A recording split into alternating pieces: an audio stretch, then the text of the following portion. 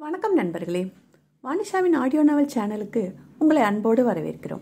வானிஷாவோட comedy கலந்த அதிரடி காதல் கதைகள் உங்களுக்கு பிடிச்சிருந்தா லைக் பட்டனை அழுத்துங்க. உங்கள் நண்பர்களுக்கும் ஷேர் செய்யுங்க. பதிவுகள் போட்ட உடனே உங்களுக்கு தெரியணும்னா சப்ஸ்கிரைப் செய்யுங்க.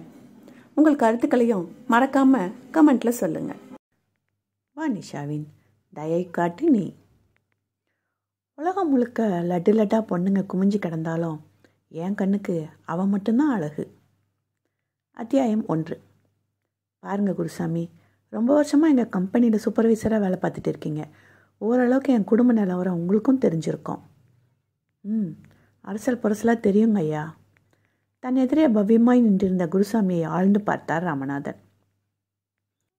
ஆனால் எனக்கு உங்கள் குடும்பத்தை பற்றி மொத்தமும் தெரியும் என்றவர். ஏன் இன்னும் நின்றுட்டே இருக்கீங்க? உட்காருங்க பேசலாம் என உபசரித்தார். குருசாமிக்கு நெஞ்சே வெடித்துவிடும் போல இருந்தது. முப்பது வருடங்களாக இந்த கார் உதிரி பாகங்கள் தயாரிக்கும் நிறுவனத்தில் வேலை பார்க்கிறார் இவர். ஆரம்பத்தில் கடைநிலை ஊழியராய் வேலைக்கு சேர்ந்து இப்பொழுது சில ஆண்டுகளாய்த்தான் சூப்பர்வைசராக பதவியேற்றம் கண்டிருந்தார். இவர் வேலைக்கு சேர்ந்த பொழுது ராமநாதனின் தகப்பனார் முதலாளியாக இருந்தார். அதன் பிறகு பல வருடங்கள் கழித்து ராமநாதன் அந்த இடத்துக்கு வந்தார். ராமநாதன் தொழிலாளிகளிடம் சுமூகமாகத்தான் பழகுவார். ஆனாலும் நான் முதலாளி நீ தொழிலாளி என்னும் பந்தா அதோடு இலையோடி கொண்டிருக்கும். அவரது பேச்சுவார்த்தைகள் மேனேஜர் லெவல் ஆட்களோடு முடிந்துவிடும். குருசாமி போல சூப்பர்வைசர்கள் அடிமட்ட தொழிலாளிகளுக்கு அளவான புன்னகை மட்டுமே கிடைக்கும் அவரிடமிருந்து அப்படிப்பட்டவர் இவரை அழைத்து பேசிக் கொண்டிருந்தது மட்டுமல்லாது உட்காரவும் சொல்லவும் கொஞ்சம் பதட்டமாகத்தான் இருந்தது. வேலையிலிருந்து தூக்கிவிட்டார்களா? அதை சுமூகமாக சொல்லத்தான் இந்த அழைப்பா? இனி குடும்பத்தை எப்படி நடத்துவது? என பல சிந்தனைகள் போட்டு வாட்ட சோர்ந்துதான் போனார் குருசாமி. அட சொல்ல சொல்ல நின்றுட்டே இருக்கீங்க. உட்காருங்க என அவர் பேச்சில் கொஞ்சம் அழுத்தம் கொடுக்கவும் பட்டன நுனி நாற்காலியில் அமர்ந்து கொண்டார் குருசாமி. அமர்ந்து சில நிமிடங்களில் சுட சுட காஃபி வந்தது. பார்க்கவே களைப்பாக இருக்கீங்க. எடுத்து குடிங்க என்றார் ராமநாதன். இவருக்கும் பதட்டமாக இருக்க காஃபியை எடுத்து சூட்டை கூட பொருட்படுத்தாமல் வேகமாய் அருந்தினார் குருசாமி. அவர் அருந்தி முடிக்கும் வரை அவர் முகத்தையே பார்த்திருந்த ராமநாதன். எப்படி விஷயத்தை ஆரம்பிப்பது என தயங்கியபடியே இருந்தார். நாற்காலியிலிருந்து எழுந்து கொண்டவர் கண்ணாடி ஜன்னலின் அருகே நின்று வெளியே நடப்பதை சற்று நேரம் வேடிக்கை பார்த்தார். மூன்று மணி ஷிப்டுக்கு ஆட்கள் உள்ளே நுழைந்து கொண்டிருந்தனர். இவரின் அலுவலக கட்டிடத்தின் வலப்புறமாய் கம்பீரமாய் நின்றிருந்த தொழிற்சாலையை பார்த்தவருக்கு தயக்கம் எல்லாம் போய் திமிர் வந்து அமர்ந்து கொண்டது. நான் கேட்டால் முடியாதுன்னு சொல்லிடுவானா இவன்? என மனம் ஏளனமாய் நினைக்க மறுபடி தனது இருக்கையில் வந்து கம்பீரமாக கால் மேல் கால் போட்டு அமர்ந்து கொண்டார் ராமநாதன். சேலத்தில் பெயர் சொல்லக்கூடிய பெரிய மனிதர்களில் ராமநாதனின் தந்தை மேகநாதனும் ஒருவர். அவர் ஆஸ்திக்கு ராமநாதனையும் ஆசைக்கு அம்பிகாவையும் பெற்று பாராட்டி சீராட்டி வளர்த்தார். அவரது மனைவி பூரணியனின் ஆசைக்கேற்ப பிள்ளைகள் இருவரும் திருமணமாகி கூட கூட்டு குடும்பமாய் இவர்களுடன் ஒன்றாய்த்தான் வசித்தார்கள். அம்பிகாவுக்கு தூரத்து சொந்தத்தில் மாப்பிள்ளை எடுத்தார்கள். மாப்பிள்ளையாக தேர்ந்தெடுக்கப்பட்ட சந்திரன் மரவள்ளி கிழங்கிலிருந்து ஜவ்வரிசி உற்பத்தி செய்யும் தொழிற்சாலை வைத்திருந்தார். வீட்டோடு மாப்பிள்ளையாக இருக்க வேண்டும் என மேகநாதன் நிபந்தனை விதிக்க சந்திரனின் வீட்டில் தயங்கினார்கள். முதல் பார்வையிலேயே அம்பிகாவின் அழகில் மனதை பறிக்கொடுத்த சர் சந்திரன் நிபந்தனைக்கு ஒத்துக்கொண்டார். அவர்களுக்கு மூன்று மகன்கள் இருக்கிறார்கள். ராமநாதனுக்கு அசலில் சிவகாமி என்னும் வசதியான பெண்ணை மணமுடித்தார்கள். அவர் சிவகாமியுடன் ஆசையாய் வாழ்ந்ததற்கு சாட்சியாய் இரட்டை பெண் குழந்தைகள் பிறந்தன. அடுத்தது ஆண்மகன் வேண்டுமென முயல கடவுள் ஏமாற்றாமல் வரம் தந்திருந்தார். என்ன? மறுபடியும் இரட்டையாய் பிறக்க அதில் ஒன்று பெண்ணாகி போனது. இந்த முறை பிரசவம் கொஞ்சம் சிக்கலாகி போக பெண் பிள்ளை நோஞ்சானாக பிறந்தது. பிழைக்க மாட்டாள் என இவர்கள் நினைக்க கடவுள் அவளது ஆயுளை கெட்டியாக படைத்து அனுப்பிவிருந்தார் எப்படியோ பிழைத்து கொண்டால் குழந்தை. கூட்டு குடும்பத்திற்கே உரிய சலசலப்புகள் சண்டைகள் என நித்தம் ஒன்று நடந்தாலும் பெரியவர்கள் இருவரும் உயிருடன் இருப்பதால் இந்த குடும்பம் உடையாமல் இன்னும் ஒட்டி கொண்டிருந்தது அம்பிகாவின் பெரிய மகன் கனடாவுக்கு படிக்க போய் கூட படித்த பெண்ணை காதலித்து பெற்றோர்களின் சம்மதத்துடன் மனமுடித்து அங்கேயே இருந்து கொண்டான். இரண்டாவது மகனுக்குத்தான் ராமநாதனின் கடைசி பெண்ணை பேசி வைத்திருந்தார்கள். மூன்றாவது மகன் இப்பொழுதுதான் பள்ளி இறுதி ஆண்டில் இருந்தான். ராமநாதன் தனது பெரிய பெண்கள் இருவரையும் சேலத்திலேயே மனமுடித்து கொடுத்திருந்தார். அடிக்கடி இருவரும் தாய் வீடு வந்து சீராடி விட்டு போவார்கள். அடுத்த சற்று இரட்டையர்கள் இருவரும் காலேஜில் கடைசி வருடம் படுத்துக்கொண்டிருந்தார்கள் ராமநாதனும் சரி சந்திரனும் சரி நன்றாகவே சம்பாதித்தார்கள். அதனாலேயே பொறாமை துவேஷம் எதுவும் இல்லாமல் ஒருத்தருக்கொருத்தர் சுமூகமாகவே பழகினார்கள். அதோடு சந்திரன் தங்களது குடும்ப செலவுக்கான கணிசமான தொகையை ஒவ்வொரு மாதமும் பூரணியிடம் கொடுத்து விடுவார். அவரும் மருமகனின் மன திருப்திக்காக வாங்கி வைத்துக் கொள்வார். அதோடு வீட்டில் இருக்கும் பிள்ளைகள் எல்லோரையும் சரிசமமாகவே நடத்துவார் சந்திரன். சிறு வயதில் எல்லோருக்கும் சேர்ந்து தின்பண்டங்கள் வாங்கி வருவார். அவர்கள் பெரியவர்கள் ஆனதும் கூட எது கேட்டாலும் மனம் சுணங்காமல் செய்து கொடுப்பார். ராமநாதனின் பிள்ளைகள் கூட சில சமயம் தகப்பன் முடியாது என சொல்லிவிட்டால் சந்திரன் மாமாவிடம்தான் போய் நிற்பார்கள். வீட்டின் இரு பெண்களுக்கும் ஒருத்தரை ஒருத்தர் பிடித்து கொள்ளாது வெளியே சிரித்து பேசி ஒட்டி கட்டி கொண்டாலும் உள்ளே வன்மம் மட்டும் மலையளவு இருந்தது. அம்பிகா புதிதாக நெக்லஸ் வாங்கிவிட்டால் அதைவிட விலை அதிகமான ஒன்றை வாங்கி அணிந்து கொள்ளாவிட்டால் சிவகாமிக்கு மூச்சே விட முடியாது. அதுபோல சிவகாமி அவரது அறைக்கு எலக்ட்ரிக் மசாஜ் நாற்காலி வாங்கிவிட்டால் அதைவிட இன்னும் காஸ்ட்லியானதாக வாங்கி தனது அறையில் பொருத்தும் வரை ஓயமாட்டார் அம்பிகா. இரு கணவர்களும் இவர்களிடம் மாட்டி படாத பாடுபடுவார்கள். இவர்கள் அனைவரையும் அடக்கி கட்டுக்குள் கொண்டு வர தெரிந்தவர் பூரணி ஒருத்தர் மட்டுமே. பாட்டி என்றால் பேரப்பிள்ளைகளுக்கு கூட பயம்தான். அதிலும் ஒரு விதிவிலக்கு இருந்தது. அவள் தாட்சாயணி நோஞ்சானாய் பிறந்த ராமநாதனின் மகள். தாட்சாயணி அந்த வீட்டில் யாருக்கும் அடங்காத அடங்கா பிடாரி. அவள் என்ன ஏது என நின்று பேசுவது சந்திரன் ஒருவரிடத்தில் மட்டுமே. தகப்பனை விட மாமாவை அதுவும் இரத்த சொந்தம் கூட இல்லாத அத்தையின் கணவரைத்தான் இவளுக்கு மிகவும் பிடிக்கும். ஆனாலும் அவரிடம் கூட மனதில் உள்ளதை எல்லாம் கொட்டிவிட மாட்டாள். அந்த குடும்பத்தில் அவள் ஒரு தனித்தேவு.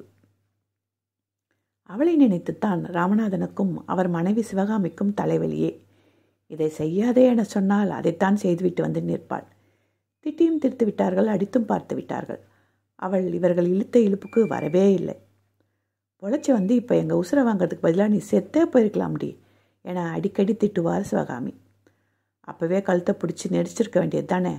நர்ஸ் வச்சு வளர்த்து விட்டுட்டு இப்படி நொந்துக்கிற நிலைமை வந்திருக்காதுல்ல? என அசால்ட்டாக துடைத்து போட்டு விட்டு போய்விடுவாள் அவள். திமிர் உடம்பெல்லாம் திமிர். அப்படியே உங்கள் அம்மா மாதிரி படித்து முடித்த கையோடு உங்கள் அக்கா அம்மா அவனுக்கு கல்யாணம் பண்ணி வச்சு இந்த இம்சையை அவங்க தலையில் ஏற்றி விட்டுடலாம் என கணவனிடம் புலம்பி தள்ளுவார் சிவகாமி.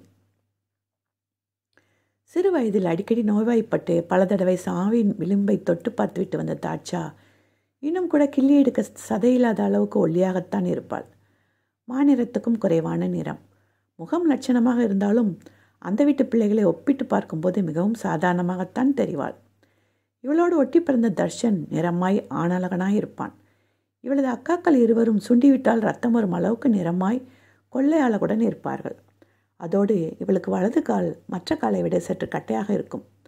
அதற்கான காலணி அணிந்து கொள்வதால் நடையில் எந்தவித தடுமாற்றமும் இருக்காது இவளுக்கு. அந்த குறையை வைத்து யாராவது கிண்டல் செய்து விடுவார்களோ என நடையில் எந்நேரமும் கவனமாகவே இருப்பாள். வீட்டில் கூட அதற்குரிய செருப்புடன் தான் நடமாடுவாள். என்ன இருந்தாலும் அவர்கள் வீட்டு பெண். இப்படி குறை உள்ளவளை வெளியே கட்டி கொடுத்தால் எப்படி நடத்துவார்களோ? அடிக்கடி பணம் கேட்டு டார்ச்சர் செய்வார்களோ என யோசித்த பூர்ணி இவளுக்கு சிறு வயதாக இருக்கும்போதே அம்பிகா மற்றும் சந்தனிடம் பேசி அவள் வயதுக்கு ஈடான அவர்களின் இரண்டாவது மானைத்தான் இவளுக்கு கட்டி வைக்க வேண்டும் என அழுத்தமாக சொல்லியிருந்தார். சந்திரனுக்கு மாமா மாமா என சுற்றி வரும் சின்னவளை ரொம்பவே பிடிக்கும். அதனால் அவர் ஆட்சேபிக்கவில்லை. அம்பிகாவும் கூட அதற்கு ஒத்துக்கொண்டார். தாட்சாயினி மறுமலாகிவிட்டால் தம்பி மனைவி தனக்கு அடங்கித்தானே போக வேண்டும் என உள்ளுக்குள் திட்டம் இருந்ததுதான் அதற்கு காரணம். ஆகையால் வீட்டில் எல்லோருமே இந்த தாட்சா சந்திரனின் மகன் சித்தார்த்துக்கே உரியவள் என்பது போலத்தான் நடந்து கொள்வார்கள். இந்த விஷயம் வெளியில் உள்ளவர்களுக்கு கூட அரசல் புரசலாக தெரியும். ஐயா இன்னும் என்ன விஷயம் நீங்கள் சொல்லலையே என தயக்கமாக கேட்டார் குருசாமி. மகன் வேலையெல்லாம் எப்படி போகுது குருசாமி? நம்ம கம்பெனி ட்ரெஸ்ஸில் படித்த ஒரு பையன் நல்ல வேலையில் இருக்காங்கிறது எவ்வளோ பெருமையாக இருக்குது தெரியுமா? மகனை பற்றி கேட்டதும் பெற்றவரின் கண்கள் மின்னியது. அவர்கள் குடும்பத்தின் வீடி விளக்கல்லவா அவன்?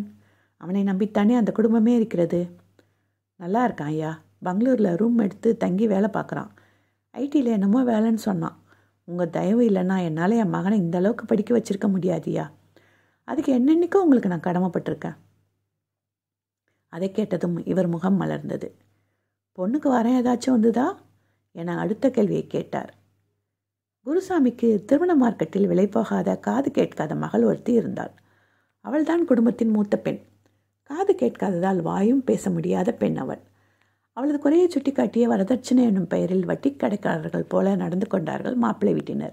குருசாமி மட்டுமே உழைப்பவராக இருந்தார் அந்த குடும்பத்தில். இரண்டாவது மகனும் மூன்றாவது மகளும் படித்து கொண்டிருக்க பெரியவளுக்கு அவரால் சீர் செய்து திருமணம் செய்து வைக்க முடியாத நிலை. அதுவே அவரை அரை உயிராக்கி வைத்திருந்தது.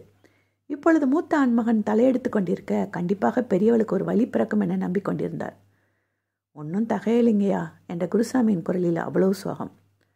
அடடா பொண்ணுக்கு காதும் கேட்காது வாயும் பேசாது இல்லையா?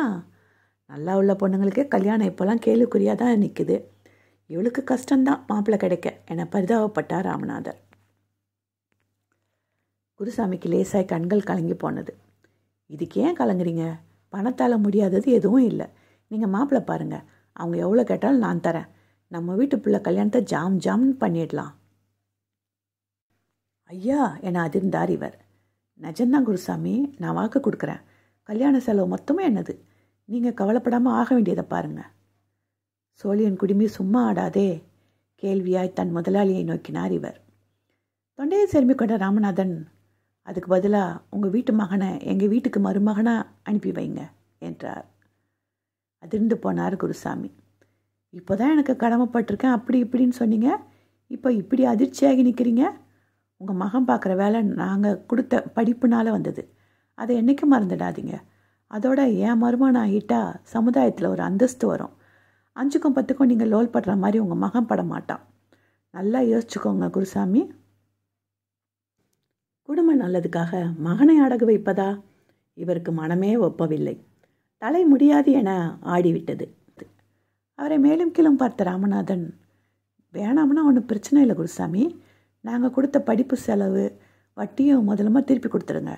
அதோட நீங்களும் வேலையை விட்டு நின்றுக்கலாம் அது மட்டும் இல்லை வேலை இடத்துல நீங்கள் வாங்கியிருந்த கடனையும் உடனே செட்டில் பண்ணிவிடுங்க மேலும் இப்போ இருக்கிற தொழிலாளிங்களுக்கு நாங்கள் கட்டி கொடுத்த குவார்ட்டர்ஸில் இருந்தும் வெளியாகிடுங்க. இதெல்லாம் இன்னும் ஒரு வாரத்தில் நடக்கணும். என குண்டை தூக்கி அழுங்காமல் குருசாமியின் தலையில் போட்டார். ஆடி போய் விட்டார் குருசாமி. இன்றைக்கி ஒரு நாள் நல்லா யோசிச்சு பாருங்கள் சரின்னு ஒத்துக்கிட்டா எவ்வளோ நன்மைகள் கிடைக்கும்னு கணக்கு போட்டு பாருங்கள் குருசாமி. வேணான்னு சொல்லி ஏன் வம்ப விலை கொடுத்து வாங்கணும்? ரெண்டு வயசுக்கு வந்த பொண்ணுங்களை வச்சுக்கிட்டு நடு ரோட்டில் நிற்க போகிறீங்களா என கேட்டார் ராமநாதன். வாயடைத்து போனார் குருசாமி. இப்போ போய் வேலையை பாருங்கள் நாளைக்கு எனக்கு ஒரு நல்ல முடிவாக சொல்லுங்கள் கால்கள் கணக்க மெல்ல எல் எழுந்து நடந்து கதவருகே போனார் குருசாமி. கதவின் கைப்பிடியில் கை வைத்தவரை ராமநாதரின் குரல் தடுத்து நிறுத்தியது. அப்படி உங்களுக்கு சம்மதம்னா ரெண்டு வாரத்துக்குள்ளே கல்யாணம் வைக்கிற மாதிரி இருக்கும். ஏன்னா என் மக இப்போ நாலு மாதம் முழுகாமல் இருக்கா. தயை கிட்டுமா? மனிஷாவின் தயை காட்டு நீ. இப்போ பொண்ணு இல்லை தஞ்சாவூர் பொம்மை. அத்தியாயம் இரண்டு. வீட்டுக்கு வந்தவர்களை சிரித்த முகமாக வரவேற்றார் பூரணி. முகம் சிரித்தபடி இருந்தாலும் அதில் இருந்த இறுக்கத்தை கண்டு கொண்டார் குருசாமியின் மனைவி அலமேலு பெண் பார்க்க என வந்திருந்த இவர்களின் முகத்திலும் எல்லளவும் மகிழ்ச்சி இல்லை. வாங்க வாங்க என வரவேற்று சோபாவை காட்டி அமர சொன்னார் பூரணி. அவர் பின்னாலேயே வந்து நின்றார் மேகநாதன். இவர்களை பார்த்து மில்லிமீட்டர் அளவுக்கு புன்னகைத்து வைத்தவர் போய் சோபாவில் அமர்ந்து கொண்டார். குருசாமி அவர் முன்னாள் முதலாளியின் எதிரே அமரவே தயங்க புரிந்து கொண்ட பூரணி கந்தா இவங்க எல்லாருக்கும் பிளாஸ்டிக் சேர் கொண்டு வந்து போடு என குரல் கொடுத்தார். அவர் சொன்னது மடமடவென நிறைவேற்றப்பட்டது. குருசாமி நாற்காலியின் நுனியில் அமர அவரது மனைவியோ அவர் பின்னாடி நின்று கொண்டார். அவர்களின் மகன் வீரபத்ரன் தகப்பனின் அருகே இன்னொரு நாட்காலியில் நிமிர்வாய் அமர்ந்து கொண்டான். அதற்குள் அந்த வீட்டில் இருந்த ஒவ்வொருத்தரும் வர ஆரம்பித்தார்கள். பத்ரனின் பார்வை அங்கிருந்த பூஜாடி மேல் மட்டுமே பதிந்திருந்தது. உள்ளம் உழைக்காலமாக கொதித்து கொண்டிருக்க உணர்வுகளை கட்டுப்படுத்தி சாதாரணமாக அமர்ந்திருக்கவே படாது பாடுபட்டான் அவன். கழுத்தில் கத்தி மட்டும்தான் வைக்கவில்லை. மற்றபடி கை கால்களை கண்ணுக்கு தெரியாத கைச்சால் கட்டி அங்கே இழுத்து வந்து அமர்த்தியது போல உள்ளம் கோபத்தில் கொந்தளித்தது. இவன் படிப்பதற்கு கல்வி கடன் என கொடுத்தார்கள் தான் இவர்கள். வேலை பார்க்க ஆரம்பித்த அந்த இரண்டு வருடங்களாக அதை மாதா மாதம் திருப்பி கட்டிக்கொண்டு தான் வருகிறான். மீதி பணத்தை கேட்டால் கூட சேர்த்து வைத்திருந்த சொற்ப கையிருப்பையும் நண்பர்கள் மற்றும் தனியார் நிறுவனங்களில் கடனும் வாங்கி திருப்பி கொடுத்து விடுவான். ஆனால் அப்பா வாங்கிய கடனோடு இவனுடையதும் சேர்த்து ஒரே வாரத்தில் திருப்பி கொடுக்க சொன்னால் இவனும் தான் என்ன செய்வான்? கந்து வட்டிக்காரர்களே தேவலாம் என்பது போல இருந்தது இந்த பணக்கார முதலைகளின் நடவடிக்கை. வட்டிக்காரன் கழுத்தில் கத்தி வைப்பான். இவர்கள் கழுத்தில் தாலியை கட்ட சொல்கிறார்கள். அது மட்டும்தான் வித்தியாசம் என விரக்தியாய் எண்ணிக்கொண்டான் பத்ரன். இவன் வீட்டில் இருந்த இரண்டு பொடிசுகளும் துள்ளி துடித்தார்கள். காலக்கெடு கொடுக்காமல் மிரட்டி கடனை கேட்கிறார்கள் என்று சொல்லி போலீஸ்க்கு போகலாம் கோர்ட்டுக்கு போகலாம் என இவன் தம்பியும் தங்கையும் துள்ள தந்தையோ தளர்ந்து போய் அமர்ந்து விட்டார். பொட்டப்பிள்ளைங்க ரெண்டு வச்சுக்கிட்டு தலைக்கு மேலே கூரை இல்லாமல் நடு ரோட்டில் நிற்க முடியாதே தம்பி. எனக்கும் வேலை போச்சுன்னா அடுத்த வேலை சாப்பாட்டுக்கு உங்களுக்கு நான் என்ன வழி பண்ணுவேன்? இப்படி வக்கத்து போய் உதவாக்கிற அப்பனா நிற்கிறேனே ஏற்கனவே உங்கள் அக்காவுக்கு ஒரு வாழ்க்கையை அமைச்சு கொடுக்க முடியாமல் குமிஞ்சிக்கிட்டு இருக்கேன். இப்போ மலர்ந்து மணக்க வேண்டிய மகன் வாழ்க்கை. என்னோட கையாளகத்தனத்தினால கருகி போயிடுமோன்னு கவலையாக இருக்குது என குருசாமி தலையில் எடுத்துக்கொண்டு அழுவதை பார்த்து மொத்த குடும்பமும் நிலை குலைந்து போனது. கட்டிக்கிறேன்ப்பா. அவங்க அக்காவுக்கு கல்யாணம் பண்ணி வைப்பாங்கன்னோ அவங்களோட சொத்து சுகத்துக்காகவோ இல்லை. மனுஷனோட அத்தியாவசிய தேவையான தலைக்கு மேலே கூரை வேணும்ல அதுக்காக கட்டிக்கிறேன். அடுத்த வேலை சாப்பாட்டுக்கு பயம் இல்லைனாலும் அடுத்த வார சாப்பாட்டுக்கு என்ன செய்யன்னு திகச்சு நிற்கணுமே அதுக்காக கட்டிக்கிறேன் என்ற வீரபத்ரனின் குரல் சாதாரணமாகத்தான் ஒலித்தது. அவனை உள்ளும் புறமும் அறிந்து வைத்திருந்த அலமேலுவுக்கு மகன் கண்ணில் தெரிந்த அலைப்புறுதலையும் கழுத்தோரம் துடித்த நரம்பையும் வைத்து அவன் மனம் படும் பாடு புரிந்தது. மற்ற பிள்ளைகளுக்காக இவனை பாலங்கிணற்றில் தள்ளுவதை நினைத்து தாயுள்ளம் மருகியது. நாங்கள் செத்தாலும் பரவாயில்லண்ணா அடுத்தவன் பிள்ளைக்கு நீ இனிஷியல் கொடுக்க வேணாம். என கட்டிக்கொண்டு அழுத தங்கை பிரியாவின் தலையை வடி கொடுத்த வீரபத்ரன். கண்டதே நினச்சி கவலைப்படாத சின்னக்குட்டி. படிக்கிறத மட்டும் பாரு. அண்ணா எல்லாத்தையும் கவனிச்சுப்பேன் என்றான். பெரியவள் வசந்தியோ தம்பியின் கருத்தை பற்றி கொண்டு கண்ணீரில் கரைந்தாள். சின்னவன் வினோதன் வருத்தமே உருவாய் ஒரு மூலையில் அமர்ந்திருந்தான். இந்த திருமணத்திலிருந்து விடுபட என்ன வழி என யோசித்தபடியே ஊருக்கு கிளம்பி வந்திருந்த பத்ரன் ஒன்றும் புலப்படாமல் உள்ளுக்குள் சோர்ந்து போனான். கண்களில் கண்ணீர் வழிய தலையில் கை வைத்தபடி அமர்ந்திருந்த தகப்பனின் நிலையை பார்த்தவனுக்கு மனதை பிசைந்தது தங்களுக்காக எந்த சுகத்தையும் அனுபவிக்காமல் குழந்தைகள் அவர்கள் ஆசைகள் என இவர்களுக்காகவே வாழ்ந்த தாய் தகப்பனுக்கு நிம்மதியை கொடுப்பதற்காக வேணும். இந்த திருமணம் நடந்துதான் ஆக வேண்டும் என முடிவெடுத்தவன் மனதை ஒரு வழியாக தேற்றிக்கொண்டான் சகோதரிகளுடன் பிறந்து குடும்ப கஷ்டத்தை கண்டு வளர்ந்திருந்தவன் விடலை பருவத்தில் மற்ற பையன்களைப் போல எந்த பெண் பின்னாலும் சுற்றியதில்லை. சைட் அடித்ததில்லை இவன் தோட்டத்தில் மயங்கி ஒரு சில பெண்கள் நெருங்கி வந்தும் நட்புடனே ஒதுங்கி போய் விடுவான். அதிகாலையில் எழுந்து வீடு வீடாக பேப்பர் போடும் வேலை பார்ட் டைமாக தண்ணீர் கேன் போடும் வேலை காலேஜ் படிப்பு எனத்தான் அவன் உலகம் சுழன்றது. கஷ்ட ஜீவனத்தில் இருந்த குடும்பத்தை கரையேற்ற வேண்டும் அக்காளுக்கு மனம் முடிக்க வேண்டும் தம்பி தங்கையை படிக்க வைக்க வேண்டும் அப்பாவுக்கு முழு ஓய்வு கொடுக்க வேண்டும் என்பது மட்டுமே மண்டைக்குள் எப்போதும் ஓடிக்கொண்டிருக்கும் இவனுக்கு. நேரம் கிடைக்கும்போது அத்திப்பூத்தார் போல சில காதல் திரைப்படங்களை பார்க்கும்போது மனதில் சின்னதாய் சலனம் எழும். அழகான அன்பான மனைவி தன் குடும்பத்தை அனுசரித்து போவதைப் போல ஒருத்தி. இவனை கொஞ்சி கெஞ்சி கோபமூட்டி கொடைவள்ளலாய் தன்னையே அள்ளி கொடுக்கும் ஒருத்தி. அவளுடனான காதல் காமம் குழந்தை குட்டிகள் என மனம் சுகமாய் கற்பனையில் அமிழ்ந்து போகும்.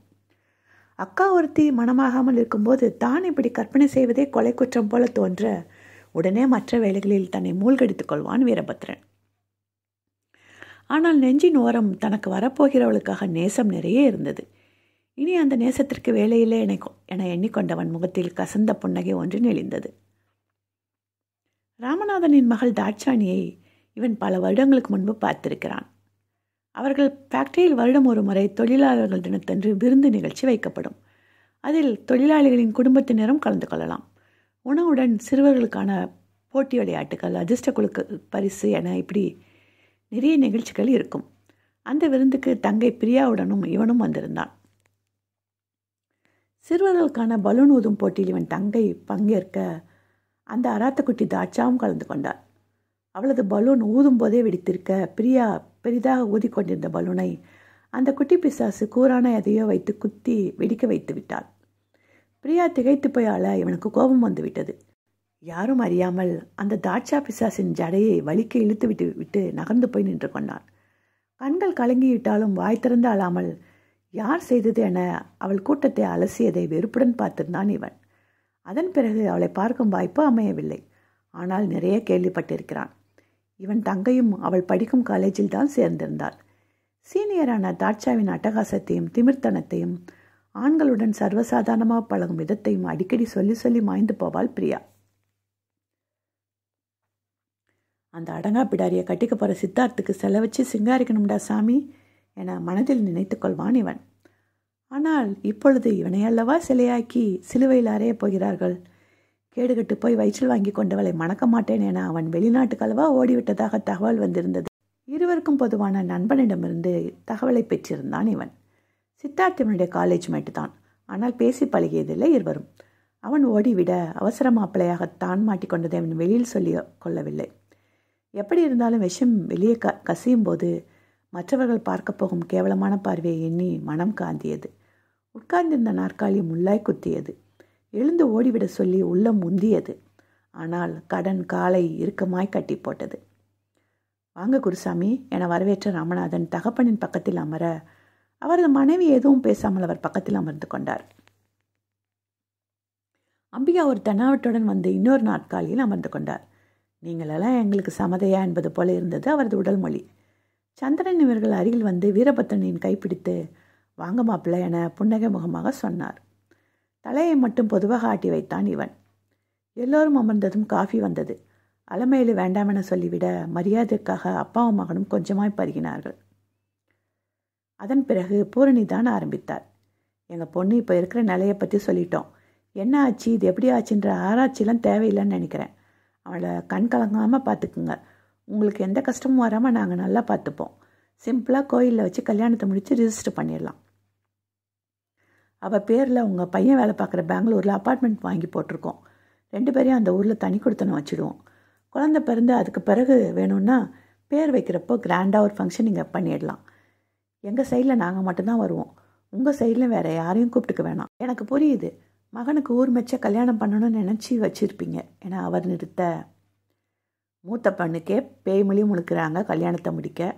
இதில் எங்கேருந்து மகனுக்கு கிராண்டாக பண்ணி வைக்க கனவு காண போகிறாங்க என நக்கலாக இடை சொருகினார் அம்பிகா. அம்பி என சத்தமிட்டார் சந்திரன். சரி சரி ஒன்றும் பேசலை. என்னமோ என் மகன் தப்பிச்சான்.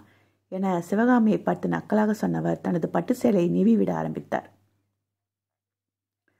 பிறந்தப்பவே செத்து ஒழியாமல் இப்படி வளர்ந்து ஏன் ஊசரை வாங்கிட்டு இருக்கா அவங்க மக என சிவகாமி தன் கணவரிடம் முனகியது அங்கிருந்த அனைவருக்குமே கேட்டது. நான் பேசிட்டு இருக்கிறப்பவே ஆளாளுக்கு பேசினா எனக்கு என்ன மரியாதை? என பூரணி குரலை உயர்த்த கப்சிப்பானது அவ்விடம். கல்யாண செலவெல்லாம் எங்களுது. தாலி கூட நாங்களே வாங்கிடுறோம். இவங்க கல்யாணம் முடிஞ்சதும் நாங்களே உங்கள் பெரிய பொண்ணுக்கு ஒரு மாப்பிள்ளை பார்த்து கல்யாணம் பண்ணி வைக்கிறோம் என்றார். கணவனை முகம் பார்த்தார். மேகநாதன் நாங்கள் உங்கள் குடும்ப பொறுப்பை எடுத்துக்கிறோம். அதுக்கு பதிலாக எங்கள் பொண்ணை பாதுகாப்பாக கவனமாக பார்த்துப்போன்னு நீங்கள் அக்ரிமெண்ட்டில் சைன் பண்ணி கொடுக்கணும் என சொன்னார். இவ்வளவு நேரம் அமைதியாக அமர்ந்திருந்த வீரபத்ரன் கல்யாணம் பண்ணி உங்கள் வீட்டு பொண்ணை கொலைகளை பண்ணி தற்கொலைன்னு ஜோடிச்சிருவோன்னு பயப்படுறீங்களா? அப்படி நம்பிக்கை இல்லாதவங்க எதுக்கு எங்களை அலசி பிடிச்சி தேர்ந்தெடுக்கணும்? எங்கள் அப்பா மாதிரி ஒரு அப்பாவி எங்கள் அம்மா மாதிரி ஒரு வாயிலா பூச்சி என்ன மாதிரி ஒரு வீட்டுக்கடங்கின பிள்ளை தேடினாலும் கிடைக்காதுன்னு தானே இவ்வளோ கிடுக்குப்பிடியை போட்டு கொண்டு வந்திருக்கீங்க? அப்புறம் என்ன பயம்? அப்படி அக்ரிமெண்ட் எல்லாம் போடுறதுனா எனக்கு இந்த கல்யாணம் வேணாம். உங்ககிட்ட பிச்சை எடுக்கிறதுக்கு பதில் குடும்பமாக தெருவில் பிச்சை எடுத்துகிட்டு போகிறோம் என அமைதியான குரலில் பிசிறின்றி சொன்னான். சட்டன சூழ்நிலையை கையில் எடுத்துக்கொண்டார் ராமநாதன். மாப்பிள்ள அப்பா அந்த அர்த்தத்தில் சொல்லலை. கட்டி கொடுக்க போகிற பொண்ணு அதுவும் வாயும் வயிறுமாக இருக்கிற பொண்ணு கண்ணை கசக்கிட்டு நின்னா எந்த பெற்றவங்களுக்கு தான் மனசு பதறாது? அவள் நிம்மதியாக இருக்க நீங்கள் இனிஷியலை கொடுக்குற மாதிரி பாதுகாப்பையும் கொடுங்கன்னு தான் சொல்கிறாரு அதோட அக்ரிமெண்ட் போட்டால் நாங்கள் உங்களுக்கு எல்லாம் செய்கிறோன்னு வெறும் வாய்ச்சாவடால் காட்டலை. நிஜத்தில் செய்வோன்னு ப்ரூஃப் இருக்கும் பாருங்கள் அதுக்கு தான் சொல்கிறாரு உங்களுக்கு பிடிக்கலன்னா இந்த அக்ரிமெண்ட்டெல்லாம் ஒன்றும் வேணாம். உங்கள் அப்பாவை எங்களுக்கு பல வருஷமாக தெரியும்.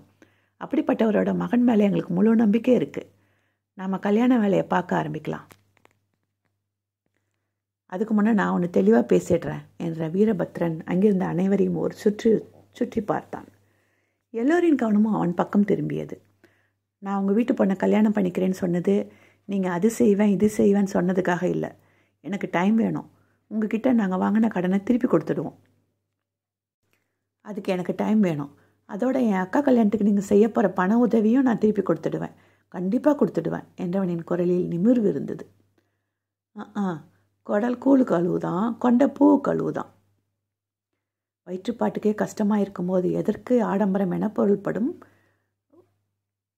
இருக்க வீடு இல்லை இவனுக்கே இவ்வளோ இருமாப்போ என அம்பிகா முணுமுணுக்க உடல் இறுகி விரைத்தது வீரபத்ரனுக்கு.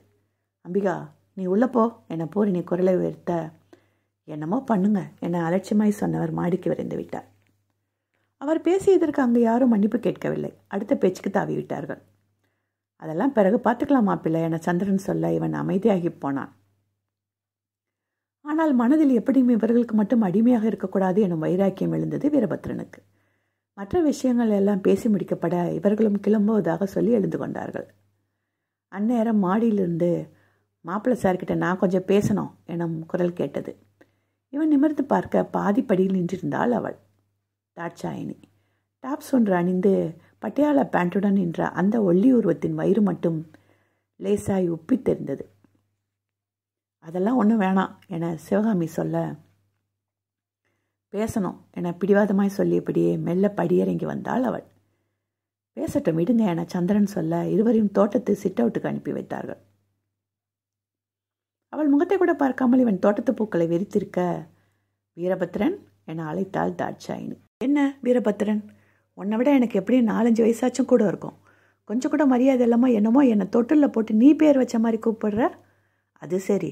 உன்னை போல் ஒருத்திக்கிட்ட மரியாதையெல்லாம் எதிர்பார்க்கறது என்னோட தப்பு தான் என்றவனின் பார்வை ஏளனமாக மேடிட்டு இருந்த அவள் வயிற்றில் பதிந்தது. அமைதியாய் அவனை ஏறிட்டவள் இந்த தாட்சா கிட்ட இருந்து தப்பிச்சு போக ஒரு வாய்ப்பு கொடுக்கலான்னு நினச்சேன். ஆனால் என்னை சொரிச்சு விட்டுட்டியே நீ. அச்சோ அச்சோ. ஸோ பேட் உன் விதியை இப்படி எழுதியிருக்க வேண்டாம் அந்த கடவுள் என உச்சி கொட்டியவள் ஸ்கூலில் இருப்பாங்க டீச்சர். இனி தினம் பண்ண வேண்டாம் உன்னை டார்ச்சர். வர்ட்டா வீரபாகு என்றபடி விடுவிடு என நடக்க ஆரம்பித்தாள். சீ போடி. திரும்பி அவனை பார்த்தவள் நோ போடி. இனி வாடி மட்டும்தான் மாப்பிள்ள வாங்கியிருக்கேன் ஒன்றை நான் கூப்பிட்றப்போலாம் வரணும் என சொல்லி அவன் முகம் கருப்பதை திருப்தியாக பார்த்தவள் அதற்கு மேல் நிற்காமல் நடந்து விட்டாள். தயை கிட்டுமா? வாணிஷாவின் தயை காட்டு நீ.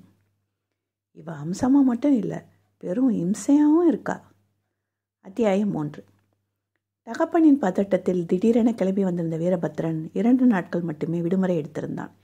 இங்கே வந்து ஏற்பட்டிருக்கும் பிரச்சனைக்கு ஏதாவது தீர்வு தேடலாம் என எண்ணியிருந்தவனுக்கு தானே தீர்வாய் போவதுதான் விதி என புரியவும் விடுமுறையை இன்னும் நீட்டிக்க சொல்லி வேலையிடத்தில் கேட்டிருந்தான். அடிக்கடி இப்படி விடுமுறை கேட்பவன் இல்லை இவன். அதோடு செய்யும் வேலையும் பக்காவாக இருக்கும். அப்படி இருந்தும் கூட ஐடி வேலைக்கு என புச்சீசலாய் தினம் உழைத்து கொண்டே இருக்கும் கிராஜுவேட்களின் எண்ணிக்கையால் இவனை போன்றவர்களுக்கு சலுகை என்பது கிடைப்பதே பெரிய அதிர்ஷ்டம். வேலைக்கு வர முடியவில்லையா? பரவாயில்லை. கிளம்பி போய்க்கொண்டே இரு. உன்னை விட திறமையானவனை இன்னும் குறைந்த சம்பளத்துக்கு எங்களால் உடனடியாக மாற்றிக்கொள்ள முடியும். எனும் தெனாவெட்டில் நியாயமாக கிடைக்கக்கூடிய சலுகைகளை கூட நிராகரிக்கிறார்கள் பல நிறுவனங்கள். இவனுக்கு விடுமுறை கிடைக்கவில்லை. ஆனால் வீட்டிலிருந்து வேலை செய்ய அனுமதி கிடைத்தது. வேலையிடத்துக்கு போகும்பொழுதாவது ஏழு அல்லது எட்டு மணிக்கு வீட்டுக்கு வந்து விடலாம் ஆனால் இந்த ஒர்க் ஃப்ரம் ஹோமில் இரவு பதினொன்று ஆனால் கூட லாக் அவுட் செய்ய முடியாமல் வேலை வைத்து வாட்டும். இரவு மிக தாமதமாக தூங்கி காலையிலே எழுந்து பல்லை மட்டும் தொலைக்கிவிட்டு லேப்டாப்புடன் மல்லுக்கட்ட ஆரம்பித்து விட்டான் வீரபத்ரன். அவனுக்கு முன்னமே எழுந்துவிட்ட அலமேலு மகனுக்கு சுட சுட காஃபி வைத்து கொடுத்தார். இன்முகத்துடன் வாங்கி கொண்ட மகனை ஆதூரமாய் பார்த்தார் அலமேலு. தாயின் அழகு அப்படியே மகனுக்கு வந்திருந்தது. இவரின் பெண் பிள்ளைகள் கூட இவனைப் போல அவ்வளவு லட்சணமாய் பிறந்திருக்கவில்லை. அவர்களும் அழகுதான். ஆனாலும் அலமேலுவின் பெரிய கண்களையும் வளைந்து நீளமாய் இருக்கும் கன்னிமை முடிகளையும் கூர் நாசியையும் சுருட்டையான கேசத்தையும் வாங்கி கொண்டு பிறந்திருந்தான் வீரபத்ரன். வீரபத்ரன் எனும் பெயரை விட வசீகரபத்ரன் எனும் பெயர் வைத்திருந்தால் இன்னும் சிறப்பாக இருந்திருக்கும். சாமி மகனை வாஞ்சியாக அப்படித்தான் அழைப்பார் அலமேலு என்னம்மா எங்களை மன்னிச்சிடியா அம்மா என்றவன் சட்டனை எழுந்து அவரை நெருங்கி வந்தான். இப்படியெல்லாம் பேசி என்னை ஒதுக்கி வைக்காதீங்கம்மா என சொல்லி தாயை கட்டிக்கொண்டான் என்ன அடைக்கும் கண்களில் கண்ணீர் வழிந்து விட்டது அலமேலுவுக்கு இல்லை என அடித்து சொன்னாலும் பெற்றவர்களுக்கு கண்டிப்பாக ஏதாவது ஒரு பிள்ளையின் மேல் பாசம் கொஞ்சம் அதிகமாக இருக்கும். அலமேலுக்கு இவன் மேல்தான் அப்படி ஒரு பாசம். அந்த பாசம் வர காரணமும் அவனே. பிள்ளைகள் வளரும்போது மிகவுமே கஷ்ட ஜீவனம் இவர்கள் இல்லத்தில். சம்பளம் கிடைக்கும் நாளன்று குழந்தைகளுக்காக இனிப்பு வாங்கி கொண்டு வருவார் குருசாமி. குழந்தைகள் ஆசையாக சாப்பிட பெற்றவர்கள் தங்கள் பங்கையும் அவர்களுக்கு விட்டு கொடுத்து விடுவார்கள். அதில் வீரபத்ரன் மட்டும் அம்மா உனக்கு காணோம் என கவனித்து கேட்டு தனது பங்கில் பாதியை அவருக்கு கூட்டி விடுவான் இனிப்போடு சேர்த்து மகனின் பாசமும் தித்திக்கும் அளமேலுக்கு அவன் எதிர்காலத்தை பற்றி பத்திரன் கனவு கண்டானோ இல்லையோ? இவர் அவனுக்காக பல கனவுகள் கண்டிருந்தார். கோயிலுக்கோ வெளியே தெருவே போகும்போதோ அழகான பெண்களை பார்த்தாலோ கலகலப்பான பெண்களை பார்த்தாலோ இவள் என் மருமலாக வந்தால் நன்றாக இருக்குமே என எண்ணிக்கொள்வார். இப்படி எத்தனை பெண்களைத்தான் மனதுக்குள் மறுமலாக்குவாய் என தன்னைத்தானே கேட்டு சிரித்தும் கொள்வார் அலமேலு. அப்படியெல்லாம் கனவு கண்டவருக்கு மகனை அந்த பணக்கார பெண்ணின் பக்கம் பொருத்தி பார்க்கவே முடியவில்லை. நெஞ்சம் கனத்து போனது. அவளின் அழகோ ஊனமோ ஒரு பொருட்டில்லே அலமேலுக்கு தன் வீட்டிலேயே குறையுள்ள ஒரு பெண்ணை வைத்திருந்தவருக்கு மற்ற வீட்டு பெண்களின் குறை பெருசாக தோன்றவில்லை. ஆனால் லேசாய் முட்டித்திருந்த அப்பெண்ணின் வயிறு இவரின் மருமகள் கற்பனைகளை முட்டி தள்ளியதைத்தான் ஏற்க முடியவில்லை. என்னவோ இவரால் அதை தாங்கிக் கொள்ளவே முடியவில்லை. இவ்வளவு காலம் கணவன் கொண்டு வந்த பணத்துக்குள் கட்டுசெட்டாய் வாழ்ந்தவருக்கு இந்த மனிதர் கொஞ்சம் பொய் புரட்டி பித்தலாட்டம் செய்து சம்பாதித்திருக்க கூடாதா என தோன்றிவிட்டது. நல்லவராய் நேர்மாயாய் வாழ்ந்து கண்டதுதான் என்ன? இல்லாமையும் இயலாமையும் தானே. இவர்களின் கையாளாகத்தனத்துக்கு இப்பொழுது தன் செல்ல மகனை தூக்கி ஒரு துக்கிரிக்கு கொடுக்க வேண்டி வந்தது. அதை நினைத்து தன்னையே வெறுத்தார் அலமேலு. இவரால் வேறு என்னதான் செய்துவிட முடியும்? கண்ணீர் விடுவதை தவிர. அழாதீங்கம்மா. பிறந்தப்பவே அவங்கவுங்க விதியை கடவுள் எழுதியிருப்பாருன்னு நீங்கள் தானே சொல்வீங்க அப்படி எனக்கு விதிக்கப்பட்டவ தான் இவ போல் இருக்குது அதான் கரெக்டாக கடவுள் தப்ப முடியாமல் மாட்டி வச்சிட்டாரு. நீங்களும் நானும் அலறதால என்ன செஞ்சிட முடியும்? நம்ம மீறி நடக்கக்கூடிய விஷயங்களை அது போக்கில் விட்டுடணும்மா ஏன்? எதனால்? எனக்கு மட்டும் ஏன் இப்படிலாம் யோசிச்சுட்டே இருந்தால் இருக்கிற கொஞ்ச நஞ்ச நிம்மதியும் ஓடி போயிடும் போய் வேலையை பாருங்கம்மா. நடப்பதெல்லாம் நன்மைக்கே. மகனை குனிய வைத்து கன்னத்தில் முத்தமிட்ட ஆளுமேலு இன்னும் எனக்கு எத்தனை வருஷம் கடவுள் ஆயில கொடுத்துருக்கான்னு தெரியாது சாமி. அந்த வாழ்நாள் முழுக்க எனக்கு விதிச்சிருக்க சந்தோஷத்தை எல்லாம் உனக்கே கொடுக்கணும்னு கடவுள்கிட்ட கேட்டிருக்கேன் என்றார். தாயின் பாசத்தில் விக்கித்து நின்றான் இவன். பாருடாவினோ அண்ணாக்கு மட்டும் சந்தோஷத்தை தூக்கி கொடுப்பாங்களாம். அப்போ நாமெல்லாம் யாருடா? உன்னை ஃப்ரீயாக தானே வாங்கிட்டு வந்தாங்க பிரியா. அதனால் உனக்கு அதெல்லாம் கிடையாது என்றான் வினோதகன். அதை வினோத ஜந்துவாகி நீ சொல்லக்கூடாது. யாரை பார்த்துட்டு வினோத ஜந்துன்னு சொன்ன? யாரை பார்த்துட்ட ஃப்ரீயான்னு சொன்ன என இருவருக்கும் அடித்தடி ஆரம்பிக்க. இதுங்க ரெண்டும் அடங்கவே அடங்காதுங்க. நீ வேலையை பாரு சாமி. என சமையல் கட்டுக்கு போனார் அலமேலு. வினோ பிரியா எனக்கு கான்ஃபரன்ஸ் கால் இருக்குது சத்தத்தை குறைங்க. என வீரபத்ரன் ஒரு குரல் கொடுக்க சண்டை சட்டென அடங்கியது. அவர்கள் வசிப்பது மேகநாதன் கட்டி கொடுத்த குவார்ட்டர்ஸ் வீட்டில்தான். அந்த இடத்தில் சுமார் முப்பது வீடுகள் இருந்தன. அதுபோல பத்து வீடுகள் ஒட்டி கட்டப்பட்டிருக்கும். மூன்று வரிசையாக அந்த வீடுகள் இருந்தன. சின்னதாய் ஒரு வரவேற்பறை இரண்டு குட்டி அறைகள் ஒரு பாத்ரூம் கழிவறை வசதியுடன் ஒரு குட்டி சமையலறை என அவ்வளவுதான் அந்த வீடு.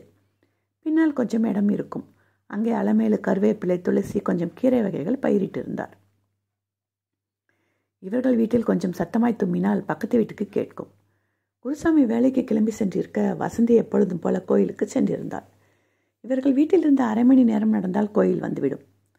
தினம் கோயிலுக்கு போய் எலுமிச்சை விளக்கை ஏற்றி வணங்கி விட்டு வருவாள் வசந்தி. ஜோதிடம் பார்த்த இடத்தில் இப்படி விளக்கேற்றி வணங்கி வந்தால் வரன் கிட்டும் என சொல்லி இருக்க இவளுக்கு நம்பிக்கை இல்லாவிட்டாலும் அலமேலுக்காக விடாமல் செய்து வருகிறாள்.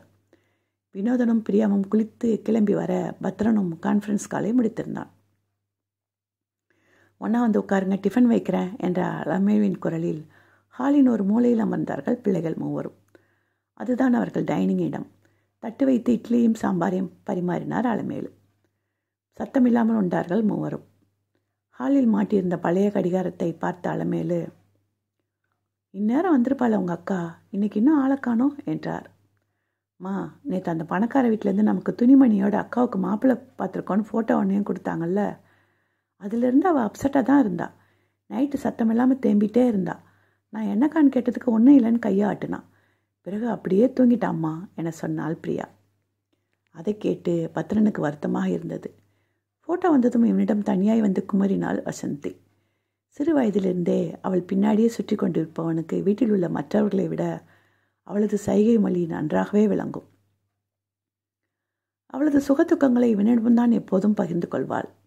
தந்தையும் இவனும் படும் பாட்டை பார்த்து தனக்கு திருமணமே வேண்டாம். கடைசி வரை இந்த வீட்டில் அவர்கள் மகளாகவே இருந்து விடுகிறேன் என அடிக்கடி இவனிடம் சொல்வாள். அப்பொழுதெல்லாம் இவனுக்கு மனதை பிசையும். அவளுக்கு ஒரு வழி செய்யாமல் இருக்கிறோமே என நெஞ்சம் கணக்கும் முந்தைய தினமோ உன் வாழ்க்கையை பணையம் வச்சு தான் எனக்கு ஒரு கல்யாணம்னா அது வேணவே வேணாண்டா பத்ரா.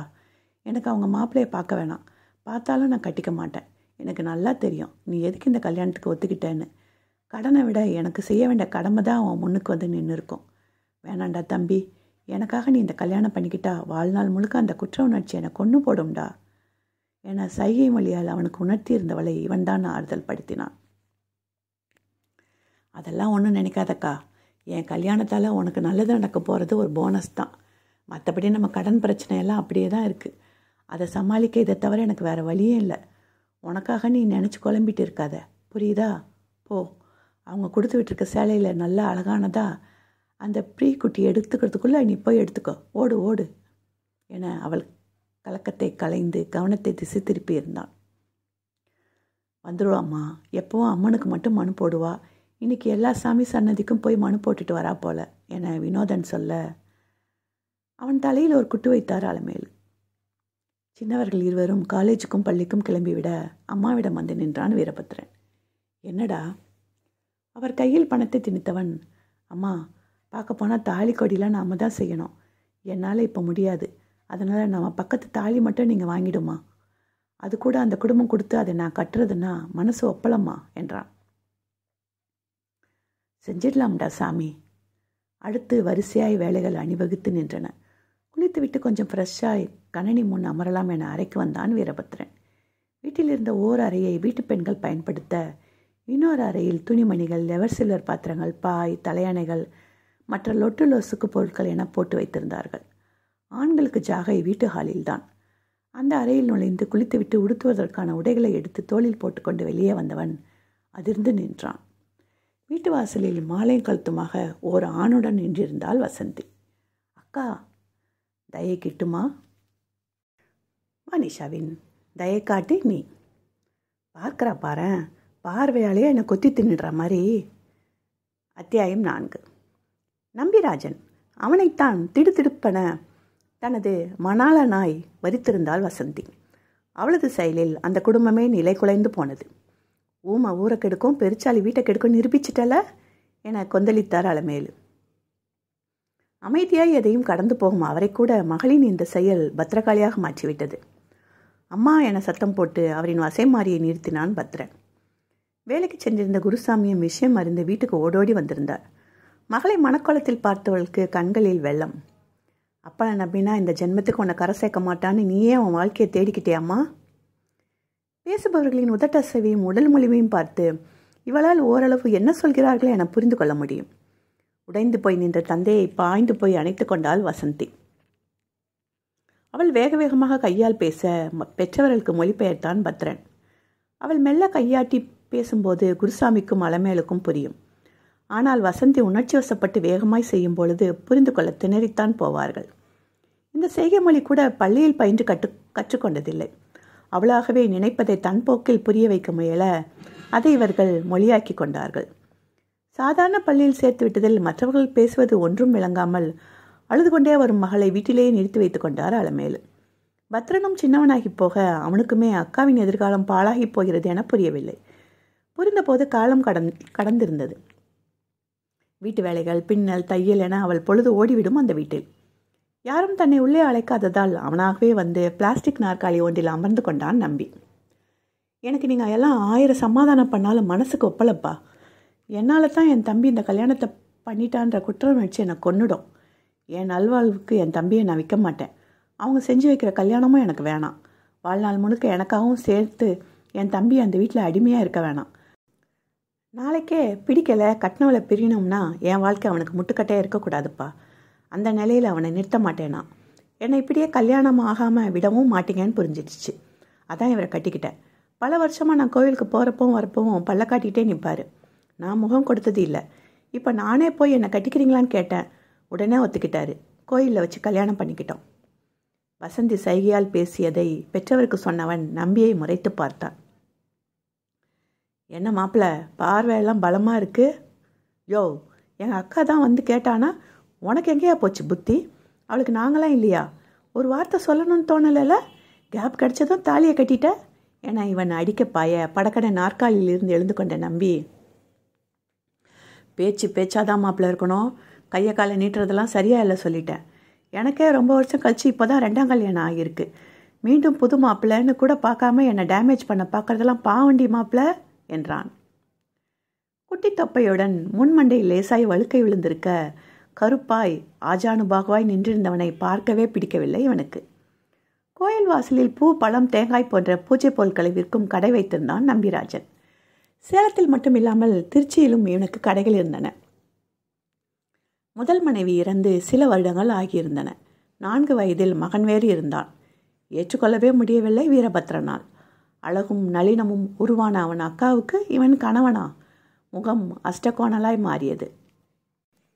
என்ன மாப்பு மூஞ்சி அப்படிக்கா போகுது? உன் ஃபீலிங் புரியுது. ஆனால் என்ன செய்ய? வசந்திக்கு இந்த நம்பி தான் தங்க கம்பின்னு கடவுள் முடிச்ச போட்டு விட்டுருக்கான்ல.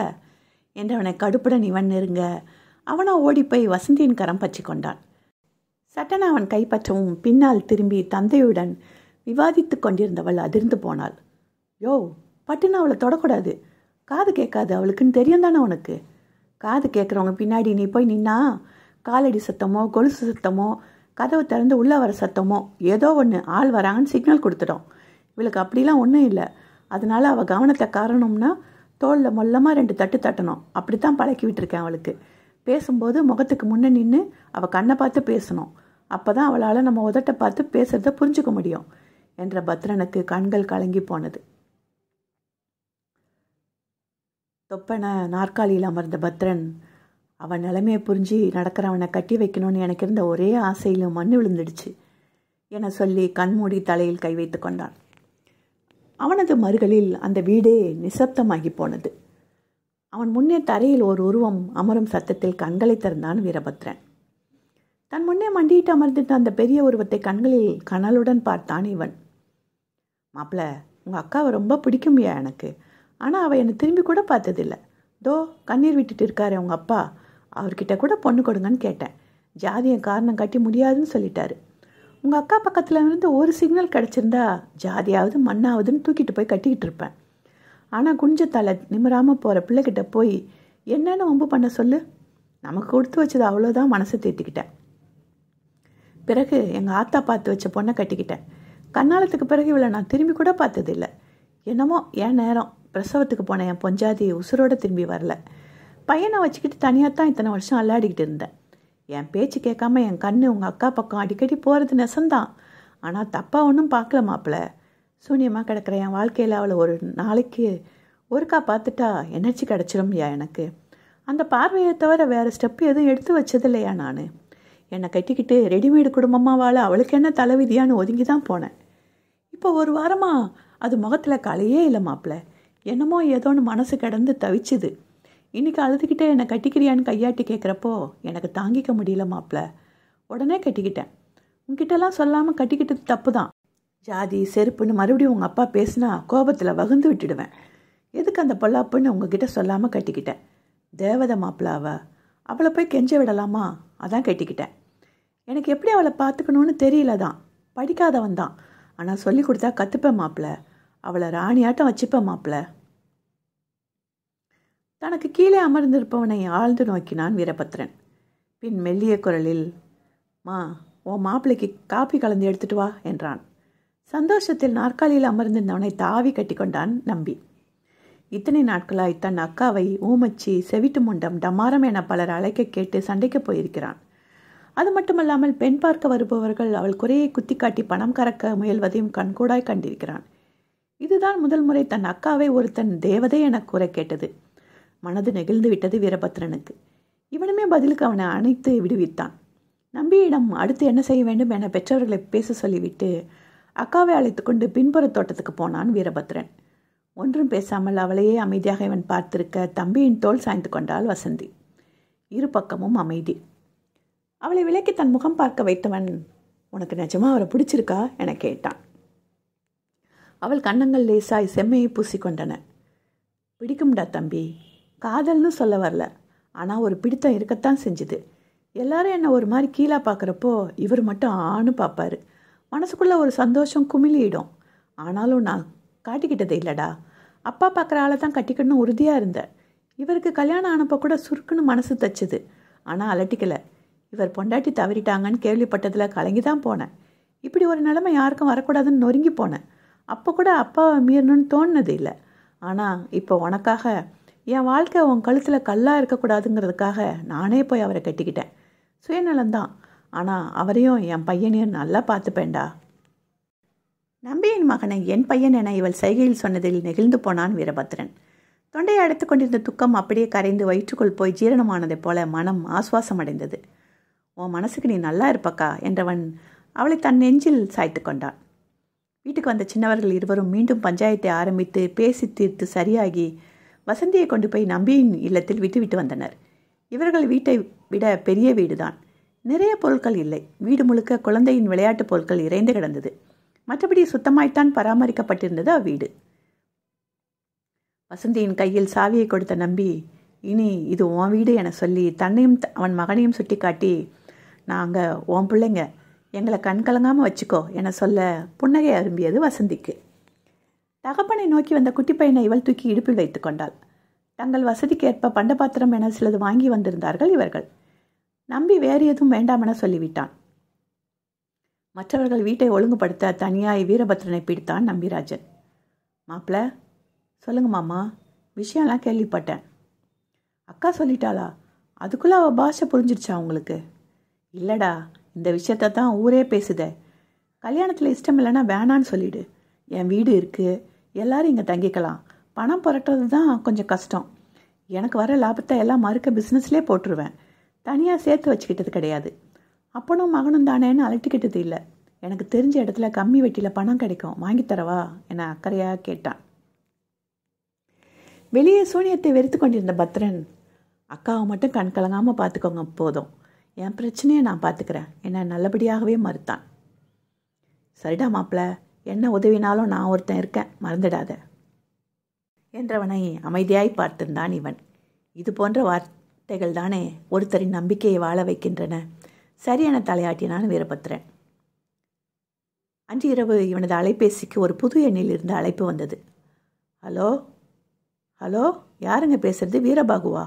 ஏய் சி என காண்டானான் இவன். அக்காவை கொடுத்து பேக்கரியை வாங்கினா அந்த வீரபாகு. அக்காவை கொடுத்து கல்யாணத்துக்கு பேக் அடிக்க பார்க்குறான் இந்த வீரபாகு. வாட்ட பொருத்தம். நேரில் வந்த சாவடிச்சிருவேண்டி. சாவடிக்க போறியா? என்னை காதலால் சாகடி. கண்ணடிச்சு சாகடி. கட்டி பிடிச்சி சாகடி. கடிச்சு கடிச்சு சாகடி. கசமுசா பண்ணி சாகடி. ஐ ஆம் வெயிட்டிங் வீரபாகு. அடங்க மாட்டியாடி. இருக்கே அணைச்சிக்க. அடங்கி போகிறேன் என கிசு கிசுப்பாய் சொன்னாள் இவள். அந்த பக்கம் அமைதி மட்டுமே பதிலாய் வர பாகு வீரபாகு என் கூட ட்ரீமுக்கு போயிட்டியா? என்ன பாட்டுக்கு ஆடுறோம்? மச்ச தண்ணி ஒத்தி கிச்சி பச்சை தண்ணி பத்தி கிச்சி சாங்கா? எனக்கு நமிதாவை ரொம்ப பிடிக்கும். ஸோ இந்த பாட்டையே ஃபிக்ஸ் பண்ணிக்கலாமா? என இவள் கேட்க அழைப்பு துண்டிக்கப்பட்டது. வச்சிட்டியா? வச்சுக்கோ வச்சுக்கோ என்னையும் சேர்த்து வச்சுக்கோ என அவனுக்கு மெசேஜ் தட்டிவிட்ட தாட்சா கெக்க பக்க கெக்க பக்க வேண சிரிக்க ஆரம்பித்தாள். பல மாதங்களுக்கு பிறகு அப்படி ஒரு சிரிப்பு அவளுக்கு. சிரிப்புடன் கட்டிலில் அமர்ந்தவள் வயிற்றை மெல்ல தடவி கொடுத்தாள். யார் நம்ம கூட இல்லைனாலும் அம்மா இருப்பேன் உனக்கு. தயை கிட்டுமா? வனிஷாவின் தயை காட்டு நீ. இவளுக்கு மட்டும் என்ன உடுத்தினாலும் அழகாக இருந்து தொலைக்குதே. அது எப்படி? அத்தியாயம் ஐந்து. குருசாமி வேலை பார்க்கும் இடத்துக்கு வந்திருந்தான் வீரபத்ரன். ராமநாதன் இவனை பார்க்க வேண்டும் என அழைத்திருக்க அதிகாலையிலேயே லாகின் செய்து அவசரமாக முடிக்க வேண்டிய வேலைகளை முடித்துவிட்டு பதினோரு மணி போல வந்திருந்தான் அவ்விடத்துக்கு. இங்கே அவரை பார்த்துவிட்டு மீண்டும் போய்விட்டு அலுவலக வேலையை தொடர வேண்டும். இவனை உள்ளே விட்ட செக்யூரிட்டியின் பார்வையில் லேசாய் ஏளனம் தெரிந்தது. அல்லது இவனுக்குத்தான் பார்ப்பவர்கள் எல்லோரும் பணத்துக்காக கல்யாணம் செய்ய ஒத்துக்கொண்டவன் என ஏளனமாக பார்க்கிறார்களோ எனும் பிரம்மை வைத்து ஆட்டுகிறதோ என்னவோ. நெஞ்சம் என்னும் கூடு அதில் நெருப்பு வைத்ததாறு. துன்பம் வந்த போதும் அதை துடைப்பதிங்கு யாரு? அந்த வானத்தைப் போல பாடலை சற்று நேரத்துக்கு முன்பு வீட்டில் கேட்டிருந்த பாடலை முணுமுணுத்து கொண்டே அலுவலக அறை நோக்கி போனான். முன்தினம்தான் வசந்தியை அவள் வீட்டில் விட்டுவிட்டு வந்திருந்தார்கள். அதை பற்றி பேச கூப்பிடுகிறாரோ? அல்லது இன்னும் ஒரு வாரத்திற்குள் நடக்கவிருந்த இவர்கள் திருமண ஏற்பாட்டை பற்றி பேச அழைத்திருக்கிறாரோ என யோசித்தபடியே ரிசப்ஷன் ஏரியாவுக்கு வந்திருந்தான். இவனை பார்த்ததும் ராமநாதனின் பிஏ புன்னகை சிந்தினார். வாங்க சார். பெரிய சார் உள்ளே வெயிட் பண்ணிகிட்ருக்காரு இருக்காரு தலையை செப்பை கொடுத்தவன் கதவை தட்டிவிட்டு உள்ளே நுழைந்தான். செக்யூரிட்டியின் ஏளனமும் பிடிக்கவில்லை பிஏவின் மரியாதையும் பிடிக்கவில்லை. என்ன தாண்டா எதிர்பார்க்குற நீ? எல்லாத்துக்கும் ஒத்துக்கிட்டாச்சு. இனி மூடிட்டு நடக்க வேண்டியதப்பாரு அவளை மனைவின்னு ஃபிக்ஸ் பண்ணியாச்சு. தேவையில்லாமல் அவகிட்ட எகிரிக்கிட்டு நிற்கிறதுல ஓ நிம்மதி தான் போக போகுது. எல்லாத்தையும் ஜென் நிலையில் அமைதியாக க கடக்க பழகுடா வீரா. என தனக்குத்தானே அறிவுறுத்து கொண்டே உள்ளே நுழைந்தான். வாங்க மாப்பிள்ள என்னை வரவேற்றார் ராமநாதன். எதுக்கு வர சொன்னீங்க? ஃபோனில் பேசியிருக்கலாமே. எனக்கு ஆஃபீஸ் ஒர்க் இருக்குது என படப்படத்தான் இவன். இதற்கு முன்பு யோசித்த ஜென் நிலை எல்லாம் அவர் முகத்தை பார்த்ததும் எரிச்சலில் காணாமல் போயிருந்தது. அமைதியாய் அவனை பார்த்திருந்தார் இவர். முதல்ல உட்காருங்க. அவன் எதிரே இருந்த இருக்கையில் அமர்ந்து கொண்டான் வீரபத்ரன். கொஞ்சம் வெயிட் பண்ணலாம். காஃபி வந்ததும் குடிச்சிட்டு பேசலாம். அதெல்லாம் வேணாமே என்றவனின் குரலில் ஒதுக்கம் இருந்தது. அதற்கு மேல் அவர் ஒன்றும் பேசவில்லை. அமைதியாகவே அமர்ந்திருந்தார். சில நிமிடங்களில் காஃபி வந்தது. குடிங்க. குடிக்காமல் விடமாட்டார் என்பது போல் அவர் குரல் இருக்க எடுத்து அறிந்தினான் இவன். அவரும் அறிந்து முடித்துவிட்டு சாவகாசமாய் இவனை நோக்கினார். பின் அழுத்தமான குரலில் வீரபத்ரன் என அழைத்தார். மாப்பிள்ளை காணாமல் போயிருந்தது. எனக்கு வளவலா கொலக்கொலாம் பேச வராது. கட்டன் ரைட்டாக பேசிடுறேன் உன் ஆட்டிடியூட் என்னமோ கழுத்தில் கத்திய வச்சு உன்னை நாங்கள் மாப்பிள்ளையாக கொண்டு வந்தோங்கிற மாதிரி இருக்குது அது எனக்கு பிடிக்கல. நீ வேணான்னு சொல்லியிருந்தா உன் இடத்துல இன்னொருத்தனை கொண்டு வரது எனக்கு ஒன்றும் பெரிய கஷ்டம் இல்லை. இப்போ கூட நீ கொடுக்க வேண்டியதெல்லாம் வட்டியை முதலமாக செட்டில் பண்ணிவிட்டு உன் குடும்பத்தை கூட்டிகிட்டு போயிட்டே இருக்கலாம். யாரும் உன் கையை பிடிச்சி தடுக்க போகிறதில்ல நாங்களும் ஒரு டெஸ்பரேட் நிலையில் இருக்கோம். நீயும் அதே நிலையில் தான் இருக்க. இது பார்ட்டர் சிஸ்டம் போல் நமக்குள்ள ஒரு கொடுக்கல் வாங்கல். எங்கள் வீட்டு அவமான சின்னத்தை உங்ககிட்ட கொடுத்துட்டு உங்கள் வீட்டு தரித்திரத்தை ஐ மீன் பண கஷ்டத்தை நாங்கள் எடுத்துக்கிறோம். அதுதான் டீலிங் எல்லாத்துக்கும் ஒத்துக்கிட்டு இப்போ எங்ககிட்ட முகத்தை காட்டுறது கொஞ்சம் கூட சரியில்லை. It's not fair to us I hope you understand this முகம் கருத்து போனது இவனுக்கு பேச்சு வராமல் தொண்டை அடைத்தது. பெகஸ் கான்பி சூசர் என்னும் ஆங்கில பழமொழி கைகொட்டி சிரித்தது இவனை பார்த்து. பிச்சைக்காரர்களுக்கு தேர்ந்தெடுக்கக்கூடிய வாய்ப்பை இந்த உலகம் வழங்கியிருக்கவில்லையே. நிதர்சன முகத்தில் அறைய அவரை நிமிர்ந்து பார்த்தான் இவன். புரிஞ்சுது மாமா. ராமநாதனின் முகம் மலர்ந்து விட்டது. இதைத்தான் உங்ககிட்ட எதிர்பார்த்த மாப்பிள்ள சொன்னால் புரிஞ்சுப்பீங்கன்னு தெரியும் எனக்கு. மனதின் வழியை மறைத்து மெலிதாய் புன்னகைத்தான் இவன். உங்கள் அக்காவுக்கு சடனாக கல்யாணம் பண்ணி வச்சிட்டிங்கன்னு கேள்விப்பட்டேன். ஏன் மாப்பிள்ள இப்படி? அவளுக்கு நல்ல இடத்துல இருந்து வரன் கொண்டு வந்திருக்கோமே. எங்ககிட்ட எதையும் கலந்துக்காமல் என்ன அவசரம்? என படப்படுத்தார் அவர். அக்கா அவரை தான் ஆசைப்பட்டிருக்கா மாமா. ஆனால் அப்பா ஜாதிய காரணம் காட்டி ஒத்துக்கலை. எனக்கு இந்த ஜாதி மதத்து மேலெல்லாம் பற்றி இல்லை. ஏன்? இப்போ நாம் ரெண்டு பேர் கூட தான் வேறு வேறு ஜாதி. அதையெல்லாம் பார்த்தா நம்ம சம்மந்தம் வச்சுக்கிறோம். அதனால தான். அவளுக்கு பிடிச்சவர் கூட நல்லா இருக்கட்டுமேனு நானே முன்னிருந்து கல்யாணம் பண்ணி வச்சுட்டேன். அதோட முறைப்படி நம்ம ரெண்டு குடும்பமும் இன்னும் சம்மந்தம் கலக்கலையே. அதனால் ரிசப்ஷன் வைக்கிறப்போ நேரில் வந்து சொல்லிக்கலான்னு விட்டுட்டோம். தப்பாக எடுத்துக்காதீங்க மாமா என்றவனை ஊடுருவி பார்த்தார் இவர். மாமா என முறை வைத்து அழைத்தாலும் அளவுக்கு மீறி நெருங்காத என தள்ளி வைத்த பாங்கும் தன்னுடைய பொருளாதார நிலையை நன்கு உணர்ந்திருந்தாலும் அவனிடம் காணப்பட்ட நிமிர்வும் இவருக்கு பிடித்திருந்தது. மகளது நிலை தாமதமாகவே தெரிய வந்திருக்க கருவை கலைக்க முடியாத சூழ்நிலை. அவளுக்கு பார்த்து வைத்திருந்த சித்தார்த்தும் மிக கேவலமாக பேசிவிட்டு வெளிநாட்டுக்கு கிளம்பிவிட அடுத்து என்ன செய்வது என போராட்டம் இவருக்கு. கருவை கலைச்சா அவள் உசுரிக்க ஆபத்துன்னு டாக்டர் சொல்கிறாங்க சிவகாமி. போயிட்டு போகுது. கலைச்சிக்கிட்டுருங்க அத்தான் அவள் பிழைக்கிறா பிழைக்கல. அது ரெண்டாம் பட்சம். நம்ம மானம் காற்றுல பறக்குது இவளால். வெளியே தலை காட்ட முடியல என கத்தி இருந்தார் இவரது மனைவி. ஒரு அம்மா மாதிரியா பேசுகிற நீ? என மருமகளை கடிந்து கொண்டார் பூரணி. மகனை ஒரு பார்வை பார்த்தவர் தாட்சாவுக்கு வேற மாப்பிள்ளை பாருடா ராமு என்றார். நம்ம சர்க்கிளில் மாப்பிள்ளை கண்டிப்பாக கிடைக்காதுமா ஏற்கனவே கால் இப்படி. இதில் வயிற்றில் பிள்ளைன்னா எவமா வருமா? ஊராம் பிள்ளைக்கு எவன் இனிஷியல் கொடுப்பான்? நம்ம வீட்டில் அவள் கூட ஒன்றா வளர்ந்த சித்தார்த்தை என்னை கேட்கக்கூடாதெல்லாம் கேட்டுட்டு போயிட்டான். என வருத்தமாக பேசினார் ராமநாதன். சற்று நேரம் யோசித்தார் பூரணி. நம்ம சர்க்கிளில் வேணாம். கொஞ்சம் இறங்கி தேடு. பணத்தேவை இருக்கிற நல்ல குடும்பமாக தேடு என ஐடியா கொடுத்தார் ராமநாதனின் தாய். தாய் சொன்னபோதே கண்ணுக்குள் வந்து நின்றவன் தான் இந்த வீரபத்ரன். படித்து முடித்து வேலைக்கு பெங்களூர் போகும் முன்பு குருசாமி இவரிடம் அழைத்து வந்து நன்றி சொல்ல வைத்துவிட்டு தான் அழைத்து போயிருந்தார். அவனது கம்பீரத்தையும் கல்வி கொடுத்த நிமிர்வையும் பார்த்து நம்ம வீட்டில் ஒருத்தனுக்கு கூட இந்த கம்பீரம் இல்லை. பணம் இருந்தால் மட்டும் போதாது போல. பிறப்புலையே வர்றது இதெல்லாம் என எண்ணமிட்டபடி தான் வாழ்த்து அனுப்பியிருந்தார். அந்த இக்கட்டான சூழ்நிலையில் கூட மகளுக்கு பெஸ்டான ஆளையே தேர்ந்தெடுக்க முனைந்தது தந்தையின் உள்ளம். வேலை வேலை என இருப்பவருக்கு குழந்தைகள் யாரிடமும் கொஞ்சி குழாவ நேரம் இருந்தது இல்லை. ஆனாலும் சின்னவள் மீது ஒரு பரிதாபம் இருந்தது. அவள் தாங்கி தாங்கி நடக்கும்போது மனதை என்னவோ செய்யும். பார்த்தால் தானே மனம் கணக்கும் என தவிர்த்து விடுவார் அவளை. வயிற்றில் வாங்கி கொண்டு வந்து நின்றபோது கூட அதற்கு காரணமானவன் யாரென சொல்லி இருக்கவில்லை தாட்சா. சிவகாமி கையை கூட நீட்டிவிட்டார். அப்படியே கல் போல் நின்றிருந்தாலே தவிர வாய் திறந்து பேசவில்லை. சந்திரனிடம் மட்டும்தான் வாய் திறந்திருந்தாள் பெண். அவன் காரியமானதும் விட்டுட்டு ஓடிட்டான் மாமா. இனி வரமாட்டான். என்னை இப்படியே விட்டுருங்க என முடித்து கொண்டாள். வீரபத்ரனை மாப்பிள்ளையாக கொண்டு வந்த போது கூட முடியவே முடியாது என பிடிவாதமாக மறுத்தாள். சொத்துலேருந்து ஒத்த பைசா தரமாட்டோம். டெபிட் கார்டு கிரெடிட் கார்டு எல்லாம் பிடுங்கிட்டு தெருவில் விட்டுருவோம். நீயும் வயிற்றில் இருக்கிற அந்த பீடையும் தெரு தெருவாக பிச்சை எடுங்க. அப்போ தான் புத்தி வருண்டி உனக்கு. என ஆங்காரமாய் ஆடினார் சிவகாமி. லட்சியமாக அவரை பார்த்தபடி நின்றாள் இவள். எப்படி பார்க்குறா பாருங்க. கொன்னுட வேண்டிய ஒன்றை என பலாரென அறைந்திருந்தார் அவர். உதடு கிழிந்த ரத்தம் வந்தும் கூட அந்த அலட்சியம் போகவில்லை. சிவகாமிக்கு தான் ரத்த அழுத்தம் எகிரியது. பிள்ளைய ஒழுங்காக வளர்க்காம இப்போ வந்து பேய் பிடிச்ச மாதிரி ஆடாத நீ.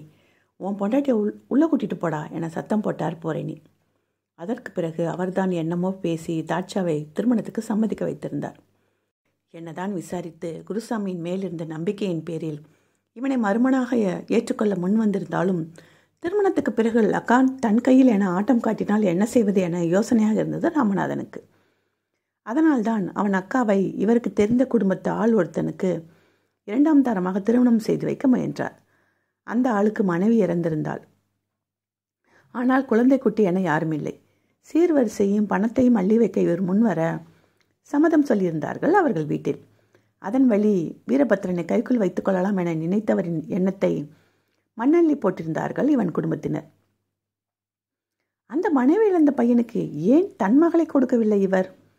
கையில் இருக்கும் பணத்தால் தூசி படிந்திருந்தாலும் உயர் ஜாதி கல்லை வாங்க தெம்பிருக்கும் போது கண்ணாடி கல்லை ஏன் திரும்பி பார்க்க போகிறார் இவர்? போகட்டும் மாப்பிள்ள அக்காவோட சந்தோஷம்தான் முக்கியம். நாம் வேணும்னா நல்லபடி சீர் சனித்து வரதட்சணை தங்க நகைங்க எல்லாம் பண்ணிடலாம். மன்னிச்சிடுங்க மாமா. எங்கள் அக்கா கணவர் இதெல்லாம் வேணான்னு சொல்லிட்டாரு. அக்காவே தங்கமாக கிடச்சிருக்க எனக்கு எதுக்கு தங்கம்னு மறுத்துட்டாரு. என்ன சொல்ல வரான் இவன்? இவங்க அக்கா தங்கம் என் மக பித்தளைங்கிறானோ?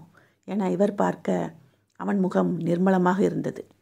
அப்படியா? நல்லது நல்லது என்றவர். கல்யாண ஏற்பாடெல்லாம் நானே பண்ணிட்டேன். தாலி மட்டும் நீங்கள் தரீங்கன்னு சொன்னீங்களாம் எங்கள் அம்மா கிட்ட. சரிதான் இனி அவள் உங்கள் வீட்டு பொண்ணு தானே. உங்கள் வழக்க தாலி தான் போடணும் என சொல்லி புன்னகைத்தாள். இவனும் லேசாக புன்னகைத்தான் தாட்சா அவங்க கூட வெளியே போகணும்னு சொன்னான் கல்யாண சாரி நீங்கள் தான் செலக்ட் பண்ணணுமா? பிடிவாதம் பிடிக்கிறா. கூட்டிகிட்டு போகிறீங்களா இதோ இப்போ ஒரு அரை மணி நேரத்தில் வந்துடுவா. நம்ம கார்லேயே போயிட்டு வாங்க. உங்கள் பட்டு வேட்டி சட்டையெல்லாம் நாங்களே வாங்கிட்டோம். கடிகாரத்தை பார்த்தான். லாகின் வேறு செய்ய வேண்டும். ஆனாலும் என்னவோ மறுக்க முடியவில்லை. அவர்களுக்கு எப்படியோ இவனுக்கு திருமணம் என்பது ஒரு முறைதான். அதனால்தான் தங்களது பக்கத்து தாலி வாங்க சொன்னது. அவளாய் விட்டு போக நினைத்தால் ஒழிய இவன் பக்கம் இருந்து பிரிவு என்னும் சொல் வராது. கஷ்ட நஷ்டத்தில் கூட சேர்ந்து வாழ்ந்த பெற்றவர்களை பார்த்து வளர்ந்திருந்தவனுக்கு திருமணம் என்பது ஒரு புனித நிகழ்வு. அந்த நிகழ்வு இவனை பொறுத்தவரை துக்க நிகழ்வாக இருந்தாலும் அவள்தான் மனைவி என மனதை தேற்றி வைத்திருந்தான். இவனைப் போன்ற நியாய தர்மத்துக்கு பயந்து நடக்கும் ஆட்களுக்கு நாம் கொடுக்கும் பெயர் என்ன? இளிச்சவாயன். இந்த இளிச்சவாயனை ஈர்ப்பாளா? இளம்பிடி தயை கிட்டுமா? வா நிஷாவின் தயை காட்டு நீ. சேலையை கட்டாதடி நீ. கேப்பில் தெரிகிற இடுப்பு என்னை கெடா வெட்ட கூப்பிடுது. அத்தியாயம் ஆறு. சிலு சிலுவென்ற காற்று காரில் இருந்து இறங்கிய தாட்சாவின் உடலை ஊசி போல குத்தி போனது அன்றுதான் திருமண நிகழ்வு பிரம்ம முகூர்த்தத்தில் ஏற்பாடாகியிருந்தது அவளுக்கு. என்னால் என்னோட ஷூ இல்லாமல் வர முடியாதுப்பா. எங்கேயாச்சும் மண்டபத்தில் வைக்க வேண்டியது தானே கல்யாணத்தை? கோயிலில் தான் வைக்கணும்னு என்ன பிடிவாதம்? என அதிருப்தியை காட்டியிருந்தால் தாட்சா. எதுவுமே அவன் வாழ்க்கையில் நல்லா நடக்கலை. கல்யாணமாச்சும் கடவுள் ஆசீர்வாதத்தோட நல்லபடியாக நடக்கட்டும். நிலச்சி நிற்கட்டும் என பூரணி சொல்லிவிட வாயை இறுக மூடிக்கொண்டாள் பேத்தி. காலனி இல்லாமல் தாங்கி தாங்கி இவர்கள் வீட்டினரின் முன்னால் நடக்கவே அப்படி தயங்குவாள் தாட்சாயினி. இப்பொழுது அந்த மண்டகனம் பிடித்த வீரபத்ரனும் அவனுடைய குடும்பமும் பார்க்க அப்படி நடந்து போவதை நினைக்கவே அவமானமாக இருந்தது. உள்ளுக்குள் தவிப்பாகவும் இருந்தது. கண்ணில் நீர் முட்டிவிட பெரிய மூச்சுக்கள் எடுத்து தன்னை ஆசுவாசப்படுத்தினாள். இதுதான் நான். இந்த குறையும் சேர்த்து தான் தாட்சாயினி என்னும் நான். என்ன கல்யாணம் பண்ணால் இதையும் ஏற்றுக்கிட்டு தான் ஆகணும் என மனதை திடமாக்கி கொண்டவள் மெல்ல தாங்கி தாங்கி நடந்து கோயிலுக்குள் நுழைந்தாள். அவளோடு அவளது அக்காக்களும் வந்தார்கள். பாட்டி பூர்ணியும் பக்கத்தில் நடந்து வந்தார் தூங்கும் வரை கூட காலநடியோடு சுற்றி கொண்டிருப்பவள் அது இல்லாமல் கொஞ்சம் தடுமாறினாள். பாத்ரூம் போகக்கூட அதற்கான ஸ்பெஷல் ஸ்லிப்பர் வைத்திருக்கிறாள் இவள். பூரணி ஆதரவாய் பேத்தின் புஜத்தை பற்றி கொண்டார் கோவிலில் இவர்கள் இருவரின் குடும்பமும் ஐயர் மற்றும் மேலதாளம் வாசிப்பவர்கள் மட்டுமே இருந்தார்கள். இவளுக்கு வசதியாக இருப்பதற்காக தரையில் அமர வைக்காமல் அலங்கரித்த நாற்காலியை ஏற்பாடு செய்திருந்தார்கள். நிறைய சடங்குகளையும் சாங்கியங்களையும் தவிர்த்துவிட்டு முக்கியமானதை மட்டுமே செய்ய பணித்திருந்தார்கள். வீட்டிலிருந்து வரும்போதே திருமணப்பட்டு கட்டி முழு அலங்காரத்தோடு தான் அழைத்து வந்திருந்தார்கள். பார்வையை எங்கும் திருப்பாமல் திருமண மேடையை மட்டும் பார்த்தபடி மெல்ல நடந்தால் தாட்சாயினி. அங்கு தன் இருக்கையில் அமர்ந்து மந்திரங்கள் சொல்லிக் கொண்டிருந்தவன் தன்னை நோக்கி வருபவளை நிமிர்ந்து பார்த்தான். பனிமூட்டத்தின் நடுவே தேவதை போல நடந்து வரும் கதாநாயகியின் ஓப்பனிங் சீன் போல ஹோமப்புகை நடுவே தேவதையாக வந்து கொண்டிருந்தாள் இவன் வாழ்க்கையின் நாயகி. மஞ்சள் வர்ணத்தில் இருந்த பட்டுப்புடவை அவள் மேனி வர்ணத்துக்கு பாந்தமாய் இருந்தது. தலை அலங்காரமும் நகைகளின் பளிச்சிடலும் கண்ணை பறித்தது. அந்த மஞ்சள் புடவையை பார்த்ததும் இவன் புருவம் லேசாய் இடுங்கியது. சில நிமிடங்கள் அவளை ஆழ்ந்து பார்த்தவன் பின் தலைகுனிந்து ஐயர் சொன்னதை செய்ய ஆரம்பித்து விட்டான். அலமெழுவின் கண் குட்டி தொந்தி போல தோற்றமளித்த அவள் வயிற்றின் மேலேயே இருந்தது. தேற்றி வைத்திருந்த மனதை மீண்டும் ஆற்றாமை கபி பிடிக்க பார்வையை அவளிடமிருந்து திருப்பிக் கொண்டார். நம்பிதான் ஆடி ஓடி எல்லாரையும் வரவேற்று ஐயர் கேட்ட தேவையானதை எடுத்து செய்தான். அந்த கோயிலிலும் அவனது கடை இருக்க திருமண மாலை எல்லாம் அவனது பொறுப்பில் விட்டுவிட்டார்கள் பெண் வந்து பக்கத்தில் அமர்ந்ததும் அவளுக்கான சாங்கியங்கள் ஆரம்பித்தன. பாத பூஜை செய்ய பெற்றவர்கள் வந்து நிற்க இவன் குனிந்து செய்ய ஆரம்பிக்க இவள் தெரியாதது போல அப்படியே அமர்ந்திருந்தாள். அம்மாடி பெற்றவங்களுக்கு பாத பூஜை பண்ணுமா? என ஐயர் சொல்ல காது கேட்காதது போல உட்கார்ந்திருந்தாள் தாட்சா. என்னடி எல்லார் முன்னுக்கும் எங்களை அவமானப்படுத்துறியா? என சன்னக்குரலில் சீறினார் சிவகாமி. வீரபத்திரன் செய்து முடித்துவிட்டு இவளை பார்க்க யாருக்கு வந்த விருந்தோ என்பது போல இருந்தால் தாட்சா. அவளது அக்காக்களும் பூரணியும் கூட சொல்ல இவள் பார்வையை திருப்பவில்லை அவர்கள் புறம். தாச்சா நல்ல நேரம் போகுது. சீக்கிரம். என இவன் கூட பொறுமை இழந்து மெல்லிய குரலில் சீறினான். திரும்பி அவனை அலட்சியமாக பார்த்தவள் அவ்வளோ அவசரமா என்னை கட்டி பொண்டாட்டி ஆக்கிக்க? அப்படின்னா இவங்கள போக சொல்லிட்டு என் பாட்டி தாத்தா வந்து நிற்க சொல்லுங்க பாகு என்றாள். அவள் சொன்னது எல்லோருக்கும் கேட்டது. சிவகாமி கோபித்து கொண்டு எட்டி போய் நின்று கொண்டார். இதென்னடா இந்த பெண்ணுக்கு இவ்வளவு நெஞ்செழுத்தம் என அலமேலுவும் குருசாமியும் அவர்களது பிள்ளைகளும் ஆவண பார்த்திருந்தார்கள். வேறு வழி இல்லாமல் பூரணியும் மேகநாதனும் வந்து நிற்க லேசாய் குனிந்து அவர்களுக்கான மரியாதை செய்தாள் இவள். ராமநாதன் எதுவுமே பேசவில்லை. அமைதியாக நின்று பார்த்திருந்தார். அம்பிகாவோ திமிர் பிடிச்சாவ? அம்மாவுக்கு ஏற்றது போல் டபுள் திமிரோடு பறந்திருக்கா குட்டி பிசாசு. அந்த கடவுள் புண்ணியத்தில் ஏன் தலை தப்பிச்சுட்டா சாமி? என கணவரிடம் மேடை ரகசியம் போல முனகினார். எல்லோருக்கும் அது கேட்கத்தான் செய்தது. பக்கத்தில் அமர்ந்திருந்தவளின் உடல் ஒருமுறை கோபத்தில் சிலிர்த்து அடங்கியதை இவனால் உணர முடிந்தது. தாட்சாவின் இரட்டையோ இதையெல்லாம் கண்டுகொள்ளாமல் ஃபோனோடு ஐக்கியமாகி இருந்தான் சந்திரன் குடும்பத்திலிருந்து பிள்ளைகள் யாரும் வந்திருக்கவில்லை. மற்ற சடங்குகள் முடிந்து தாலி கட்ட வேண்டிய நேரம் இடுப்பில் இருந்த மகனை நம்பியிடம் கொடுத்துவிட்டு நாத்தனார் முடிச்சு போட தம்பியின் பின்னால் போனால் வசந்தி. இவ எதுக்கு முன்னாடி வரா? காது வாங்கி வழங்காமல் சூன்யமாக இருக்கிற மாதிரி இவன் முடிச்சு போட்டு இவங்க வாழ்க்கையும் சூன்யமாக போகணுமா? ஏற்கனவே இந்த தாட்சா உருப்படாதவ இந்த ஊமப்புள்ள நாத்தனார் முடிச்சு போட்டு இவ வாழ்க்கை இன்னும் உருப்படாமல் போகணுமா? என சத்தமாக சிடு சிடுத்தார் அம்பிகா. வீரபத்ரனுக்கு கோபம் வந்துவிட்டது எதிர்த்து பேச வாயை திறப்பதற்குள் என்ன பேசுகிறார்கள் என்பது கூட தெரியாமல் சிரித்த முகமாய் பின்னாடி நின்றிருந்த மனைவியின் கையை பிடித்து இழுத்து கொண்டு போனான் நம்பிராஜன். மாமா என பத்ரன் அழைக்க அதே சமயம் மிஸ்டர் நம்பி என தாட்சா சத்தமாய் அழைத்திருந்தாள். கோபமாய் திரும்பி பார்த்தவனை இப்போ உங்கள் பொண்டாட்டி வந்து மூணாவது முடிச்சு போடலை நான் பாட்டுக்கு எழுந்து போயிட்டே இருப்பேன் என மிரட்டினாள் தாட்சாயினி. என் பொண்டாட்டி ஏம்மா தங்கச்சி இவங்க எல்லார் வாயிலும் விழுந்து எந்திரிக்கணும். நாத்தனார் முடிச்ச நம்ம பிரியா போடுவா என நல்லபடியாகவே மறுத்தான் அவன். தாட்சா தட்டு தடுமாறி எழுந்து கொள்ள பார்க்க பதறிப்போனான் நம்பிராஜன். ஏம்மா ஏம்மா உட்காரு தாயி. மணமேடையிலிருந்து பொண்ணு எழுந்துக்க கூடாது. இவளே வந்து செய்வா என்ற நம்பி மனைவியை பார்த்து போ என சைகை செய்தான். பிரச்சனை எல்லாம் தீர்ந்துடுச்சாப்பா? இப்போ தாலியை கட்ட சொல்லலாமா? என ஐயர் கேட்க சரியான தலையாட்டினான் வீரபத்ரன்.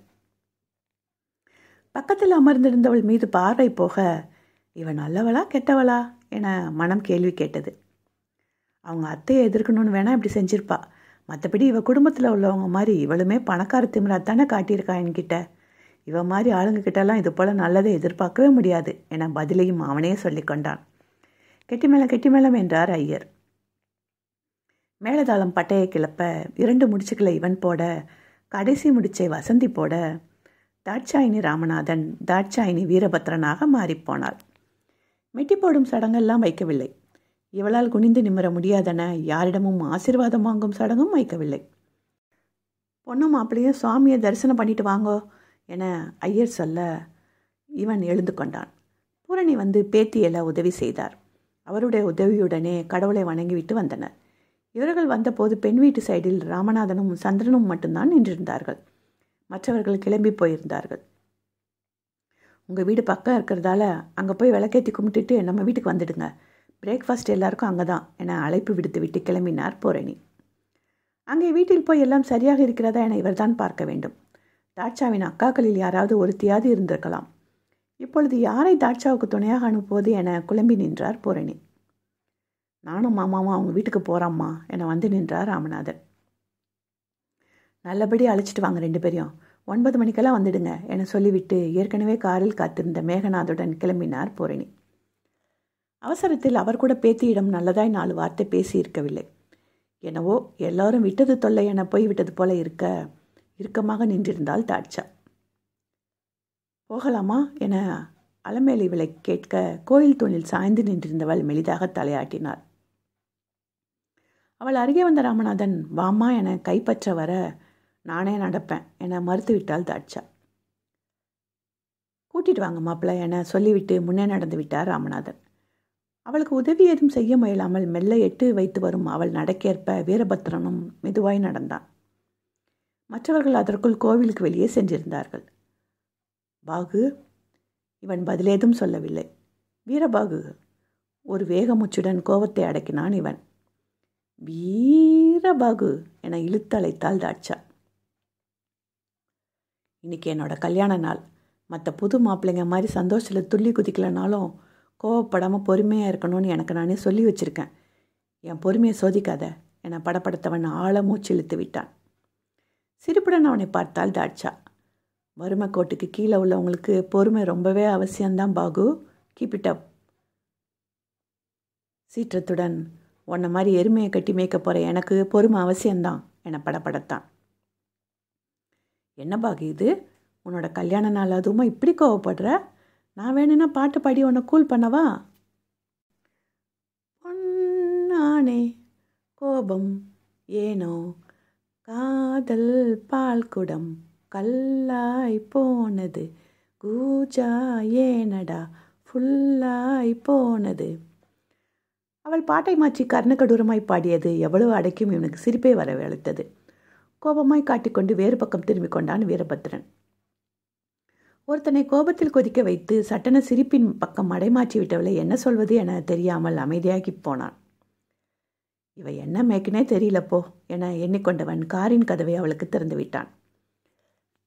அவள் ஏறி அமர்ந்ததும் இவன் குடும்பத்தார் எல்லோரும் வேனில் ஏறி விட்டார்களா என பார்க்க போனான். நீ போ மாப்பிள்ள நான் கூட்டிகிட்டு வந்துடுறேன் இவங்கள. கொஞ்சம் மல்லமாக போங்க ஆரத்திலாம் ரெடி பண்ணோம்ல நாங்கள் என்றான் நம்பி. நன்றி மாமா. அட போ மாப்பிள்ள நன்றி பன்றின்னுக்கிட்டு. அவள் சேட்டையில் அடக்கி வைத்திருந்த சிரிப்பு நம்பியின் சேட்டையில் வெளியே வந்து விட்டது இவனுக்கு. இப்படி தான் சிரிச்ச முகமாக இருக்கணும். மூஞ்சில் இப்போ தான் மாப்பிள்ளை கலையே தெரியுது. நீ மட்டும் பொண்ணாக பிறந்து கோயில் பக்கம் வந்திருந்த உங்கள் அக்காவை விட்டுட்டு ஒன்றை சைட் அடிச்சிருப்பேன் மாப்பிள்ளை. யோ மாமா போயா என சிரித்தபடியே காருக்கு சென்று தாட்சாவின் பக்கம் அமர்ந்து கொண்டான் வீரபத்திரன் காரை ராமநாதன் ஓட்ட சந்திரன் அவர் அருகே அமர்ந்திருந்தார். மாமா மெல்ல வர சொன்னாங்க. சரி மாப்பிள்ள. ம் ம் இவர் சிவாஜி கணேசன் அவர் எம்ஆர் ராதா மாமா மாப்பிள்ளைன்னு கொஞ்சிக்கிறாங்க. என சத்தமாக முனகினாள் தாட்சா. சந்திரன் வாய்விட்டு சிரித்தார் இவன் தாட்சாவை முறைக்க ராமநாதனும் அமைதியாக காரை ஓட்டினார். அதற்கு மேல் யாரையும் கண்டுகொள்ளாமல் அவள் கார் சீட்டில் தளர்வாய் சாய்ந்து கொண்டாள். கை எப்பொழுதும் போல வயிற்றை மெல்ல வருடியது. நேராய் பார்த்து அமர்ந்திருந்தாலும் ஓரக்கண்ணில் அவள் செய்கைகள் தெரியத்தான் செய்தன இவனுக்கு. அன்று அவளுடன் சேலை வாங்கச் சென்ற நினைவுகள் அலையாவிருந்தாலியாய் கண்முன் வந்து நின்றனர்.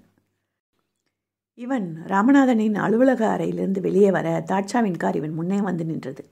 ஓட்டுநர் ஓட்டி வந்திருக்க பின் சீட்டில் அமர்ந்திருந்தாள் அவள். இவன் காரில் ஏறி அவள் அருகே அமர்ந்து கொண்டான். ஹாய் என்றான் வீரபத்ரன். ஹாய் என பதில் சொன்னவள் டிரைவர் இருக்கவும் எதையும் பேசவில்லை. பெரிய ஜவுளி கடையின் முன்னே கார் நிற்க இருவரும் இறங்கி உள்ளே சென்றார்கள். கடைச்சிப்பந்தியிடம் கல்யாண சாரீஸ் கலெக்ஷன் பார்க்கணும் என்றால் தாட்சா. வாங்க மேடம் என அழைத்து போனான் அவன். பத்ரனும் அவர்களை பின்தொடர்ந்து போனான்.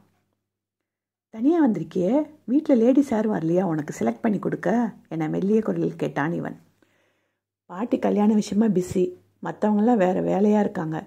பாட்டி தான் அவங்க கூட போக சொன்னாங்க. நமக்கு பேசி பழக ஒரு சான்ஸாம் ஓ. அங்கிருந்த நாட்காலியில் அமர்ந்து கொண்டாள் இவள்.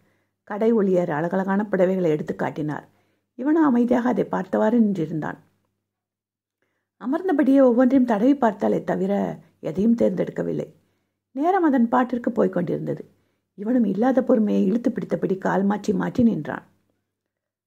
பிறகு இன்னொரு நாட்கள் இழுத்து போட்டு அவள் அருகே அமர்ந்தவன் ஃபோனில் ஆஃபீஸ் இமெயில்களுக்கு பதிலளிக்க ஆரம்பித்து விட்டான். வேலையை பார்த்து கொண்டிருந்தவன் கண்களை அவன் முன்னே கடைப்பரப்பப்பட்ட மஞ்சள் நிற சேலை ஒன்று கவர்ந்து இழுத்தது. ஃபோனை வைத்துவிட்டு அந்த சேலையை தடவி பார்த்தான். மஞ்சள் வர்ண சேலையின் கரை ஆகாய நிலத்தில் இருந்தது. என்னவோ அதை விட்டு கண்ணை எடுக்க முடியவில்லை. லேசாய் புரட்டி விலைப்பட்டியலை பார்த்தான். விலை அதிகம்தான். மனதில் பல கணக்குகளை போட்டு பார்த்தவன் தாட்சாயினி என அழைத்தான். திரும்பி பார்த்தாள் அவள். இந்த சேரீ ரொம்ப அழகாக இருக்குது உனக்கும் நல்லா மேட்ச் ஆகும்னு தோணுது. கல்யாணத்துக்கு கெட்டிக்கிறியா? வாங்கி தரவா? என கேட்டான். பேச்சு இவளிடம் இருந்தாலும் பார்வை சேலையின் மேல் இருந்தது. அவளிடமிருந்து சத்தம் வராமல் போக திரும்பி பார்த்தான் பத்ரன். அவனை ஊடுருவி பார்த்தபடி இருந்தாள் இவள். பின் கடைசி பந்தியை பார்த்தவள் எனக்கு குடிக்க மினரல் வாட்டர் கொண்டு வரீங்களா? என கேட்டாள். அவன் சரியென விலகி போக அந்த சேலையை புரட்டி விலையை பார்த்தவள் உதட்டை ஏளனமாய் மடித்தாள். எங்கள் வீட்டு வேலைக்காரி கூட இந்த வேலைக்கு சேலை கட்ட மாட்டா என உதாசீனமாக சொன்னாள் தாட்சா. சட்டணம் உண்ட சின்னத்துடன் நான் பிச்சைக்காரன் தெரிஞ்சும் நீங்கள் தான் என்னை தேடி வந்தீங்க. நான் ஒன்றும் உங்கள் பணத்தை பார்த்து நாக்க தொங்க போட்டுட்டு உங்களை தேடி வரல. ஒழுக்கங்கிட்ட உன்னை போல் பணக்காரியை கட்டிக்கிறத விட என் ரேஞ்சுக்கு ஏற்ற மாதிரி ஒரு பிச்சைக்காரியை கட்டிக்கிட்டு நிம்மதியாக வாழ்கிறது தான் எனக்கு சந்தோஷம். நானும் பார்க்குறேன் ஓவராக போயிட்டே இருக்க. என்னை கட்டிக்க பிடிக்கலன்னா உங்கள் அப்பாங்கிட்ட சொல்லி கல்யாணத்தை நிறுத்தி எனக்கு நிம்மதியை கொடு. அது முடியலன்னா மூடிட்டு நான் போடுற மூணு முடிச்சியை வாங்கிட்டு மூச்சு காட்டாமல் இரு. இனிமேல் என்னோடய பொருளாதார நிலையை பற்றி ஒரு வார்த்தை உன் ஆயில் வந்தாலும் அவ்வளோதான் பார்த்துக்க என சீரிய வீரபத்ரன் அந்த சேலையை எடுத்து விசிறி எடுத்து விட்டு கிளம்பி விட்டான். அதன் பிறகு திருமணத்தில் தான் மீண்டும் தாட்சாவை பார்க்கிறான். அவன் தேர்ந்தெடுத்த சேலையை அவள் வாங்கி அணிந்திருந்தது சின்ன சந்தோஷத்தை கொடுத்தாலும் அவள் சொல்லிய வார்த்தைகள் இன்னும் நெறிஞ்சு முள்ளாய் மனதை குத்தி கொண்டிருந்தன. வாங்க மாப்பிள்ள வீடு வந்துடுச்சு எனும் ராமநாதனின் குரலில் நினைவலைகளில் இருந்து வெளியே வந்தான் வீரபத்ரன். அவளது காலணியை அணிந்து கொண்டுதான் வீட்டிற்குள் வந்தாள் தாட்சா. சாமி விளக்கு ஏற்றும்போது மட்டும் கலட்டி வைத்துவிட்டு மீண்டும் அணிந்து கொண்டாள். யாருமே வாயை திறந்து எதுவுமே சொல்லவில்லை. பிரியா மட்டும் அவளை முறைத்து கொண்டிருந்தாள். அவளுக்குத்தான் சின்ன வயதிலிருந்தே இவளை கண்டால் ஆகாதே. பாகு என்னவா உன் தங்கச்சிக்கு? நீ அடிக்காத சைட்டெல்லாம் அவ என்ன பார்த்து அடிக்கிறா? என மெல்லிய குரலில் இவனை வம்பிழுக்கவும் தவறவில்லை தாட்சா. பாலம் பழமும் உண்டு விட்டு குடும்பமாய் தாட்சாவின் வீட்டுக்கு பயணப்பட்டார்கள். அங்கு விருந்து முடிந்து இவன் குடும்பத்தினர் கிளம்பிவிட இவன் மட்டும் மறுவீட்டு தங்களுக்கு தாட்சாணியின் வீட்டிலேயே இருத்தி வைக்கப்பட்டான். இரவு வரை கீழிருந்த கெஸ்ட் ரூம் ஒன்றை அவனுக்கு ஓய்வெடுக்க கொடுத்தார்கள். அங்கேயே அமர்ந்து தனது லேப்டாப்பில் வேலை பார்த்தான் இவன். முதலிரவு சடங்கெல்லாம் எதுவும் ஏற்பாடு செய்யவில்லை. இரவானதும் மாப்பிள்ளையும் ரூமுக்கு கூட்டிகிட்டு போதாச்சா என பூரணி சொல்ல? அவனுடன் தனது அறைக்கு வந்தாள் இவள். அவனது மொத்த வீட்டையும் இவளது அறையில் அடக்கிவிடலாம் அவ்வளோ பெரியதாக இருந்தது அவ்வறை. பாத்ரூம் கதவை காட்டியவள் போய் ரெஃப்ரெஷ் ஆகிட்டு வாங்க என்றாள்.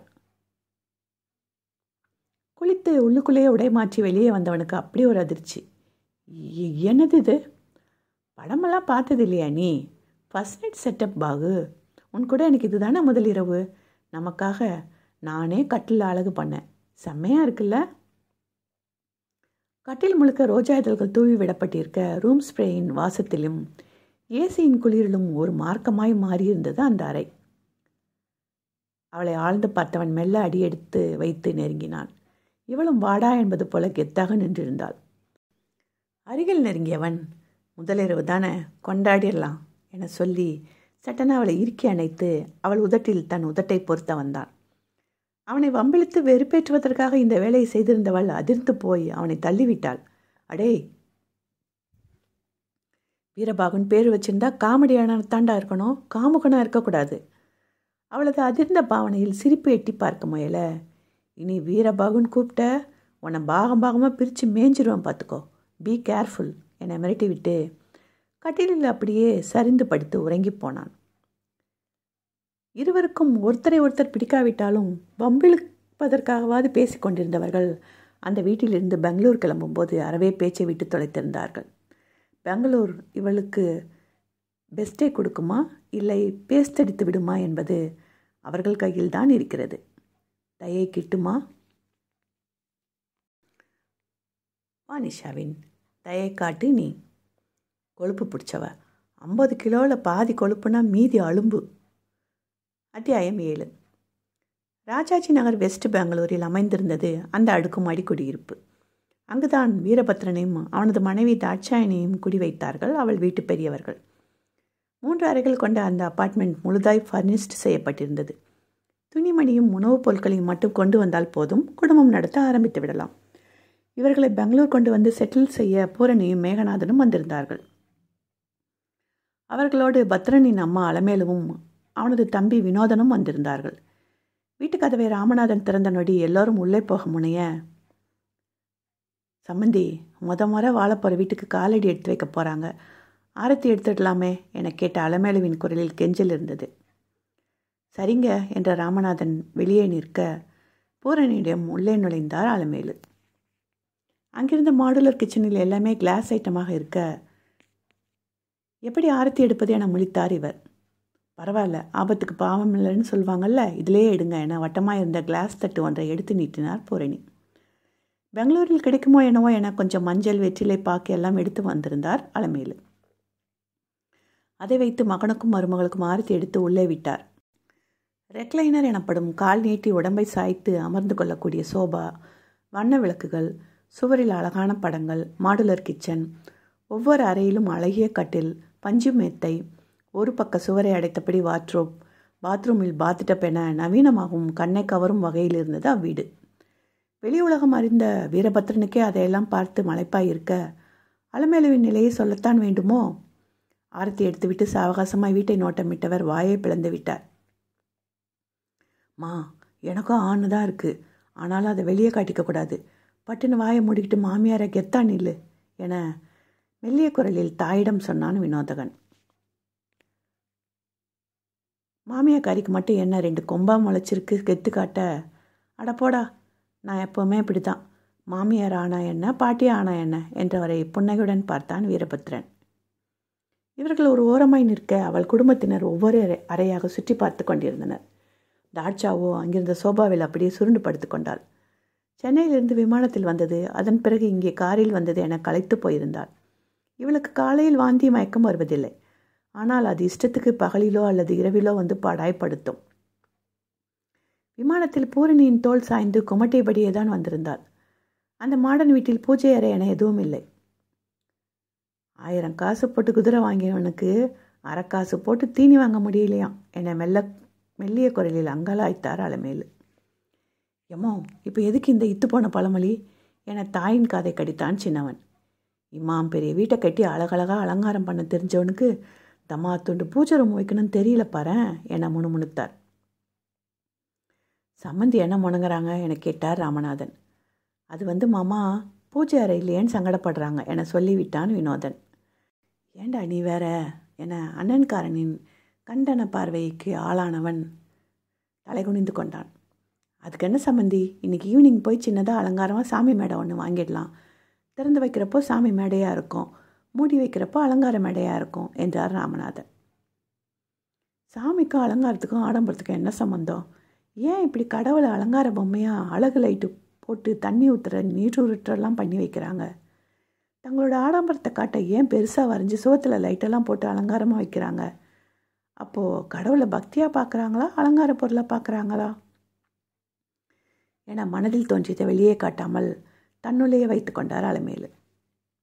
காலை உணவை வரும்போதே உண்டிருக்க ஓர் அறையை அம்மாவுக்கும் மகனுக்கும் காட்டிய ராமநாதன் இங்கே ரெஸ்ட் எடுங்க சம்மந்தி லஞ்சுக்கு வெளியே போயிட்டு அப்படியே தேவைப்படுற பொருளெல்லாம் வாங்கிட்டு வந்துடுவோம் என்றார். தலையசித்து வைத்த அலமேலு சோர்ந்து போய் படுத்திருந்த மருமகளை ஒரு பார்வை பார்த்தார். எனக்கு தூக்கம் வருதுமா வா வா. என தாயை உள்ளே அழைத்து போய் விட்டான் வினோதன். ரூமுக்கு போய் ரெஸ்ட் எடுடி. எனக்கு தூர பயணம் வந்தது. காலெல்லாம் கடுக்குது. கொஞ்ச நேரம் போய் படுக்கிறேன் என்றார் பூரணி. போகிறேன் பாட்டி. நீங்கள் போய் படுங்க என சோர்வாய் குரல் கொடுத்தாள் இவள். ராமநாதன் தாயுடன் இன்னொரு அறைக்கு போய்விட்டார். வீரபத்ரனும் அமைதியாக பால்கனிக்கு போய் நின்று வெளியே பார்க்க ஆரம்பித்து விட்டான். அங்கே ஒரு ஊஞ்சல் தொங்கிக் கொண்டிருந்தது. ஓரமாய் அழகு ஜாடிகளில் பூச்சாடிகள் வைக்கப்பட்டிருந்தன. பெங்களூரின் குளிர்காற்று அடித்து வீச கை கட்டி அதை அனுபவித்தபடி நின்றான் இவன். அறைக்குள் இருந்த பாத்ரூமுக்குள் போய்விட்டு வந்த அலமேலு மீண்டும் வெளியே போக முனைய மா எங்கே போகிற நீ? வந்து படு என அழைத்தான் சின்னவன். சொகுசாய் கட்டிலில் சாய்ந்து காலாட்டி கொண்டிருந்தவனை புன்னகுடன் பார்த்தார் இவர். உங்கள் அப்பா முதலாளி கூட சரிசமமாக பயணம்லாம் பண்ண மாட்டேன்னுட்டார். பிரியாவோ உங்கள் அண்ணி இருக்கிற பக்கமே தலை வைக்க மாட்டேன்னுட்டா? உடனே எனக்கு பாடி கார்டுன்னு பேர் பண்ணிக்கிட்டு பெங்களூரை சுற்றி பார்க்க என் கூட வரேன்னு நின்று நீ. அப்போ நான் என்ன சொல்லி கூட்டிகிட்டு வந்தேன் உன்னை? வாயை அடக்கணும். அண்ணாவுக்கு சங்கடம் வர மாதிரி நடக்கக்கூடாது. என சொன்னவனின் குரல் உள்ளே போயிருந்தது. அப்புறம் ஏன்டா காணாததை கண்ட மாதிரி ஹோட்டலில் இது வேணும் அது வேணும்னு ஆர்டர் பண்ணி திங்க முடியாமல் பேய்மொழி முழிச்ச? சம்மந்தி முன்னுக்கு ஒன்று அடக்கவும் முடியாமல் திட்டவும் முடியாமல் உங்கள் அண்ணா என்ன மொழி முழிச்சான்? இதெல்லாம் சரியாடா சின்னவனை. முதலாளிக்கிட்ட உங்கள் அப்பாவே பேச தயங்குவார். அவர்கிட்ட போய் நான் சொன்னதை அப்படியே சொல்லி வைக்கணுமா? அவர் என்ன நினைப்பார்? இவ்வளோ பண்ணியும் இன்னும் இந்த அம்மா பூஜை மேடைக்கு செலவு இழுத்து விடுதுன்னு நினைக்க மாட்டார்? புரிஞ்சுக்கோடா வினோதா நீ கடைக்குட்டி இருந்தாலும் இன்னும் சின்ன பையன் இல்லை. சூழ்நிலைக்கு ஏற்ப கரெக்டாக நடக்கணும். மெல்லிய குரலில் சின்ன மகனை கடிந்து கொண்டார் அலமேலு. உடனே முகம் செத்து விட்டது அவனுக்கு. சாரிம்மா இனி இப்படியெல்லாம் நடந்துக்க மாட்டேன். அண்ணாவை சங்கடப்படுத்த மாட்டேன். தங்க பிள்ளையே நடந்துப்பேன் என்றான். பெருமூச்சு ஒன்றை இழுத்து விட்டார் அலமேலு. அவனது பதினேழு வயதுக்கு மெச்சூரிட்டி நிரம்பவே இருந்தது வினோதனுக்கு. ஆனாலும் சில சமயங்களில் சிறுபிள்ளைத்தனம் இப்படி வெளிப்பட்டுவிடும். அதோடு வீட்டின் கடைக்குட்டி என்னும் செல்லம் வேறு. கதவருக்கு போன தாயை பார்த்து மோ வெளியே போய் என்ன பண்ண போகிற நீ? நம்ம வீடு மாதிரி அடுப்பங்கரை இல்லை இங்கே. எல்லாமே கரண்ட்டில் ஓடுது. பால் காய்ச்சிறேன் காஃபியை போடுறேன்னு கரண்ட்டு ஷாக் அடித்து வரப்போகிற நீ என்றான் வினோதன். சும்மா இருடா இவன் வேற. உங்கள் அண்ணி முடியாமல் படுத்து கிடக்கிறா. இப்போ நான் உள்ளுக்கு படுத்து ரெஸ்ட் எடுத்தால் நல்லாவா இருக்கும்? என்னமோ மனசும் கேட்கல போய் என்னன்னு பார்க்குறேன் உங்கள் அண்ணன் வேற மறுவீடு போயிட்டு வந்ததுலேருந்து ஒரு மாதிரியாகவே இருக்கான். முகமே பொலிவா இல்லை. நீ கொஞ்ச நேரம் படுடா. சாப்பிட போகிறப்ப எழுப்புறேன். வெளியே வந்த அலமையில் பார்த்தது பால்கனியில் கண்மூடி நின்ற மகனையும் சோபாவில் கண்மூடி படுத்திருந்த மருமகளையும் தான். இரண்டும் ரெண்டு திசையில் நிற்கிதுங்க இதுங்க என்னத்தை குடும்பம் நடத்தி என்னத்தை வாழ போதுங்களோ? ம். என மனதிலே முடங்கி கொண்டவர் மகனிடம் போனார். சாமி கண்களை திறந்தவன் என்னம்மா தூக்கம் வரலையா? என கேட்டான். அந்த பொண்ணு களைப்பாக படுத்திருக்கு. காஃபி ஒன்று போட்டு கொடுத்தா கொஞ்சம் தெம்பாக இருக்கும் அதுக்கு. மருமகள் என சொல்ல வாய் வரவில்லை. மகனின் மனைவியாய் ஏற்றுக்கொள்ள சிரமப்பட்டாலும் பெண்ணுக்கு பெண்ணாய் அவள் நிலை அனுதாபத்தை கொடுத்தது. நெடிய பெருமூச்சொன்றை வெளியேற்றவன் கிச்சனில் என்ன இருக்குன்னு பார்க்கலாம் வாங்க என அலமேலுவை அழைத்து போனான். எல்லாமே இண்டக்ஷன் எனப்படும் மின்சார அடுப்புக்கு ஏற்றது போல இருந்தன. கரண்டி முதற்கொண்டு கத்தி வரையெல்லாம் அழகாய் அடுக்கி வைக்கப்பட்டிருந்தது. பெரிதாய் இருந்த குளிர்சாதன பெட்டியை திறந்து பார்த்தான் வீரபத்ரன். எனக்குள்ளே ஏதாச்சும் போட்டு வைங்கடா கரண்ட்டுக்கு தண்டமாக ஓடிட்டு இருக்கேன் என்பது போல திறந்த சில விளையாடிகளில் டிங் டிங் என சத்தம் கொடுத்தது அது. உடனே கதவை மூடிவிட்டான் இவன். என்னடா சத்தம் போடுது? பழுதா போன ஃப்ரிட்ஜை உன் தலையில் கட்டிட்டானுங்களா? என கேட்டார் அலமேலு. மெலிதாய் புன்னகைத்தவன். ரொம்ப நேரம் திறந்து வைக்கக்கூடாதுமா ஏன்னா கதவு திறக்கிறப்போ சூடான காற்று உள்ளே போகும். அதை குளிர்விக்க கம்ப்ரஸர் இன்னும் வேகமாக வேலை பார்க்கும். அதனால் ரொம்ப சீக்கிரம் ஃப்ரிட்ஜ் பழுதாக வாய்ப்பு இருக்குது அதுக்கு தான் என்னை மூடுடா மூடுடான்னு சவுண்டு கொடுக்குது இந்த ஃப்ரிட்ஜு என்னமோ போ மனுஷன் பேசுகிறது குறைஞ்சி இப்போ மிஷின்லாம் பேசவும் சவுண்டு கொடுக்கவும் ஆரம்பிச்சிடுச்சு. காலம் கலிகாலமாக ஆயிடுச்சு எதுக்கும் பால்கனியில் பூஜாடியோட ஜாடியாக துளசியும் வளர்த்து விடு. கலிகாலத்தில் உலகம் அழிஞ்சு போயிடுமா? அந்த நேரத்தில் கையில் துளசி வச்சுருந்தா சொர்க்கத்துக்கு போயிடுவோம்மா என்ற அன்னையின் தாடையை பற்றி கொஞ்சி கொண்டான் பத்ரன். ஸ்வீட்டு மணி. ஹாலில் படுத்தபடி அம்மா மகனின் மெல்லிய உரையாடலை கேட்டுக்கொண்டிருந்த தாட்சாவுக்கு மெலிதாய் புன்னகை வந்தது. சாமி இந்த வீட்டுக்கு ஏறி வரப்போ ஸ்விம்மிங் தண்ணிக்கிட்ட கடை பார்த்தோம்ல அங்கே போய் பால் பாக்கெட்டும் காப்பி போட சாமானும் இருந்தால் வாங்கியாரியா? இப்போதைக்கு கொஞ்சமாக போதும். இந்த அப்பார்ட்மெண்ட் வளாகத்திலேயே கடைகள் இருந்தன. துணி துவைத்து உலர்த்த மிஷின்கள் கொண்ட செல்ஃப் டோபியும் கூட இருந்தது. இங்கு வசிக்கும் மக்கள் பயன்பாட்டுக்காக நீச்சல் குளம் மற்றும் ஜிம் வசதியும் கூட இருந்தது. சரிம்மா என்றவன் பர்ஸை எடுத்துக்கொண்டு கதவை திறந்து வெளியே போனான். பதினைந்து நிமிடம் ஆகியது அவன் திரும்பி வர. அலமேலுவோ அதுவரை ஒவ்வொரு கேபினெட் கதவின் திறந்து என்ன இருக்கிறது என ஆராய்ந்து கொண்டிருந்தார். மகன் வந்ததும் பாத்திரம் ஒன்றில் பாலை ஊற்றி அடுப்பில் வைத்தவர் மகனை பார்க்க அவன் அந்த இண்டக்ஷன் அடுப்பை ஆன் செய்ய உதவினான். சூட்டை எப்படி ஏற்றுவது எப்படி இறக்குவது என ஓரளவுக்கு அதையும் இதையும் தட்டி ஒரு வழியாக புரிந்து கொண்டான். இன்ஸ்டன்ட் காப்பி தூள் வாங்கி வந்திருக்க மூன்று பேருக்கும் காப்பி கலந்து மீதி பாலை மூடி வைத்தார் அலமேலு. நீ குடி சாமி நான் போய் அவளுக்கு கொடுத்துட்டு வரேன். ஹாலில் இருந்த காஃபி மேசையில் காஃபியை வைத்த அலமேலுவின் கண்கள் தன்னிச்சையாக தாட்சாவின் வயிற்றுக்கு போனது. மூச்சை ஆள இழுத்து விட்டவர் தாட்சாயினி என அழைத்தார். கண்ணை சோம்பலாக திறந்தாள் இவள். வந்து கொஞ்சம் காஃபி குடிக்கிறியா? என தயங்கியபடியே கேட்டார். படுத்தபடியே அவரை ஆழ்ந்து நோக்கியவள் உங்களுக்கு என் பாப்பாவை பிடிக்கல தானே?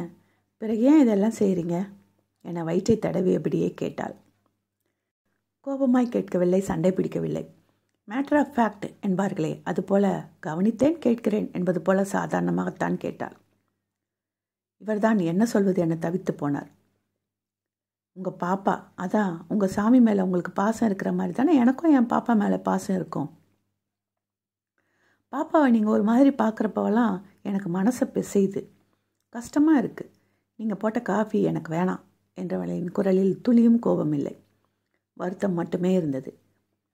இவர்கள் மிக மிக மெல்லிய குரலில் பேசியது எதுவும் இவனுக்கு கேட்கவில்லை.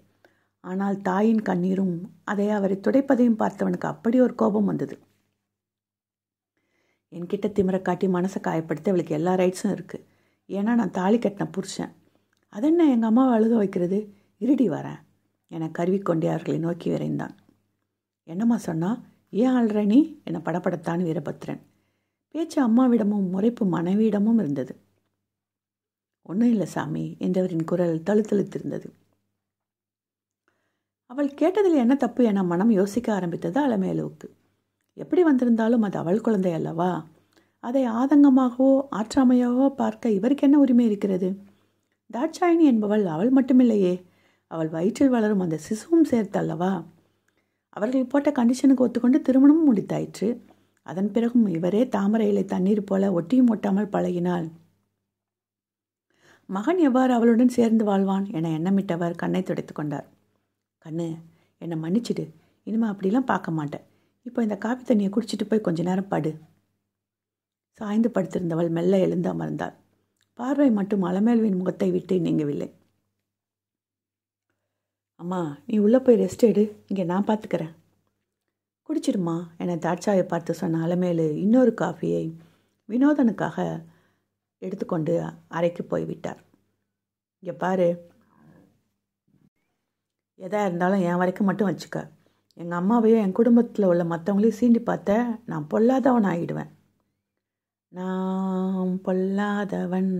டண்டனக்கா டண்டனக்கா டன் பொய் சொல்லாதவன். டண்டனக்கா டன். என பாடியவளை முறைத்து பார்த்தான் இவன். ஸ்வீட்டு தான் சாமி உங்கள் அம்மா. அவங்க மாதிரி நீ கொஞ்சம் ஸ்வீட்டாக இருந்திருக்கலாம்.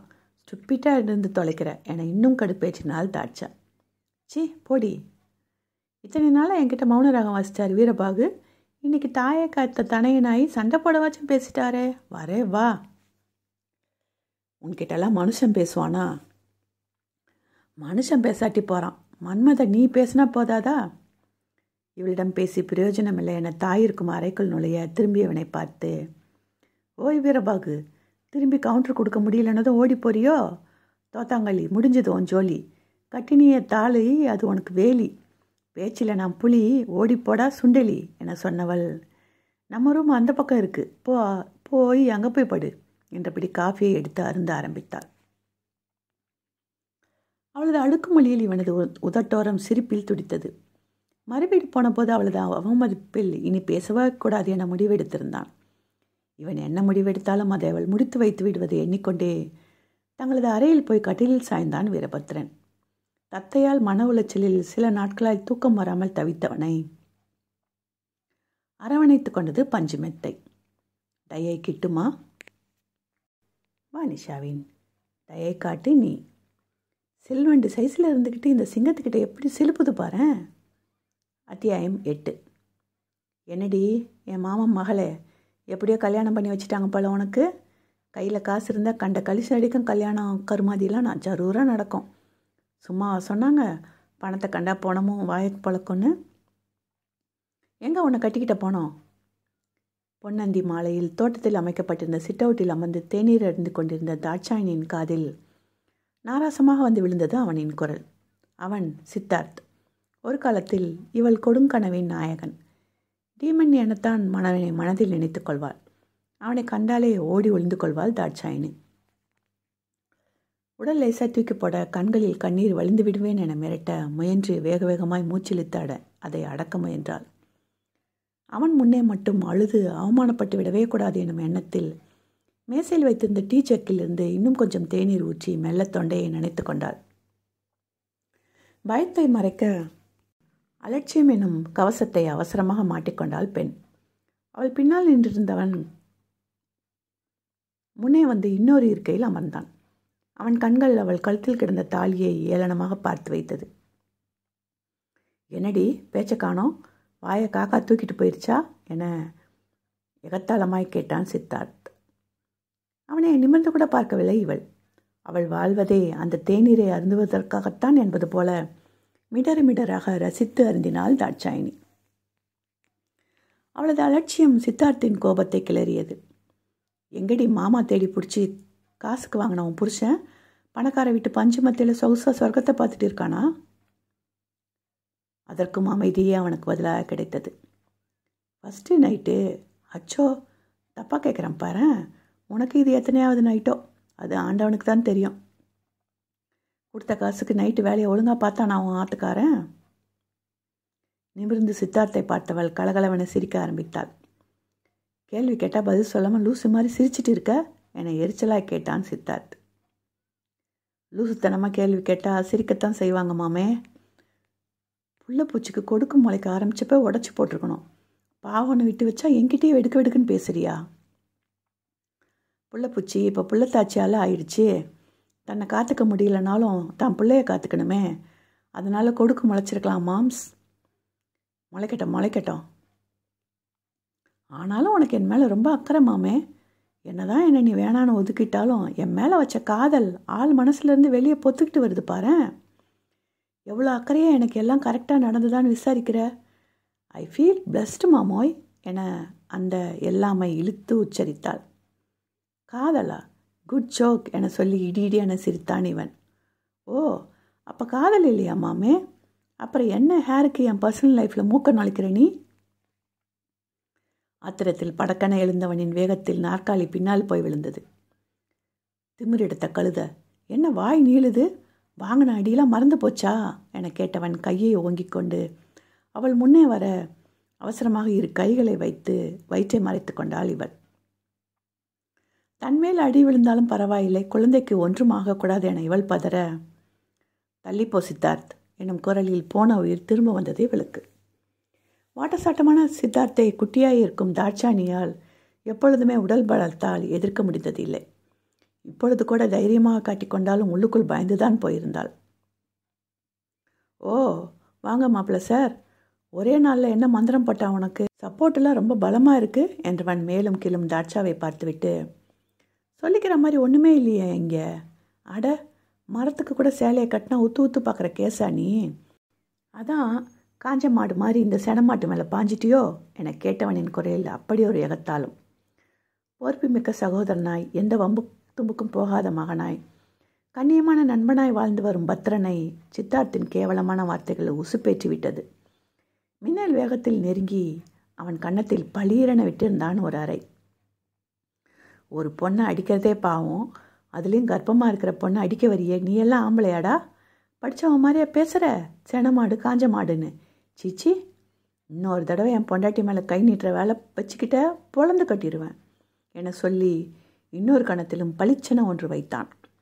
அவன் விட்ட அறையில் எங்கே கழுத்து நரம்பு அறந்து விடுமோ என பயந்து விட்டான் சித்தார்த். சட்டன் நகர்ந்து நின்று கொண்டவன் ஆஃப்டர் ஆல் ஒரு பிச்சைக்கார நாய் நீ எம்எல்ஏ கை வைக்கிறியாடா? என ஆவேசமாக கேட்டான். அதான் நாயின்னு சொல்லிட்டியே. அதுக்கு பணக்காரன் தெரியுமா ஏழன் தெரியுமா? தன்னோட உறவுன்னு நினைக்கிறவங்கள யாராச்சும் தீங்கிழைக்க பார்த்தா அந்த நன்றியுள்ள ஜீவனுக்கு கடித்து ரத்த காயம் பார்க்க மட்டும்தான் தெரியும். நானும் ரத்த காயம் பார்க்கவா? என கேட்டுக்கொண்டே அவனை நெருங்க. Stop stop Veerabhadran. உன் நல்லதுக்கு தான் நான் பேச போகிறேன் அடித்தடியை ஒதுக்கி வச்சுட்டு கொஞ்சம் காது கொடுத்து கேளு. காலேஜில் நல்லா தானே படிச்ச நீ. நல்ல ஸ்போர்ட்ஸ்மேன் வேற. எல்லா டிபார்ட்மெண்ட் பொண்ணுங்களும் உன் மேலே ஜொல்லு ஊதிச்சிங்க தானே? அப்புறம் போயும் போய் ஏன்டா இவ்வளோ கட்டிக்கிட்ட? எங்கள் மாமா அள்ளி கொடுக்குற பணத்துக்கு கூட இவள் ஒர்த்து இல்லைடா. சரியான பஜாரி. சின்ன வயசுலேருந்து மாப்பிள்ளைன்னு என்னை காட்டி வச்சுருந்தும் கூட கண்டவன் கூட போய் பிள்ளைய வாங்கிட்டு வந்திருக்கா. சரியான சீப் கேர்ள் கிடைச்சது சுருட்டிக்கிட்டு இவளை கழட்டி விட்டுடு என வேகமாக வேகமாய் சொன்னான் சித்தார்த். முகம் சிவந்து போய் கண்கள் கனலை கக்க நின்றிருந்த தாட்சாவை ஒரு பார்வை பார்த்த பத்ரன் சித்தார்த் புறம் திரும்பி சித்தார்த் என்னை நாயின்னு சொல்லிட்டு வைக்கோல் போர் வே நாய் வேலையை நீ பார்க்குறிய? கலீஜா கீது நைனா என நக்கலாய் சொன்னான். வீரபத்ரனின் மெட்ராஸ் வாசையில் தாட்சாயினி வாய்விட்டு சிரிக்க கடுப்பாகி போனான் சித்தார்த். உனக்கு போய் நல்லது சொல்ல வந்தேன் பாரு. எக்கேடோ கெட்டு ஒளி. ஆனால் இவன் கூட மட்டும் சந்தோஷமாக வாழ்ந்துடுவேன்னு நினைக்காத. பிள்ளை பொத்து போட்டுட்டு வேற எவனாச்சும் கிடைக்க மாட்டானான்னு தேடி போவா. நீ தான் கடைசியில் விரல் சொப்பிக்கிட்டு அவமானப்பட்டு நிற்கணும் ஆல் த பெஸ்ட் என சொன்னவன் வன்மமாக தாட்சா பார்த்தபடி கிளம்பி போய்விட்டான். அவ்விடத்தில் சற்று நேரம் பேரமைது. தொண்டையை செருமிக் கொண்ட வீரபத்ரன் ஆர் யூ ஓகே? என கேட்டான். ஏன்? ஓகேவா? இல்லைனா என்ன செய்ய போகிறதா உத்தேசம்? என கடுகெடுத்தாள் இவள். இவன் அவள் கண்களை ஊடுருவி பார்க்க சட்டென முகத்தை வேறுபுறம் திருப்பி கொண்டாள் தாட்சாயினி. இது என்னோட பேட்டில் நான் தான் எனக்காக சண்டை போடணும். பிறந்ததுலேருந்து அப்படி தான் நடக்குது. இப்போ நடுவில் காளான் மாதிரி கணவனா திடீர்னு முளைச்சவங்களாம் எனக்காக களத்தில் இறங்க வேணாம். அது எனக்கு பிடிக்கவும் பிடிக்காது. புருஷன்ற பொசிஷன் கெடுத்தமா? நாலு பேர் முன்னுக்கு ஃபிலிம் காட்டினமான்னு போயிட்டே இருக்கணும்.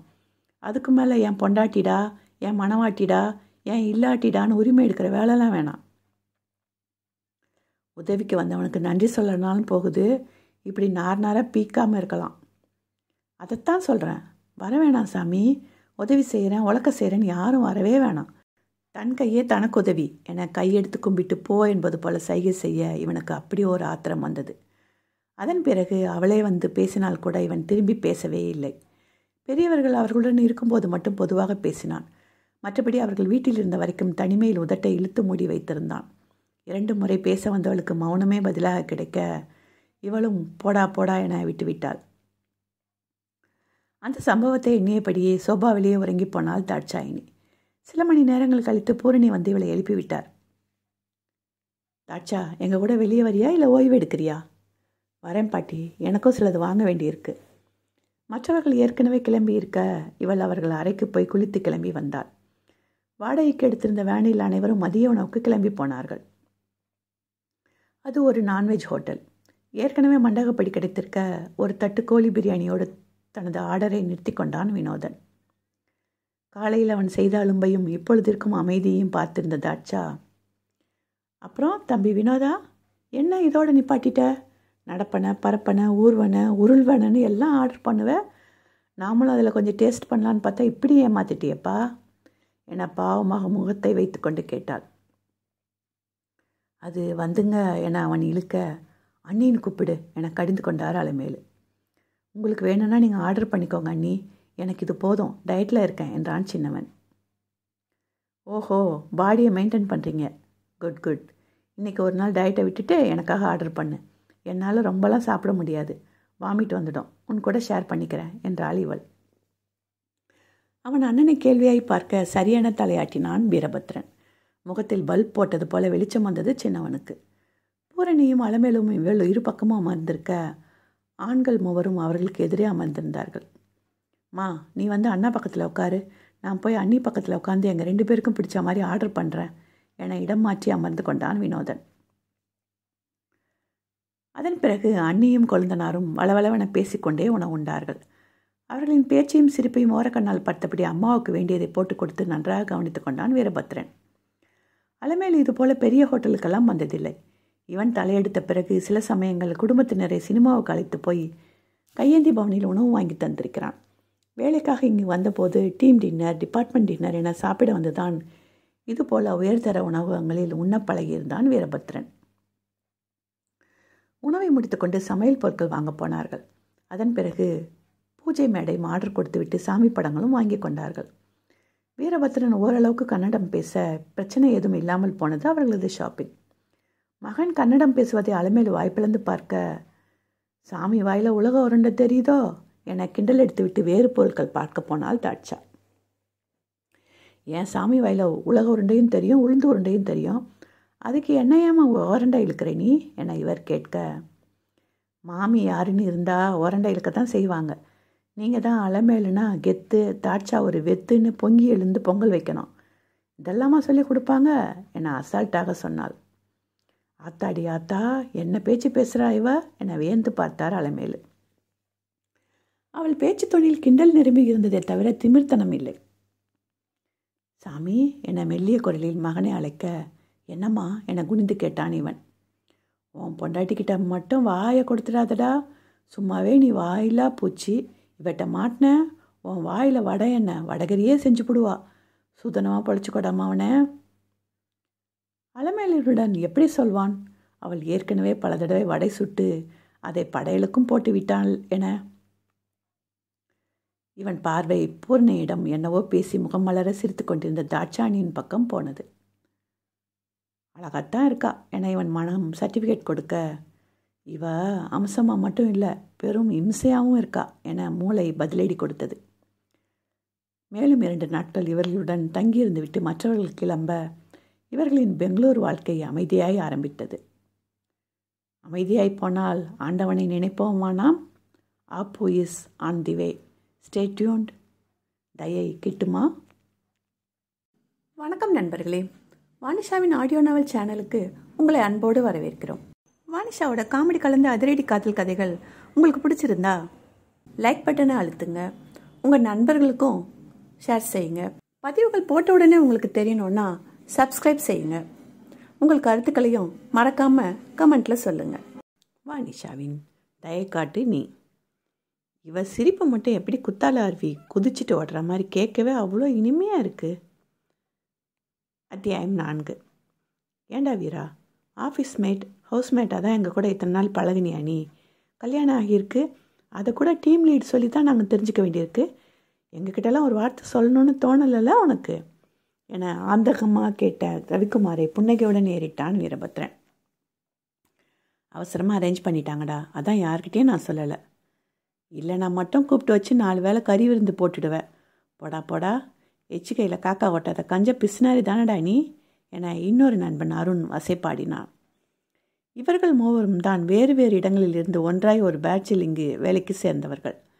சின்னதாய் ஒரு அப்பார்ட்மெண்ட்டை வாடகைக்கு எடுத்து மூவரும் செலவுகளை பகிர்ந்து வசித்தார்கள். மற்ற இருவரும் அப்பர் மிடில் கிளாஸ் வகையை சேர்ந்தவர்கள். இவன் மட்டும்தான் இன்னும் வறுமை கோட்டின் கீழ் அல்லாடி கொண்டிருப்பவன். மற்றவர்கள் சம்பளம் எடுத்து குடும்பத்துக்கு என ஒரு தொகையை அனுப்பிவிட்டு மீதியை ஜாலியாக செலவழிப்பார்கள்.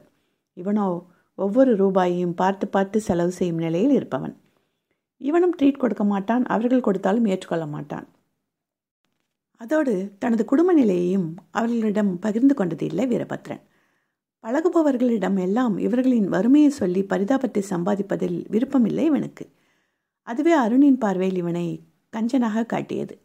ரவிக்குமார் எல்லோரையும் அவர்கள் குணநலனோடு ஏற்றுக்கொள்ள பழகி இருக்க வீரபத்ரனை எதற்கும் கடிந்து கொள்ள மாட்டான் அவன். இன்று தான் அலுவலகத்துக்கு வந்திருந்தான் வீரபத்ரன். வந்தவுடனே இவனை பிடி பிடி என பிடித்து கொண்டார்கள் இருவரும். மச்சீஸ் இனிமேல் நான் ரூமில் தங்க போகிறது இல்லை. லேட் நோட்டீஸ் கொடுக்கறதுனால என்னோடய டெபாசிட்டை அடுத்த மாதம் வாடகைக்கு வச்சுக்கோங்கடா. இப்போ எங்கடா தங்கி இருக்க சிஸ்டர் உங்க கூடவே பெங்களூர் வந்துட்டாங்களா? என கேட்டான் ரவி. ஆமாண்டா என் கூட தான் இருக்கா. என்றவன் தங்கியிருக்கும் இடத்தை சொல்ல இருவருமே வாயை பிளந்தார்கள். அங்கே வாடகை கொடுக்க உன் நாலு மாதம் சம்பளத்தை சேர்த்தா கூட பத்தாதே. அங்கே எப்படிடா நீ லிவிங்ஸ்டன்? என ஆச்சரியப்பட்டான் அருண். பதிலொன்றும் சொல்லாமல் சிரித்து வைத்தான் வீரபத்ரன். அடே அவனோட அக்மார்க் இதுக்கு மேலே என்கிட்ட இருந்து ஒரு வார்த்தையும் பெயராது. சிரிப்பை சிரிச்சிட்டான்டா. தலைகீழ நின்னாலும் இனிமேல் வாயை திறக்க மாட்டான் இந்த கல்லூரி மங்கன் என கருவினான் அருண். எனிவே மச்சி என்னோட மனமார்ந்த வாழ்த்துக்கள்டா உனக்கு. ஸோ ஹாப்பி ஃபார் யூ என கட்டிக்கொண்டான் ரவி. நானும் வாழ்த்து சொல்கிறேன் ஆனால் ட்ரீட் வேணும். பர்த்டே மற்ற டேக்கு தான் டேக்காக கொடுக்குற. கல்யாணம் ஆனதுக்காச்சும் ட்ரீட் வைடா. அவன் அவன் வீட்டில் கல்யாணம்னு பேச்சு எடுத்தாலே சரக்கு விருந்து வச்சு தடபுடல் பண்ணிடுறான். நீ கல்யாணம் பண்ணி கசமுசாவே முடிச்சிருப்ப இந்நேரம். ஒழுங்காக ட்ரீட் வை. சிஸ்டரையும் கூட்டிகிட்டு வந்து எங்களுக்கு இன்ட்ரோ கொடு. உன் கஞ்சித்தனத்தை பற்றி பக்கம் பக்கமாக நான் பற்ற வைக்கணும் அவங்கக்கிட்ட என்றான் அருண். ட்ரீட் தானே? தரேன்டா. இன்றைக்கி உங்கள் லஞ்ச் என்னோட செலவு என்றான் வீரபத்ரன். அப்போது உன் ஒய்ஃபை எங்கள் கண்ணில் காட்ட மாட்டேன். சரி விடு.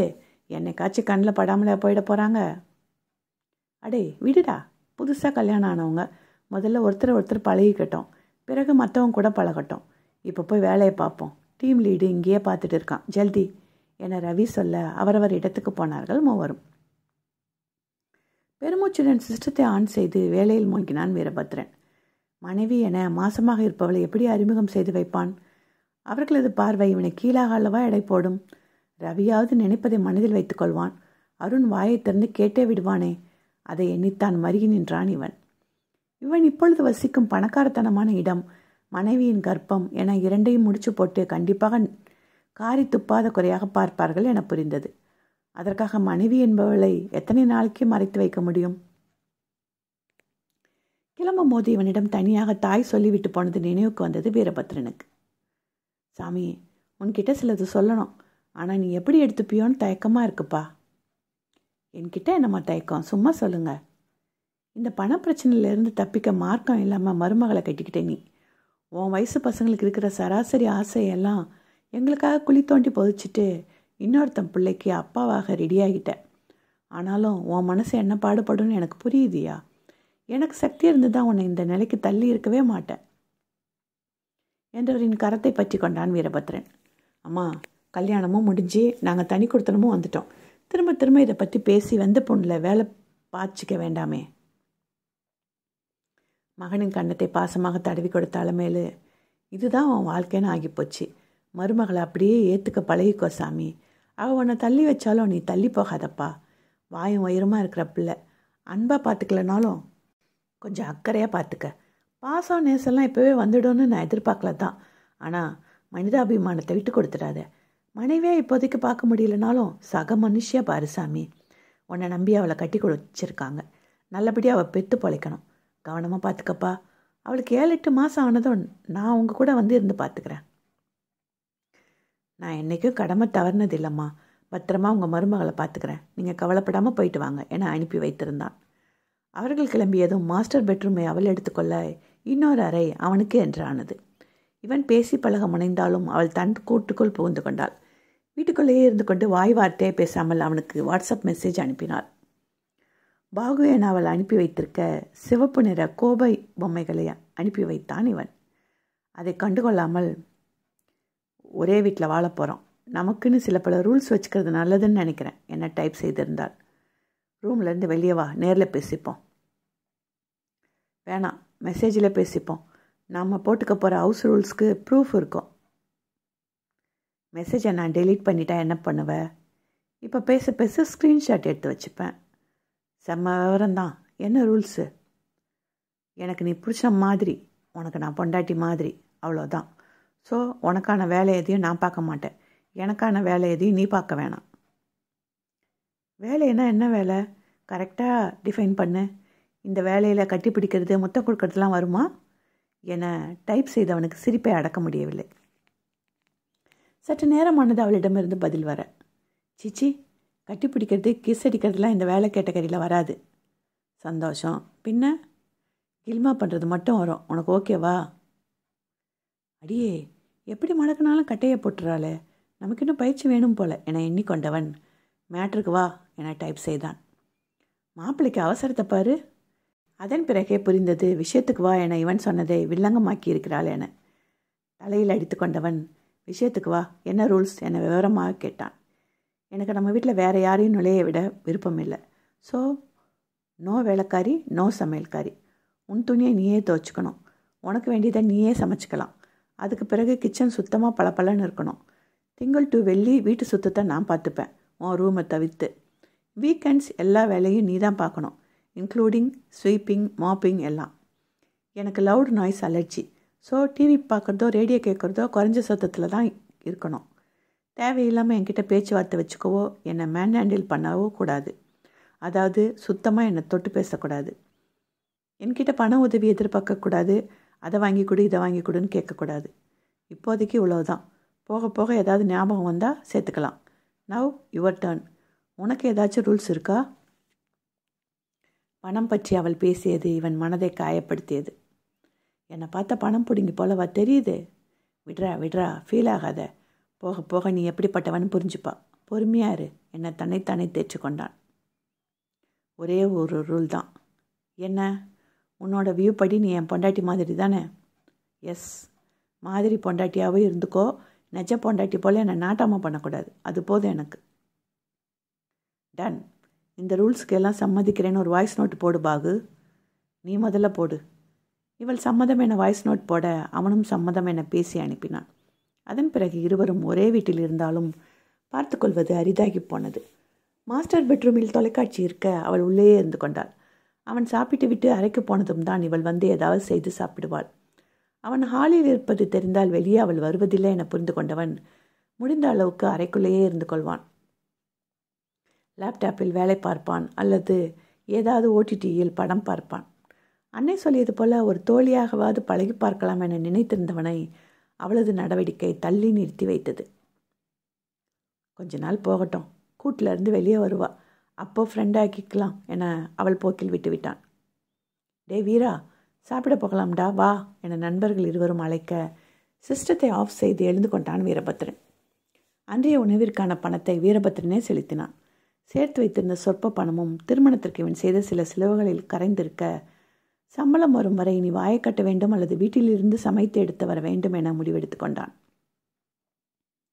இவர்கள் திருமணம் முடிந்ததும் ராமநாதன் இவர்கள் வாங்கியிருந்த கல்வி கடனையும் செலவுக்கான கடனையும் ரத்து செய்திருந்தார். அதோடு வரதட்சணையாக கையில் பணம் கொடுக்க முனைய குருசாமி வேண்டவே வேண்டாம் என சொல்லிவிட்டார். அந்த பதிலில் இவனுக்குமே நிம்மதிதான். முதலாளி இன்னும் என்ன முதலாளி? சம்மந்தின்னு கூப்பிடுங்க குருசாமி. சம்மந்தி கடனை தள்ளுபடி செஞ்சதே போதும். இன்னும் பணம் வேற கொடுத்து எங்களை தர்ம சங்கடப்படுத்தாதீங்க. என் மகனை வித்துட்ட மாதிரி நினைக்க வச்சிடாதீங்க. என கையெடுத்து கும்பிட திகைத்து விட்டார் ராமநாதன். கையை கீழே இருக்குங்க சம்மந்தி சரி சரி பணம் கொடுக்கல. எப்போ என்ன உதவி தேவைப்பட்டாலும் என்கிட்ட தயங்காமல் கேளுங்க.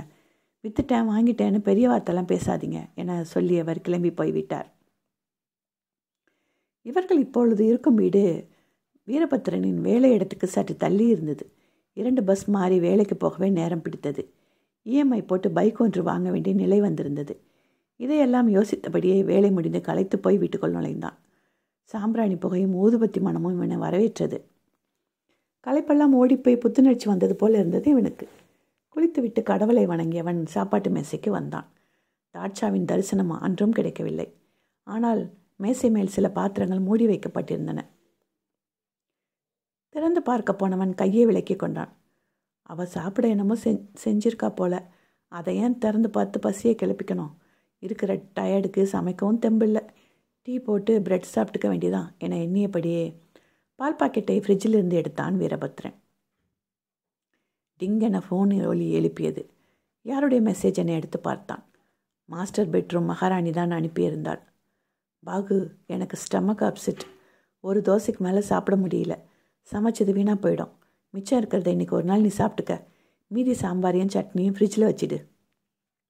மெசேஜுக்கு ரிப்ளை போடாமல் என்னை பார்த்தா ராப்பிச்சக்கார மாதிரி இருக்கா? மிச்சம் மீதியை சாப்பிட தேவையில்லை போ என கத்தி பதில் சொன்னான் இவன். மீண்டும் டிங்கனும் மொழி மெசேஜை பார்த்தான் இவன். நீ ராப்பிச்சக்காரனா இல்லை ரவுசு பிடிச்ச பிச்சைக்காரனான்னு எனக்கு தெரியாது. தோசையை மட்டும் வீணாக்குன ஏக்குமார் தோ துக்கடா தான். சம்ஜே?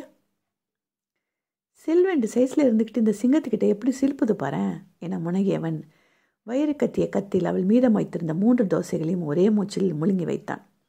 அதன் பிறகுதான் கண்ணே நன்றாக தெரிந்தது இவனுக்கு. மீதி உணவை எடுத்து வைத்தவன் மேசையை துடைத்து பாத்திரங்களை கழுவி வைத்துவிட்டு போய் படுத்து விட்டான். நடு இரவில் தட் தட்டென சத்தம் கேட்க திடுக்கிட்டு எழுந்தான் இவன்.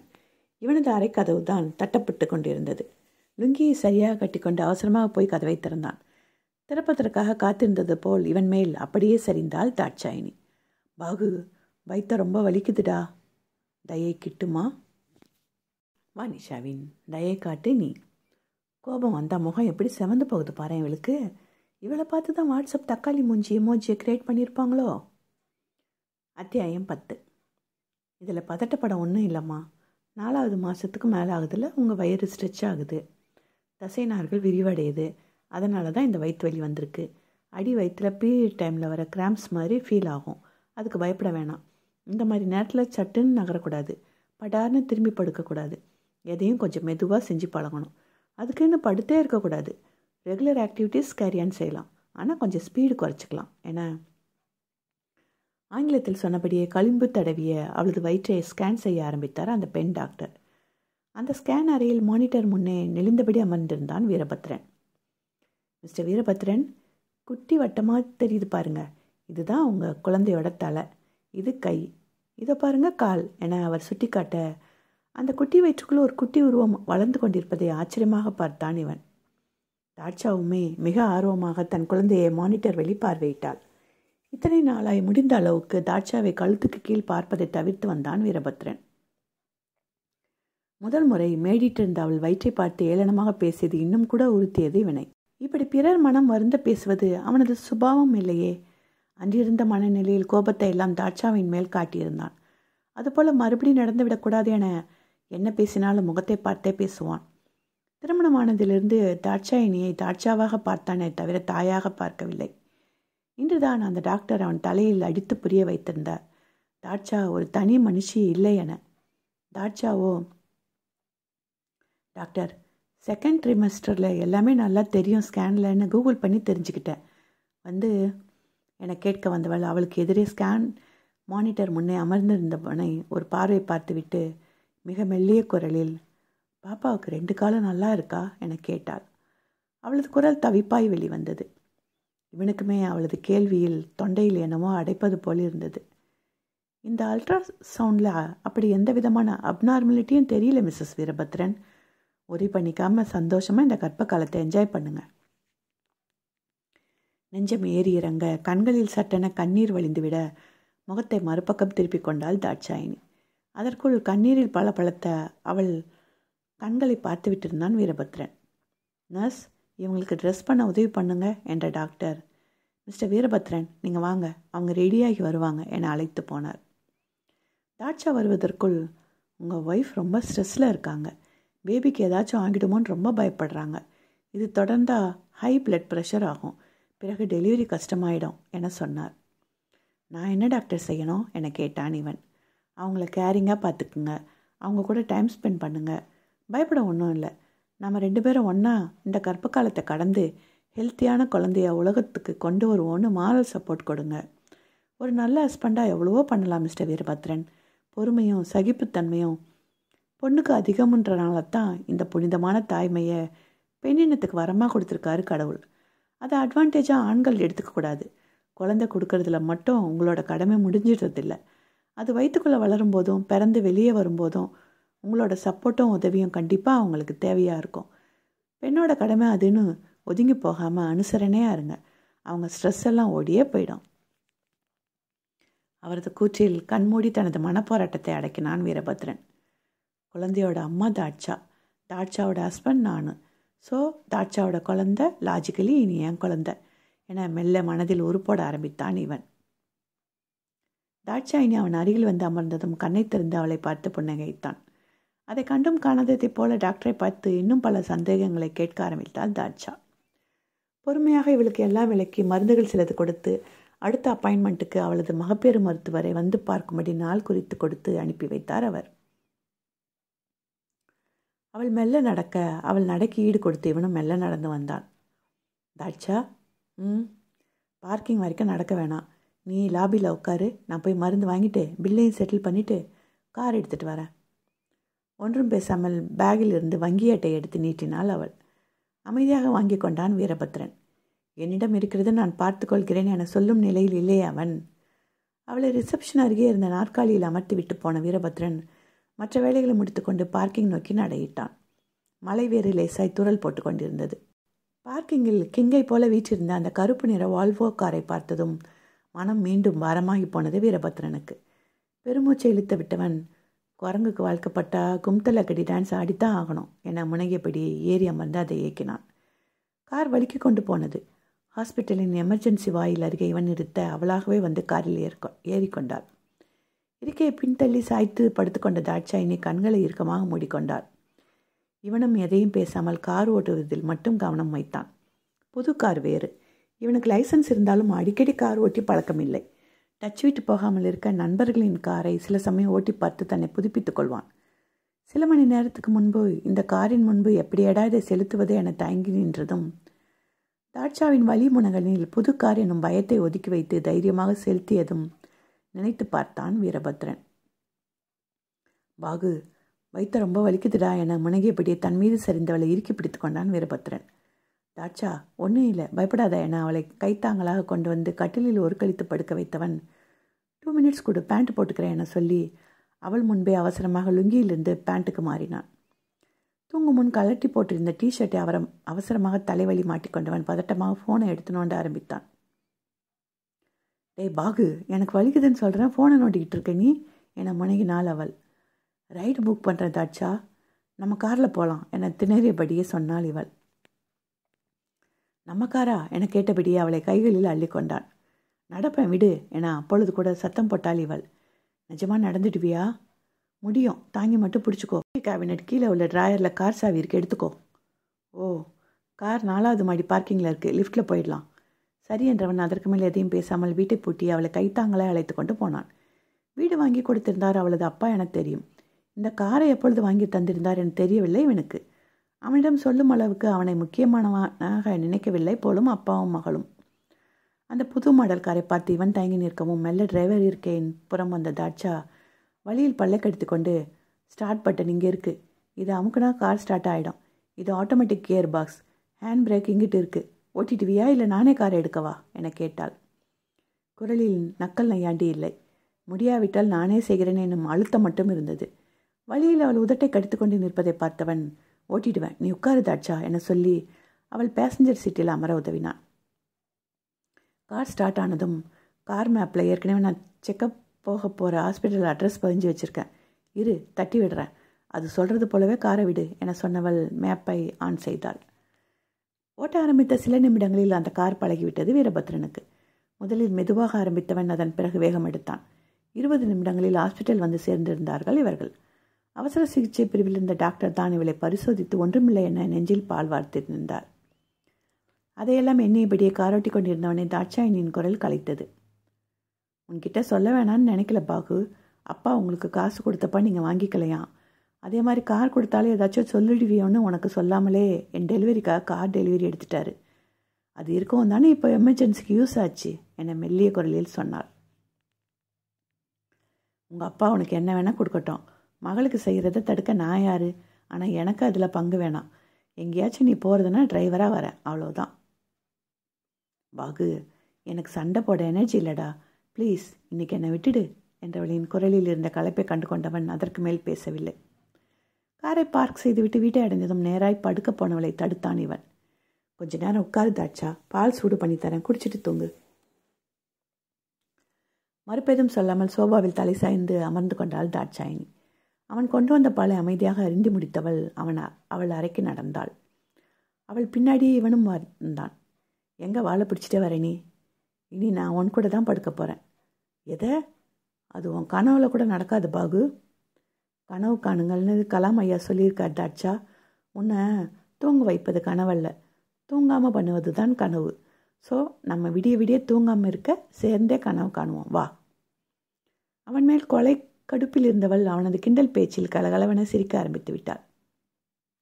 இவ சிரிப்பை மட்டும் எப்படி குத்தால அருவி குதிச்சுட்டு ஓடுற மாதிரி கேட்கவே அவ்வளோ இனிமையாக இருக்குது என எண்ணமோட தன்னையே உலுக்கி கொண்டான் வீரபத்ரன். அவள் சிரித்து ஓய்ந்ததும் நீ பத்திரமே இருக்கியான்னு அப்பப்போ வந்து பார்த்துட்டு இருக்க முடியாது தாட்சா. கலைப்பில் சில சமயம் என்ன அறியாமல் தூங்கிடுவேன். எங்கள் அம்மா வேற உன்னை கவனமாக பார்த்துக்கணும்னு சொல்லிட்டு போயிருக்காங்க. So like me stay with you என்னால் உனக்கு எந்த டிஸ்டர்பன்ஸும் இருக்காது. என்னை மென்மையாக அவன் சொல்ல. என்னமோ பண்ணி தொலை. உன் கூட ஆர்கியூ பண்ண கூட எனக்கு தெம்பில்லை. என கத்தியவள் போய் கட்டிலில் படுத்துக்கொண்டாள் அறையை சுற்றி பார்த்தான் இவன். ஒற்றையால் அமர்வது போல ஒரு சோபா இருந்தது. அதில் கண்டிப்பாக தூங்க முடியாது. தனது அறைக்கு போய் பெட்ஷீட் போர்வை எடுத்து வந்தவன் தரையில் விரிக்க பெங்களூர் குளிருக்கு விரைச்சி சாக போறியா பாகு? வந்து கட்டிலில் படு உன் கருப்புக்கு நான் கேரண்டி என குரல் கொடுத்தால் தாட்சா. இவளை என முணங்கி கொண்டே கட்டிலில் ஒரு ஓரமாய் படுத்தான் இவன். சற்று நேரத்தில் உறங்கியும் போனான் வீரபத்ரன். இவள் தான் உறக்கம் வராமல் தூங்கிக் கொண்டிருக்கும் பத்ரனையே பார்த்தபடி விழித்திருந்தாள். அன்று வேலை முடிந்து வந்தவன் வீட்லேயும் நிம்மதி இல்லை வேலை இடத்துலையும் நிம்மதி இல்லை என் வாழ்க்கையில் எப்போ தான் அமைதி கிட்டுமோ தெரியல. என்னை கத்தி வைக்க. அமைதி வேணும்னா நீ சாந்தியை கட்டியிருக்கணும். அமைதிக்கு பெயர் தான் சாந்தின்னு தான் பாட்டு இருக்கே தவிர அமைதிக்கு பெயர் தான் தாட்சாயினின்னு யாரும் பாட்டு எழுதி வைக்கல. மிஸ்டேக்கை உன் மேலே வச்சுக்கிட்டு என் மேலே பாயாத வீரபாகு என இவளும் திருப்பி கத்தியதில் மீண்டும் ஒரு போர் வெடித்தது அந்த இல்லத்தில். தயை கிட்டுமா? வானிஷாவின் தயை காட்டு நீ. சில நேரம் தேவதையாக கண்ணுக்கு தெரிகிறா பல நேரம் ராட்சஸியாக ரவுசு பண்ணுறா இவன் நல்லவளா கெட்டவளா? அத்தியாயம் பதினொன்று. சில நாட்களாய் சரியாகவே தூக்கமில்லை வீரபத்ரனுக்கு. தாட்சாவை கவனித்துக் கொள்வதற்காக அவளது அறையிலேயே படுத்துக்கொள்ள ஆரம்பித்தது தான் இவனின் தூக்கமின்மைக்கு காரணம். கட்டிலில் அடிக்கடி புரண்டு புரண்டு படுத்தாள் தாட்சா. அதோடு இரவில் பலமுறை எழுந்து கழிவறையை பயன்படுத்தினாள். அவள் புரள்வதும் எழுதுவதும் இவனது ஆழ்ந்த துக்கத்தை கெடுத்தது. தாட்சா பாத்ரூம் போய் விட்டு வரும் வரை அரை துக்கத்திலேயே படுத்திருப்பான் பத்ரன். அவள் பத்திரமா வந்து படுத்ததும் தான் மீண்டும் ஆழ்ந்த உறங்க முற்படுவான். அதற்குள் அடுத்த சுற்று பாத்ரூமுக்கு செல்ல எழுந்து விடுவாள் இவள். அவர்கள் வீட்டில் சின்னவன் வினோதன் எப்பொழுதும் இவனோடு தான் படுத்துக்கொள்வான் அவன் காலை தூக்கி இவன் இடுப்பில் போடுவதும் கையை தூக்கி படாரன நெஞ்சில் போடுவதும் என தூங்க விடாமல் டார்ச்சர் செய்து விடுவான். அம்மாட்ட போய் படுடா வினோதா என இவன் சொல்லிவிட்டால் போதும். வீடே இரண்டு பட்டுவிடும். அண்ணாவுக்கு என்னை பிடிக்கல. பக்கத்தில் படுக்க வேண்டாம் சொல்லிருச்சு. என்னை தேம்பி தேம்பி அழுவான் சின்னவன். இங்கே வந்து படு வினோதா. அம்மா தட்டி கொடுக்குறேன். என அலமேல் அழைத்தாலும் கூட அவன் அழுகை நிற்காது. அதோடு அலமேல் பக்கம் படுத்துக்கொள்ளும் பிரியாவும் அவள் இடத்தை விட்டு கொடுக்க மாட்டாள். இவர்களின் இரவு நேர கத்தலும் கூச்சலும் பக்கத்து வீட்டிற்காரர்களின் மனுஷங்க நிம்மதியாக தூங்குறதா வேண்டாமா? எனும் கூக்குரலில் தான் அடங்கும். சரி சரி வா. அண்ணா கூடவே படு. என தம்பியின் அழுகை பொறுக்காமல் பக்கத்தில் படுக்க வைத்துக் கொள்வான் வீரபத்ரன். வினோதன் அயர்ந்து உறங்கியதும் தான் தலையணையை நடுவில் வைத்துவிட்டு தள்ளி போய் படுத்துக்கொள்வான் வீரபத்ரன். சின்னவன் காலேஜ் போயும் கூட அண்ணன் பக்கம்தான் படுக்கை. அண்ணன் மேல் காலை தூக்கி போடும் பழக்கம் மட்டும் இன்னும் விட்டு போகவில்லை. பெங்களூருக்கு வேலைக்கு வந்ததிலிருந்து தான் தனித்து நிம்மதியாக தூங்க ஆரம்பித்திருந்தான் வீரபத்ரன். அதற்கும் ஆப்பு வைத்திருந்தால் அவன் ஆத்துக்காரி. முந்தைய நாள் தூக்க வெறியில் முண்டாம படேண்டி என சத்தமாக முணங்கியிருந்தான் இவன். சும்மா இருப்பாள் அவன் மனைவி. இது என்னோட கட்டில் என்னோட மத்தை என்னோட ரூம் நான் முண்டுவேன் முணகுவேன் படுப்பேன் பரதநாட்டியம் ஆடுவேன். எல்லாமே என்னோட இஷ்டம்.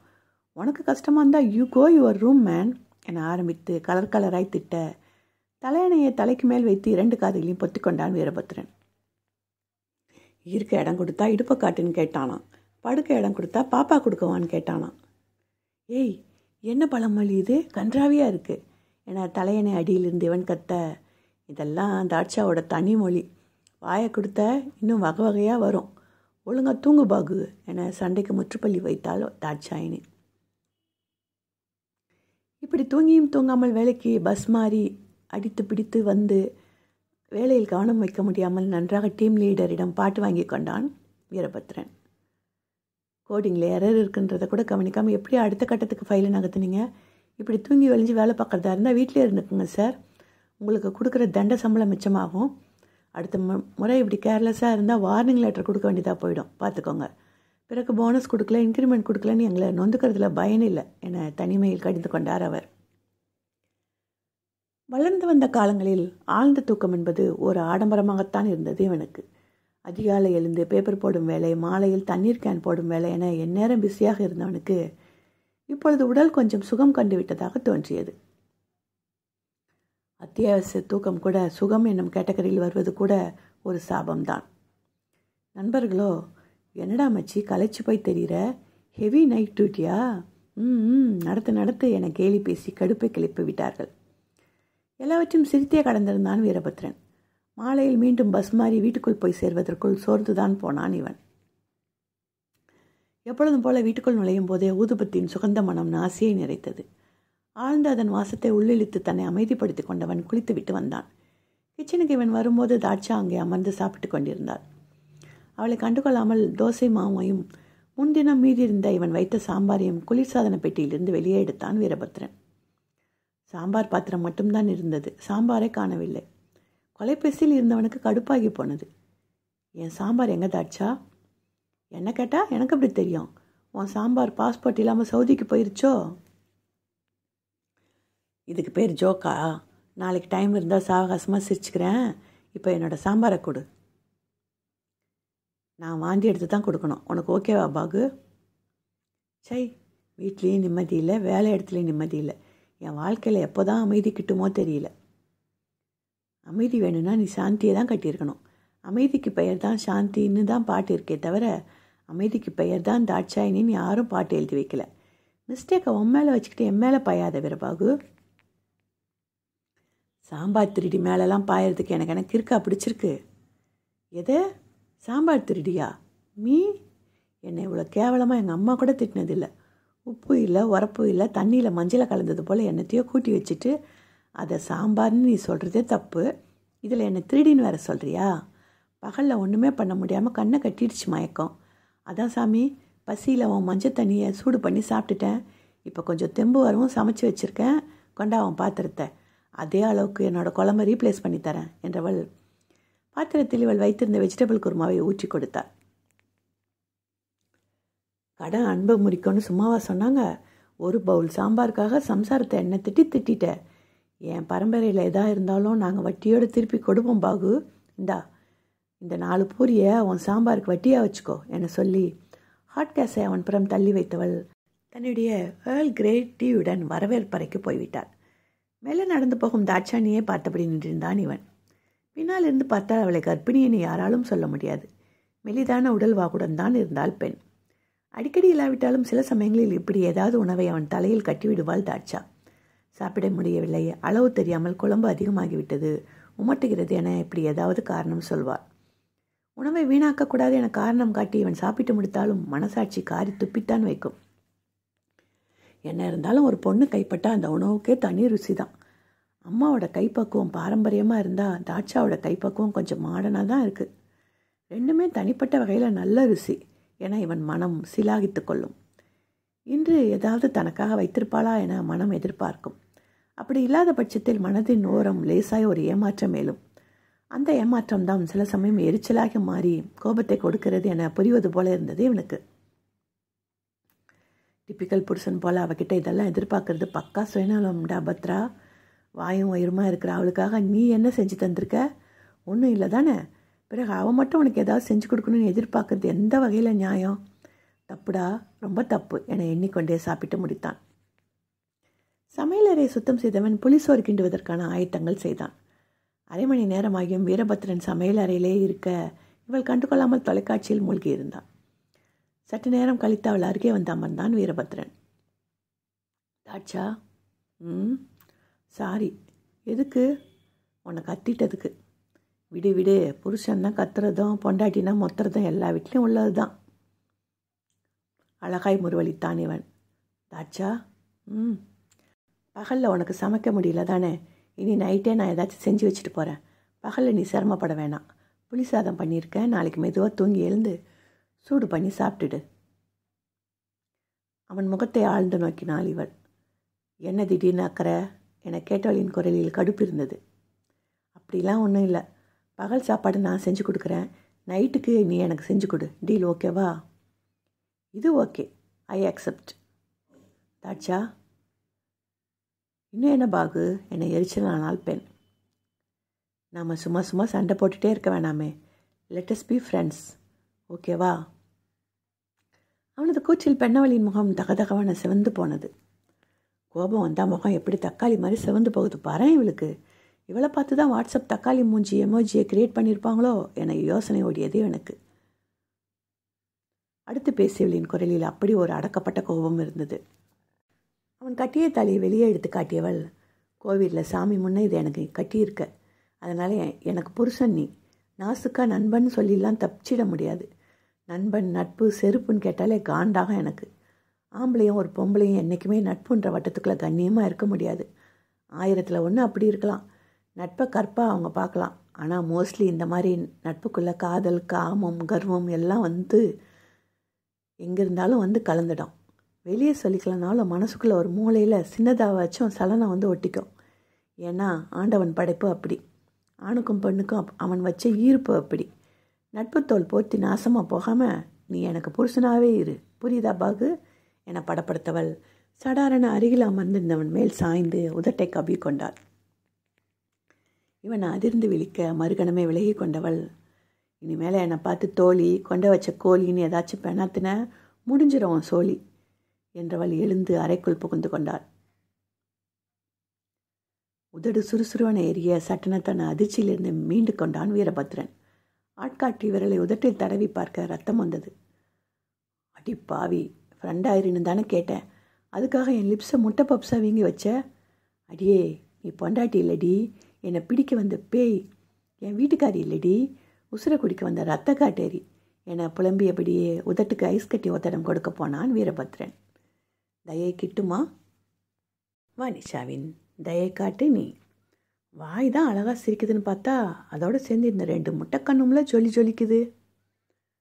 அத்தியாயம் பன்னிரெண்டு மாப்பிள்ள சொல்லுங்கள் மாம்ஸ் எங்கள் அக்கா மகனும் எப்படி இருக்காங்க? நீங்கள் எப்படி இருக்கீங்க? அது வந்து மாப்பிள்ள என உதட்டை கடித்து வெட்கப்பட்ட தனது அக்காவின் கணவனை ஒரு மார்க்கமாக பார்த்தான் இவன்.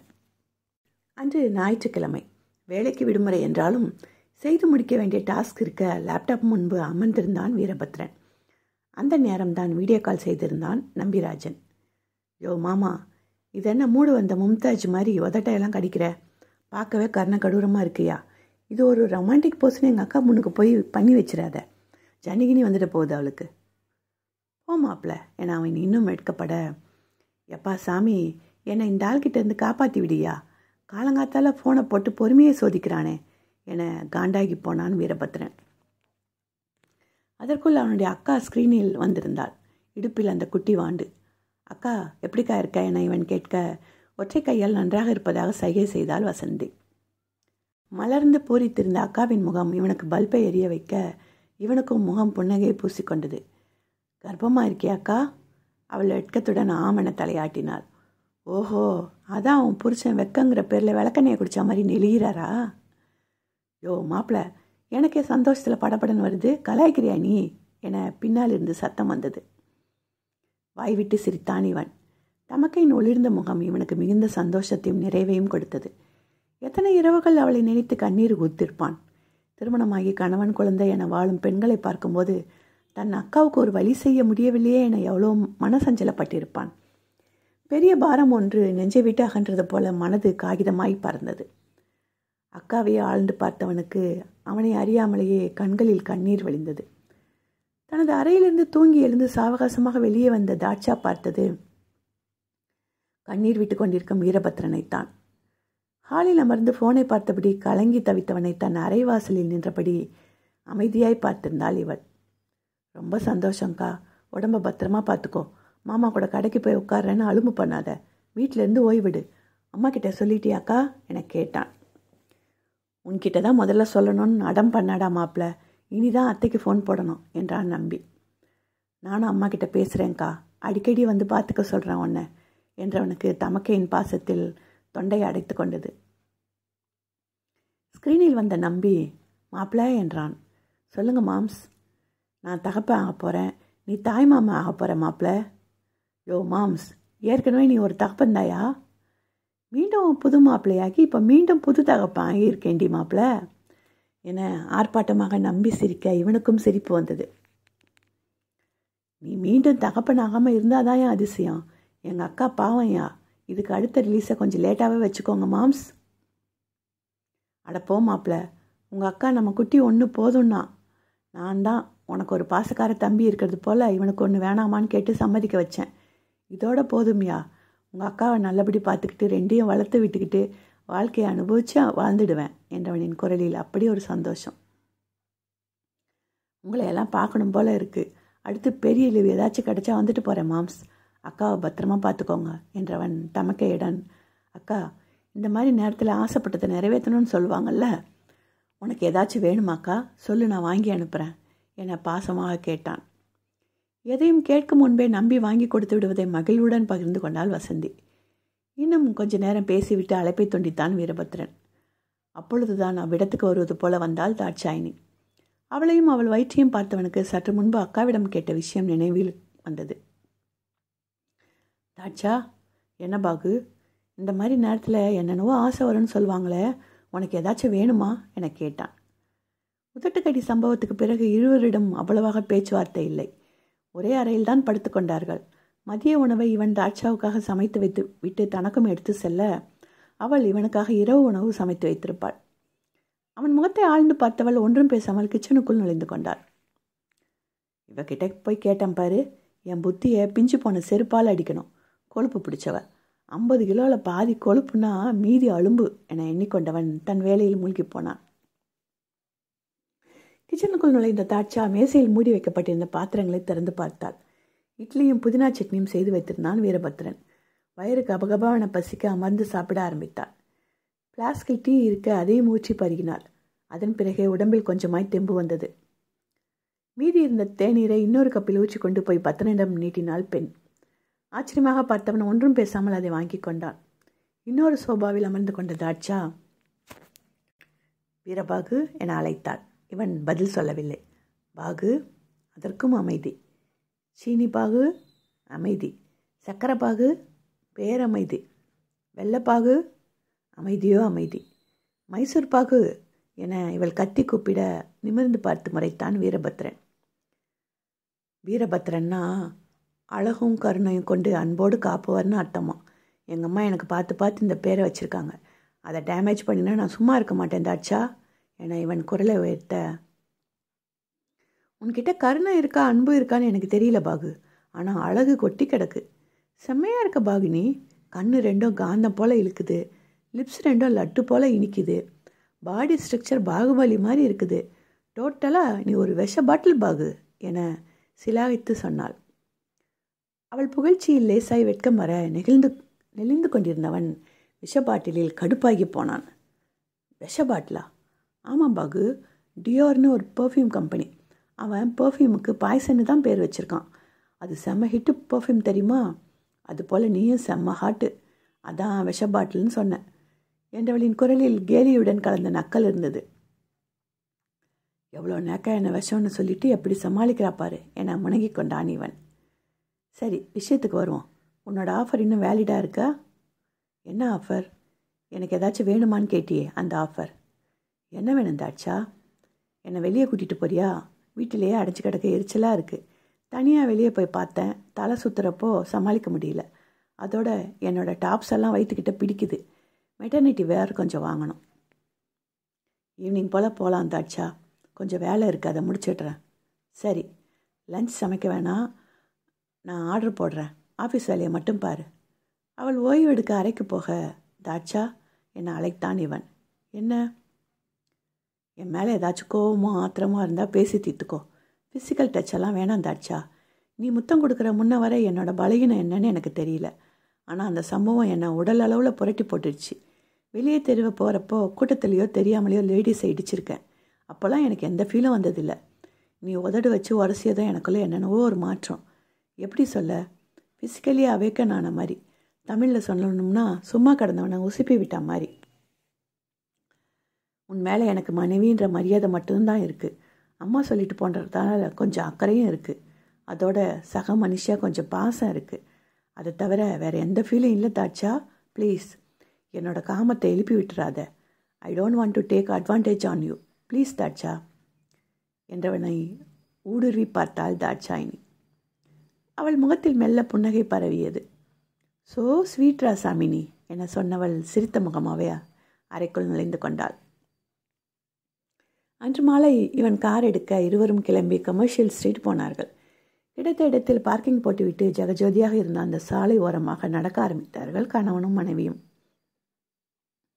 வாவ் செம்மையாக இருக்கு இந்த இடம் பாகு. ஷாப்பிங் பேரடைஸ் என குதூகலித்தாள் இவள். விதவிதமாக சோப்பு சிப்பு கண்ணாடி எல்லாம் கிடைக்கும் தாட்சா. லேடிஸ்க்கு தேவையான எல்லாமே இருக்கும். சில பொருட்கள் ரொம்ப மலிவாக கூட கிடைக்கும். ஆங்கிலேயர்கள் வடநாட்டுக்காரர்கள் லோக்கல் மக்கள் என அவ்விடமே லைவ்லியாக இருந்தது. உணவுகளின் வாசனை புது துணிகளின் மனம் கூவி கூடி அழைப்போரின் குரல் கண்ணை கவரும் வண்ணங்களில் துணிமணிகள் கைப்பைகள் தோடு வகைகள் என கண்ணையும் கருத்தையும் கவர்ந்தது அவ்விடம். ஷாப்பிங் ஆரம்பிக்கிற முன்ன ஒரு டீ குடிப்போமா என கேட்டான் இவன். ஓகே. சின்னதாக இருந்த ஒரு கடைக்கு அழைத்து சென்றான் வீரபத்ரன். இங்கே டீ செம்மையாக இருக்கும் என்றவன் இருவருக்கும் வாங்கி வந்தான். நின்று கொண்டே அருந்துவது போல மேசைகள் போடப்பட்டிருந்தன. ஸ்லிப்பரை ஓரம் கட்டிவிட்டு தரையில் வெறும் காலோடு நின்று தனது தேநீரை அருந்தினான் இவன். இவள் கேள்வியாக பார்க்க உணவை மதிக்கணும்னு எங்கள் அம்மா சொல்லி கொடுத்துருக்காங்க தாட்சா. ஸ்லிப்பர் போட்டுட்டு சாப்பிடவோ குடிக்கவே மாட்டேனா ஃபோன் பார்த்துட்டே சாப்பிட்றது டிவி பார்த்துட்டே சாப்பிட்றதெல்லாம் உணவை அவமதிக்கிற மாதிரி. ஒருவேளை சாப்பாட்டுக்கே கஷ்டப்படுறவங்களுக்கு தான் அதோட அருமை தெரியும் என்றவன் டீயை ரசித்து அருந்தினான். இவளுக்கும் அதன் சுவை பிடித்திருக்க டீ மாஸ்டருடன் நின்று ஒரு செல்ஃபி எடுத்துக்கொண்டாள் பிறகு இருவரும் அந்த கமர்ஷியல் ஸ்ட்ரீட்டையே ஒரு வளம் வந்தார்கள். அக்காவுக்கும் தங்கைக்கும் அழகாய் ஜிமிக்கி தேர்ந்தெடுத்தவன் தாட்சா என அழைத்தான். எஸ் பாகு வந்து உனக்கும் ஒன்று தேர்ந்தெடுக்கிறியா? நான் வாங்கித்தரேன் என்றான். இவள் வாய் திறந்து எதுவோ சொல்ல வர அவசரமாக இடைவெட்டியவன் ப்ளீஸ் தாட்சா நான்லாம் வைரத்திலே ஜிமிக்கி வாங்கி போடுவேன் அப்படிங்கிற மாதிரிலாம் பேசி என்னை புண்படுத்திடாத. நான் ரொம்ப நல்ல மூடில் இருக்கேன். அதை ஸ்பாயில் பண்ணிடாத. அவனை பார்த்து புன்னகைத்தவள் கார் வாங்கி கொடுத்தாரு வீடு வாங்கி கொடுத்தாரு. உன்னை வாங்கி கொடுத்தாருங்கிறதால நான் என்ன கேட்டாலும் வாங்கி கொடுப்பாரு எங்கள் அப்பா நினச்சியா பாகு? அப்படி எதுவும் செஞ்சால் எங்கள் அம்மா மிஸ்டர் ராமநாதன் தலையில் ஏறி ருத்ரதாண்டம் ஆடிடுவாங்க. அக்காளுங்களுக்கு செஞ்ச கல்யாண செலவை விட எனக்கு ரொம்ப ரொம்ப கம்மியாக தான் செஞ்சாங்க. நகைலாம் கூட புதுசாக எதுவும் வாங்கி கொடுக்கல பாகு. இந்த வீடு பாட்டி வாங்கி கொடுத்தது. என் மேலே அவங்களுக்கு கொஞ்சம் பாசம் ஜாஸ்தின்னு வையேன். மேபி என் கால் இப்படி இருக்கிறதுனால வந்த பரிதாபமாக கூட இருக்கலாம். கார் கூட எங்கள் சந்திரன் மாமா பாதி காசு ஸ்பான்சர் பண்ணார். மீதி தான் எங்கள் அப்பா போட்டார். வரதட்சணை செலவு கூட அவங்களுக்கு நீங்கள் வைக்கலையே. பார்க்க போனால் உன்னை ரொம்ப சல்லிஸாக வாங்கிட்டாங்கடா பாகு பிட்டியு என்றவள் கருப்பு வர்ணத்தில் வெள்ளைக்கற்கள் வைத்திருந்த ஒரு ஜிமிக்கியை தேர்ந்தெடுத்து இதை வாங்கிட்டா பாகு என அவனிடம் கொடுத்துவிட்டு வேறு கடைக்கு நடந்து விட்டாள். சில நேரம் தேவதையாக கண்ணுக்கு தெரிகிறா பல நேரம் ராட்சசியாக ரவுசு பண்ணுறா இவன் நல்லவளா கெட்டவளா? என எண்ணியபடியே பணம் கட்டிவிட்டு அவளை நாடி சென்றான். பிறகு அவள் கர்ப்ப காலத்திற்கு ஏற்றது போல உடைகள் வாங்க சிலதை இவனும் தேர்ந்தெடுத்து கொடுத்தான். பொருட்களை வாங்கி முடித்ததும் டின்னர் சாப்பிட்டுட்டு கிளம்பலாம் பாகு என்றாள் தாட்சா. நண்பர்களுடன் கமர்ஷியல் ஸ்ட்ரீட் வந்தால் அவர்கள் சாப்பிட போகும் இடத்துக்கு இவளை அழைத்து போனான் வீரபத்ரன். அக்கடையில் உணவு விலை நியாயமானதாகவும் உணவின் சுமை பிரமாதமாகவும் இருக்கும். உள்ளே அவர்கள் நுழையும் போது வெளியில் வந்து கொண்டிருந்தார்கள் அருணும் ரவிக்குமாரும். டே மச்சி வாட் அ சர்ப்ரைஸ் என்ற ரவிக்குமார் பத்ரனை கட்டிக்கொள்ள அருணோ ஏண்டா மச்சி வேலையில் நீ ரொம்ப ஃபாஸ்ட்னு தெரியும் இந்த வேலையில் கூட வா என்றவனின் பார்வை தாட்சாவின் மேடிட்டிருந்த வயிற்றின் மேல் இருந்தது. அன்றிரவு நான் உனக்கு ஒரு அவமான சின்னமாக தெரிஞ்சா பாப்பா பிறந்ததும் டைவர்ஸ் கொடுத்துட்டு போயிடு பாகு என்னால் யார் தயவும் இல்லாமல் வாழ முடியும். என கண்ணீர் குரலில் சொன்னாள் தாட்சாயினி. தயை கிட்டுமா? வானிஷாவின் தயை காட்டு நீ. தூங்கும் போது மட்டும் பச்சை பாப்பா மாதிரி இருக்கா. ஆனால் முழிச்சிருந்தா பச்சை பச்சையாக பேசுகிறா அத்தியாயம் பதிமூன்று.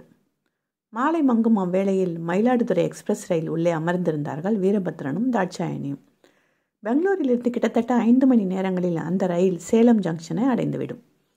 லக்கேஜில் இருந்த தலையணியை எடுத்த பத்ரன் இந்தா குட்டி தலகாணி இடுப்பு பின்னால் வச்சு நல்லா சாஞ்சு உட்காந்து தாட்சா என கொடுத்தான். அதை இடுப்புக்கு அணையாக வைத்து அமர்ந்து கொண்டாள் தாட்சாயினி கம்ஃபர்டபுளாக இருக்கா? ரெண்டு நாளில் திரும்பி வந்துடுவேன்னு சொன்னாலும் பிடிவாதம் பிடிச்சு கிளம்பி வந்திருக்க என நூறாவது முறையாக சலித்து கொண்டான் வீரபத்ரன். அவர்கள் ரயிலில் ஏறியதிலிருந்து இவரு இருவரின் சம்பாஷணங்களையும் செயல்களையும் பார்த்தும் பார்க்காதது போல கவனித்துக் கொண்டிருந்தார் எதிர் சீட்டு பெண்மணி. ஹலோ பாகு. அஞ்சு மணி நேரம் பயணம். என்னை ஒன்றும் செஞ்சிடாது. நீ பாட்டுக்கு என்னை தனியாக விட்டுட்டு போயிடுவ. அந்த நேரத்தில் எனக்கு ஏதாச்சும் ஆகிட்டா யார் பார்த்துப்பா? இந்த மாதிரி பொறுப்பு இல்லாமல் நடந்துக்குவா எங்கள் அப்பா உன்னை சல்லிஸா வாங்கினாரு. படத்தில் எத்தனை சீன் காட்டுறான்? கர்ப்பிணி பொண்ணு பாத்ரூமில் தடுக்கி விழுறது நாற்காலி மேலே ஏறி நின்று டாயிங்குன்னு கீழே விழுறது சமையல் கட்டு தரையில் உள்ள எண்ணெய் தடுக்கி விழுறதுன்னு. ஃபோன் போட்டால் ஓடி வர தொலைவில் நீ இருப்ப? சேலத்தில் உங்கள் அம்மா மடியில் படுத்துக்கிட்டு தாயே எனக்கெல்லாம் நீயே அப்படின்னு வசனம் பேசிட்டுல இருப்ப. என மெல்லிய குரலில் கடுக்கடுத்தவளை கடுப்பாய் பார்த்தான் இவன். வாயை திறந்தாலே எதுகை துள்ளி விளையாடுது. தாட்சாயினின்னு பேர் வச்சதுக்கு தமிழ் தாயினின்னு பேர் வச்சிருக்கலாம். ஷப்பா முடியலப்பா என முணங்கிக் கொண்டே அவள் அருகில் அமர்ந்தான் வீரபத்ரன். என்ன முணுமுணுப்பு? ஒன்றும் இல்லை ஒன்றுமே இல்லை என்றவனை அடக்கப்பட்ட புன்னகையுடன் பார்த்தாள் இவள். ரயில் கிளம்பி இருக்க அதற்கு மேல் எதையும் பேசிக்கொள்ளவில்லை இருவரும். இது தாட்சாவின் முதல் ரயில் பயணம். சென்னைக்கு சென்றிருந்த போது மெட்ரோவில் பயணித்திருக்கிறாள் இதுபோல எக்ஸ்பிரஸ் ரயிலில் தூர பயணம் போனதில்லை. வெளியூர்களுக்கு இவள் குடும்பத்தினர் காரிலோ அல்லது விமானத்திலோ தான் பயணிப்பார்கள். இருள் கவிழ்ந்து வந்தாலும் ஆர்வமாக வெளியே வேடிக்கை பார்த்தால் தாட்சா.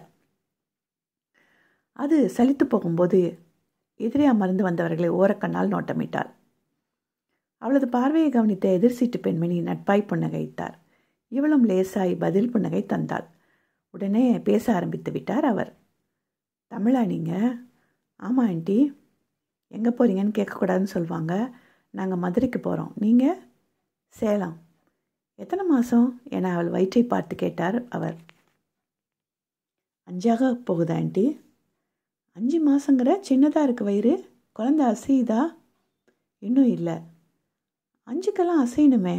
நீ இன்னும் இல்லைன்னு சொல்கிற செகப்புக்கெல்லாம் ஒழுங்காக போகிறீங்களா என அவர் கேட்க இங்கே இவளுக்கு உடலெல்லாம் மெல்லியே நடுக்கம். அஞ்சு மாதத்துக்கு மேலே தான் பட்டாம்பூச்சி படப்படக்கிற மாதிரி அசைவு தெரியுமா வயிற்றுக்குள்ளே ஆறு மாதமானதும் இன்னும் ஃபோர்ஸாக தெரியுமா குழந்தையோட மூமெண்ட் எங்கள் பேபி அவங்க அம்மா வயிற்றுக்குள்ளே குஜாலாக தான் இருக்கான். டாக்டர் செக்கப் எல்லாம் நாங்கள் கரெக்டாக தான் போகிறோம்மா என இடைவெட்டினான் வீரபத்ரன். இவள் ஆச்சரியமாக அவனை பார்க்க தாட்சாவின் கையை இருக பற்றி தட்டி கொடுத்தவன் யார் என்ன சொன்னாலும் பயந்துக்குவியா தாட்சா? போன முறை டாக்டர் எல்லாமே நார்மல்னு தானே சொன்னாங்க. ரிலாக்ஸ் என சின்ன குரலில் சொன்னான். சென்ற வார சனிக்கிழமை தான் ரெகுலர் செக்கப்புக்காக இவளது மகப்பேறு மருத்துவரை போய் பார்த்துவிட்டு வந்திருந்தார்கள். தாட்சா கொஞ்சம் பலவீனமாக இருக்கிறாள் என அவர் டானிக் எல்லாம் எழுதி கொடுத்திருந்தார். உள்ளே இருந்த குழந்தை இவளது சத்துக்களை எல்லாம் உறிஞ்சு கொண்டு ஆரோக்கியமாக இருக்கிறது என புன்னகையுடன் கூறியிருந்தார் அவர். தம்பி ரொம்ப நல்லா தான் கட்டின பொண்டாட்டியை கவனிச்சுக்கிறீங்க போல இருக்கு. ஆமாம்மா ஆமாம் என அவரிடம் சொன்னவன் இவளிடம் மெல்லிய குரலில் எம்மா தாட்சா இந்த லேடி கண்ணு பொல்லாத கண்ணாக இருக்க. வீட்டுக்கு போனதை எங்கள் அம்மா கிட்ட சொல்லி எனக்கு சுற்றி போட்டுக்கணும் என முனகினான் இந்த காலத்து புருஷங்கள்லாம் பொண்டாட்டி மேலே அக்கறையாக தான் இருக்கீங்க தம்பி. சில சமயம் தலைக்கு மேலே வேற ஏற்றி வச்சு கொண்டாடுறீங்க. எங்கள் காலத்தில் எல்லாம் ஊரில் எவ்வளோ சுமக்காத பிள்ளையா நீ சுமக்கிறேன்னு கேட்டு செத்த நேரம் கூட உட்கார விடாமல் அதை செய் இதை செய்யணும் உசுரை போட்டு எடுப்பாங்க எங்கள் புருஷங்காரங்க என் பிள்ளைன்னு பெருமையாக மார்த்தட்டிக்க மட்டும் தெரியும் அதுங்களுக்கு குழந்த உச்சா போன துணியை கூட கையால் தொட மாட்டாங்க. என அங்கலாய்த்தார். மா சும்மா இருமா தொண தொணன்னு. ஒரு கொரியன் சீரியல் பார்க்க முடியுமா? தான் உங்ககிட்ட பேச ஆள் கிடைச்சா ரம்பத்தை போட்டுற வேண்டியது. வரும்போதே களைப்பாக இருக்குன்னு தானே சொன்னேன். பேசாமல் படு. ஏன்னா அந்த பெண்மணியோடு வந்த இன்னொரு பெண் சத்தம் போட அவர் அதற்கு மேல் எதையும் பேச முயலவில்லை. கணவனின் முகம் பார்த்தது அச்சா ரொம்ப பாதிக்கப்பட்டிருக்காங்க போல இருக்கு. உங்கள் அம்மா உனக்கு சுற்றி போடுறது இருக்கட்டும். கடுப்பில் இந்த அம்மா உன் தலையில் சுத்தியலில் போடாமல் இருந்தால் சரி. ஆசை தான் உனக்கு. அதை விடு. அஞ்சு மாதத்துக்கு மேலே தான் வயிற்றில் பட்டர்ஃப்ளை பறக்கும்லாம் உனக்கு எப்படி தெரியும்? என மெல்லிய குரலில் கேட்டாள் இவள். கூகுள் பார்த்து தெரிஞ்சுக்கிட்டேன். ஏன்? என்ன ஏன்? கூகுளில் ஒன்றை போல் ஆளுங்க பார்க்க நிறைய விஷயம் இருக்குமே. சன்னி லியோன் ஜல்சா சமந்தா ஆடம் சல்சான்னு. அதையெல்லாம் விட்டுட்டு கர்ப்ப காலத்தை பற்றி ஏன் பார்த்த? தாட்சாவை முறைத்து பார்த்தான் வீரபத்ரன். நான் சன்னி லியோனை பார்த்தேன் நீ கண்டியா? தேவையில்லாமல் என்னோட கேரக்டரை அசசினேட் பண்ணாத. இதே பொண்ணுங்களுக்கு சீரியல் பார்க்குற தவிர வேறு வேலை கிடையாது. ஆம்ஸ் காட்டிட்டு ஒருத்தன் டிவியில் வந்துட்டான்னு பார்ப்பாங்க பசையுள்ள பாட்டியை பார்த்தா பச்சைக்குன்னு ஒட்டிக்குவாங்க. இப்படியெல்லாம் நான் சொன்னால் நீ ஏற்றுப்பியா எகிரி குதிப்ப தானே? அது என்ன? பசங்களை மட்டும் எப்போவுமே காஜியில் திரியிறாங்கன்ற மாதிரியே கடுப்பாக பேசுறது. எங்களுக்கும் அக்கா தங்கச்சி இருக்காங்க. நாங்களும் பொண்ணுங்களை தெய்வமாக மதிக்கிறோம். என எகிரி நான் இவன். நாங்களும் நாங்களும் சொல்லாத நீ. நான்னு மட்டும் சொல்லு. இவர் தான் ஆம்பளைங்களுக்கு எல்லாம் அம்பாசிடர். வந்துட்டார் கொடி பிடிக்க. சீ பொடி பேசி ஜெயிக்க முடியலன்னா உடனே சீ பொடின்னு பேக் அடிச்சிடு. கெட்ட பய பாகினி. சரி இப்போ சொல்லு ஏன் இதெல்லாம் கூகுள் பண்ண? சற்று நேரம் அமைதி அவனிடம். இவளும் விடாமல் அவனையே பார்த்திருந்தாள். அன்னைக்கு அருண் நம்மளை பார்த்து ஒரு மாதிரி பேசிட்டான்ல என ஆரம்பிக்க? இருவருக்கும் நினைவுகள் அன்றைய தினத்துக்கு பயணப்பட்டன. ஏண்டா மச்சி வேலையில் நீ ரொம்ப ஃபாஸ்ட்டுன்னு தெரியும். இந்த வேலையில் கூட வா. என அருண் கேட்க பத்ரனின் கரம் தன் மனைவியை காப்பது போல தாட்சாவின் தோல் அணைத்து கொண்டது. வாய மூடுடா அருண் என மெல்லிய கொள்ளைய நண்பனை திட்டிய ரவி சாரி சிஸ்டர் இவன் இப்படி தான் யோசிக்காமல் பேசிட்டுவான் இப்போ நாங்கள் அவசரமாக கிளம்பிட்டு இருக்கோம். இன்னொரு நாள் சாவகாசமாக பேசலாம். வரோண்டா வீரா என அருணை தள்ளி கொண்டு போனான். நில்லுங்க என நண்பர்களை நிறுத்தினான் வீரபத்ரன். இருவரும் நின்று திரும்பி பார்க்க meet my wife Dhatchayini Dhatcha இவங்க என்னோட கலீக்ஸ் நாங்கள் ஒன்றா தான் ரூம் எடுத்து தங்கியிருந்தோம் என்றவனின் ஒய்ஃப் என்னும் சொல் மட்டும் அழுத்தம் திருத்தமாக ஒழித்தது ஹாய் பிரதர்ஸ் வாங்க எங்கள் கூட ஒரு கப் காஃபி குடிச்சிட்டு போகலாம் ஐ இன்சிஸ்ட் என சிரித்த மகமாக அழைத்தாள் தாட்சா. அருண் முகத்தை திருப்ப ரவி சங்கடமாக நின்றான். வாங்கடா எப்போவுமே நான் ஒன்றுமே வாங்கி கொடுக்க மாட்டேன்ற கிண்டல் பண்ணுவீங்க? இப்போ கூப்பிட்டா பிகு பண்ணுறீங்க என இருவரையும் இழுத்து கொண்டு வந்தான் வீரபத்ரன். நால்வரும் ஒரு மேசையில் அமர இனிப்பு வகைகள் காஃபி என ஏற்கனவே சாப்பிட்டிருந்த அவர்கள் இருவருக்கும் ஆர்டர் செய்தால் தாட்சா. இவர்கள் இருவருக்கும் டிஃபன் சொன்னவள் சாதாரணமாக பேசி சிரித்தாள். அண்ணாஸ் இவர் ஆஃபீஸில் எப்படி? சுறுசுறுப்பாக வேலை பார்ப்பாரா? இல்லை வீட்டில் எனக்கு டிமிக்கி கொடுக்குற மாதிரி தான் அங்கேயும் கொடுப்பாரா? என கலகலத்தாள். ரவி நல்லபடி பேச அருண் பிடிக்காததை போல அமைதியாகவே இருந்தான். இவள் சாப்பிட்டு முடித்து வாஷ்ரூம் போயிட்டு வராங்க என வீரபத்திரனிடம் சொல்லிவிட்டு சென்றாள். அவள் தலை மறைந்ததும் அருண் இனி உனக்கும் எனக்கும் எந்த விதமான ஒட்டும் இல்லை உறவும் இல்லை. முடிச்சுக்கலாம் என சொன்ன வீரபத்ரனின் குரலில் அப்படி ஒரு அழுத்தம். பெங்களூர் போஷ் ஏரியாவில் வீடுன்னு சொன்னப்பவே யோசிச்சேன்டா. இப்படி தான் காசுக்கு விலை போயிருப்பேன்னு. சீச்சி நீ கஞ்சேன்னு மட்டும்தான் நினச்சேன். காசு கொடுத்தா கழுதையை கூட கட்டிப்பேன் இப்போதான்டா தெரிஞ்சுக்கிட்டேன். நிறுத்துடா. விட்டா பேசிட்டே போகிற வாயை கிழிச்சிடுவேன் பார்த்துக்கோ இத்தனை நாள் பழகியிருக்குமே. காசுன்னு உன்கிட்ட வந்து நின்றுருக்கேனா? இல்லை என் செலவு ஏதாச்சும் உன் தலையில் கட்டியிருக்கேனா? நானும் உன் நண்பனாக இருந்தேன். அதுக்காக என்னை என்ன வேணால் பேச கேட்டுக்கிறேன். அவள் நான் தாலி கட்டின பொண்டாட்டி. அவளை பற்றி பேச உனக்கு எந்த உரிமையும் இல்லை. ஆத்மார்த்தமான நண்பனாக இருந்தா என் மனைவியை உன் தங்கையாக நினச்சி மரியாதை கொடுத்து பேசியிருப்பேன் ஆனால் நீ ஒரு அறவேக்காடு நண்பன்டா. உன்னோட நட்பு நீ எனக்கு வேணவே வேணாம். உனக்கும் ஒரு கும்பிடு உன் நட்புக்கும் ஒரு கும்பிடு என பெரிதாய் ஒரு கும்பிடு போட்டான் வீரபத்ரன். புளியங்க அம்மா பிடிச்சிட்டல்ல? நாங்கள்லாம் புல்லாக தான் தெரியும் உனக்கு. உன்ன மாதிரி ஒரு பேராசை பிடிச்ச பணத்தாசை பிடிச்ச ஒருத்தனை எனக்கு நண்பனாக இருக்க தேவையில்லடா. குட் பாய் என எழுந்து கொண்டான் அருண். கிளம்பு கிளம்பு. என அலட்சியமாக சொன்னான் வீரபத்ரன். சாரிடா மச்சி என்றான் ரவி. பரவாயில்ல விடுன்னு சொல்ல மாட்டேன் ரவி. வலிக்குது எனக்கு. என்னோட வாழ்க்கை முடிவுகளை விமர்சனம் பண்ண இவன் யாரு? ஒன்றா சாப்பிட்டு ஒன்றா பேசி சிரிச்சிருக்கோன்னா விடுறேன். இல்லைனா என் ஒய்ஃபை பற்றி பேசுனதுக்கு முகரையை பேத்திருப்பேன்.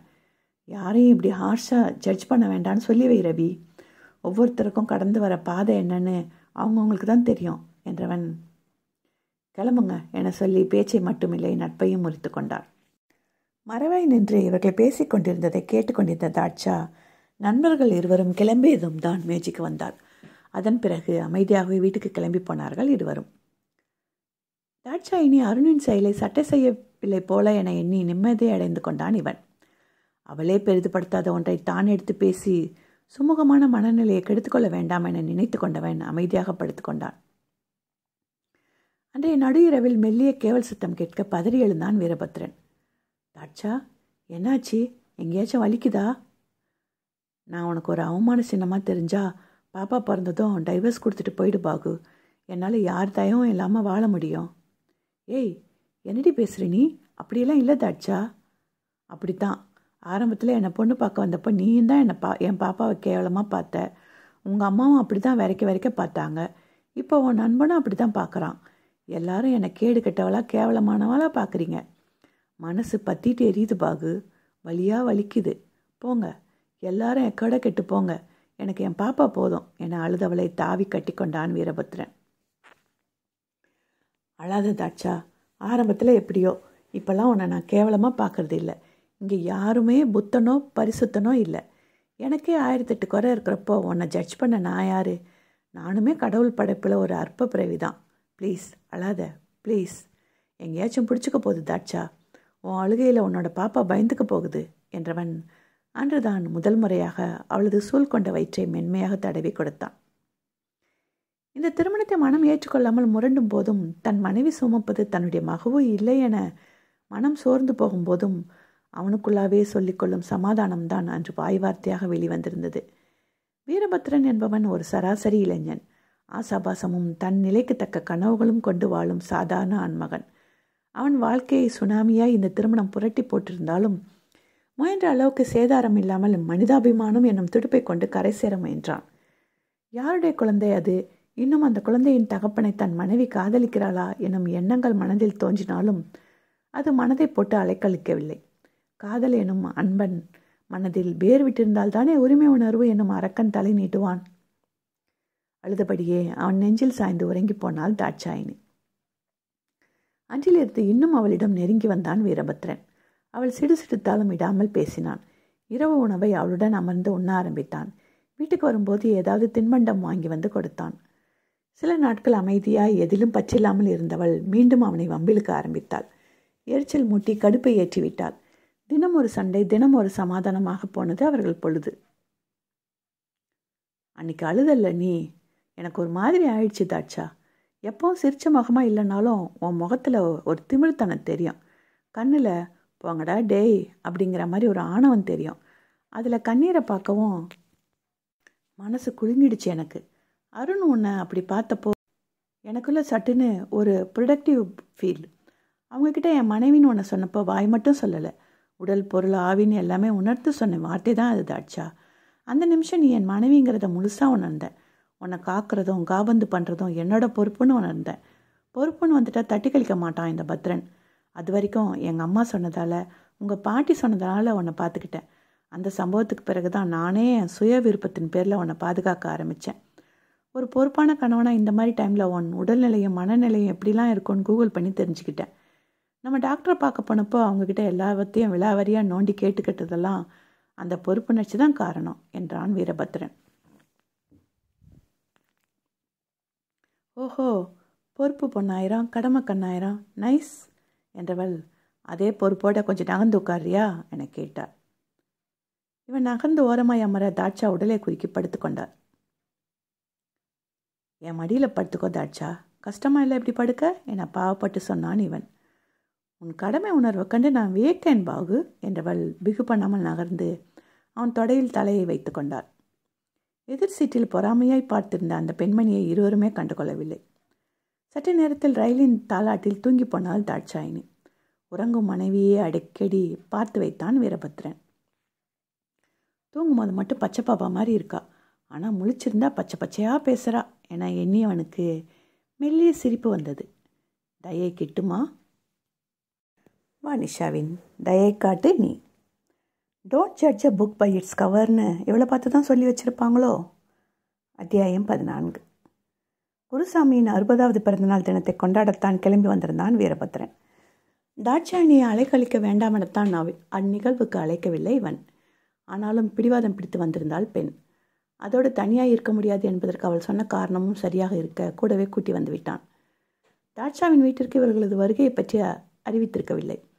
தானே நேரில் போய் சர்ப்ரைஸ் கொடுத்துக் கொள்வதாக இவள் சொல்லிவிட சரியென விட்டுவிட்டான் வீரபத்ரன். வாடகை வண்டி எடுத்துக்கொண்டு ரயில் நிலையத்துக்கு வந்திருந்தான் நம்பிராஜன். அவனோடு கொசுராக ஒட்டிக்கொண்டு வினோதனும். யோ மாப்பிள வாயா வாயா என சந்தோஷமாக வரவேற்றான் நம்பி. மாமா தங்கச்சி என தாட்சாவை வரவேற்கவும் தவறவில்லை அவன். ஓடி வந்து அண்ணியின் கரம் பற்றி கொண்டான் வினோதன். வாங்க அண்ணி வெல்கம். மாம்ஸ் ஒருத்தனுக்கு அண்ணியை பார்த்ததும் இந்த அண்ணா செல்லா காசு ஆகிட்டம் பார்த்தீங்களா? என வீரபத்ரன் குரல் கொடுக்க புன்னகையுடன் அண்ணனை கட்டி கொண்டான் சின்னவன். பேசி சிரித்தபடியே காரை நோக்கி நடந்தார்கள் நால்வரும். மாம்ஸ் தாட்சா வீட்டுக்கு வண்டியை விடுங்க. அவளை இறக்கி விட்டுட்டு நம்ம கிளம்பலாம் என்றான் வீரபத்ரன். அண்ணா நான் அங்கே போகலை. இவர் வீட்டுக்கு அழைச்சிட்டு போக முடியாதுன்னா ஹோட்டல் ஏதாச்சும் புக் பண்ணி கொடுக்க சொல்லுங்கள் என குரல் கொடுத்தாள் இவள். முன்னால் நடந்து கொண்டிருந்த நம்பியும் வினோதனும் ஒருத்தரை ஒருத்தர் பார்த்து கொண்டனர். மாம்ஸ் நீங்கள் ரெண்டு பேரும் கார்லேயே இருங்க. நாங்கள் வரோம் என அவர்களை அனுப்பி வைத்த பத்ரன் இவளை ஆயாசத்துடன் திரும்பி பார்த்தான். தாட்சா என்ன? சர்ப்ரைஸ் உன் ஆட் வீட்டாளுங்களுக்கு கொடுக்குறியா இல்லை எனக்கு கொடுக்குறியா நீ? என கேட்டான் இவன். இன்றைக்கி உனக்கு பெங்களூர் கிளம்புற முன்னே என் வீட்டுக்கு. தாட்சா நாளைக்கு தான் செலிப்ரேஷன் வீட்டுக்கு போய் நல்லா ரெஸ்ட் எடுத்துகிட்டு நாளைக்கு வா. எங்கள் வீட்டில் உனக்கு படுக்க பாத்ரூம் போகலாம் வசதி பத்தாது. என்னை பொறுமையாக சொன்னான்னு பத்ரன். துபார பாகு பாய் கூட என் அருகே நீ இருந்தால் பஞ்சு மெத்தையாகும்லாம் கதை விட மாட்டேனா. உன் வீட்டில் எனக்கு கஷ்டமாக தான் இருக்கும். ஒன் நைட் தானே அட்ஜஸ்ட் பண்ணிப்பேன். நாளைக்கு நைட் பாட்டி வீட்டுக்கு போய் தங்கிக்கிறேன். ஏன்னா இவள் பிடிவாதம் பிடிக்க. சொல்கிறத சொல்லிட்டேன். அங்கே வந்து இடுப்பு வலிக்குதுன்னு இம்சை பண்ண நடுராத்திரின்னு கூட பார்க்காம உங்கள் அப்பாவுக்கு ஃபோன் போட்டு கூட்டிகிட்டு போக சொல்லிடுவேன். என மிரட்டி தான் அழைத்து போனான். மகனையும் மருமகளையும் மகிழ்ச்சியாக வரவேற்றார் அலமேலு. வாசாமி அம்மா தாட்சா என அவர் அன்பாய் அழ அழைக்க குருசாமி தலையசைத்து வரவேற்றார். பிரியா அண்ணாவின் கைப்பிடித்து குதூகலித்தவள் தாட்சாவை என்ன ஏதுன்னு கூட கண்டு கொள்ளவில்லை சுட சுட டிஃபன் செய்கிறேன் ரெண்டு பேரும் கை கால் அலம்பிட்டு வாங்க. மாப்பிள்ளை நீங்களும் சாப்பிட்டு போங்க. உங்கள் மக காத்துட்டு இருப்பாத்த நான் கிளம்புறேன். காலையில் வந்துடுறோம் ரெண்டு பேரும். என சொல்லி கிளம்பி விட்டான் நம்பி. மனைவியின் லக்கேஜ் பேக்கை பெண்கள் அறையில் வைத்த வீரபத்ரன் துண்டு மாற்றிக்க துணியெல்லாம் எடுத்துக்கோ தாட்சா. பாத்ரூம் பின்னாடி இருக்குது பிரியாவை சுடுதண்ணி ஊற்றி வைக்க சொல்கிறேன் குளிச்சுட்டு வா. ஃப்ரெஷ்ஷாக இருக்கும் என்றான். தலையாட்டி கொண்டவள் அந்த அறையை சுற்றி பார்த்தாள். சின்னதாக ஒரு அலமாரி கீழே அமர்ந்து படிப்பது போல குட்டி மேசை ஒன்று சுருட்டி வைத்திருந்த மெலிதான மெத்தை சுவரில் மாட்டியிருந்த பாதி உடல் தெரியும் அளவுக்கு உள்ள கண்ணாடி. பெண்களின் அலங்கார பொருட்கள் என சுத்தமாகவும் நேர்த்தியாகவும் இருந்தது. பாகு ம் எங்கள் அப்பா கட்டி கொடுத்த வீடு தானே இது? ஆமாம் செம்ம மனுஷன் அந்தாள் மண்டை ஃபுல்லாக மூளை. தீப்பெட்டி கணக்காக ஒரு வீடு. அதுக்கு சொற்ப வாடகைன்னு சொல்லி காசு வேற வசூலிக்கிறாரு. தலைக்கு மேலே கூரை கொடுத்ததுனால அவர் தர அடிமட்ட சம்பளத்துக்கு விசுவாசமாக வேலை பார்க்குற ஜனங்க. என்னம்மா கார்னர் பண்ணி வச்சுருக்காரு பாரு மக்களை. குதிரைக்கு கேரட் போடுற மாதிரி அப்பப்போ போனஸ்னு சொல்லி அடிக்கிற லாபத்தில் கொஞ்சமாக பிச்சை போடுற மாதிரி போட்டு பொங்கலுக்கு அரிசி கரும்பு துணி கம்பெனியில் ரிஜெக்ட் ஆன வேட்டி சேலைன்னு கொடுத்து உங்களை எல்லாம் கவர் பண்ணி வச்சுருக்காரு. உழைச்ச உழைப்புக்கான கூலி கொடுக்காம ஏமாத்துறது பாவம் தானே பாகு அவர் தொழிலாளிங்களுக்கு காட்டாத இறக்கத்தால் தான் அந்த ஆண்டவன் என் மேலே மற்றவங்க இறக்கப்படுற மாதிரி கட்டக்காலை கொடுத்துட்டானோ? என்றவளின் குரலில் அப்படிப்பட்ட வழி. தாட்சா என்னை நெருங்கியவனை அருகே வராதே என்பது போல் ஒற்றைக்கை நீட்டி நிறுத்தினாள் இவள். என்னமோ கொஞ்சம் எமோஷனல் ஆகிட்டேன் பாகு. ப்ரெக்னன்சி ஹார்மோன்ஸ் வேலை பண்ணுது. ஐ எம் ஓகே என்றவள் அறையை விட்டு வெளியே வந்தாள். பாத்ரூம் அங்கே இருக்குது சுடுதண்ணி விளாவி இருக்குது என சுவரை பார்த்து இவளிடம் சொன்னாள் Priya. Hello junior Priya Priya. ஓ பிரியா. ஓ ஃப்ரீயா ஃப்ரீயா? நீ ஃப்ரீயா? என தாட்சா பாட வினோதன் கெக்கப்ப கெக்கப்பவென சிரித்தான் அண்ணா என கத்தினாள் பிரியா. அந்த வீட்டில்தான் எங்கு நின்று பேசினாலும் கேட்குமே. மனைவிக்கும் தங்கைக்கும் நடக்கும் பனிப்போரை எப்படி சுமூகமாக்குவது என யோசித்து கொண்டே அவர்கள் அருகே வந்தான் இவன். இன்னும் இந்த அண்ணா பைத்தியம் விடலையா அவனுக்கு காலேஜில் தான் கேட்குற ஆளுங்க கிட்டலாம் எங்கள் அண்ணா ஒரு வீரன் எங்கள் அண்ணா ஒரு சூரன் எங்கள் அண்ணா கடிச்சா தயிர் வடை தங்கமாக மாறும் எங்கள் அண்ணா வடித்தா வெள்ளை சோறு வெண்பொங்கலாக மாறும்னு கப்ஸா விட்டுட்டு தெரிவ. இன்னும் கூட அப்படி தான் இருக்கியா? கொஞ்சமாச்சும் மெச்சூர்டு ஆகு குட்டி ஏய் வீணா வாயை கொடுக்காதே என்கிட்ட. அண்ணி பண்ணிலாம் பார்க்க மாட்டேன். வெளுத்து விட்டுருவேன். பிரியா என அலமேலுவும் குருசாமியும் சேர்ந்து சத்தம் போட. கண்களில் பல பலவன கண்ணீர் வழிந்து விட்டது அவளுக்கு. அண்ணின்னு கூட பார்க்காம என்ன பேச்சு பேசுகிற நீ? பொண்ணுன்னு கொஞ்சமாச்சும் மட்டும் மரியாதை வேணும். சாரி சொல்லு அன்னிக்கிட்ட என கடிந்து கொண்டார் அலமேலு. அவள் பரிதாபமாக பத்ரனை பார்க்க சொல்ல சொல்லி கஞ்சாடை காட்டினான் அவன். சாரி என தொண்டை அடைக்க சொன்னவள் பின்பக்கம் போய் அமர்ந்து கொண்டாள். தாட்சா குளிக்க போனதும் தங்கையிடம் வந்தவன் இப்போ தாட்சா உன்னோட சீனியர் இல்லை பிரியாம்மா. உனக்கு அண்ணி. அண்ணாவுக்கு கொடுக்குற மரியாதையை அன்னிக்கும் கொடுக்கணும். அதுக்குன்னு அண்ணி ஒம்பு பண்ண அடங்கி போக சொல்லலை. நீயும் சிரிச்சாப்பில் பதில் கொடு. எதுக்கு ஹார்ஷ் வேர்டு யூஸ் பண்ணி குரலை உயர்த்தணும்? அது நம்மளோட பலவீனத்தை காட்டுது. அடுத்த முறை அண்ணி உன்னை பார்த்து பாட்டு பாடினா நீ ஏதாச்சும் எசப்பாட்டு பாடு. அதுக்கு மேலே அவள் போனால் கண்டுக்காமல் இருந்துடு. இக்னோர் பண்ணாலே பல சமயம் இவங்களுக்கு எல்லாம் வம்பு பண்ண சலிச்சிடும். புரியுதா? அழக்கூடாது செல்லம் என கண்ணை துடைத்து விட்டான். சரிண்ணா என்றவள் அவன் மடியில் சாய்ந்து கொண்டாள். அன்றிரவு மற்றவர்களுக்கு தோசையும் தாட்சாவுக்கு இலகுவாய் செரிமானமாகுவதற்காக இட்லியும் செய்து கொடுத்தார் அலமேலு. உணவு வேலை அமைதியாக போனது. மகனிடம் சாமி ரூமில் படுத்துக்கோங்க நீங்கள் ரெண்டு பேரும். ஃபேன் அங்கே தான் இருக்குது நாங்கள் நாலு பேரும் ஹாலில் படுத்துக்கிறோம் என்றார் அலமேலு. இல்லைம்மா நீங்கள் தாட்சா கூட ஏன்னா இவன் ஆரம்பிக்க புது இடம் புது மனுஷங்க. அவளுக்கு கஷ்டமாக இருக்கும்டா சாமி. கூட இருந்து பார்த்துக்கோ என முடித்து வைத்து விட்டார் அவர். காலையில் சீக்கிரமே எழுந்து கோயிலுக்கு போக வேண்டும் என்பதால் எல்லோரும் சாப்பிட்ட சற்று நேரத்திலேயே படுத்து விட்டார்கள். அவர்கள் வீட்டில் ஒரே கட்டிலில் படுத்தவர்கள் தான் இருவரும். இங்கே ஒரு குட்டி மெத்தையில் எப்படி இருவரும் இடித்துக்கொண்டு படுப்பதை என யோசித்தவன் அவளுக்கு மெத்தையை விட்டு கொடுத்து விட்டு தரையில் பாயை விரித்து படுத்துக்கொண்டான் கிசுகிசுப்பான குரலில் தாட்சா என அழைத்தான் இவன். என்ன பாகு? என அவளும் கிசு கிசுப்பான குரலில் கேட்டாள். பிரியா ரொம்ப சென்சிட்டிவ். அவகிட்ட வம்பு பண்ணாதே. ஏன் அவள் அழுத எனக்கு கஷ்டமாக இருக்கும். அவள் முன்னுக்கு உன்னையும் விட்டு கொடுக்க முடியல. ப்ளீஸ் என் சுச்சுவேஷனை புரிஞ்சுக்கோ தாட்சா. பாகு இவ்வளோ சென்சிட்டிவாக இருந்தால் நாளை பின்ன வெளி உலகத்தை எப்படி ஃபேஸ் பண்ணுவா அவள் நம்ம பலவீனம் தெரிஞ்சால் பிச்சு கடிச்சு தின்ன ஒரு கூட்டமே வெளியே காத்துட்டு இருக்கு. நான் அவளுக்கு அதை எதிர்கொள்ள ட்ரைனிங் கொடுக்குறேன்னு வச்சுக்கோயேன். இதுக்கு ஃபீஸ் எல்லாம் ஒன்று நீ கொடுக்க வேணாம் பாகு. பிரிக்கு free of charge don't judge a book by its கவர்னு இவ்வளோ பார்த்து தான் சொல்லி வச்சுருப்பாங்களோ? ஒன்றும் தெரியாத பிள்ளை மாதிரி முகத்தை வச்சுக்கிட்டு எவ்வளோ ஆழமான கருத்தை எல்லாம் சொல்லறா? என நினைத்து கொண்ட வீரபத்ரன் நான் சொல்லி நீ கேட்டுட்டாலும் என்னை சலித்தபடியே அமைதியாக படுத்து கொண்டான். பாகு இடுப்பு வலிக்குது. சட்டனை எழுந்து அமர்ந்தவன் இதுக்கு தான் சொன்னேன் என ஆரம்பித்து பெருமூச்சுடன் பேச்சை நிறுத்தினான். இங்கே தங்க வேணா வந்துவிட்டால் இதற்கு மேலும் சொ சொல்லி காட்டிக்கொண்டே இருக்க வேண்டாம் என அமைதியாகிவிட்டான் பத்ரன். அப்பாவுக்கு கால் பண்ணவா? நோ. சரி அந்த பக்கம் திரும்பிப்படு நான் லேசாக அமுத்தி கொடுக்குறேன். இல்லை பரவாயில்ல பாகு தூங்கினா ஒன்றும் தெரியாது என்றவள் உறங்க முயன்று உறங்கியும் போனாள். விடிய காலை இரண்டு மணி போல பாத்ரூம் போக எழுந்தவளுடன் இவனும் கூட போனான். அதன் பிறகு படுத்தவள் முண்டியபடியே இருந்தாள். என்னதாச்சா இந்த தலகாணி ரொம்ப சாஃப்டாக இருக்குது கஷ்டமாக இருக்குது தூங்க. சொன்னால் சத்தம் போடுவேன்னு முயற்சி பண்ணி தூங்க பார்க்குற முடியல. இரு என நெருங்கி வந்தவன் தன் கையை நீட்டி இங்கே படுத்துக்கோ என புஜத்தை காட்டினான். கடமை.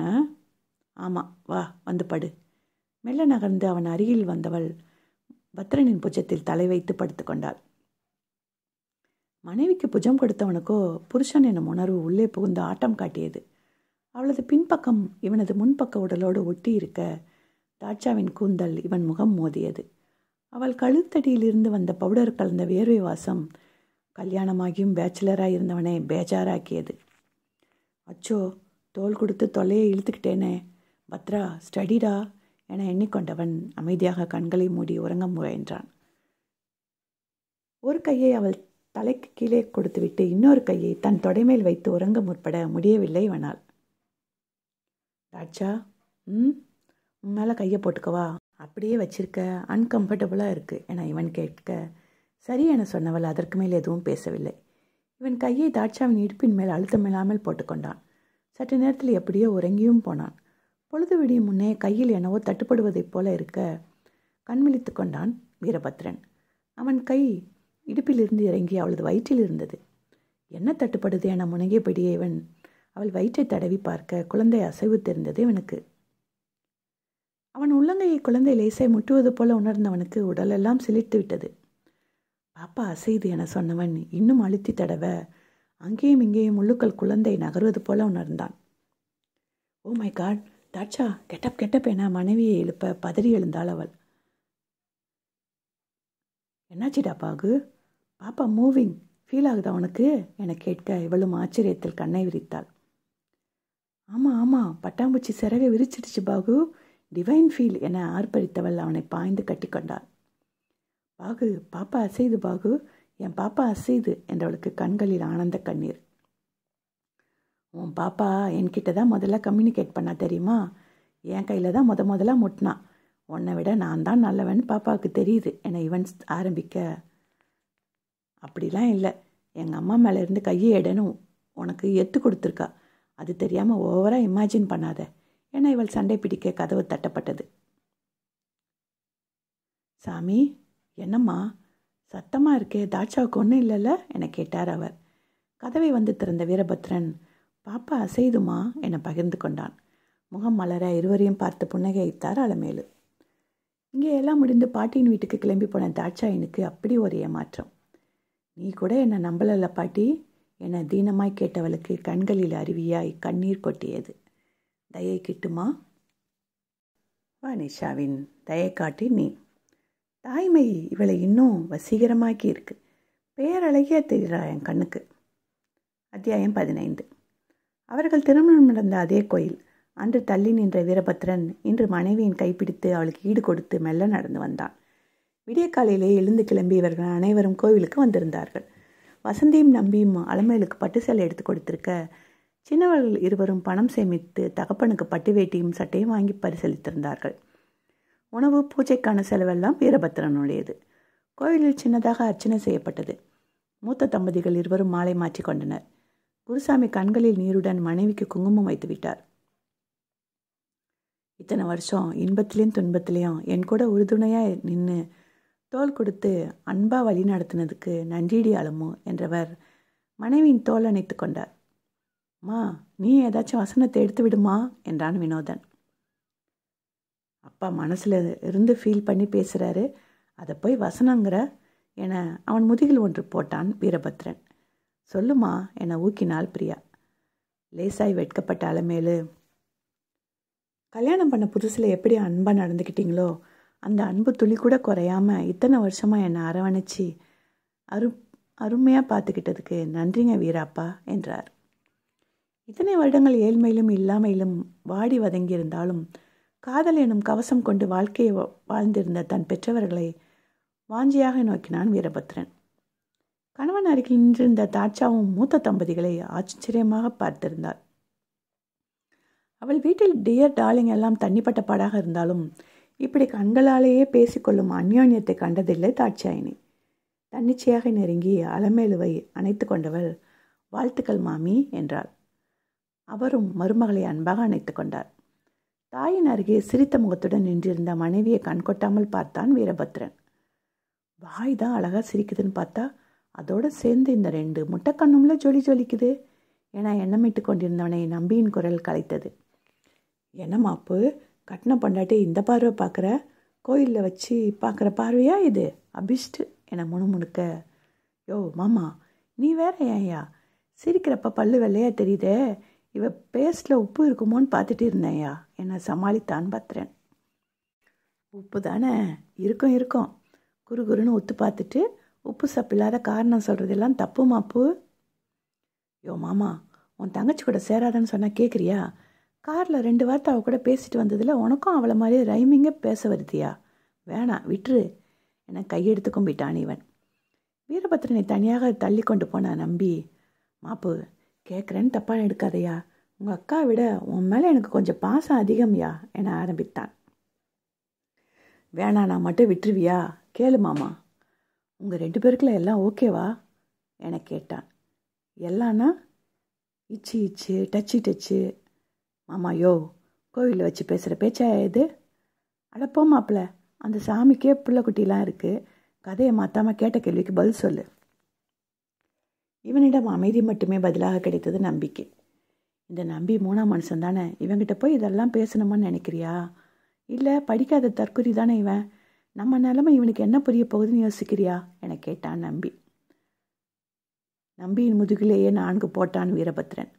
வாயா போயான்னு கூப்பிடுறப்பவே உன் மேலே எவ்வளோ அட்டாச்சாக இருக்கேன்னு புரியலையா? என ஆதங்கமாக சொன்னவன். மனசு ஒன்றாகாமல் உடம்பு மட்டும் ஒன்றாகிறதுல எனக்கு விருப்பம் இல்லை மாம்ஸ் என முடித்தான். தன் மச்சானை ஆழ்ந்து பார்த்தான் நம்பிராஜன். தங்கச்சியை பார்க்க வெறுப்பாக இருக்கா? இன்னொருத்தவனை தொட்டான்னு அருவெறுப்பாக இருக்கா? என கேட்டான் மாமன்காரன்.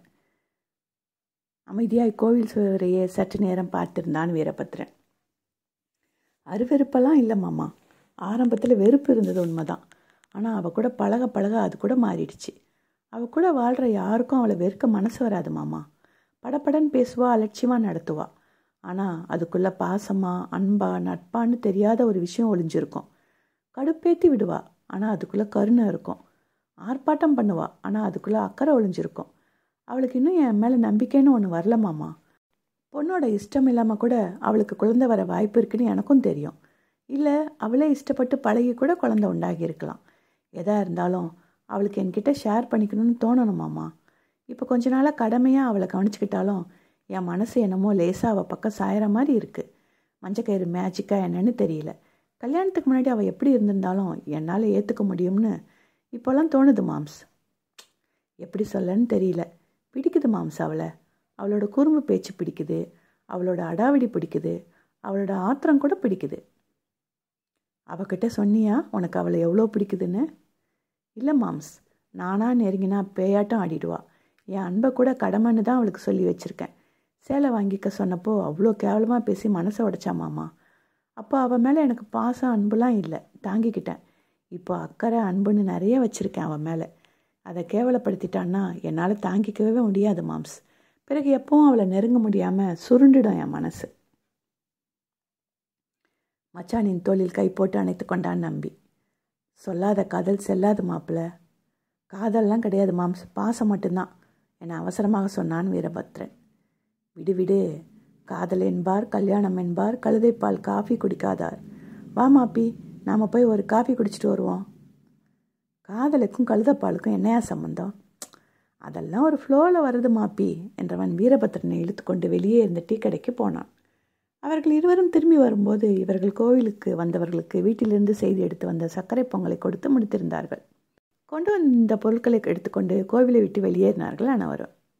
மெல்ல விந்தியபடியே வீரபத்ரன் அருகே நடந்து வந்த தாட்சாணியை ஓடி விளையாடி கொண்டிருந்த நம்பியின் மகன் இடித்துவிட அவள் தடுமாறி பின்னால் சரிய பார்த்தாள். சட்டென அவளை இறுக்கி பிடித்து அணைத்து கொண்டான் வீரபத்ரன். படபடத்து விட்டது இருவருக்கும்.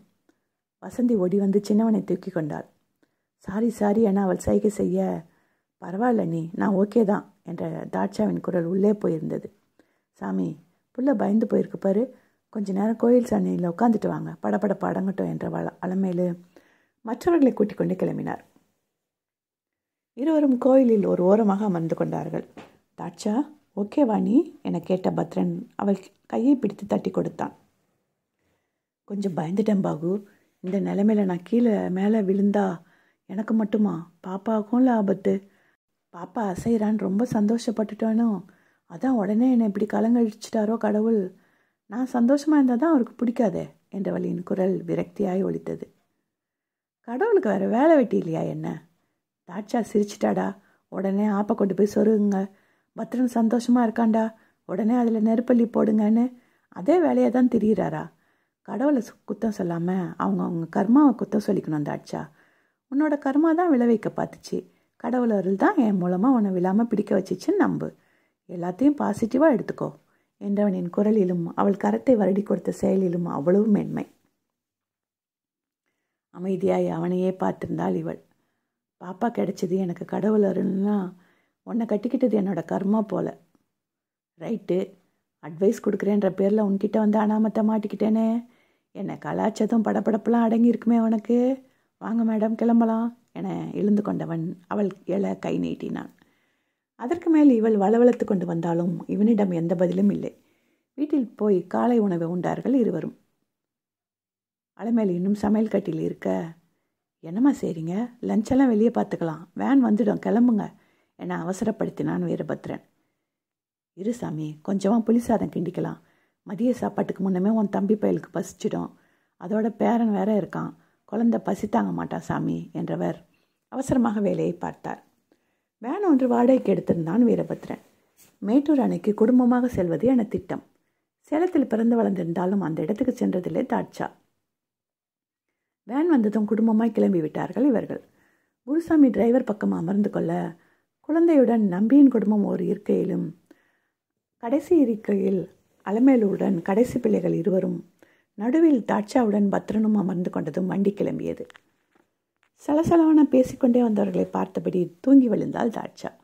அவளது தலையை தன் தோளில் சாய்த்து கொண்ட பத்ரன் தூங்கு தாட்சா என்றான். களைப்பில் உறங்கி போனாள் தாட்சாயினி. முதலில் அலமேலுவின் விருப்பப்படி ஸ்ரீ முனியப்பன் கோயிலுக்கு போய் சாமி கும்பிட்டார்கள். அதன் பிறகு மேட்டூர் டேமை தூரத்திலிருந்து பார்த்தார்கள். பின்னணியில் மலைகள் தெரிய அவ்வளோ பெரிதாக கட்டப்பட்டிருந்த அணைக்கட்டையை ஆச்சரியமாக பார்த்தால் தாட்சா. செம்மையாக இருக்குல்ல? அந்த சமயம் நீர்வரத்து குறைவாக இருந்தாலும் இவ்வளவு உற்சாகம் குறையவில்லை. அங்கே பார்த்துவிட்டு பூங்காவுக்கு போகலாம் என முடிவெடுத்தார்கள். நான் குளிக்கணும் தண்ணியில் என ஒற்றைக்காலில் நின்றான் வினோதன். டைம் பத்தாதுடா வினோ என பத்ரன் தடுக்க. அண்ணி அண்ணி சொல்லுங்க நீ குளிக்கலான்னு என தாட்சாவிடம் வந்து நின்றான் வினோதன். குளிக்கட்டுமே இவன். இப்படிலாம் குளிச்சாதான் உண்டு நம்ம வினோ என அவள் கலாய்க்க பிரியாவுக்கு அப்படி ஒரு சிரிப்பு. நேற்று என்னை கலாச்சப்ப சிரிச்சல்ல? இப்போ நான் சிரிப்பேன்டா. என வேண்டுமென்றே கத்தி சிரித்தாள் பிரியா. இதுங்க ரெண்டும் இன்னும் சின்ன பிள்ளைங்க மாதிரி அடிச்சுக்குதுங்க என சலித்து கொண்டார் அலமேலு. நம்பியும் சரி என்று சொல்ல குளிக்கும் இடம் தேடி போனார்கள். திடீரென இந்த முடிவை எடுத்திருக்க யாரும் மாற்று ஆடை எடுத்து வந்திருக்கவில்லை. ஆண்கள் மேல் சட்டையை மட்டும் கழட்டி தண்ணீரில் இறங்க பெண்கள் காலை மட்டும் நினைத்து கொண்டார்கள். குளிக்கப் போகாமல் தாட்சாவின் பக்கத்தில் அமர்ந்து விட்டான் பத்ரன். பாகு குளிக்கலையா? என மெல்லிய குரலில் கேட்டாள் இவள். ஆசையாக தான் இருக்குது சட்டையை கழட்டினா என் சிக்ஸ் பேக்கை பார்த்து நீ கண்ணு போட்டுடுவ. அதான் வேணாம் ரிஸ்க்குன்னு தண்ணிக்கு போகலை என்றான் இவன். தோடா குட்டி தொந்தி இருக்கவும் தானே தூங்கும் போது கூட டிஷர்ட்டோடு அலையிற நீ? ஆமாம் அப்படி தான் என்றான் இவன். மாப்பி வாயா என அழைத்தான் நம்பி. அவன் மகனோ ஒரே ஆட்டம் தண்ணீரில். இல்லை மாம்ஸ் நீங்கள் குளிங்க என்று விட்டான் இவன்.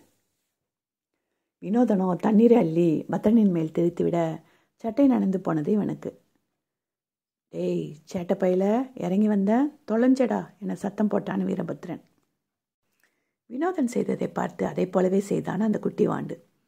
இவனுக்கு தைரியத்தை பாரு என எழுந்த வீரபத்ரன் அணிந்திருந்த ஷர்ட்டையும் பாக்கெட்டில் இருந்த ஃபோன் மற்றும் பர்ஸையும் தாட்சாவின் மடியில் போட்டுவிட்டு தண்ணீரில் இறங்கினான். சின்னவனை பிடித்து தூக்கி மீண்டும் தண்ணீரில் விட்டு என விளையாட்டு காட்ட அப்படி ஒரு சிரிப்பு அவனுக்கு. தண்ணீர் வீரபத்ரனின் தோளில் இருந்து வழிந்து நெஞ்சில் இருந்த சுருள் முடியில் வீழ்ந்து தட்டையான வயிற்றின் மேல் வழிந்து காணாமல் போவதை விழி சிமிட்டாமல் பார்த்திருந்தால் தாட்சாயினி. ஆத்தாடி ஆத்தி இந்த பாகு என்ன இவ்வளோ மேன்லியாக இருக்கான்? அவன் இவள் பக்கம் திரும்ப சட்டன முகத்தை வேறுபுறம் திருப்பி கொண்டாள் தாட்சாயினி. நல்ல பொண்ணாக கட்டியிருந்தா இந்நேரம் வாழ்க்கையை அனுபவித்து வாழ்ந்திருப்பான் இந்த பாகு. இவன் அழகுக்கு அவன் பொண்டாட்டி உருகி நின்றுப்பா என நினைத்து கொண்டவளுக்கு அந்த எண்ணமே பிடிக்கவில்லை. மனதில் பாரமாக ஏதோ அழுத்தியது. கண்கள் கலங்கும் போல இருக்க மெல்ல எழுந்து கொண்டவள் ஓரமாய் நடக்க ஆரம்பித்தாள். அவள் தனியாக போவதை கவனித்தால மேலு அன்னி கூட போ பிரியா என மகளை அனுப்பி வைத்தார் தன் அருகே நடந்து வந்த பிரியாவை பார்த்த தாட்சா ஓ பிரியா பிரியா நீ ஃப்ரீயா ஃப்ரீயா? என பாட? இவள் எதுவும் பேசாமல் அமைதியாக வந்தாள். என்ன? படப்பட பட்டாசு பம்மிக்கிட்டு வருது? நான் உங்களை இக்னோர் பண்ணுறேன் ஓஹோ. அண்ணா சொன்னாங்க இக்னோர் பண்ணாலே பல பிரச்சனைகள் தீர்ந்துடும்னு. பாருடா அண்ணன் சொல் மிக்க மந்திரம் இல்லை. நல்ல அண்ணன் ரொம்ப நல்ல தங்கச்சி. ஆமாம் எங்கள் அண்ணன் நல்ல அண்ணா தான். படிப்பெல்லாம் எப்படி போகுது? ஓகே தான். யாராச்சும் காலேஜில் ஒம்பு பண்ணுறாங்களா உங்களை விடவா? நீங்களாம் படித்து முடிச்சு போனதான் காலேஜ் ரொம்ப அமைதியாகிடுச்சு. அப்படிங்கிற இருந்துட்டு போகட்டும். பாய் ஃப்ரெண்ட் யாராச்சும் இருக்கானா? என்ன என்ன உங்களை மாதிரி நினச்சிங்களா? அப்படிலாம் யாரும் இல்லை. குட் கேர்ள் பியூர் பிரியான்னு அவார்டு கொடுத்துடலாம் உனக்கு. உங்கள் பாய் ஃப்ரெண்ட்ஸ் கூட்டம் பற்றிலாம் அண்ணாவுக்கு சொல்லியிருக்கீங்களா? எதுக்கு? நான் வேறு வீணாக எனர்ஜி வேஸ்ட் பண்ணி சொல்லணும். அதான் நீ சொல்லியிருப்பியே. ஆமாம் சொல்லியிருக்கேன் தான். வாயை திறந்து ஒன்றும் சொல்லலைனாலும் இது திருந்தாத கேஸ் போலன்னு தலையை இடமெல்லாம் ஆட்டிட்டு போயிடுவாங்க. நாங்கள்லாம் திருந்திட்டா சேலத்தில் புயல் வந்து சேதாரம் ஆகிடும் பிரிக்குட்டி என்றவள் அதற்கு மேலே எதையும் பேசவில்லை. ஆண்கள் குளித்துவிட்டு வர ஓரமாய் அமர்ந்து புலி சாதத்தை உண்டார்கள். நெஞ்சு கறிக்கும் என தாட்சா வேண்டாம் என்று விட்டார் அதன் பிறகு பூங்காவை பார்க்க கிளம்பினார்கள். வரும்போது இருந்த உற்சாகம் காணாமல் போயிருந்தது தாட்சாவுக்கு.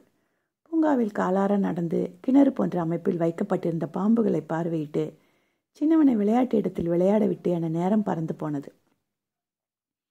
நல்ல உணவகத்தில் எல்லோருக்கும் மதிய உணவு வாங்கி கொடுத்தான் வீரபத்ரன். அங்கு கூட சரியாகவே சாப்பிடவில்லை தாட்சா. என்ன தாட்சா சாப்பாடு பிடிக்கலையா? என கேட்டான் பத்ரன். சாப்பிட முடியல என்றவள் அதற்கு மேல் எதுவும் பேசவில்லை. மறுநாள் மாலை தான் ரயிலுக்கு டிக்கெட் எடுத்திருந்தார்கள். பெங்களூர் திரும்பி போக. அஞ்சிரவும் இவர்களுடனே தங்கிவிட்டு காலையில் தனது வீட்டுக்கு போகிறேன் என்றிருந்தாள் தாட்சா இவர்கள் சுற்றி முடித்து வீடு வந்து சேர இரவு எட்டு மணி ஆகியிருந்தது. வேனிலிருந்து இறங்கும் போதே வாசலில் ஒரு கார் நிற்பதை கவனித்து விட்டான் பத்ரன். யார் வந்திருக்கா? என இவன் காரை நோக்கி போக நான் தான் ரைடு புக் பண்ணேன் இங்கே எனக்கு கஷ்டமாக இருக்குது நைட் எங்கள் வீட்டில் தங்கிக்கிறேன். நீங்கள் மட்டும் பெங்களூர் கிளம்புங்க. நான் ஒரு ரெண்டு வாரம் பாட்டி கூட இருந்துட்டு வரேன். என்ன இவனுக்கு மட்டும் கேட்கும் குரலில் சொன்னால் தாட்சா ஏன் தாட்சா திடீர்னு தங்கிக்கிறேன்னு சொல்கிற என்னை படப்படுத்தான் இவன். எல்லாமே என் இஷ்டம்தான். என்னை கேள்வி கேட்ட உரிமையை உனக்கு நான் தரல பாகு என்றவள் வீட்டின் உள்ளே நுழைந்தாள். இவன் ஆத்திரமும் ஆற்றாமையும் பொங்கியல சிரமப்பட்டு நார்மலாக இருக்கமா என்றான் தனது பேகை எடுத்துக்கொண்ட தாட்சா அலமேலுடன் ஒரு பையை நீட்டினார் என்னம்மா இது? மாமிக்கும் மாமாவுக்கும் இந்த மருமகள் அண்ட் மகனோட கிஃப்ட்டு அத்தை நான் பாட்டி வீட்டுக்கு கிளம்புறேன். ரொம்ப டயர்டாக இருக்குது ஐ நீட் ரெஸ்ட். உங்கள் மகன் இங்கேயே இருக்கட்டும். அவர் வரதே ஏதோ ஒரு சமயம்தான். உங்கள் கூடலாம் டைம் ஸ்பெண்ட் பண்ணட்டும். நான் மட்டும் கிளம்புறேன் என்றாள். எல்லாரையும் ரிடமும் சொல்லிக்கொண்டு கிளம்பியும் விட்டாள். வீரபத்ரனை திரும்பி கூட பார்க்கவில்லை பெண். நல்லா தானே இருந்தா? என்னாச்சு இவளுக்கு? என நொந்து போனான் வீரபத்ரன். அவள் கிளம்பி விட பையில் இருந்த பாக்ஸை வெளியே எடுத்தார் அலைமேலு. நகைப்பெட்டி போல இருக்க எல்லோரும் கூடிவிட்டார்கள் அவரை சுற்றி. அந்த பாக்ஸின் உள்ளே பெரிய தங்க சங்கிலி ஒன்றும் ஆண்களுக்கான மோதிரம் ஒன்றும் வீற்றிருந்தது. ஐயா சாமி எங்களுக்கு எதுக்கு எவ்வளோ செலவு பண்ணி தங்கமெல்லாம் என தழுத்தழுத்து விட்டார் அலைமேலு மூக்கில் மட்டும்தான் தன் தங்கம் என ஒரு குட்டி மூக்குத்தி இருந்தது அவருக்கு. தன்னை பெற்றவர்களுக்கு அன்பளிப்பு வாங்கி வைத்திருக்கிறாள் தாட்சாவென இவனுக்கும் கூட தெரியாது. உங்கள் மருமக ஆசைப்பட்டு வாங்கியிருக்காமா போட்டுக்குங்க என்றவன் இவனே அதை எடுத்து போட்டு விட்டான் அன்றிரவு வினோதனின் கை இவன் மார்பின் மேல் கிடக்க மனமோ மனைவியின் கழுத்தடி வாசத்துக்கு ஏங்கி தவித்தது. தயை கிட்டுமா? நிஷாவின். தயை காட்டி நீ. கடுப்பு இல்லாமல் மென்மையாக பேசுகிறப்போ இவளோட குரல் மயிலிறக போல மனசை வருடி போகுது. அத்தியாயம் பதினாறு. மேடம் தாட்சா சாப்பிட மாட்டேன்ட்டு அடம் பண்ணுறாங்க என வந்து நின்ற கேர்டேக்கரை ஆயாசமாக பார்த்தார் பூரணி. இதை சொல்கிறதுக்கு தான் உனக்கு சம்பளன்ற பேரில் கொட்டி கொடுக்குறம்மா என கடுக்கெடுத்தவர் மெல்ல நடந்து குட்டி தாட்சாயணியின் அறையை நோக்கி போனார். பூரணிக்கு உடம்பு முன்பு போல திடக்காத்திரமாக இல்லை. மூட்டு வலி ரொம்பவே பாடாய்ப்படுத்தியது. ஆங்கில மருத்துவத்தால் ஒன்றும் வேலைக்காகவில்லை. அதற்காகத்தான் சில மாதங்கள் கேரளாவில் தங்கியிருந்து ஆயுர்வேத சிகிச்சை மேற்கொள்ள ஆயத்தங்கள் செய்திருந்தார். அவரோடு மேகநாதனும் வருவதாக முடிவாகியிருந்தது. விஷயம் கேள்விப்பட்டதிலிருந்து ஆறு வயது தாட்சாயினி தானும் வருவதாக முரண்டு பிடித்து கொண்டிருந்தாள் இவரும் என்னென்னவோ சமாதானம் செய்து விட்டார் ஆனால் குட்டி பெண் பல வகையில் தனது கோபத்தை காட்ட ஆரம்பித்திருந்தாள். அதான் நடக்க முடியலல்ல. ஏம்மா ஸ்ட்ரெயின் பண்ணிக்கிறீங்க என கேட்டார் ராமநாதன். வேலைக்கு கிளம்பும் முன் ஹாலில் அமர்ந்து காஃபி அருந்து கொண்டிருந்தார் அவர். சிவகாமியும் அருகில் அமர்ந்திருந்தார். தாட்சா பொண்ணு சாப்பிட அடம் பண்ணுறாடா என சலித்து கொண்டார் பூரணி. எல்லாம் நீங்கள் கொடுக்குற செல்லந்தான் உடம்பு முழுக்க கொழுப்பு வச்சு போச்சு அவளுக்கு. பெரியவங்க சின்னவங்கன்னு மட்டும் மரியாதை இல்லை. மற்ற பிள்ளைங்கள்லாம் இப்படியா நடக்குதுங்க என முணுமுணுத்தார் சிவகாமி. மற்ற பிள்ளைங்கள கொஞ்சம் நேரம்னாலும் கூப்பிட்டு வச்சு கொஞ்சிற. அவளை மட்டும் ஏதோ தொடக்கூடாத ஜந்து மாதிரி ஒதுக்கி வைக்கிற சிவகாமி குழந்தைங்க நடுவில் பாரபட்சம் காட்டுறது சரியில்லை. என வெடித்தார் பூரணி அதை நீங்கள் சொல்லக்கூடாது. உங்கள் மகளை ஒரு மாதிரியும் மகனை ஒரு மாதிரியும் தானே நீங்களும் பார்க்குறீங்க அம்பிகாவுக்கு வைரத்தில் ஆரம் போட்டிங்களே? உங்கள் மகன் பொண்டாட்டி எனக்கு ஏதாச்சும் போட்டிங்களா? என ஆரம்பித்து வைத்தார் உரிமை போராட்டத்தை.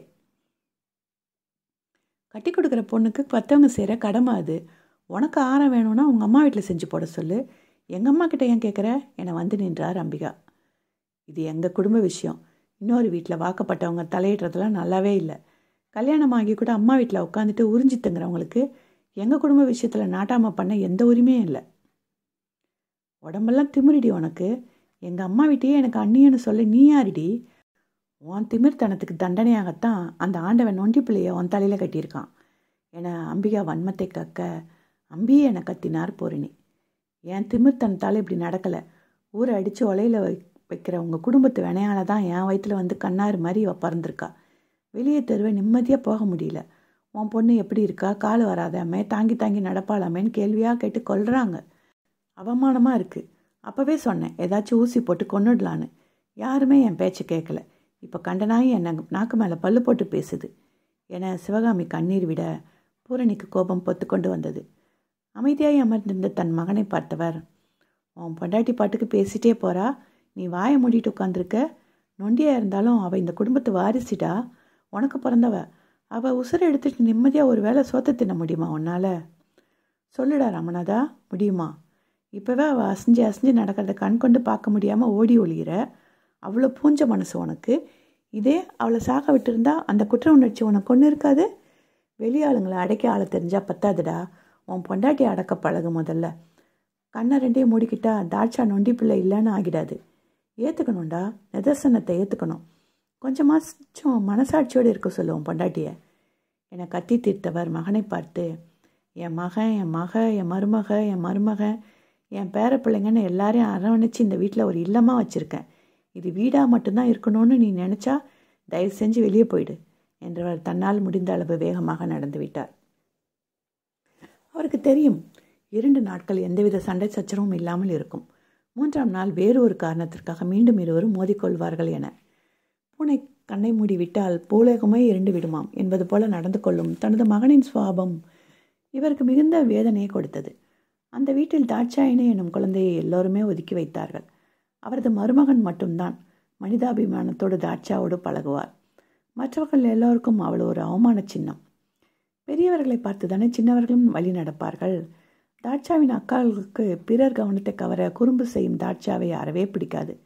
இரட்டையர்களான அவர்கள் இருவரே தோழிகளாக பழக சின்னவளை அவர்கள் வட்டத்துக்குள் விடுவதில்லை. தாட்சாவின் இரட்டையான தர்ஷன் சிவகாமியின் செல்லம். அவன் விளையாட வந்தாலும் சில சமயங்களில் அவனை தாட்சா அடித்து விடுவதால் அவளோடு விளையாட அனுமதிக்க மாட்டார் சிவகாமி.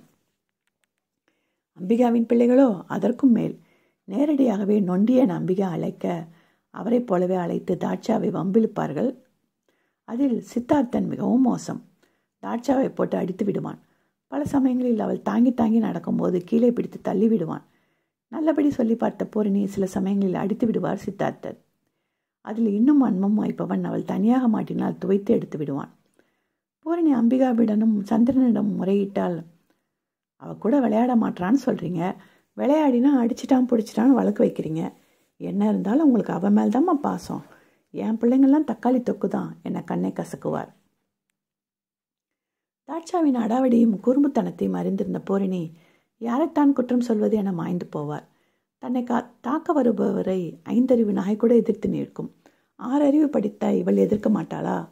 உருவத்தில் சின்னதாக இருந்தவளுக்கு எதிர்த்து அடிக்க முடியாவிட்டாலும் பின்னால் இருந்து தள்ளிவிடுவது பள்ளி புத்தகத்தை கிழித்து வைப்பது விளையாட்டுப் பொருட்களை உடைத்து போடுவது என சித்தார்த்திடம் தனது எதிர்ப்பை காட்டினாள். பாட்டியிடமும் வந்து சொல்லிவிடுவாள். பாட்டி அவனை ஏசுவதையும் அடிப்பதையும் பார்த்து திருப்திப்பட்டு கொள்வாள் தாட்சா. தாட்சானியின் அறைக்குள் நுழைந்த பூரணிக்கு ஆயாசமாய் இருந்தது. இரண்டு கைகளையும் கட்டிக்கொண்டு இறங்காத கண்ணீர் கண்ணீரெண்டிலும் முட்டிக்கொண்டிருக்க புதட்டை பிதுக்கியபடி பிடிவாதமாக நின்றிருந்தாள் பெண். தாட்சா நொண்டிக்கிட்ட யாரும் பேச வேணாம். வெளியே இவர்கள் பேசியதை கேட்டிருக்கிறார் என புரிந்து போனது பூரணிக்கு அப்படியெல்லாம் பேசக்கூடாது. நீ நொண்டி இல்லை. கால் இல்லைன்னா தான் நொண்டி. உனக்கு ரெண்டு காலும் இருக்குது நடக்க முடியுது. ஷூ போட முடியுது. உன்னை விட இன்னும் கஷ்டப்படுறவங்கலாம் நாட்டில் இருக்காங்க தாட்சா. நடக்க முடியாமல் சக்கரை நாற்காலியில் உட்காந்துக்கிட்டு ஒவ்வொரு விஷயத்துக்கும் மற்றவங்க உதவியை எதிர்பார்க்குற நிலைமையில நிறைய பேர் இருக்காங்க. அவங்களாம் வாழ்க்கையை தைரியமாக வாழ்கிறாங்க நீயும் அப்படி தான் வாழணும் கண்ணு என்றவர் கால் வழியில் கட்டிலில் அப்படியே அமர்ந்து கொண்டார். கட்டில் பக்கத்தில் மூடி வைத்திருந்த உணவை கையில் எடுத்தவர் வா பாட்டி ஊட்டி விட்டுறேன் சாப்பிடு என அழைத்தார். பாட்டியின் முகத்தில் வலியின் சாயலை பார்த்த தாட்சாயினி உடனே அவர் அருகே வந்து தரையில் அமர்ந்து கொண்டு சாப்பிட ஏதுவாக வாயை திறந்தாள். கரண்டியால் சின்னவளுக்கு மெல்ல ஊட்ட ஆரம்பித்தார் பூரணி. பாட்டிக்கு முன்ன மாதிரி உடம்பு முடியறது இல்லை தாட்சா. நான் போய் அங்கே தங்கி ட்ரீட்மெண்ட் எடுத்தால் தான் என்னால் நல்லா நடக்க முடியும். உன் கூட விளையாட முடியும். இல்லைனா பாட்டி கட்டிலில் படுத்தே தான் இருக்கணும். உனக்கு அப்படி இருந்தால் தான் பிடிக்குமா? என கேட்டார்.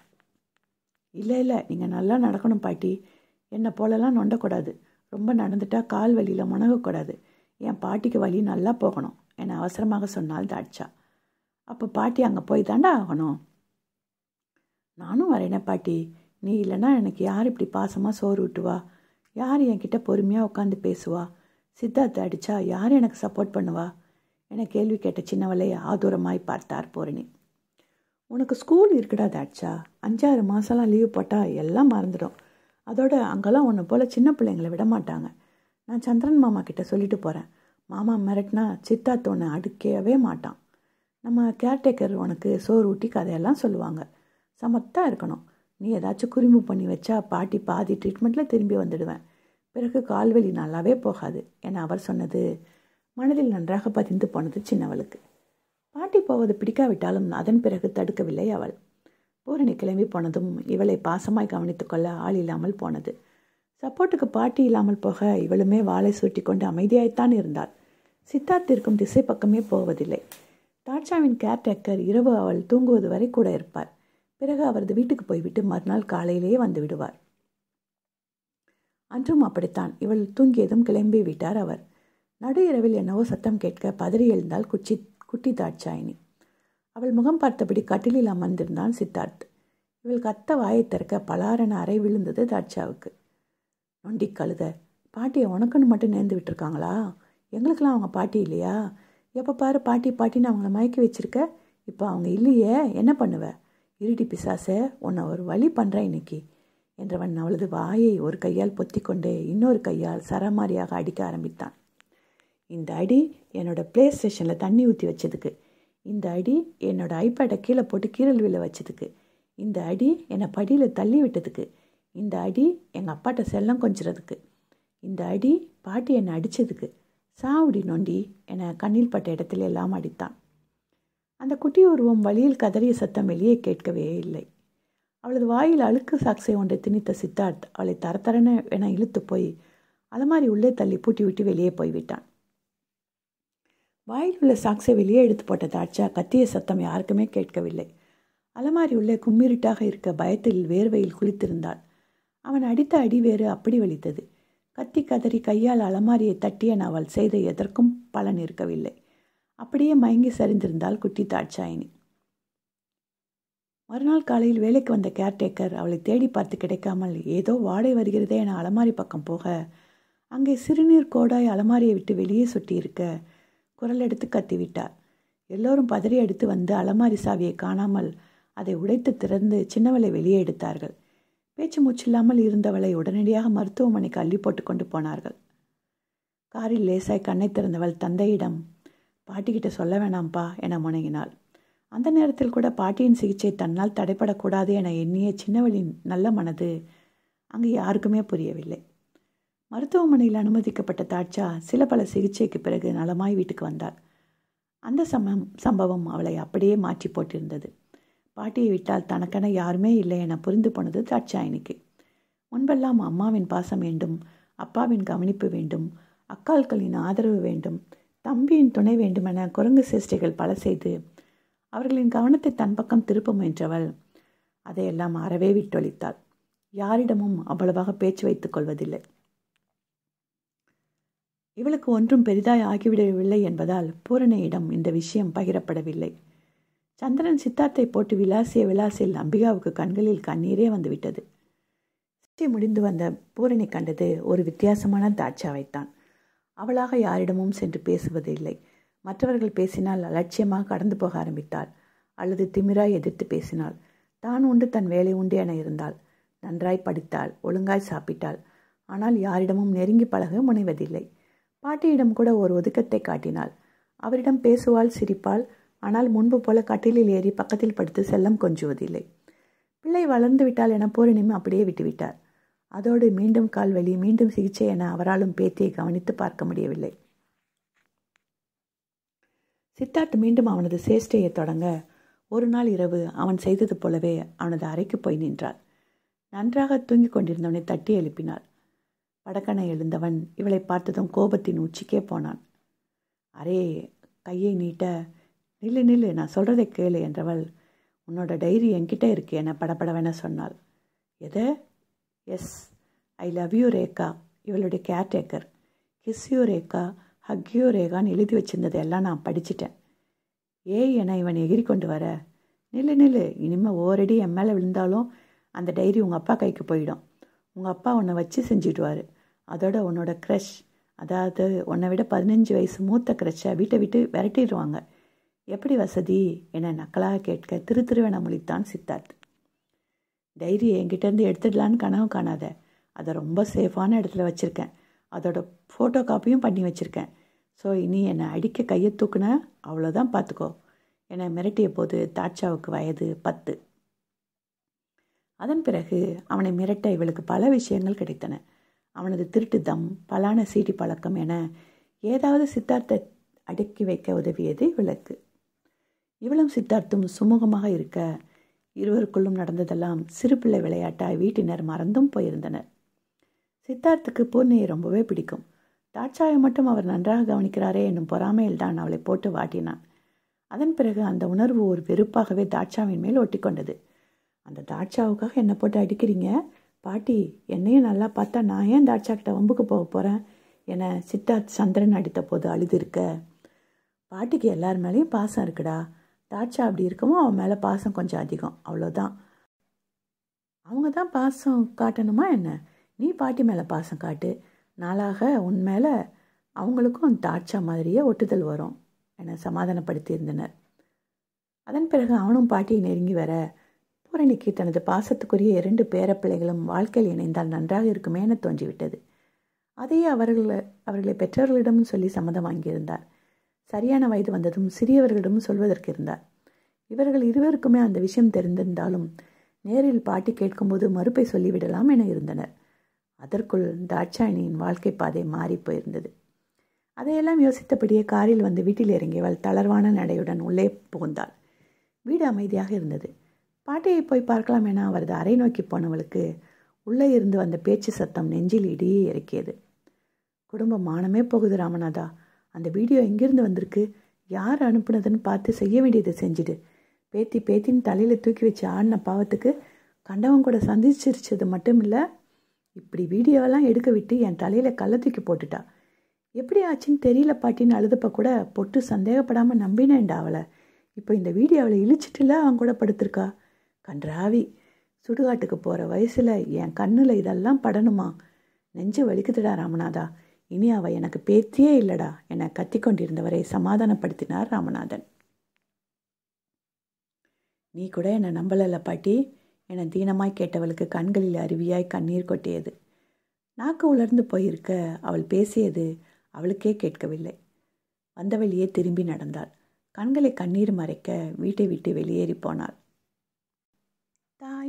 தந்தை உண்டு பெற்றோர் இல்லை ஐயா ஊருண்டு உலகம் உண்டு உற்றார் இல்லை தயை கிட்டுமா வணக்கம் நண்பர்களே. வானிஷாவின் ஆடியோ நாவல் சேனலுக்கு உங்களை அன்போடு வரவேற்கிறோம். வானிஷாவோட காமெடி கலந்த அதிரடி காதல் கதைகள் உங்களுக்கு பிடிச்சிருந்தா லைக் பட்டனை அழுத்துங்க. உங்கள் நண்பர்களுக்கும் ஷேர் செய்யுங்க. பதிவுகள் போட்ட உடனே உங்களுக்கு தெரியணும்னா சப்ஸ்கிரைப் செய்யுங்க. உங்கள் கருத்துக்களையும் மறக்காமல் கமெண்ட்டில் சொல்லுங்கள் வானிஷாவின் தயை காட்டு நீ. அவளோட குறும்பு பேச்சு பிடிக்குது. அவளோட அடாவடி பிடிக்குது. அவளோட ஆத்திரம் கூட பிடிக்குது. அத்தியாயம் பதினேழு. எங்கே போனான்னு தெரியலைன்னா என்ன அர்த்தமாம்மா இங்கே தான் வரேன்னு சொல்லிட்டு வந்தா ஒரு வாரம் பாட்டி கூட தங்க போகிறேன்னு வேற சொன்னா நான் பெங்களூர் கிளம்புறதுக்கு முன்னே அவட்ட சொல்லிட்டு போகலான்னு வந்தா இப்படி ஒரு குண்டத்துக்கு போடுறீங்க? என குரலை உயர்த்தினான் வீரபத்ரன். சேலத்துக்கு வரோன்னு நீங்கள் ஏன் முன்னமே எங்களுக்கு இன்ஃபார்ம் பண்ணல மாப்பிள்ள என கேட்டார் ராமநாதன். கல்யாணம் பண்ணி வச்சதோட உங்கள் அதிகாரம் முடிஞ்சுது. அதுக்கு மேலே நாங்கள் ரெண்டு பேரும் என்ன செய்கிறோம் எங்கே போகிறோம் என்ன சாப்பிட்றோம்லாம் உங்களுக்கு தகவல் கொடுத்துட்டே இருக்க வேண்டிய அவசியம் இல்லை. என்றவனின் குரலில் மிதமிஞ்சிய எரிச்சல் இருந்தது. கை அதன் பாட்டிற்கு மனைவியின் அலைபேசிக்கு அழைப்பு விடுத்து கொண்டே இருந்தது. அந்த பக்கம் அது உயிர் இழந்து கிடந்தது. நேற்றிரவு இவன் பல மெசேஜ் போட்டிருக்க அவளிடமிருந்து எந்த பதிலும் வந்திருக்கவில்லை. காலையில் எழுந்ததும் குடும்பத்தினரிடம் பேசி சிரித்து கொண்டிருந்தாலும் முந்தைய தினம் தரையில் அமர முடியாமல் நாற்காலியில் அமர்ந்து கையில் தட்டை ஏந்தி கொண்டு உணவருந்திய மனைவி மனதில் வந்து போனாள். கலகலப்பாக பேசி சிரித்தபடி மேட்டூர் அணிக்கு சுற்றுலா வந்தவள் அதன் பிறகு உணவை சரியாக உண்ணாதது முகம் சோர்ந்து கிடந்தது இவனிடம் பேச்சை குறைத்து கொண்டது என மாறிப்போனது இவனுக்கு சஞ்சலத்தை கொடுத்திருந்தது. என்னாச்சு தாட்சாவுக்கு? ஏன் டல்லாகிட்டா உடம்பு எதுவும் முடியலையா? பேச வாய்ப்பே கொடுக்காம சட்டுன்னு கிளம்பிட்டாளே என இரவெல்லாம் மனம் புலம்பிக் கொண்டே இருந்தது. மனது கேட்காமல் தான் சீக்கிரமாகவே கிளம்பி அவளது வீட்டுக்கு வந்திருந்தான் அவள் முகத்தை பார்த்துவிட்டு கிளம்பினால் தான் நிம்மதியாக இருக்க முடியும் என தோன்றிவிட்டது இவனுக்கு. இங்கோ அவள் வரவே இல்லை என சாதிக்க கொலைவரியே வந்துவிட்டது பத்ரனுக்கு. எல்லாரும் கத்தி சத்தம் போட்ட பிரச்சனை எப்படி தீக்கிறது சிசி கேமரா பார்க்கலாம் வாங்க என்றார் சந்திரன். அவர்கள் வீட்டில் வாயிலில் காவலாளி வைத்திருக்கவில்லை. ஆட்டோமேட்டிக் கேட் போட்டிருந்தார்கள். வீட்டின் எல்லாரிடமும் அதன் ரிமோட் இருந்தது. வெளியாட்கள் வந்தால் இவர்களே திறந்து விடுவார்கள். கேட் ஓரமாக சிசி கேமரா வைத்திருந்தார்கள். அதோடு வீட்டைச் சுற்றியும் கேமராக்கள் இருந்தன. இரவில் காவல் காக்க இரண்டு நாய்கள் இருந்தன. ஆகையால் பாதுகாப்பிற்கு பங்கமில்லாமல் வாழ்ந்தார்கள். இங்கே வருவதாக சொல்லிவிட்டு எங்கே போனால் தாட்சாவென கவலையாக இருந்தது பத்ரனுக்கு. அவளுடனே போய் வீட்டில் விட்டுவிட்டு வந்திருக்கலாமோ என காலம் கடந்து யோசனை ஓடியது. பூரணியோ தளர்ந்து போய் அமர்ந்து விட்டார். பேத்தியின் மேல் கோபம் இருந்ததுதான். ஆனால் அதெல்லாம் அந்தந்த நேரத்திற்குத்தான். தாட்சா கொலையே செய்துவிட்டு வந்தாலும் அவள் முகத்தை நேராய் பார்த்து இவரால் கோபப்பட முடியாது. பேத்தியின் நடவடிக்கைகளை பற்றி மகனிடம் அடிக்கடி புலம்பினாலும் தாட்சாவிடம் எதையும் காட்டிக்கொள்ள மாட்டார். முக்கியமாக கோபத்தை காட்ட மாட்டார். பேத்தி வயிற்றில் வாங்கி கொண்டு வந்தபோது எல்லோரும் அவளை திட்டி தீர்க்க தோளில் அவளை தாங்கிக் கொண்டவர் இவர்தான். உள்ளுக்குள் பேத்தியின் பால் அவ்வளவு வருத்தமும் கோபமும் இருந்தது. அது எல்லாம் ராமநாதனிடம் மட்டும்தான் வெளிப்படும். பேத்தியிடம் ஒற்றை வார்த்தை கடுமையாக வராது. கண்களில் கண்ணீர் வழிய ராமநாதா வாயும் வயிறுமா இருக்கிற பிள்ளடா. என் பேத்தியை சீக்கிரமாக கண்டுபிடிச்சு கொடுடா என கலங்கிய குரலில் பேசினார் பூரணி. கட்டி கொடுத்துட்டா பிரச்சனை தீர்ந்ததுன்னு நினச்சேன். இவன் நம்மளை நிம்மதியை விடக்கூடாதுன்னே புறப்படுத்திருக்கா போல என கோபப்பட்டார் சிவகாமி. தன் மனைவியிடம் அந்த குடும்பத்தினர் காட்டும் பாரபட்சமான நடவடிக்கைகளை ஏற்கனவே பார்த்திருந்தவன் தானே பத்ரன். அதனால் அவர்களை கண்டுகொள்ளாமல் சந்திரனோட லேப்டாப் ஸ்க்ரீனை பார்க்க ஆரம்பித்தான் இவன்.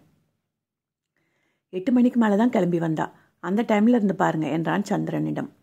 தாட்சா ரிமோட்டை வைத்து கேட்டை திறந்தது தெரிந்தது. பிறகு சில நிமிடங்களில் மீண்டும் வெளியாகி போவதும் தெரிந்தது.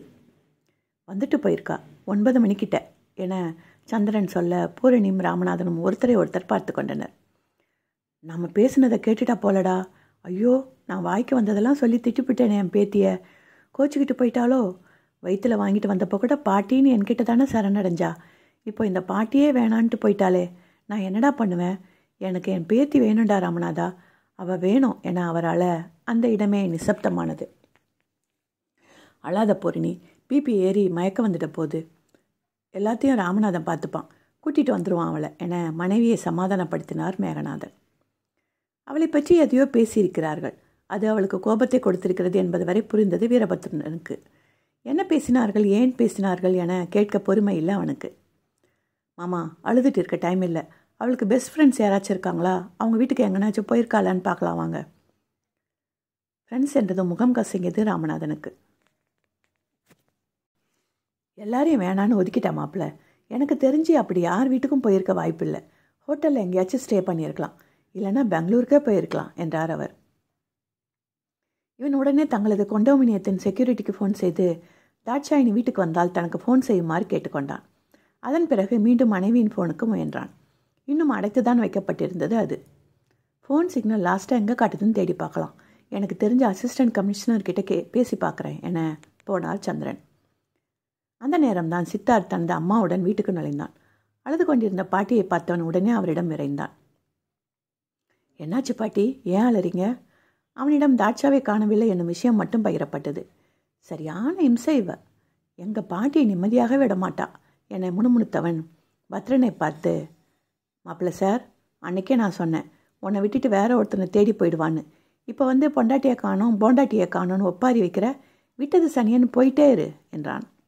டேய் அவளை சனியை எங்கினியன்னு சொன்ன சங்க அறுத்து விட்டுவேன் என சொல்லி கையை நீட்டியிருந்தான் பத்ரன்.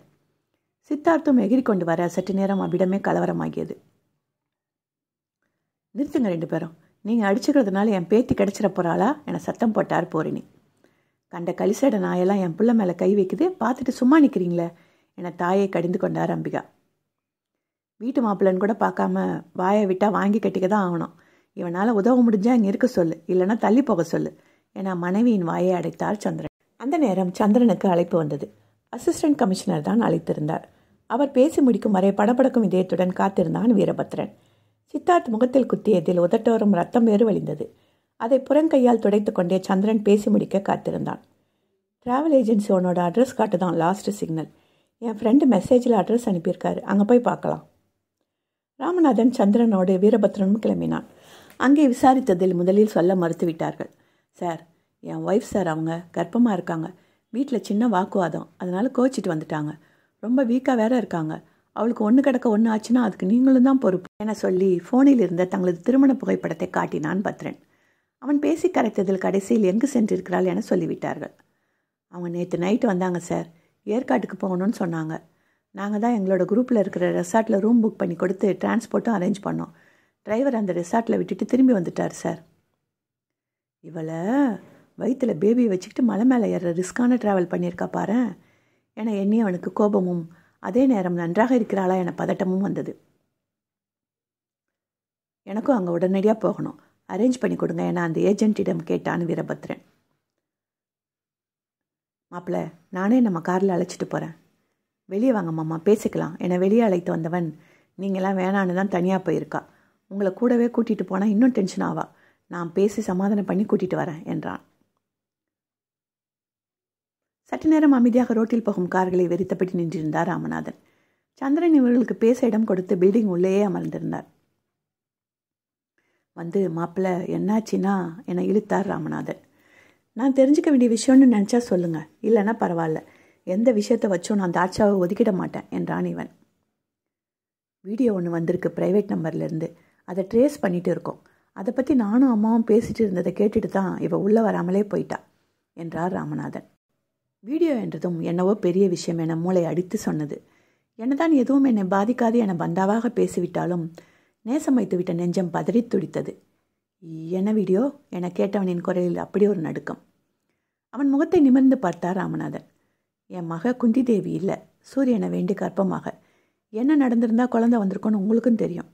அதுதான் வீடியோவாக வந்திருக்கு என ஃபோனில் இருந்த வீடியோவை அவனிடம் காட்டியவருக்கு குரலில் அப்படி ஒரு வெறுப்பு.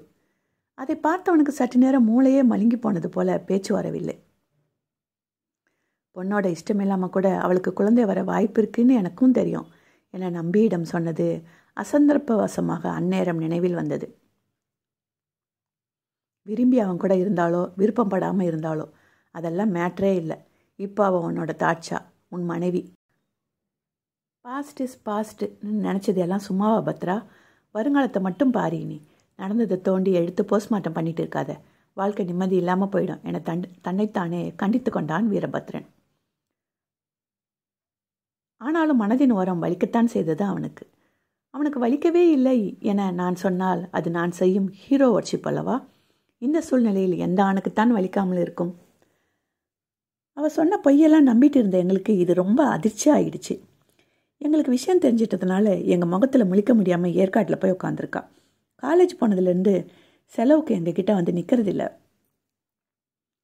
என்னவோ தொழில் செஞ்சு சம்பாதிக்கிறான்னு நினச்சேன். கொஞ்சம் பெருமையாக கூட இருந்தது இவளை நினச்சி. ஆனால் இந்த கேடுகட்ட தொழில் செஞ்சு சம்பாதிச்சிருப்பான்னு நினைக்கல நான். எப்படியும் எங்கள் அம்மா இவளை விட்டு கொடுக்க மாட்டாங்கன்னு அவளுக்கு நல்லா தெரியும். அதான் அவங்கள ஆட்டி வைக்கிற மாதிரி இப்படி போய் கண்காணாத இடத்துல உட்காந்துட்டு டார்ச்சர் பண்ணுறா அவங்க அம்மா சொல்கிற மாதிரி ஏன் எங்கள் வீட்டில் வந்து இவ பிறந்தான்னு என்னை கூட நினைக்க வச்சிட்டா? என கோபமாக படப்படுத்தார் ராமநாதன்? இந்த வீடியோ விஷயத்தை உன்கிட்ட சொல்லக்கூடாதுன்னு தான் எங்கள் அம்மாவோட கட்டளை. அவங்க பேத்தி வாழ்க்கை பாதிச்சிடும்னு அவங்களுக்கு பயம். ஆனால் சொல்லிடுறது பெட்டர்னு எனக்கு தோணிடுச்சு. நாளை பின்ன இவளோட வேறு வீடியோ ஏதாச்சும் நெட்டில் சந்திச்சிச்சிட்டா எவ்வளோ பெரிய விஷயத்த மறைச்சி கல்யாணம் பண்ணி வச்சிட்டிங்கன்னு எங்கள் மேலே கேஸ் ஏதாச்சும் நீ போட்டுவிடக்கூடாது பாரு. அதுக்கு தான் சொல்லிட்டேன். இவ இவ்வளோ கேவலமாக நடந்திருப்பான்னு அப்போவே தெரிஞ்சிருந்தா செத்தாலும் பரவாயில்லன்னு அபாஷன் பண்ணி விட்டுருப்பேன். இவ்வளோ செலவு பண்ணி கல்யாணம் செஞ்சு வச்சிருக்க மாட்டேன். என்றவரை உறுத்து விழித்தான் வீரபத்ரன். நீங்கள் சொல்கிற மாதிரி அவள் கெட்டெழிஞ்சு போயிருந்தா அதுக்கு முத காரணமே நீங்களாக தான் இருப்பீங்க. பெத்த பொண்ணு என்ன செய்கிறா ஏது செய்கிறான்னு தெரிஞ்சுக்காத. நீங்களாம் ஒரு ஒழுங்கான அப்பனா. எதுக்கடுத்தாலும் நீங்களும் உங்கள் பொண்டாட்டி என் தாட்சா செத்துருக்கலான்னு வாய் கூசாமல் சொல்கிறீங்க அதுவும் அவ முன்னுக்கே. அந்த வார்த்தை அவளை எவ்வளோ பாதிச்சிருக்கோன்னு யோசிச்சு பார்த்தீங்களா? இப்படி ஊனமாக பறக்கணும்னு அவள் வரம் கேட்டு வாங்கி பிறந்தாளா? நீங்கள் அப்படி பெத்து போட்டுட்டு தப்பெல்லாம் அவள் மேலேங்கிற மாதிரி பேசுகிறீங்க அவள் தப்பு செஞ்சுருந்தா அந்த தப்புக்கு அவளை தள்ளி விட்டது நீங்களும் உங்கள் பொண்டாட்டியுமா தான் இருக்கும். பெத்த பிள்ளைய ஒழுங்கா அவளுக்கு துப்பில் குறை சொல்ல மட்டும் முன்னாடி வந்து நிற்கிறது என படப்படுத்தவன் அதற்கு மேல் நிற்காமல் டிராவல் நிறுவனம் இருக்கும் கட்டிடத்துக்குள் நுழைந்து விட்டான். அவனது கோபத்தில் அதிர்ந்து போய் நின்றார் ராமநாதன். அவர்கள் மூலமாக கார் ஏற்பாடு செய்து கொண்டவன் கிளம்பி விட்டான் ஏற்காடுக்கு. ஏற்காடில் இருந்த ரிசார்ட்டின் கட்டிலில் வயிற்று குழந்தை போல சுருண்டு படுத்திருந்தால் வயிற்று பிள்ளைக்காரி. கண்களில் அதன் பாட்டிற்கு கண்ணீர் வழிந்தபடி இருந்தது. கதவு தட்டப்படும் ஓசை கேட்க இவள் எழவே இல்லை. மீண்டும் மீண்டும் தட்டப்பட சலிப்புடன் எழுந்து போய் கதவை திறந்தாள் தாட்சா. அங்கே நின்றிருந்தான் வீரபத்ரன். பத்து என கதறியவள் அவனை தாவி இருக அணைத்து கொண்டாள். தயை கிட்டுமா? வா தயை காட்டு நீ. அலறப்போ அராத்த அவதாரம் அழிஞ்சு போய் அனாதரவான குழந்த போல இருக்காளே வா அத்தியாயம் பதினெட்டு. முகம் என்ன வாடி போய் கிடக்கு? சாப்பிடலையா நீ? வா வா முதல்ல கேன்டீன் போய் சாப்பிட்டுட்டு வருவோம். இருடா டேய் முதல் பீரியட் முடிஞ்சதும் போகலாம். எனக்கு பிடிச்ச பாடம் அது. தண்டமாக உட்காந்துருக்கான் பாரு நம்ம நண்பன். அவன் பாடத்தை கவனித்து வைப்பான் நீ எழுந்து வா என சொல்லி தாட்சாவின் கையை பிடித்து இழுத்து போனான் பார்த்திபன். ஒரு வேளை சாப்பிடாட்டி என்னடா ஓவராக அலட்டுற நீ என முனைக்கப்படி அவனோடு இணைந்து நடந்தாள் தாட்சாயினி. இன்னைக்கு என்ன பிரச்சனை வீட்டில் என கேட்டான் பார்த்திபன். வீட்டில் ஏதாவது மனதை வருத்தும்படி நடந்தால்தான் சாப்பிடாமல் வருவாள் தாட்சா என அவனுக்கு தெரியும். அதனால் தான் கேட்டான். மேடம் சிவகாமிக்கு என்ன கடுப்போ தெரியல. என் மேலே பாஞ்சி பராண்டிட்டாங்க. நானும் சும்மா விடலையே. கத்தி ஆர்ப்பாட்டம் பண்ணிட்டு தான் வந்தேன். என்றவளின் குரலில் அப்படி ஒரு ஆற்றாமை. நடப்பதை நிறுத்திவிட்டு அவள் முகத்தையே ஆழ்ந்து பார்த்தான் பார்த்திபன். அவன் பார்வையில் தடதடவென வாயிலிருந்து வார்த்தைகள் வந்து குதித்தன தாட்சாவிற்கு. பங்கு சந்தையில் காலை வைக்கிறேன்னு அப்பாவை போட்டு பாடாப்படுத்தி காசு வாங்கி முதலீடு பண்ணியிருக்காங்க. அவங்க வாங்கின ஷேர்ஸ் காலை நீட்டி போட்டு படுத்துருச்சான் தெரியாத விஷயத்தில் இனி தலையிடாதன்னு பாட்டி திட்டி விட்டுட்டாங்க. பாட்டி மேலே உள்ள கோபத்தை அவங்க செல்லப்பேத்தி என்கிட்ட காட்டிட்டாங்க சிவகாமி. நான் வந்து பிறந்ததுலேருந்து அவங்களுக்கு தரித்திரம் தானா? எது எடுத்தாலும் விளங்க மாட்டுது. என் காலு மாதிரியே விந்தி விந்தி படுக்குதுன்னு வாய்க்கு வந்த மாதிரி பேசிட்டாங்கடா. தாங்கவே முடியல என்னால். என் காலில் ஊனம் இருந்தாலும் அதுக்கான செருப்பு போட்டு என்னை சரி பண்ணிக்கிறேன். ஆனால் அவங்க மனசில் உள்ள ஊனத்தை செருப்பால் அடித்தா கூட சரி பண்ண முடியாதுன்னு சொல்லிட்டு வந்துட்டேன். சட்டன் அவளை இழுத்துக்கொண்டு சோர் மறைவுக்கு போன பார்த்திபன் இருக அணைத்து கொண்டான். கண்களில் கண்ணீர் வழியே அவன் நெஞ்சில் சாய்ந்து அழுதாள் தாட்சாயினி. எனக்கெல்லாம் நரகம் தாண்டா கிடைக்கும் தீபன் பெத்த அம்மாவை கண்டபடி திட்டுற எண்ணெல்லாம் கண்டிப்பாக எண்ணெய் சட்டியில் போட்டு வறுத்துடுவான் எம்மன். பைத்தியம் உன்னை புரிஞ்சிக்காமல் புண்படுத்துகிற அவங்களுக்கெல்லாம் தான் நரகம் கிடைக்கும் என இவளுக்கு ஆறுதலாக பேசியவன் அவளது முதுகை மெல்ல தடவி கொடுத்தான். கண்களை துடைத்து கொண்ட தாட்சாயினி பார்த்திபனை விட்டு விலகினார் வா சாப்பிட்டு சீக்கிரம் கிளாஸ்க்கு போகலாம் இருவரும் கேன்டீன் சென்று சாப்பிட்டு விட்டு ஒரு காஃபியும் அறிந்துவிட்டு லெக்சர் ரூம் நோக்கி நடந்தார்கள். வீட்டில் யாருடனும் சுமூக உறவு இல்லாத தாட்சாவுக்கு எல்லாமே அவள் நண்பர்கள் தான் ஆண் பெண் என அவள் நட்பு வட்டத்தில் எல்லோரும் கலந்திருந்தார்கள். ஆனாலும் பார்த்திபன் தான் அவளது பெஸ்ட் ஃப்ரெண்ட் இப்பொழுது உள்ள ட்ரெண்டில் சொல்வது என்றால் பாய் பெஸ்டி முதல் முதலாய் காலேஜ் சேர்ந்த பொழுது ரேக்கிங் விஷயத்தில் சீனியர்களிடம் இவர்கள் இருவர் தான் ஒன்றாக மாட்டிக்கொண்டார்கள் அப்பொழுது ஆரம்பித்தது இவர்கள் நட்பு. இருவரும் ஒரே கோர்ஸ் எடுப்பதால் அந்த நட்பு இன்னும் இறுகி போனது. தாட்சாணியை பற்றி எல்லாம் தெரியும் பார்த்திபனுக்கு. இவளுக்கும் அவனை பற்றி எல்லாம் தெரியும். தாட்சாவைப் போல அவனும் வசதியான குடும்பத்திலிருந்து வந்தவன் தான் அழகன் என்று சொல்லிவிட முடியாது. ஆனால் அதை ஈடுகட்டும் அளவுக்கு அன்பு இருந்தது. தாட்சாவின் மேல் அளவுக்கு அதிகமான அக்கறை இருந்தது. வீட்டில் நடக்கும் எல்லாவற்றையும் அவனிடம் பகிர்ந்து கொள்வாள் தாட்சா. அவளது விருப்பு வெறுப்புகள் படித்த புத்தகம் பார்த்த படம் சாப்பிட்ட உணவு எல்ல என எல்லாவற்றையும் சொல்ல அவளுக்கு பார்த்திபன் வேண்டும். அவள் பேசுவதை இவனும் ஆர்வமாக செவி மடுப்பான். காலேஜில் இவர்கள் இருவரும் கப்பில்ஸ் என பேசிக்கொள்வார்கள். ஆனால் நட்பு வட்டத்திற்கு மட்டும் தெரியும் இவர்கள் இருவரும் அந்யோன்யம் நட்பால் வந்தது என்று. மதிய உணவு இடைவெளியின் போது அவர்களுக்கென பட்டா போட்டு வைக்கப்பட்டிருந்த பெஞ்சில் அமர்ந்து பேசிக்கொண்டிருந்தார்கள் தாட்சாவும் அவள் நண்பர்கள் குழாமும். இன்னைக்கு ஈவினிங் எங்கே போகலாம்? காலேஜ் முடிந்து எப்பொழுதுமே சீக்கிரம் வீட்டுக்கு போக மாட்டாள் தாட்சா. நண்பர்களோடு மாலை வரை சுற்றிவிட்டு ஏழு மணி போல தான் கிளம்புவாள். பூரணி ஏதாவது கேட்டால் சீக்கிரம் வந்து என்ன பாட்டி பண்ண போகிறேன் டிவி பார்த்துட்டு போர் அடித்து கிடக்கணும். விளக்கு வைக்கிறதுக்கு முன்னே வீட்டுக்கு வந்துடணும். அவ்வளோதானே அதான் வந்துடுறேனே. பிறகு என்ன பாட்டி? என அவர் வாயை அடைத்து விடுவாள். தினம் அப்படி என்ன தான் கூட்டாளியும் கூத்துன்னு தெரியல. ஆம்பளை பசங்க கூட சேர்ந்துட்டு பீச்சு பார்க்குன்னு சுற்றிட்டு கிடக்கிறா. அடங்காப்பிடாரி என சிவகாமி திட்டுவதை இந்த காதில் வாங்கி அந்த காதில் விட்டு விடுவாள் தாட்சா. ஏதாச்சும் படம் பார்க்க போகலாம் என ஒருத்தி சொல்ல மற்றவர்கள் எல்லோரும் அதை ஏற்றுக்கொண்டார்கள். தாட்சா எல்லாருக்கும் ஆன்லைனில் டிக்கெட் புக் செய்ய பாப்கார்ன் கோக்லாம் என்னோட செலவு என சொல்லிவிட்டான் பார்த்திபன். இவர்கள் அமர்ந்திருந்த பெஞ்சுக்கு பின்னால் இருந்த மரத்துக்கு அந்த புறம் சலசலவன பேச்சு சத்தம் கேட்க ஷ் என மற்ற நண்பர்களை அமைதிப்படுத்தினாள் தாட்சாயினி. எங்கள் அண்ணா மாதிரி வராது தெரியுமா? செம்ம ஷார்ப்பு. பெங்களூரில் ஒரு பெஸ்ட்டு ஐடி கம்பெனியில் வேலை கிடச்சி கிளம்பிட்டாங்க. எப்படியும் யூஎஸ் போக சான்ஸ் கிடைக்குமா? அப்படி போனார்னா உங்களுக்கு எல்லாம் கண்டிப்பாக வெளிநாட்டு சாக்லேட் தருவேண்டி என கேட்ட குரலில் தாட்சாவுக்கு லேசாய் புன்னகை மலர்ந்தது. அது நம்ம ப்ரீக்குட்டி தானே என இவள் கேட்க அவளது கேங் ஆம் என கோரஸ் கொடுத்தது. இப்போ நான் அவளை வம்பிழுக்கணுமே என்றாள் தாட்சா. உனக்கு அவன் மேலே என்ன கடுப்பு தாட்சா? என கேட்டான் பார்த்திபன். தீப்ஸ் அவள் செம்ம க்யூட்டாக இருக்காடா. என்னமோ அவளை வம்பிழுக்கிறதும் அல்வா சாப்பிட்றது மாதிரி தித்திப்பாக இருக்குது ஆ அவளை விட நீ தான் க்யூட் உன் வேல்யூ உனக்கே தெரியல என்றான் இவன். காக்கைக்கும் தன் பேபி பொன் பேபி அதான் அவனுக்கு நான் க்யூட்டாக தெரிகிறேன் என்றவள் பிரியாவை தேடி போனாள். தாட்சாவுடன் அவளது நண்பர்கள் கூட்டமும் சேர்ந்து கொண்டது. சுவாரஸ்யமாக பேசிக்கொண்டிருந்த பிரியாவுக்கு இவர்களை பார்த்தது முகம் அஷ்டகோணலாகியது. ஓய் பிரி பாப்பா என்ன மூஞ்சி மூஞ்சூறு மாதிரி சொணங்குது? என ஆரம்பித்தாள் தாட்சா என் மூஞ்சி மூஞ்சூறுனா உங்கள் மூஞ்சி முள்ளம் பண்ணி என சிரித்து கொண்டாள் பிரியா. ஏய் என தாட்சாவின் நண்பர்கள் எகிரி கொண்டு வர இருங்கப்பா நான் பேசிட்டு இருக்கேன்ல பிரிய குட்டி கூட நடுவில் வராதிங்க என்ற தாட்சா பிரியா பக்கி ஓ பிரியா பக்கி. நீ பேசினதை கேட்டுட்டு தான் இருந்தோம். உங்கள் அண்ணா பெரிய பருப்பாமே அவரை வச்சு பருப்பு வடை சுடலாமா இல்லை பருப்பு உருண்டை குழம்பு வைக்கலாமா? சொல்லு பிரி சொல்லு என கேட்டு கக்கப்ப கக்கப்ப வேண சிரித்தாள்.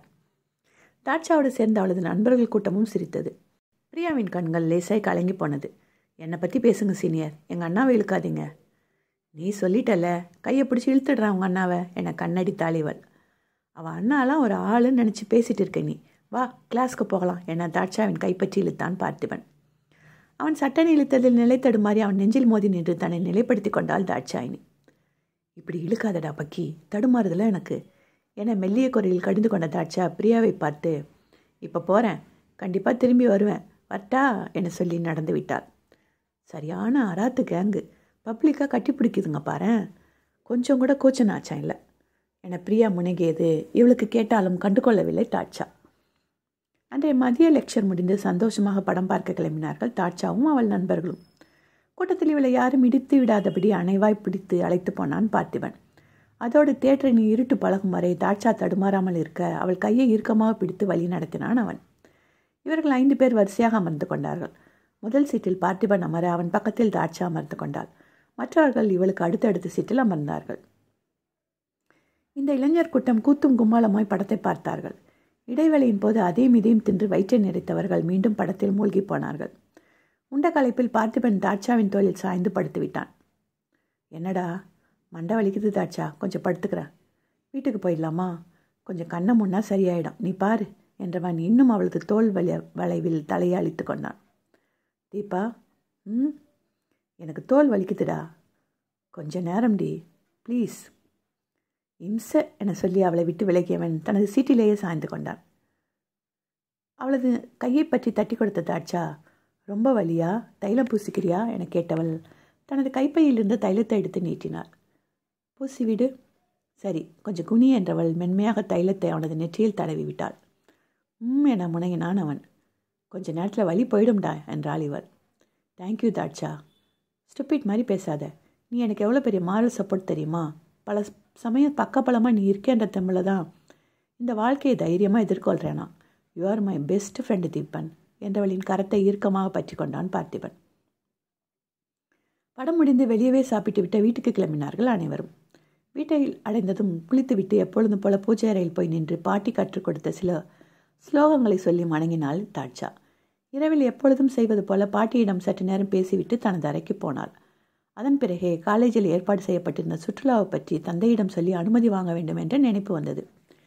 வெளியே தங்கிவிட்டு வருவதென்றால் அப்பாவிடம் கேள் என்று கலந்து கொள்வார் பூரணி. பெருமூச்சுடன் பெற்றவர்களின் அறை நோக்கி போனாள் இவள். கதவை தட்டு முன்னே உள்ளே பேசுவது இவள் காதில் வந்து விழுந்தது. மூத்தவளோட வீட்டில் ஊட்டிக்கு ஃபேமிலி கேதரிங் போகிறாங்களாம் நம்ம வீட்டிலேருந்து நம்மளையும் கூப்பிட்ருக்காங்க நம்ம இன்னொரு மகளும் குடும்பத்தோடு வரா. தர்ஷனை மட்டும் நம்ம கூட்டிகிட்டு போகலாம். கேம்ஸ் அது இதுன்னு வைப்பாங்க. அங்கே வந்து இந்த தாட்சா தடுமாறி விழுந்து வச்சா நம்ம மானந்தான் போகும். அதனால் அவளை அழைச்சிக்க வேணாம். அவளை மட்டும் எப்படி விட்டுட்டு போகிறது சிவகாமி? அம்மா கோச்சிப்பாங்க. அதெல்லாம் எனக்கு தெரியாது. உங்கள் அம்மாவை நீங்கள் சமாளிங்க. இந்த வீக்கெண்டு நம்ம கிளம்புறோம். மூணு நாள் கழிச்சு தான் வரோம். வீக்கெண்டுக்கு இன்னும் ரெண்டு நாள் தான் இருக்குது என்னடி இப்போ வந்து சொல்கிற லாஸ்ட் மினிட்ல சொன்னால் தான் சரிப்படும். இல்லைன்னா உங்கள் அம்மா உங்கள் மனசை கலைச்சி அந்த தாட்சாவையும் கூட்டிகிட்டு போக வச்சுடுவாங்க. மீட்டிங்கெல்லாம் இருக்குடி. பொல்லாத மீட்டிங் உங்கள் அப்பா தண்டமாக தானே உட்காந்துருக்காரு வீட்டில் மூணு நாள் அவரை பார்த்துக்க சொல்லுங்கள் நீங்கள் சம்பாரிச்சு போட போட சொகுசாக வாழ்கிறாங்க தானே எல்லாரும். இது கூட செய்ய மாட்டாங்களா? என அவர் ஆரம்பிக்க அதற்கு மேல் ராமநாதனிடம் பதில் பேச்சில்லை. இவங்க எல்லாரும் போகிறாங்கன்னா நான் இவங்களோட குடும்பம் இல்லையா? என்னை என்ன தவிட்டுக்கா வாங்கிட்டு வந்தாங்க? எனக்கும் இவங்க கூடலாம் போக இஷ்டம் இல்லை தான் அவங்க என்கிட்ட கேட்டிருந்தா நானே வரலன்னு சொல்லியிருப்பேன். நான் ஒதுங்கி போகிறது வேறு. இவங்களே என்னை ஒதுக்கி வைக்கிறது வேறு. இப்படி என்னை ஒதுக்கி வைக்க வைக்க தான் எனக்கு இன்னும் கோபம் ஏறுது. வெறி பிடிக்குது என எண்ணிக்கொண்டே கடும் கோபத்துடன் தனது அறைக்கு திரும்பி போனாள் இவள். கோபம் அழுகையாய் மாற சற்று நேரம் மனம் விட்டு அழுதாள் தாட்சா. தனக்கு கிடைக்காத அன்பை எண்ணி ஏங்கி அழுதாள். அழுது கொண்டே இருந்தால் சுய பச்சாதாபம் தன்னை விழுங்கிவிடும் என எண்ணியவள் கண்ணை அழுந்த துடைத்து கொண்டு சற்று நேரமானதும் மனதை ரிலாக்ஸ் செய்யலாம் என அலைபேசி எடுத்து பார்த்தாள் தாட்சா. நண்பர்கள் குரூப்பில் சேட் செய்யலாம் என நுழைந்தவள் இரண்டு நாட்களுக்கு முன்பு அனுப்பப்பட்ட நண்பன் ஒருத்தனின் பிறந்தநாள் அழைப்பை பற்றி டிஸ்கஷன் போய்கொண்டிருப்பதை சற்று நேரம் கவனித்தாள். மனமெல்லாம் ரணமாயிருக்க நானும் வரேன் என மெசேஜை தட்டிவிட்டாள் இவள். உடனே ஆஹா ஓஹோ ஆரிஷோர் என மெசேஜ்கள் வந்து குவிந்தன. இரவு நேரம் நடத்தப்படும் எந்த நிகழ்வுக்கும் இவள் செல்ல மாட்டாள். அது பாட்டியின் பாசத்திற்கு அவள் செலுத்தும் சிறிய கைமாறு பார்த்திபன் கூட இவளை பேபி என கிண்டல் செய்வான். அன்று வந்திருந்த கோபம் பாட்டியின் பாசத்தை கூட பின்னே தள்ளி வை இருந்தது அந்த பாட்டி தனது வாழ்க்கை பாதையே மாற்றி போடப் போகிறது என அறிந்திருக்கவில்லை தாட்சாயினி. மனிதனோட பெரிய சத்ரு என்ன தெரியுமா பாகு? அவனோட கோபம்தான். கன நேர கோபம் அவனோட வாழ்க்கையே புரட்டி போடக்கூடிய வல்லமை படிச்சதுன்னு பட்டாதான் புரியும் பலருக்கு தயை கிட்டுமா? வா நிஷாவின். தயை காட்டி நீ. எந்த கஷ்டம் வந்தாலும் அதை எதிர்த்து நிற்கிற இவளோட ஆட்டிடியூட் இன்னும் இன்னும் என்னை கட்டி இழுக்குது. அத்தியாயம் பத்தொம்போது. அந்த காலை வேளையில் சிவகாமி ஒரே ஆர்ப்பாட்டம் செய்து கொண்டிருந்தார் பால்கோவை நல்லா பேக் பண்ணி வைங்க. அங்கே போகிறதுக்குள்ளே உதிர்ந்து போயிட போகுது. காரம் முறுக்க நல்லா காற்று புகுந்திடாதபடி மூடி வைங்க. எல்லாம் கரெக்டாக இருக்கணும். சம்மந்திங்க நம்ம வீட்டு பலகாரங்களை பார்த்து மூக்கு மேலே வரல வைக்கணும். அவர் சத்தத்தில் அந்த வீட்டின் சமையல் அறையே அல்லோல கல்லோலப்பட்டு கொண்டிருந்தது. சோத்துலேயே சொத்தை அழிச்சிடுவா போல. என சத்தமாக முணங்கிக் கொண்டே காஃபி அருந்தி கொண்டிருந்தார் அம்பிகா. பத்து மணிக்கு எழுந்து வர மகராசி இன்றைக்கி என்னை சீண்டி பார்க்கணுன்னே காலையிலே எழுந்து உட்காந்துருக்கா என்னை முனகிய சிவகாமி சத்தமாக என் புருஷன் சம்பாதிக்கிறத நாங்கள் தின்னு அழிக்கிறோம் இல்லை மென்று அழிக்கிறோம்? அதில் ஏன் சில பாராசிட்டுங்களுக்கு பற்றிக்கிட்டு வருதுன்னு தெரியல. கல்யாணமாகியும் ஒட்டுண்ணி போல் ஆத்தா வீட்டில் உட்காந்துக்கிட்டு ஆட்டையை போடுறவங்களுக்கெல்லாம் ஆண்டவன் கூலி கொடுக்க மாட்டானே என புலம்பினார். அம்பிகா சிலிர்த்து கொண்டேல அங்கே மீண்டும் ஒரு உள்நாட்டு போர் வெடித்தது. அம்மா என்னோட ப்ளூ கலர் ஸ்வெட்டர் எங்க? என தர்ஷனின் குரலில் அந்த போருக்கு இடைவெளி விடப்பட்டது. இருடா கண்ணா வரேன் நான் வந்து தேடி கொடுக்குறேன் என மகனந்த அறை நோக்கி போனார் சிவகாமி. வீட்டில் நடப்பதை செவிமடுத்தபடி பூஜை அறையில் அமர்ந்திருந்தார் பூரணி. தாட்சாவை இவர்கள் அழைத்து போகவில்லை என்பதில் அவருக்கு அவ்வளோ வருத்தம். மகனிடம் சண்டை கூட போட்டிருந்தார். ராமநாதனோ மனைவிக்காக அம்மாவின் கோபத்தை தாங்கிக் கொண்டார். ஆண் என்பவன் அம்மாவுக்கும் மனைவிக்கும் மட்டும் சொந்தமில்லையே பெற்ற மகளுக்கும் பெரிய பந்தம் அல்லவா அந்த இடத்தில் மட்டும் நன்றாகவே சறுக்கி விட்டிருந்தார் அவர். பலகாரங்களும் லக்கேஜ்களும் கார் டிக்கியில் ஏற்றப்பட இவர்களை அழைத்து போக டிரைவரும் ரெடியாகி விட்டிருந்தார். ஒரு வழியாக மூவரும் காரில் ஏறி வந்து ஏறினார்கள். ராமநாதன் டிரைவர் அருகே அமர்ந்து கொள்ள அம்மாவும் மகனும் பின்னால் அமர்ந்து கொண்டார்கள். கடுப்பு இருந்தாலும் அவர்களை வழி அனுப்ப வெளியே வந்து நின்றார் போரினி. அந்த நேரம் புயலென வந்து பாட்டியை அணைத்து கொண்டாள் தாட்சா. அவள் கையில் டிராவல் பேக் எங்கடி? என கேட்டார் பூரணி. அவங்க கூட்டிகிட்டு போகலைன்னா நான் போகாமல் இருந்துடுவேனா? யார்கிட்ட? என பந்தாவாக பேசியவள். கார் கிளம்ப முன் ஏறி தம்பியை உள்ளே தள்ளிவிட்டு அமர்ந்து கொண்டாள். ஏய் ஏய் நீ எங்கடி? என கத்தினார் சிவகாமி. நான் என்ன குட்டி பாப்பாவா? போய் சொல்லி வீட்டில் விட்டுட்டு போக. நானும் வருவேன் உங்கள் கூட. எனக்கும் ஊட்டியை பார்க்கணும். போட்டிங் போகணும். முக்கியமாக உங்கள் சம்பந்திங்க முன்னாடி விழுந்து எழணும். போகலாம் ரைட் ரைட் என கூலாக சொன்னவள். அழிச்சாட்டியமாக கண்ணை மூடி படுத்து கொண்டாள். அதான் கிளம்பி வந்துட்டால கூட்டிகிட்டு போடா ராமநாதா என சொன்னார் பூரணி. அவர் பின்னால் திரும்பி மனைவியை பாவமாக பார்க்க நான் கட்டினதும் சரியில்லை பெத்ததும் சரியில்லை என சத்தமாக முனகினார் சிவகாமி. அம்மா நான் என்னம்மா செஞ்சேன்? என ஆட்சேபித்தான் தர்ஷன். உன்னை இல்லடா என சொன்னவர் மகளை முறைக்க தவறவில்லை. வேறு வழி இல்லாமல் தாட்சாவையும் ஏற்றுக்கொண்டே அந்த வண்டி புறப்பட்டது. மகளை திட்டியபடியே வந்தார் சிவகாமி. பாதி வழியில் கண்ணை திறந்த தாட்சா டிரைவர் அந்த ஆட்டோ ஸ்டாண்ட் பக்கமாக நிப்பாட்டுங்க என்றார் ஏன் தாட்சா என கேட்டார் ராமநாதன். உங்கள் கூட ஆசையாக ட்ரிப் வர கிளம்பினேன்னு நினச்சிங்களா? எப்படி எப்படி நினைக்கலாம் நீங்கள் அக்காங்களுக்கும் இவனுக்கும் உங்கள் பொண்டாட்டி ஊட்டி விடுவாங்க. அதை பார்த்து ஏங்கிட்டு நான் நிற்கணுமா இல்லை நீங்கள்லாம் ஓடி ஆடி கேம் விளையாடுறத பார்த்து ஏங்கிக்கிட்டு ஒரு மூலையில் முடங்கி கிடக்கணுமா? அக்காவோட மாமியாருங்க என்னை பார்த்து முகத்தை சொல்லிக்கிறத கண்ணு காணாமல் ஒதுங்கணுமா? இதில் எந்த என்ஜாய்மெண்ட்டுக்காக உங்கள் கூட நான் வரப்போகிறேன் சொல்லுங்கள் டாடி சொல்லுங்கள் என நக்கலாக கேட்டவள். நான் என் ஃப்ரெண்ட்ஸ் கூட வெளியே போகிறேன் நாளைக்கு வீட்டுக்கு போயிடுவேன் நைட் ஸ்டேனா பாட்டி விட மாட்டாங்க. அதான் அவங்கள யூஸ் பண்ணிக்கிட்டேன். உங்கள் கூட நான் வரலன்னு பாட்டிக்கிட்ட சொல்லி வாங்கி கட்டிக்காதீங்க. பெத்த பிள்ளைய நடுவழியில் எங்கடா கழட்டி விட்டேன்னு கிழிச்சு விட்டுருவாங்க. போங்க. நான் இல்லாமல் சந்தோஷமாக குடும்பமாக என்ஜாய் பண்ணிட்டு வாங்க. நான் பத்திரமா வீட்டுக்கு போயிடுவேன். பாய் என சொல்லி இறங்கி கொண்டாள். நைட் ஸ்டேலாம் வேணாம் தாட்சா என ராமநாதன் ஆரம்பிக்க என்ன அப்பாவை தானே எடுக்கிறீங்களா?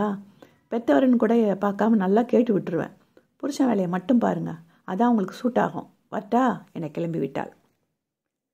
அவள் ஆட்டோவை ஏறி போவதை அவஸ்தையுடன் பார்த்திருந்தார் ராமநாதன். என்ன ஃபீலிங்கா அவள் ஊரையே அடித்து ஓலையில் வைக்கிறாள் அதெல்லாம் நல்லா ஊரை பொறுக்கிட்டு வீட்டுக்கு போயிடுவா. உங்கள் ஃபோனை இங்கே கொண்டாங்க? என வாங்கி அதை அடைத்து போட்டார் சிவகாமி.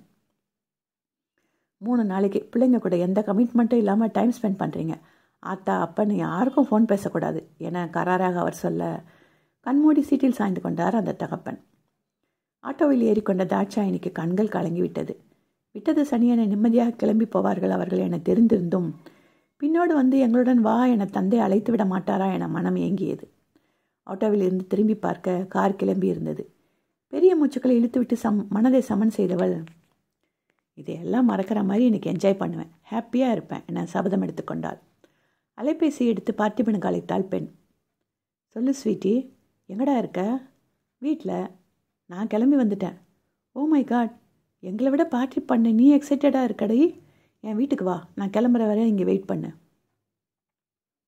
பசிக்குதுடா. நான் நம்ம ஃபேவரட் ஹோட்டலில் வெயிட் பண்ணுறேன் கிளம்பி வந்துடு. பெஸ்டின்னு சொல்கிறதெல்லாம் வாயில் மட்டும்தான் தாட்சா. ஒரு நாளைக்காச்சும் என் வீட்டுக்கு வந்திருப்பியா நீ? என கடுப்பானான் அவன் உன் நாரி போன பேச்சுலர் வீட்டுக்கு வந்து நான் கிளீனிங் வேலையை பார்க்கணுமா? நோவே நீ சீக்கிரம் வா என சொல்லி அழைப்பை துண்டித்து விட்டாள் இவள். பார்த்திபனின் பெற்றோர் கனடாவில் வசிக்கிறார்கள். இவனது அண்ணன் அங்குதான் பிசினஸ் செய்கிறான். சேலத்தில் இருந்து குடும்பமாக அங்கே குடிபெயர்ந்து விட்டார்கள். இவனும் கூட படிப்பு முடிந்ததும் அங்கு சென்று விடுவான். இவனை இப்போதே வர சொல்லி அழைத்து கொண்டுதான் இருக்கிறார்கள் படிப்பை காரணம் காட்டி இங்கு சுதந்திரமாக சுற்றி கொண்டிருந்தான் பார்த்திபன். நண்பர்கள் என எல்லோரிடமும் நன்றாக பேசி பழகினாலும் அவர்களை தன் வீட்டிற்கு அழைத்ததில்லை தாட்சார் அதுபோல இவளும் அவர்கள் வீடு வரை சென்றதில்லை. பார்த்திபனுக்கு அதில் மிகுந்த வருத்தம். பாய் பெஸ்டியாக இருந்தாலும் ஒரு ஆண்மகன் தனியாக இருக்கும் வீட்டுக்கு செல்ல இவளுக்கு தயக்கமாக இருந்தது. என்னவோ ஒரு தடை. அதை எப்படி மொழிபெயர்ப்பது என தெரியவில்லை பெண்ணுக்கு. சகஜமாக தொட்டி பேசி கொண்டாலும் அவன் நெஞ்சில் சாய்ந்து கண்ணீர் விட்டாலும் அவனது வருடல்களையும் ஆதீத நெருக்கத்தையும் இவள் உடல் எதிர்த்தது. அவனது மனம் கோணாதபடி விலகிக் கொள்வாள். அதை கூட அனுமதிக்காவிட்டால் எங்கே தன்னிடமிருந்து விலகிவிடுவானோ என உள்ளுக்குள் ஒரு பயம். அவளது துன்ப வாழ்க்கையில் வெளிச்சக்கீற்றாய் இருப்பது பார்த்திபனின் நட்பு மட்டுமே. அவனது அக்கறையும் அன்பும் தான் அவளை உயிருடன் நடமாட வைக்கிறது. அவளது கால் பிரச்சனையை பெரிதாக எடுத்துக்கொள்ளாதவன் இவன் மட்டும்தான். இவள் காலை மறைப்பது போல்தான் உடை உடுத்தி வருவாள். ஜீன்ஸ் அணிந்தாலும் அது காலை மறைக்கும்படியாகத்தான் இருக்கும். அதுபோல தான் சுடிதாரின் பாட்டமும். இவர்கள் ராகிங்களை அறிகும் அறிமுகமாகி ஒரே கிளாஸ் ரூமில் படிக்க ஆரம்பித்தாலும் ஆரம்பத்தில் புன்சிரிப்புடன் கடந்து விடுவார்கள். அவ்வப்போது ஹாய் பாய் என பேசிக்கொள்வார்கள். பல மாதங்களுக்கு பிறகு ஒரு நாள் கேன்டீனில் கூட்டத்தில் ஈடுபட்டு இவள் தடுமாறி விழுந்துவிட பார்த்திபன் தான் இவளுக்கு உதவி செய்தான். தட்டு தடுமாறி எழ முயன்றவளின் ஸ்பெஷல் சாண்டில் தள்ளி விழுந்திருந்தது. அதை எடுத்து வந்து குனிந்து அமர்ந்து அவள் காலில் போட்டு விட்டவனுக்கு அவளது காலின் குறை புரிந்து போனது. அந்த பாதத்தை வருடி கொடுத்தவன் மெல்ல அவள் காலை இழுத்து கொள்ள எழுந்து கொண்டான். அவளும் எழுவதற்கு கை நீட்டினான் பார்த்திபன். அவன் கைபலத்தில் எழுந்து நின்றாள் பெண். தாட்சாயினி ரைட் ஆம் என தலையாட்டினாள். காலை அவன் பார்த்து விட்டதில் கண்களின் ஓரத்தில் கண்ணீர் கட்டி கொண்டது நான் பார்த்திபன். லெட்ஸ் பி ஃப்ரெண்ட்ஸ் என கையை நீட்டினான் அவன். தயக்கத்துடனும் அவளை தூக்கிவிட்டதில் நன்றி பேருக்குடனும் அவன் கைப்பற்றி கொண்டாள் தாட்சா. அன்றிலிருந்து அவனது நண்பர்கள் இவளுக்கும் நண்பர்களானார்கள். யாருடனும் பழக பயந்து தனித்திருந்தவள் அவன் க நட்பு கிடைத்த பின்பு சிறகு விரிக்க ஆரம்பித்தாள். அவர்கள் கேங் காலேஜையே கலக்கியது. நன்றாக படித்தார்கள். அதோடு அட்டகாசமும் செய்தார்கள். தாட்சாவை ராணி போல பார்த்துக்கொள்வான் பார்த்திபன். அடிக்கடி பரிசுகள் கொடுப்பான். அவை பெரும்பாலும் காலுக்கான சங்கிலி ஆங்க்லெட் வகைகள். கால் நகத்துக்காக பிரத்யேகமாக செய்யப்பட்ட நெயில் பாலிஷ் வகைகள். காலுக்கான லோஷன் என கால்கள் சம்பந்தப்பட்டதாகவே இருக்கும். அவன் பரிசளிக்கும் நேரமெல்லாம் இவளுக்கு நெஞ்சம் இம்மி விடும் தன் காலை பார்த்து பலர் கேலி செய்திருக்க அதை ஒரு பொருட்டாக கருதாமல் ஆராதிப்பவனை பெண்ணுக்கு இன்னும் இன்னும் பிடித்தது. அவனுடன் மனதில் உள்ளதை பகிர்ந்து கொள்ளும் அளவுக்கு நட்பானாள். பார்த்திபனின் கண்களில் சில சமயம் ஏதோ தேடலை கண்டிருக்கிறாள். தன்னை காதலிக்கிறானோ என்று கூட தோன்றியது உண்டு. எல்லோரும் இவர்கள் இருவரின் ஒட்டுதலை நட்பென்று எண்ணினாலும் நட்புக்கும் காதலுக்கும் நடுவில் ஓரிடத்தில் பார்த்திபன் நிற்பது போன்ற தோற்றமயக்கம் இவளுக்கு. பார்த்திபனின் அணைப்புகளில் இருந்த வேகம் அடிக்கடி கைப்பற்றி கொள்ளும் அவனது செயல் இவள் தோல் சாய்ந்து கொள்ளும் நெருக்கம் என நட்பையும் தாண்டி காதலை நோக்கி போய்கொண்டிருப்பது போல இருந்தது பெண்ணுக்கு. திடீரென அவன் காதலை சொல்லிவிட்டால் என்ன செய்வது என பதட்டமாக இருந்தது தாட்சாவுக்கு அவனை பிடித்தது ஆனால் தன்னை கொடுக்கும் அளவுக்கு பிடித்திருக்கிறதா என தெரியவில்லை. அவனை காதலனாக கற்பனை செய்து பார்த்தாள். உதடும் உதடும் ஒட்டும் நேரம் கண்ணை சட்டென திறந்து கொண்டாள். முடியவில்லை. கற்பனையில் கூட பார்த்திபனை காதலனாக பார்க்க முடியவில்லை. ஒரு பெண் தோழியை எப்படி பார்ப்பாளோ அப்படித்தான் அவனையும் பார்க்க முடிந்தது. கடவுளிடம் வேண்டிக் கொண்டாள் தாட்சா ஆண்டவா எனக்கு அவன் மட்டும்தான் இருக்கான். ஒன்று எனக்கு அவன் மேலே காதலை வரவை இல்லை அவனுக்கு என் மேலே காதலை வர வைக்காத. எனக்கு இந்த விஷயத்தில் ஹெல்ப் பண்ணு கடவுளே. அவன் காதலை சொல்லி என்னை ரிஜெக்ட் பண்ண வச்சிடாத. அவனும் என்னை விட்டு விலகிட்டா எனக்குன்னு வாழ்க்கையில் பற்றுக்கோள் ஒன்றும் இல்லை. ப்ளீஸ் கடவுளே ப்ளீஸ் என்னை அடிக்கடி வேண்டிக் கொண்டாள் அவள் ஹோட்டலில் அமர்ந்து மெனுவை பார்த்து கொண்டிருக்க பதினைந்து நிமிடங்களில் வந்துவிட்டிருந்தான் பார்த்திபன். இருவரும் பேசியபடியே சாப்பிட்டார்கள். அதன் பிறகு மால் ஒன்றுக்கு போனார்கள். அரை மணி நேரம் கடந்ததும் அவனது வற்புறுத்தலில் சற்று நேரம் அமர்ந்து கொண்டாள் தாட்சா. பத்து நிமிடம் சென்றதும் மீண்டும் எழுந்து கடைகளை அலசினார்கள். மதிய உணவு ஐஸ்கிரீம் எல்லாம் அந்த மாலிலேயே பார்த்து கொண்டார்கள். Dhatcha party start at seven இப்போ ஆறாகுது. நீ போய் கிளம்பிட்டு வா என லேடிஸ் டாய்லெட்டை காட்டினான் இவன். அவள் உள்ளே போனதும் இவன் ஆண்கள் டாய்லெட் போய் முகம் மட்டும் கழுவி வந்தாள். பேக்கில் கொண்டு வந்த அழகான பிங்க் வர்ண முழு நீள ட்ரெஸ்ஸை அணிந்து கொண்டாள் தாட்சா. முகத்துக்கு அழகாய் மேக்கப் போட்டு தலைமுடியை வாரி விரித்து விட்டாள். அவளுக்கே அவளை பார்க்க அழகாக தெரிந்தது. புன்னகையுடன் வெளியே வந்தாள் தாட்சாயினி. அவளை பார்த்த பார்த்திபனுக்கு சற்று நேரம் பேச்சு வரவில்லை. அவனது பார்வை ட்ரெஸ் மறைத்திருந்த அவள் கால் பா பாகத்தில் சில நிமிடங்கள் நிலைத்து பின் முகம் நோக்கி வந்தது. You look absolutely gorgeous Dhatcha என புன்னகையுடன் சொன்னவன் அவள் தோல் அணைத்து கொண்டான். புன்னகையுடன் அவள் அணைப்பில் இருந்து வெளியானவள் let's go party tonight என சொன்னாள். எஸ் பேபி எனக்கு பார்ட்டி தான் இன்னைக்கு. என்றவனின் முகத்தில் அப்படி ஒரு மகிழ்ச்சி. தயை கிட்டுமா? பனிஷாவின் தயை காட்டு நீ. புழுதியில் புரட்டி போட்ட வீணை மாதிரி இருந்தாலும் அவளோட தேஜஸ் மட்டும் குறையலை. அத்தியாயம் இருபது. பார்ட்டி ஏற்பாடாகி இருந்த வீடு வண்ண விளக்குகளால் ஜெகஜோதியாக காட்சியளித்தது. காரை பார்க் செய்துவிட்டு தாட்சாவின் கைப்பிடித்த அந்த வீட்டின் உள்ளே நுழைந்தான் பார்த்திபன். உள்ளே கூச்சலும் கும்மாளமும் காதை பிளந்தது. ஸ்பீக்கர் சிஸ்டத்தில் பாடல்கள் அதிர ஹால் பக்கவாட்டில் உணவு வகைகள் அடுக்கி வைக்கப்பட்டிருக்க டிஸ்கோ லைட் மினுக்க ஜோடி ஜோடியாக இளவட்டங்கள் ஆடிக்கொண்டிருந்தார்கள். பெரியவர்கள் என அங்கே யாரும் இல்லை. இவர்களின் பார்ட்டி இப்படித்தான் இருக்கும் என நண்பர்களின் வாய்மொழியாக கேள்விப்பட்டிருக்கிறாள் தாட்சாயினி. அதை நேரில் பார்க்கும்போது இவளுக்குமே உற்சாகம் தொற்றிக் கொண்டது. இவளது நண்பர்கள் பட்டாளம் ஓடி வந்து கட்டிக்கொண்டது தாட்சாவை. வெல்கம் தாட்சா அட்லாஸ்ட் நீயும் எங்களோட ஐக்கியமாக வந்ததில் செம்ம ஹாப்பி. ஐஃபை என கைத்தட்டி ஆர்ப்பரித்தார்கள் அவர்கள். இவளும் சிரித்த முகமாக அவர்களோடு ஒன்றி போனாள்.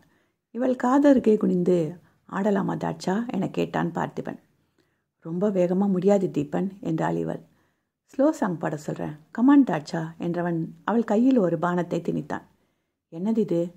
காக்டெயில் கொஞ்சமாக தான் ஆல்கஹால் இருக்குது பயப்படாமல் குடி என கொடுத்து விட்டு டிஜே சிஸ்டத்தை பார்க்கும் ஆட்களை தேடி போனான் பார்த்திபன். இவளது போலவே நண்பர்கள் எல்லோரும் அறிந்து கொண்டிருக்க அண்ணாச்சி பழம் செருகியிருந்த அந்த பானத்தை எந்த தயக்கமும் இன்றி பருகினாள் தாட்சா. சுவையாகத்தான் இருந்தது. புளிப்பு இனிப்பு கொஞ்சமாய் கசப்பு என தொண்டையில் இறங்கும் போதே தேவாமிர்தமாக இருந்தது. பார்த்திபன் இவள் அருகில் வந்ததும் பாடலை போட சொல்லி டிஜேவிடம் சிக்னல் காட்டினான். ஷல்வி என அவன் கையை நீட்ட புன்னகையுடன் அவன் கைமேல் தன் கை வைத்தாள் இவள். ஆர் யூ ஓகே பேபி என அவன் கேட்க பாடலும் சேர்ந்து ஒழித்தது நீயும் நானும் அன்பே கண்கள் கோர்த்து கொண்டு வாழ்வின் எல்லை சென்று ஒன்றாக வாழலாம் என பாடல் மெல்லிசையாக ஒழிக்க தாட்சாவின் இடை பற்றி மெல்ல ஆட்டுவித்தான் பார்த்திபன். மற்ற நண்பர்கள் கைத்தட்ட புன்னகையுடன் அவன் கரம் கோர்த்து ஆடினாள் அவள். என் பாதை நீ என் பாதம் நீ நான் போகும் தூரம் நீ அடி. என் வானம் நீ என் பூமி நீ என் ஆதி அந்தம் நீ அடி என அவன் பாடியபடி ஆட இவள் இதயம் தடதடத்தது. காதல்னு மட்டும் சொல்லிடாதடா என மனது அடித்து கொண்டது மனதோடு போராட்டம் அவனோடு சுற்றி சுழன்றி ஆடியது என தலை கிறுக்கிறுக்க ஆரம்பித்தது தாட்சாவுக்கு. பாடல் முடி உற்றதும் பார்த்திபனை நெஞ்சோடு ஒட்டி கொண்டாள் தாட்சாயினி. என்ன செய்து பேபி? தலை சுத்துது தீப்பன். அப்போ இனி ஆட வேண்டாம் தாட்சா. வந்து ஏதாவது சாப்பிடு. கொஞ்சம் பெட்டராக இருக்கும் என்றான் அவன். அவளை சோபாவில் அமர்த்தி விட்டு லைட்டாக சாப்பிடுவது போல உணவு எடுத்து வந்தான். அவள் தட்டை வாங்க தடுமாற இவனே கொஞ்சமாய் ஊட்டி விட்டான். போதும் தீபன் கிளம்பலாமா? என்னை வீட்டில் கொண்டு போய் விட்டுறியா? கண்டிப்பாக பேபி நான் மற்றவங்ககிட்ட சொல்லிட்டு வரேன். கிளம்பிடலாம் என எழுந்து போனான். சற்று நேரத்தில் திரும்பி வந்தவன் இவளை கைப்பிடித்து எழுப்பினான். உடல் எங்கேயோ மிதப்பது போல இருந்தது தாட்சாவுக்கு. ஒரு மாதிரியாக பண்ணுதுடா தீபா. அப்படியா பேபி? இன்னும் கொஞ்ச நேரம் பொறுத்துக்கோ. பல மாதிரியாக பண்ணிடலாம் என்றவனின் குரலில் இருந்த பேதத்தை உணர்ந்து நிமிர்ந்து பார்த்தாள் தாட்சா. அவன் தலைக்கு பின்னால் தெரிந்த டிஸ்கோ லைட்டை விட பார்த்திபனின் முகம் இன்னும் மின்னியது.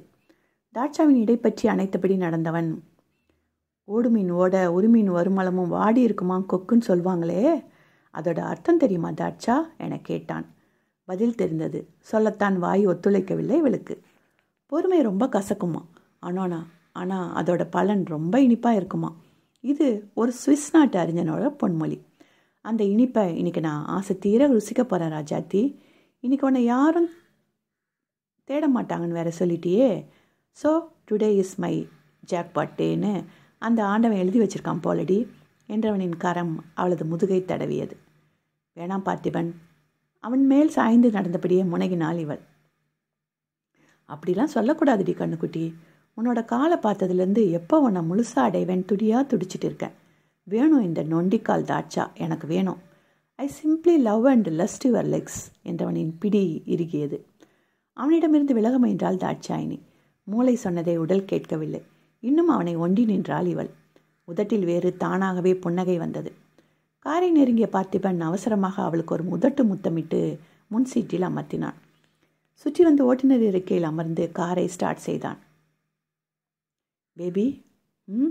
கதவு பக்கம் சாஞ்சி உட்காந்து காலை தூக்கி என் மடியில் வை. அவன் சொன்னது போலவே செய்தாள் இவள். வலது கை ஸ்டீரிங்கில் இருக்க பார்த்திபனின் இடது கை அவளது குட்டையான காலை அழுத்தி வருடியது. வழியில் முனகினாள் இவள். டி பேபி இப்படிலாம் சவுண்டு கொடுக்காதடி பிறகு காருக்குள்ளேயே எல்லாம் ஆகிடும் என்றவனுக்கு அப்படி ஒரு சிரிப்பு. அவனது சிரிப்பு சத்தம் தலைவலியை கொடுத்தது இவளுக்கு. டாட்சா பேபி ம்? ஃபுட் ஃபெட்டிஷ் என்னன்னா என்னன்னு தெரியுமா உனக்கு? இவளுக்கு பதில் சொல்ல முடியவில்லை. அமைதியாகவே இருந்தாள். தலைக்குள்ளே என்னென்னவோ நிகழ்ந்தது. பூ விரிந்தது பட்டாசு வெடித்தது ரயில் தடத்தடுத்தது அலை அடித்தது உடம்போ தள்ளாடியது. பார்த்திபன் பேசுவது கேட்டது ஆனால் மழுங்கிய மூளையால் அதை மொழிபெயர்க்க முடியவில்லை. பேபி பேபி என சத்தமாக அவன் அழைக்கவும் ம் என பதில் தந்தாள் இவள். அப்படின்னா கால் மேலே காமம்னு அர்த்தம். மனுஷங்களுக்கு பல விஷயங்களை பார்த்து காமம் வருமா? சிலருக்கு மார்பை பார்த்து வரும் சிலருக்கு உதட்டை பார்த்து வரும் சிலருக்கு முகத்தை பார்த்து வரும் சிலருக்கு கொண்ட காதலால் வரும். அதில் கொஞ்சம் ரேரான கேஸ் என்னோட கேஸ். எனக்கு ஒரு பொண்ணோட காலை பார்த்தா தான் காமம் வருது பேபி. நான் என்ன பண்ணட்டும்? இது ரொம்ப நார்மல்னு வெளிநாட்டில் சொல்கிறாங்க ஆனால் நம்ம நாட்டில் நான் கூடின பொண்ணுங்க எல்லாம் என்னை பைத்தியம் மாதிரி பார்க்குறாங்க பேபி. என்றவனிடம் இருந்து பெருமூச்சு வந்தது. உன்ன மாதிரி ரொம்ப சாதாரணமான பொண்ணுங்களை எல்லாம் நான் நட்பு வட்டத்தில் கூட வச்சுக்க மாட்டேன் பேபி. ஆரம்பத்தில் உன்கிட்ட கூட ஹாய் பாய்னு தான் போயிட்டு இருந்தேன். கேன்டீனில் நீ கீழே விழுந்த பார்த்தியா அப்போ பிடிச்சது எனக்கு காய்ச்சல். உன் காலை பார்த்து என் காமம் முழிச்சிக்கிச்சு. ஆசையை அடக்கவே முடியல என்னால். எத்தனையோ வகையான கால்களை பார்த்துருக்கேன். ஆனால் உன்னோடது இட்ஸ் சோ ரேர் டிவைன் என்றவன் சாலையை பார்த்து காரை செலுத்து கொண்டே அவளது குட்டைக்காலை தூக்கி முத்தமிட்டான். பயங்கரமாய் நெளிந்தாள் இவள். உன்னோட காலை தொடணும் வருடணும் இன்னும் அதை என்னென்னவோ செய்யணும்னு என் உணர்வுகள் பேயாட்டம் போட்டுச்சு. நட்புல இருந்து ஆரம்பித்து படிப்படியாக காதலுக்கு போய் உன்னை கொல்ல கொல்லணும்னு நினச்சேன். உன்னை என்னை அன்புக்கு அடிமையாக்கி நான் நினச்சபடி ஆட்டி வைக்க முடிவு பண்ணேன். தடியால் அடிக்கிறத விட தானாக கணிஞ்சு வந்து மடியில் விழுற பழத்துக்கு ருசி அதிகம்டி.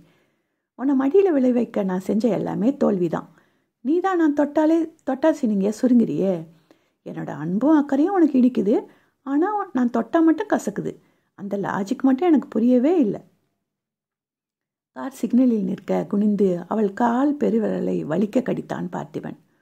ஆ என வழியில் முணங்கினாள் இவள். என்னை ஏங்கி ஏங்கி தவிக்க விட்டதுக்கு தண்டனை இது என்றவனின் குரலில் சிரிப்பு இருந்தது ஒரு பொண்ணை மடக்கிற வித்தையில் ஆம்பளை கற்றுக்க வேண்டிய முதல் விஷயம் என்ன தெரியுமா? பொறுமை. எஸ் பொறுமை இல்லாதவன்லாம் இந்த மேட்ரு பக்கமே வரக்கூடாது. ஒரு மாதம் ரெண்டு மாதம் பொறுமை இல்லை பேபி. வருஷக்கணக்காக பொறுமை காக்கணும். ஆசையை அடக்கி காத்திருக்கணும். மெசஞ்சரில் ஒருத்தன் ஒரு பொண்ணுக்கு ஹாய் போடுவான். அவள் யார்டா இந்த கோமாளின்னு ரிப்ளை போட மாட்டா.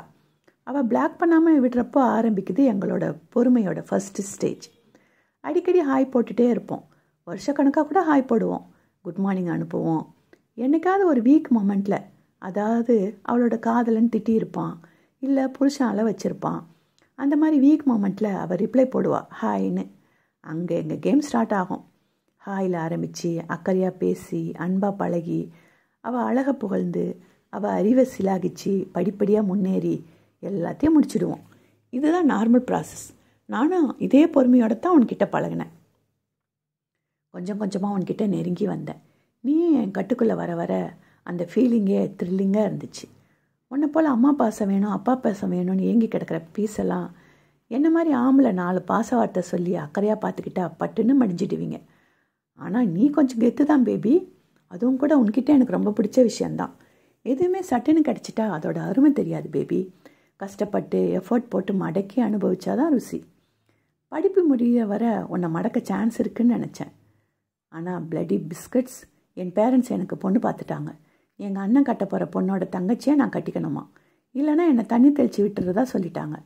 அப்படி விட்டுட்டா நான் எப்படி பேபி விதவிதமான பொண்ணுங்க காலங்களை கொண்டாடி மகிழ்றது? அடுத்த மாதம் வெட்டிங் உன்னை அடையாமல் விட்டுட்டு போகிறமேன்னு மனசு தவிச்சுக்கிட்டே இருந்துச்சு. பார்ட்டிக்கு வரேன்னு லட்டு மாதிரி சான்ஸை நீயே எனக்கு தூக்கி கொடுத்துட்ட பேபி என்ன? நான் கொடுத்த ட்ரக்ஸில் நீ எனக்கு நல்லாவே ஒத்துழைப்ப ஆனால் மனசார ஒத்துழைக்க மாட்டேன் இத்தனை வருஷம் நான் போட்ட உழைப்பெல்லாம் வீணாக போச்சு. அது மட்டும்தான் எனக்கு குறை. பரவாயில்ல விடு. எந்த பாதையாக போனால் என்ன? கடைசியில் வீடு போய் சேர்ந்தா பத்தாதா? இன்னைக்கு உன் வீட்டில் நான் குடி வர போகிறேன் என்றவனின் குரலில் குதூகலம் இருந்தது. அதற்கு மேல் நடந்தது எதுவும் அவளுக்கு ஞாபகம் இல்லை. இந்த நினைவுகள் கூட அவ்வப்பொழுது துண்டு துண்டாக நினைவில் வர அவளே அதை கோர்த்து யூகித்து கொண்டதுதான். ஒருத்தங்களுக்கு குப்பையாக தெரிகிற விஷயம் இன்னொருத்தங்களுக்கு பொக்கிஷமாக தெரியுமா? என்னோட இந்த குட்டக்கால அருவறுப்பாக ஒதுக்குனாங்க என் வீட்டில் பட் அதையே ஆராதிச்சு என் வாழ்க்கையை ஒன்றுமில்லாமல் ஆக்கிட்டான் இவன். அருவெறுப்புக்கும் ஆராதனைக்கும் நடுவில் என் வயிற்றில் வந்து அவதரிச்சிருக்கு இந்த குழந்த. பாப்பாவை நான் அருவெறுக்கிறதா ஆராதிக்கிறதான்னு தெரியாமல் மனசுக்குள்ளே தினம் செத்துட்டு இருக்கேன் பாகு. செத்துட்டு இருக்கேன். தயை கிட்டுமா? வாணிஷாவின் தயை காட்டி நீ. இவ ராணி. ஏன் இதே ராணி? அத்தியாயம் இருபத்தி ஒன்று. ரெண்டு நாள் என்னை யாருமே தேடல பாகு என்றவளின் குரல் உள்ளே போயிருந்தது. முகம் வீங்கி கண்கள் சிவந்து கட்டிலில் சாய்ந்து அமர்ந்து எங்கோ வெறுத்தபடி பேசியவளை துயரத்துடன் பார்த்தான் இவன். புலிதில் புரட்டி போட்ட வீணம் மாதிரி இருந்தாலும் அவளோட தேஜஸ் குறையில என எண்ணிக்கொண்டவனுக்கு அவளை அனைத்து ஆறுதல் சொல்ல உடலில் உள்ள ஒவ்வொரு செல்லும் பரபரத்தது. அப்பா எனும் ஆண் பிம்பம் அவளுக்கு பாதுகாப்பை கொடுத்திருக்கவில்லை. உயிர் நண்பன் என நம்பிய இன்னொரு ஆண் பிம்பம் அவளை குச்சுயிராக்கி இருந்தது. இப்பொழுது கணவன் எனும் இடத்தில் இருக்கும் இந்த ஆண் மகனை மட்டும் சட்டனை எப்படி மனதளவு நெருங்க விடுவாள் தாட்சா? எனும் எண்ணம் தோன்ற கை கட்டி அமைதியாக தள்ளி அமர்ந்து கொண்டான் இவன். அந்த ரெண்டு நாளும் என்னை ஒரு வித போதையிலேயே வச்சிருந்திருக்கான். அவன் என்னை என்னென்ன செஞ்சான்? எப்படி என் பெண்மையை எடுத்துக்கிட்டான்? அவன் கூட நான் எப்படி இளைஞ்சேன்? இப்படி ஒன்றுமே என் ஞாபகம் அடுக்கல இல்லை. அதை நினச்சாலே என் நெஞ்சம் இன்னும் கூட குலுங்கி போகும் பாகு. மற்ற ரேப் விக்டிம் மாதிரி காலகாலத்துக்கும் அந்த சம்பவம் நினைவு வந்து தரமாவாக கூடவே வாழுன்ற அச்சம் எனக்கு இல்லைன்னு சந்தோஷப்படவா? இல்லை சுயமே இல்லாமல் வயிற்றில் வாங்கிட்டு வந்ததை நினச்சி துயரப்படவான்னு புரியல எனக்கு. எப்படி கண்டுபிடிச்சாங்க உன்னை? கண்களில் கண்ணீர் வழிய வீரபத்ரனை நிமிர்ந்து பார்த்தாள் தாட்சாயினி. வழியும் அவள் கண்ணீரை கண்டு இவன் உள்ளம் விண்டு வலித்தது. தன்னை மீறி அவளை நெருங்க முனைய ப்ளீஸ் வேணாம் என கை காட்டி அவனை நிறுத்தினாள் தாட்சாயினி. பெருமூச்சுடன் மீண்டும் அமர்ந்த இடத்திலே அமர்ந்து கொண்டான் இவன். அலறப்போ அராத்த அவதாரம் அழிஞ்சு போய் அனாதரவான குழந்தை போல இருக்காளே இவ என உள்ள முறுக்கி போனான் வீரபத்ரன். என் மண்டைக்குள்ள யாரோ ஆணி அடிக்கிற மாதிரி சத்தம். டக்கு டக்கு டக்குன்னு. மெதுவாக கண் திறந்து பார்த்தேன். கும்மிரிட்டு. ஆனால் சத்தம் கேட்டுகிட்டே இருந்தது. அப்போ தான் யாரோ கதவை தட்டுற சத்தம்னு புரிஞ்சுது. எழுந்துக்க முடியல. உடம்பெல்லாம் தள்ளாட்டம். உடல் வலிமையை நம்பாமல் மன வலிமை கொண்டு எழுந்து உட்கார்ந்தேன் என்றவள் அந்த நினைவில் தேம்பினாள். மண்டை மூளை மசமசன்னு வென்று இருந்தது. கதவை திறக்கலன்னா உடச்சிடுவாங்களோன்ற மாதிரி ஒரே சத்தம். யார் உள்ள? கதவை திறங்கன்னு. கண்ணை நல்லா சிமிட்டி கை கொண்டு முகத்தை தேய்ச்சி அந்த போதையிலிருந்து வெளிவர போராடினேன். பிரம்ம பிரயத்தனமாக இருந்தது. தட்டு தடுமாறி எழுந்து நின்னப்போ தான் தெரிஞ்சது பிறந்த மேனியாக இருக்கேன்னு என சொன்னவளின் குரலில் அவ்வளோ வலி. மனைவியின் வலி அவளின் சரிபாதியான இவனையும் தாக்கியது. வெளியே யாரோ எவரோ என்ன ஆபத்து காத்திருக்கோ இப்படி துணி இல்லாமல் நிற்கிறமே அப்படின்னு எதுவும் தோணலை அந்த நேரம். மூளையை பெறான்ற அந்த தட்டுற சத்தம் நின்று நின்னா போதும்னு மட்டும் இருந்துச்சு. அப்படியே மெல்ல நடந்து கதவு கிட்ட போனேன். காலை நகர்த்த முடியாத அளவுக்கு என் உடம்பே எனக்கு பாரமாக இருந்தது. செத்துப்போன பணம்தான் கணக்குன்னு சொல்லுவாங்க. அந்த நேரத்தில் நான் மனசால் செத்து தான் போயிட்டேன் போல. அதான் அவ்வளோ பாரமாக இருந்திருக்கு. தேடி வந்தது உங்கள் அப்பாவா? மிஸ்டர் ராமநாதன் மேலே உனக்கு அவ்வளோ நம்பிக்கையா பாகு? டூ பேட் உன் நம்பிக்கையில் மண்ணள்ளி போட வேண்டிய நிலையில் நான் இருக்கேன் என்றவள் மீண்டும் தொடர்ந்தாள். வந்தது அந்த வீட்டோட ஓனர். அவர்கிட்ட சாவி இருந்தும் என்னோட கைப்பை வெளியே ஹாலில் இருக்கவும் உள்ளே ஒரு பொண்ணு இருக்கான்ற அனுமானத்தில் கதவை திறக்காமல் தட்டிட்டு இருந்திருக்காரு. நான் இருந்த நிலையில் கதவை திறந்து அவர் உள்ளே வந்திருந்தா என் பொழப்பு சந்தி சிரிச்சிருக்கும் பாகு. அது இப்போ நினச்சா கூட உடம்பு தூக்கி போடுது. அந்த பார்த்திபன் ரெண்டு நாள் கூட வச்சுருந்து மேட்டரை முடிச்சுட்டு பெட்ரூமில் அப்படியே அம்மனமாக என்னை விட்டுட்டு கிளம்பி கனடா போயிட்டான்டா. ஆட்டோமேட்டிக் லாக்னால் அவன் திறந்து வெளியானதும் ரூம் கதவு தானாக பூட்டிக்கிச்சு. நான் கதவு கிட்டே போய் பத்து நிமிஷம் கொடுங்கன்னு காஞ்சி போன தொண்டையை சேருமி டைம் கேட்டேன். தட்டுற சத்தம் நின்றுடுச்சு சீக்கிரம் வெளியாகுமா? இல்லைன்னா போலீஸை கூப்பிட்டுருவேன்னு சத்தம் போட்டார் வெளியே நின்னவர். போலீஸ்னதும் உடம்புல ஒரு நடுக்கம். கொஞ்சமாக அலர்ட்னஸ் வந்தது. அப்புறம் என்னாச்சு தாட்சா? என அமைதியாகி போனவளை பேச வைக்க முயன்றான் இவன். எந்த சீனும் இல்லாமல் கிளம்பணும். பாட்டி மடியில் போய் விழணும். இது மட்டும்தான் மைண்டில் ஓடுது. ரூம் லைட்டை தேடி போட்டு கீழே செதறி கிடந்த என் துணிகளை பொறுக்கி பாரமாக கடந்த கையையும் காலையும் அசைச்சி உடுத்திக்கிட்டேன். கீழே குனிஞ்சு பார்த்தா என் காலெல்லாம் காயம். செவந்து வீங்கி பல்பட்ட தடம்னு இருந்தது. என் கண்ணில் அது பாட்டுக்கு கண்ணீர் போகுது. தொடச்சிட்டு நிமிந்து பார்த்தா கட்டில். அங்கே துளி துளியாக ரத்தம். அப்போ மண்டையில் அடித்த மாதிரி புரிஞ்சுது என்னாச்சு எனக்குன்னு? நிதர்சன முகத்தில் வந்து அறைய வெடிச்சுக்கிட்டு வந்தது அழுக. இந்த முறை தள்ளி நிற்காமல் அருகே வந்த பத்ரன் தாட்சாவை தன் வயிற்றோடு கட்டிக்கொண்டான். அவனது இடுப்பை வளைத்து கொண்டு கதறி தீர்த்தாள் இவள். யார் யாரோ நண்பன் என்று ஏமாந்த நெஞ்சம் உண்டு. பூவென்று முல்லை கண்டு புரியாமல் நின்றே நின்று. அப்படின்னு எஸ்பிபி பாடினது முழுசாக எனக்கு புரிஞ்சுது. அந்த நொடி தான் துரோகம். நம்பிக்கை துரோகம். எப்படிப்பாக அவனால் முடிஞ்சுது? தீவன் தீவன் அவன் காலை சுற்றி நாய்க்குட்டி மாதிரி திரிஞ்சேனே. எப்படி மனசாட்சியே இல்லாமல் என்னை சீரழிக்க முடிஞ்சுது அவனால்? எல்லாமே ஷேர் பண்ணிப்பேன் பாகு அவன்கிட்ட. என் முகம் சோர்ந்திருந்தா பீரியட்ஸா பசியா கவலையான்னு கரெக்டாக மொழிபெயர்த்துக்குவான். எல்லா நேரத்துலையும் ஆதரவாக நிற்பான் உன்கிட்ட எதையும் நான் மறைக்க விரும்பல பாகு. பார்த்திபன் நான் பயந்த மாதிரி என்னை காதலிக்கிறேன்னு வந்து நின்று இருந்தா எங்கே நான் ரிஜெக்ட் பண்ணால் என்னை விட்டு விலகிடுவானோன்ற பயத்திலேயே எஸ் கூட சொல்லியிருப்பேன். அவ்வளோ பிடிக்கும் அவனை. அவனை விட்டு கொடுத்துருக்கவே மாட்டேன். அவன் பெருமையாக சொன்னபடி காதல்னு சொல்லி உன்னை கொடுன்னு கேட்டிருந்தா கூட நான் எஸ் சொல்லியிருக்க சான்ஸ் இருக்குது பாகு. அவனோட அன்பில் தலைக்குப்புற விழுந்து கிடந்தேன் நான். எனக்காக எல்லாத்தையும் பார்த்து பார்த்து செய்வான். என்னை கரெக்டாக அவன் கணிச்ச மாதிரி எனக்கு அவனை கணிக்க தெரியலையே. பொண்ணுங்களுக்கு உள் மனசு சரியாக வேலை செய்யணும்னு சொல்கிறாங்களே ஏன் உள் மனசு மட்டும் தூங்க போயிருச்சா பாகு? அவன் அதீதமாக நெருங்கி வரப்போ நீ தான் வச்சுருக்க தாட்சா. உன் ம உன் உள் மனசு சரியாக தான் வேலை பார்த்துருக்கு. ஆனால் அன்புங்கிற முகமூடி அப்பப்போ வந்து கண்ணை மறைச்சிருக்கு. என் வாழ்க்கையில் இனி ஒருத்தனை நான் எப்படி பாகு நம்புவேன்? வீட்டில் யார் மேலேயும் வைக்காத மொத்த நம்பிக்கையும் பாசத்தையும் அவன் மேலே வச்சேன். அதுக்கு தான் என்னை அம்மனமாக அனாதரவாக விட்டுட்டு ஓடி போனானோ வீட்டில் அன்பு கிடைக்கலன்னு வெளியே தேடுற பல பொண்ணுங்களுக்கு என்னோடய வாழ்க்கை ஒரு பாடம் பாகு. சிலருக்கு உண்மையான அன்பு கிடைக்கலாம். பலர் என்னை போல் வல்லூருங்க கையில் விழுந்து சின்ன தான் போகிறாங்க அன்பு இல்லைன்னா செத்தாப்பவும் அப்படின்னு நினச்சிப்பேன் பாகு. ஆனால் பொண்ணுங்களோட பலவீனமே பாசம்தானே பாகு. இவ்வளோ பட்டும் கூட நீ என் மேலே காட்டுற அக்கறையில் என் மனசு உன் பக்கம் போகுதே. என்னை என்னன்னு சொல்ல பாகு? நானெல்லாம் திருந்தாத ஜென்மம் பாகு. எவ்வளோ பட்டாலும் காஞ்சி போன மண் மலத்தை நீ இழுத்துக்கிற மாதிரி யாராச்சும் லேசாக அன்பு காட்டினாலும் அதை இழுத்து வச்சுக்க பார்க்குற நானெல்லாம் திருந்தாத ஜென்மம். என கதறிய வேலை எப்படி சமாதானப்படுத்துவது என்றே தெரியவில்லை இவனுக்கு. சற்று நேரம் அவளை அளவிட்டவன் கண்களை துடைத்து விட்டான்.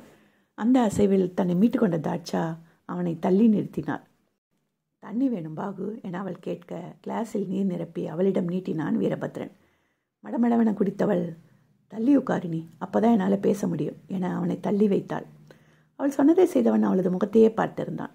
டாட்சாவின் மனம் தன்னை நோக்கி படர்வதை அவள் பேச்சை வைத்து உணர்ந்து கொண்டிருந்தவனுக்கு அதை நினைத்து மகிழ முடியவில்லை. அவள் பட்ட காயத்தின் வீரியம் அதிகம். இவன் மீது அன்போ காதலோ வந்தால் கூட கண்டிப்பாக நெருங்கி வர மாட்டாள் என புரிந்ததினால் மனது சோர்ந்து போனது. சற்று நேரத்தில் தன்னை திடப்படுத்தி கொண்டாள் தாட்சாயினி. சிறு வயதிலிருந்தே அதில் அனுபவம் இருந்ததே இவளுக்கு அங்கிருந்த பெட் சைட் டேபிளில் என்னோடய ஃபோன் செத்து போய் கிடந்தது. அதை கையில் பிடிச்சிக்கிட்டு ரூமை விட்டு விந்தி விந்தி வெளியே வந்த என்ன அவ்வளோ கேவலமாக பார்த்தார் அந்த ஹவுஸ் ஓனர் வாடகை அதிகமாக கொடுத்தாலும் பணத்தை கரெக்டாக கொடுக்குறானேன்னு இவன் அடித்த லூட்டியை கண்டும் காணாமல் இருந்தேன். வீட்டை காலி பண்ணிட்டேன்னு சொன்னவன் காசுக்கு வந்த களிசடையை அப்படியே விட்டுட்டு போயிருக்கான் பாரு. சீச்சி என் மூஞ்சில் துப்பாத குறையாக பேசினார். மெல்ல வீட்டை விட்டு வெளியே போனேன். என் பின்னாடி என்னோடய பேகை விட்டு அடித்தார் அவர். பொறுக்கிக்கிட்டு ஒரு ஆட்டோ பிடிச்சி வீட்டுக்கு வந்தேன். எப்படி அட்ரஸ் சொன்னேன்? ஆட்டோவுக்கு காசு கொடுத்தனா? இதெல்லாம் கூட சரியாக தெரியல எனக்கு. பாட்டிக்கிட்ட போகணும்னு மட்டும்தான் மனசெல்லாம் இருந்தது. ஏற்கனவே இவளை பிடிக்காது. இந்த விஷயம் தெரிந்து வீட்டில் என்னவெல்லாம் ஆடி இருப்பார்கள் என புரிந்தது இவனுக்கு. நான் வீட்டுக்குள்ளே போன நுழைஞ்சப்போ பாட்டி மிஸ்டர் ராமநாதனை கண்ணம் கண்ணமாக அரைஞ்சிட்டு இருந்தாங்க. மேடம் சிவகாமி கத்தி கூச்சல் போட ஒரே கலாபரமாக இருந்தது அந்த இடமே. போன இடத்துல தர்ஷனுக்கு காய்ச்சல்னு ஒரு நாள் முன்னாடியே திரும்பி வந்திருக்காங்க என் குடும்பத்தில் உள்ளவங்க. நான் இல்லாமல் அவங்க மட்டும் திரும்பி வருவோம். பாட்டி கோபமாகி நீ எல்லாம் ஒரு அப்பாவாடான்னு ராமநாதனை வச்சு செஞ்சுட்டு இருந்தாங்க. அப்போ கலைஞ்ச முடி களைச்சி போனால் தோட்டம்னு உள்ளே வந்த என்னை பார்த்து எல்லாருக்கும் பெரிய அதிர்ச்சி. ரெண்டு நாளாக எங்கடி மேய போன ஓடுகாலின்னு எங்கள் அம்மா கோவத்தில் என்னை போட்டு அடிச்சிட்டாங்க பாபு என் பாட்டிக்கிட்ட ஆறுதல் தேடணும்னு வந்த என்னை அடித்து சாச்சிட்டாங்க மயங்கிட்டேனா? நான் நெஞ்சில் ரத்த கண்ணீரே வந்தது இவனுக்கு. இவர்களெல்லாம் மனிதர்களாக என்னை பல்லை கடித்தான் வீரபத்ரன். டாக்டரை கூட்டிகிட்டு வந்து பார்த்துருக்காங்க பாகு. நான் ட்ரக் எடுத்திருக்கேன்னு அவர் சொல்லியிருக்காரு. ஆனால் காலை தவிர என் உடம்புல வேறு எங்கும் காயம் இல்லாததுனால என்னை ரேப் பண்ணியிருக்காங்கன்னு யாருக்கும் தெரியல. ரேப்புன்னு சொன்னால் தானே ப்ரைவேட் இடத்துலலாம் செக் பண்ணணும்னு தெரியும். அதை கூட சொல்ல முடியாமல் நான் ஒரு வாரம் படுத்த படுக்கையாக இருந்தேன். ஃபிசிக்கலி மென்டலி எமோஷ்னலி நான் ரொம்ப வீக்காக இருந்தேன். ட்ரக்ஸோட எஃபெக்ட்ஸ் வேற என்னை? சீக்கிரம் எழுந்துக்க விடலை. பிறகாச்சும் சொன்னியா நீ? என கேட்டான் பத்ரன். நான் தேறி கண்ணு முழிச்ச நேரம் காதில் கேட்டது என்னன்னு நினைக்கிற? ஆம்பளை பசங்க கூட ஒன்று மணி நேரம் திரியிறான்னு தெரியும். ஆனால் இப்படி போதை பொருளெல்லாம் எடுப்பான்னு தெரியும் நினைக்கவே இல்லை.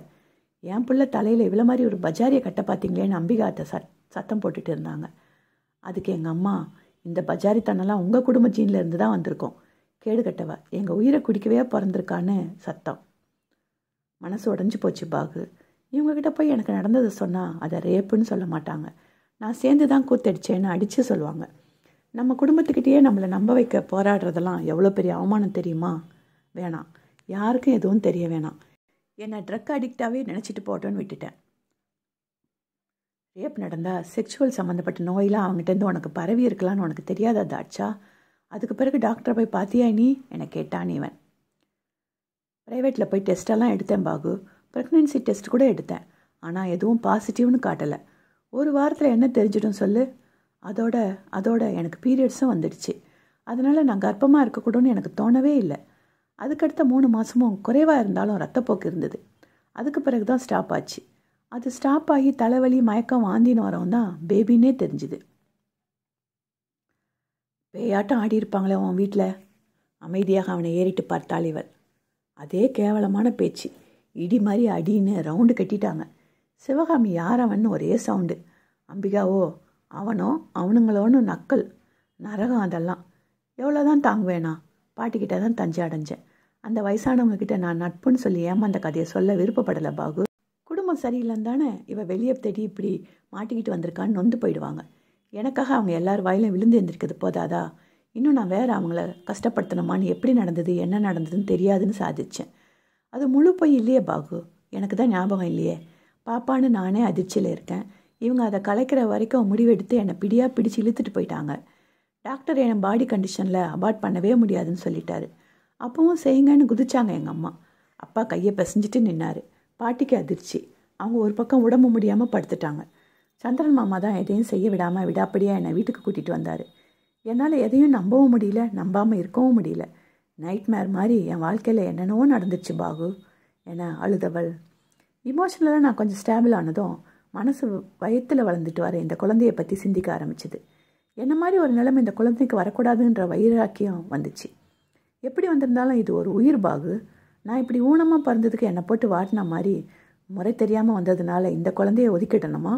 ஒதுக்கி வைக்கப்படுற வழி என்னன்னு எனக்கு தானே நல்லா தெரியும். நானே அந்த தப்பை பண்ணலாமா? என் மனசாட்சி கேள்வியாக கேட்டு குத்துது. ஏன் அறிவோ இது அந்த ராஸ்கல் கொடுத்த புள்ள. இது உனக்கு வேணான்னு போட்டு குடையுது. நான் என்ன தான் செய்யட்டும்? வயிற்றுக்குள்ளே இருக்கிறப்பவே பாப்பாவை எங்கள் அம்மா என் குடும்பம் நீ உங்கள் அம்மா உன் குடும்பம்னு கேவலமாக பார்க்குறீங்க இது பிறந்து வந்தால் எப்படி நடத்துவீங்கன்னு பயமாக இருக்கு பாகு. என்றவளின் கண்ணீர் இவன் நெஞ்சை சுட்டு பொசிக்கியது.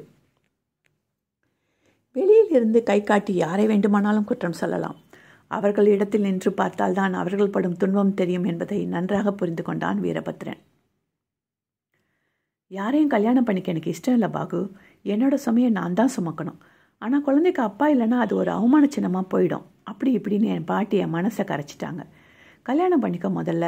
பிள்ளைக்கு இனிஷியல் வாங்கிக்கோ. அதுக்கு பிறகும் சரி வரலன்னா அவனை விட்டுடு. கல்யாணம் இல்லாமல் குழந்தை பெற்றுக்கிற அவமானத்தை விட டிவோர்ஸின்ற பேரில் புள்ள வளர்க்குறது ஒரு மரியாதையாக இருக்கும்னு என்னென்னவோ சொன்னாங்க. ஏன் சுயநலத்துக்காக உன் வாழ்க்கையை பணயம் வைக்கிறதுல எனக்கு இஷ்டமில்லை பாகு. உன் தங்கச்சி உன்னை பற்றி அவ்வளோ பெருமையாக பேசுவா. அவளை கடுப்பேற்றி விட்டாலும் பாரு நம்மக்கிட்ட பணம் வாங்கி இவ்வளோ நல்லா ஒருத்தன் படித்து முன்னேறி இருக்கானேன்னு உன்னை பற்றி நானுமே பெருமையாக தான் நினச்சிப்பேன். என்ன மாதிரி ஒரு பொண்ணை கட்டி உன் வாழ்க்கை ஏன் வீணாக போகணும்னு ரொம்ப யோசித்தேன் பொண்ணு பார்க்க வந்தப்போ உன்கிட்ட பேச வந்தேன்ல. அப்போ கூட கல்யாணம் பண்ணிவிட்டு பேபி பிறக்கிற வரைக்கும் என் கூட இரு. பிறகு நாம் விலகிக்கலான்னு சொல்ல தான் வந்தேன் பாகு நான் தான் உன்னை கடுப்பேற்றிட்டேன்ல என குரலுடைய கேட்டான் இவன். சுயநலமாய் தன் வாழ்க்கையை பற்றி மட்டும் யோசிக்காமல் தனக்காகவும் யோசித்திருக்கிறாளே என எண்ணியவனுக்கு தான் பேசிய பேச்சை நினைத்து அவமானமாக இருந்தது. அந்த கடுப்பில் தான் உன்னை வச்சு செஞ்சேன் பாகு உன்னை வம்பிழுக்கிறப்பெல்லாம் நீ பேச முடியாமல் சீச் போடின்னு பயந்துட்டு ஓடுறத பார்த்து எனக்கு அவ்வளோ சிரிப்பாக இருக்கும். அதுக்காகவே எல்லாம் மீறி உன்னை வம்பு பண்ணிகிட்டே இருந்தேன். ஃபஸ்ட் நைட்டில் பூவெல்லாம் போட்டு வச்சது கூட உன்னை சீண்டி பார்க்கத்தான். ஆனால் நீ பயந்து ஓடாமல் என்னையே எதிர்த்துக்கிட்டதில் இன்னும் சுவராசியம் கூடி போச்சு. எனக்கு கிடைச்ச விளையாட்டு பொம்மை மாதிரி உன்னை போட்டு படுத்தி எடுத்தேன் பாகு. இன்னும் கூட படுத்துவேன். எல்லாம் குழந்தை பிறக்கிற வரைக்கும் தான் அதுக்கு பிறகு நீ யாரோ நான் யாரோ பாகு. இன்னும் சில மாதம் பொறுத்துக்கோ. உன்னை என் கை சிறையிலிருந்து சுதந்திரமாக விட்டுடுறேன். நீ ஏற்கனவே சொன்ன மாதிரி உன் ரேஞ்சுக்கு ஒரு அழகான பிச்சைக்காரியை கட்டிக்கிட்டு சந்தோஷமாக இரு பாகு. நான் பாப்பாவை கூட்டிகிட்டு வெளிநாடு போயிடுவேன். யாரும் வேணாம் பாகு எனக்கு. எனக்கு பாப்பா பாப்பாவுக்கு நான். அது போதும். என சொல்லியவளை கண்ணில் வலியுடன் பார்த்திருந்தான் இவன். விட்டுவிட முடியுமா அவளை? அவன் காதல் மனம் அவளை விட்டுவிட்டு வாழுமா? தன் மீது அவளுக்கு நேசம் இருக்கிறது. அதை ஊதி பெரிதாக்கி தன்னுடனே தாட்சாவையும் குழந்தையும் பொத்தி வைத்துக் கொள்ள வேண்டுமென முடிவெடுத்தவன் வேறு திசையில் பேச்சை திருப்பினான். மென்மையான குரலில் கெட்டவன் ஒருத்தனுக்கு பிறந்துட்டமேன்னு தீக்குள்ள விழுந்த தாட்சாயினி தாய் போல கேர் எடுத்துக்காத அவங்க அப்பாவுக்கு பிறந்த இந்த தாட்சாயினி தப்பே செய்யாமல் மற்றவங்க பேச்சால் தினம் தீக்குளிக்கணுமா என கேட்டான். பெற்றவங்க பாசம் வேணும் அங்கீகாரம் வேணும்னு ஏங்கின நாட்களை எல்லாம் நான் தாண்டிட்டேன் பாகு எப்போவுமே என் கேரக்டரை ஜட்ஜ் பண்ணுற இவங்களுக்காக என்னையும் என் பரிசுத்தையும் நிரூபிக்க வேண்டிய அவசியம் இல்லைன்னு தோணிடுச்சு. ஐ சிம்ப்ளி டோன்ட் கேர் பாட்டி கூட என்னை நம்பலனதும் மனசு ஒடிஞ்சு போச்சு. வயசான அந்த காலத்து மனுஷி அவங்களுக்கு ஃபோனில் வந்த வீடியோ பார்த்து அதிர்ச்சியாக இருக்கும் அதனால் வார்த்தையை விட்டுட்டாங்க. இங்கே உட்காந்து யோசித்து பார்த்தேன். இத்தனை வருஷமாக என்னை கண்ணுக்குள்ளே வச்சு பார்த்தவங்க ஒரு வார்த்தை புரிஞ்சுக்காமல் சொல்லிட்டதுனால அவங்கள வெறுக்கிறது தப்புன்னு புரிஞ்சிடுச்சு. மனசை தேத்திக்கிட்டேன். அவங்கள மன்னிச்சிட்டேன் என சொன்னால் தாட்சாயினி. அதெல்லாம் விடு. பார்த்திபன் செஞ்ச தப்புக்கு தண்டனைன்னு ஒன்று கொடுக்கணும்னு தோணலையா உனக்கு? அந்த திமிர் பிடிச்ச சித்தார்த்தையே வாட்டி வச்ச உனக்கு இவனை மதம் பண்ணணும்னு தோணலையா? என கேட்டான். மெலிதாக சிரித்தாள் தாட்சாயினி. ஏன் சிரிக்கிற? இப்போ அந்த பார்த்திபன் இங்கே தான் என்னை சுற்றி ஆவியாக திரிஞ்சிட்டு இருப்பான். என்னடி சொல்கிற பார்த்திபன் பரலோகம் போய் பல மாதம் ஆச்சு வீரபாகு. தயை கிட்டுமா? மனிஷாவின் தயை காட்டு நீ. கண்ணுக்குள்ளே உன்னை வைத்தேன் கண்ணம்மா. அத்தியாயம் இருபத்தி ரெண்டு அன்றைய தினம் வேலை இழுத்துக்கொண்டே போனது வீரபத்ரனுக்கு. மீட்டிங் கான்ஃபரன்ஸ் கால் என ஒன்று மாற்றி ஒன்று இருந்து கொண்டே இருந்தது. அதோடு முக்கிய இமெயில் ஒன்று வந்திருக்க அதே வெறுத்து பார்த்தபடி இருந்தான் இவன். மனதிற்குள் பல குழப்பங்கள். அந்த இமெயிலில் வந்திருந்த விஷயத்தின் சாதக பாதங்களை அலசி ஆராய்ந்து கொண்டிருந்தவனுக்கு எந்த முடிவுக்கும் வர முடியவில்லை. பிறகு பார்த்து கொள்ளலாம் என விஷயத்தை ஆறப்போட்டான் பத்ரன். அலைபேசியை எடுத்து தாட்சா இன்னைக்கு வேலை முடிய லேட் ஆகும் நீ சாப்பிட்டுட்டு படுத்துடு என ஒரு மெசேஜ் போட்டவன் மற்ற வேலைகளில் மூழ்கி போனான். ஒன்பது மணி வாக்கில் ஒரு வழியாக வேலைகள் முடிவுற்றிருக்க வழியெடுத்த கழுத்தை தடவி விட்டவன் லேப்டாப் பாகை எடுத்துக்கொண்டு வெளியேறினான். ஆஃபீஸ் கட்டடத்திலிருந்து வெளியேறி வந்தவனின் முகத்தின் முன்னே காரின் ஹெட்லைட் அடிக்க எந்த பரதேசிடா அவன்? என கடுப்பாக கண்ணை சுருக்கி விழித்தான் இவன். பரதேசி இல்லை பரதேவதை என கண்டு கொண்டவனுக்கு புன்னகை முகிழ்த்தது. புன்னகைத்த உதடுகள் அடுத்த நொடி கோபத்தில் வளைந்தன. தாட்சாவின் காரை நோக்கி போனவன் டிரைவர் பக்க கதவை தட்டி அவளை வெளியே வர சொன்னான். கதவை திறந்து வெளியே வந்தவளிடம் அறிவில்லை உனக்கு? இந்த ராத்திரியில் காரை எடுத்துகிட்டு தனியாக வருவியா? வயிற்றில் பாப்பா இருக்கு ஞாபகம் இருக்கா இல்லையா? என வல்லென விழுந்தான். களைச்சி போன எனக்கு கால் டாக்ஸி சேவை செய்ய வந்திருக்கும் கலியுலக கல்கியே உனக்கு நன்றியோ நன்றின்னு சொல்லலனாலும் பரவாயில்ல. இப்படி கடிச்சு வைக்கிறிய பாகு உனக்கே நல்லா இருக்கா? என கேட்டவளை முறைத்தான் இவன். சரி சரி மறைக்காத. வா கிளம்பலாம் என்றவள் அவனை சுற்றி போய் ஓட்டுநரின் பக்கத்து இருக்கையில் அமர்ந்து கொண்டாள். தனது லேப்டாப் பேக்கை காரை பின் சீட்டில் வைத்த வீரபத்ரன் காரில் ஏறி அமர்ந்து அதை செலுத்த ஆரம்பித்தான். தாட்சா சீரியஸ்லி என இவன் ஆரம்பிக்க நான் கர்ப்பமாக இருக்கேன் தான். இல்லைன்னு சொல்லலை. அதுக்குன்னு கப்பு சிப்புன்னு இருன்னு சொன்னால் எப்படி பாகு? வீட்டில் போர் அடிக்குது. அதான் உன்னை ஏற்றிட்டு வர மாதிரி ஒரு ரைடு வரலான்னு வந்தேன். அப்படியே உன் கூட வெளியே சாப்பிட்லான்னு ஒரு பிளான் என இடைமறித்து சொன்னாள் தாட்சா. சாப்பிடலாம் என அவள் சொல்ல அதற்கு மேல் கடிந்து கொள்ளவில்லை இவன். தாட்சா வளவளத்தபடி வர அவள் குரலை ரசித்தபடி அமைதியாக வந்தான் இவன். காரில் வைத்திருந்த வாசனை திரவியத்தையும் மீறி அவளது வாசனை இவன் மூக்கை நெருடியது. களைப்பெல்லாம் பறந்து போக உடலும் மனனும் உற்சாகமாகி போனது. காரில் ஏதோ ஒரு பாடல் ஓடிக்கொண்டிருக்க அதில் கேட்ட தாட்சாயினி என்னும் சொல்லில் இவன் கவனம் முழுவதும் அதில் குமிழ்ந்தது. தாட்சாயணி தயை காட்டு நீ. நாளை காலை நேரில் வருவாளா வந்தவுடன் காதல் நெஞ்சை தந்து விடுவாளா? என ஹரிஹரன் குலைந்து உருக இவனுக்கும் உள்ளே உருகியது. ஓரக்கண்ணால் தாட்சாவை பார்க்க அவளோ வெளியே வேடிக்கை பார்த்தபடி வந்தாள். உலகம் முழுக்க லட்டு லட்டா பொண்ணுங்க குமிஞ்சு கிடந்தாலும் என் கண்ணுக்கு அவன் மட்டும்தான் அழகு என மனதில் அவளை சீராட்டி கொண்டவன் ஐ லவ் யூ தாட்சாயினி என முனகினான் அவன் முனகியது அவனுக்கே கேட்டிருக்காது. பிறகு அவளுக்கு எங்கே கேட்டிருக்கும்? என்ன சாப்பிட ஆசையாக இருக்குது தாட்சா என அவள் கவனத்தை தன் பக்கம் திருப்பினான் இவன். பூரி வேணும். நைட்டுக்கு என்ன ஐட்டம் வேணாமே. அப்புறம் என்ன இதுக்கு என் ஒப்பீனியன் கேட்ட நீ? என வேதாள முருங்கை மரம் ஏற ஒரு பூரி மட்டும் ஆசைக்கு வாங்கித்தரேன் அதை சாப்பிட்டுட்டு வேறு ஏதாச்சும் ஆர்டர் பண்ணிக்கலாம் என அதை பிடித்து கீழே இறக்கினான் இவன். ஏற்காட்டிலிருந்து திரும்பி இவர்கள் பெங்களூர் வந்து சில மாதங்கள் ஆகியிருந்தன. பூரணி அவர்களுடனே வந்து ஒரு வாரம் தங்கியிருந்து பேத்தியை சீராட்டி விட்டு போயிருந்தார் இவளுமே அவரிடம் முகத்தை தூக்கி வைத்துக் கொள்ளாமல் நன்றாகவே பழகினாள். அவளை பொறுத்தவரை வாழ்க்கை தெளிவான நீரோடையாக சென்று கொண்டிருந்தது. இவனுக்கோ கடலில் மிதக்கும் பாய்மரக் கப்பல் போல வாழ்க்கை தள்ளாடி தத்தளித்து கொண்டிருந்தது. அவளை நெருங்கி பழகவும் பயந்தான். தள்ளி வைக்க முடியாமலும் தவித்தான். மனதில் கரை புரண்ட நேசமோ நாளுக்கு நாள் வளர்ந்து இவனை நெக்குறுக செய்தது. தாட்சாவுக்கு பிடித்த உணவகத்தில் காரை நிறுத்தி பார்க் செய்தவன் அவளை உள்ளே அழைத்துச் சென்றான். உப்பித்தெறிந்த வயிறு மேசையில் இடிக்காதபடி நாற்காலியை பின்னால் இழுத்து போட்டவன் உட்காரு தாட்சா என்றான். எனக்கு நாற்காலி இழுத்துக்க தெரியாதா? காலு தான் சரியில்லை எனக்கு. கை ரெண்டும் நல்லா தான் வேலை செய்யுது என அவள் மெலிதான குரலில் கடிந்து கொள்ள புன்னகை முகமாகவே அவள் முன்னே அமர்ந்து கொண்டான் இவன் பெரிய புன்னகை மன்னன் இவர். எப்போ பாரு இழிச்சிக்கிட்டே இருப்பார். மூஞ்சில் மூஞ்சூறு விட்டுருவேன் பார்த்துக்கோ என சிடுசிடுத்தபடி அமர்ந்து கொண்டாள் தாட்சா. அவளது சிடுசிடுப்பை இவன் பெரிதுபடுத்திக் கொள்ளவே இல்லை. அக்கறையாக இவன் எந்த காரியம் செய்தாலும் இப்படித்தான் சிடுசிடுப்பாள் தாட்சா. சற்று நேரத்தில் மாறி சிரித்த முகமாகி விடுவாள். அவள் கடந்த வந்த ஏமாற்றங்கள் தான் யாரிடமும் ஒரு நல்லதை எதிர்பார்க்க விடாமல் அவளை பயமுறுத்தி வைத்திருக்கிறது என புரிந்து கொண்டவனுக்கு அவளது கோபத்தை சுலபமாக கடந்துவிட முடிந்தது. சேலை வாங்கி கொடுக்க நினைத்த போது சித்தார்த் இவளை அடிக்க வந்தபோது இப்படி பல சமயங்களில் அவன் அக்கறையாக உதவிக்கு வந்ததினால்தான் கடித்து குதறி இருக்கிறாள் என இப்பொழுது புரிந்தது வீரபத்ரனுக்கு. இருவரும் உணவு ஆர்டர் செய்து பகிர்ந்து உண்டு முடித்து சூடாக தேநீரும் வாங்கி அருந்தினார்கள் ஸ்டோரி எப்படி போயிட்டுருக்கு தாட்சா? இன்றைக்கி ஏதாச்சும் எழுதுனியா? என கேட்டான் இவன். இன்றைக்கி செம்ம ப்ரொடக்டிவ் டே பாகு. ரெண்டு பக்கம் எழுதினேன் அதுக்கு படம் கூட வரைஞ்சிட்டேன். பப்ளிஷிங் ஹவுஸ்லேருந்து இமெயில் வந்துட்டே இருக்குது இந்த மாதம் கடைசிக்குள்ளே முடிக்கணும்.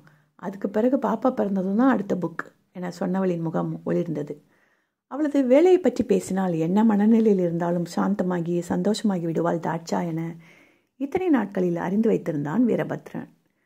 கல்லூரி படிக்கும்போதே அமெரிக்க நிறுவனம் ஒன்று நடத்திய சிறுவர்களுக்கான படக்கதை புத்தகம் எழுதும் ஆன்லைன் போட்டியில் கலந்து கொண்டு இரண்டாவது இடம் வந்திருந்தாள் தாட்சா. அவள் வரைந்து எழுதிய காலொடிந்த வெட்டுக்கிளியின் ஆங்கில கதை அமெரிக்கன் பப்ளிஷிங் நிறுவனம் ஒன்றுக்கு பிடித்து போக இவளது புத்தகத்தை வெளியிட அனுமதி கேட்டார்கள்.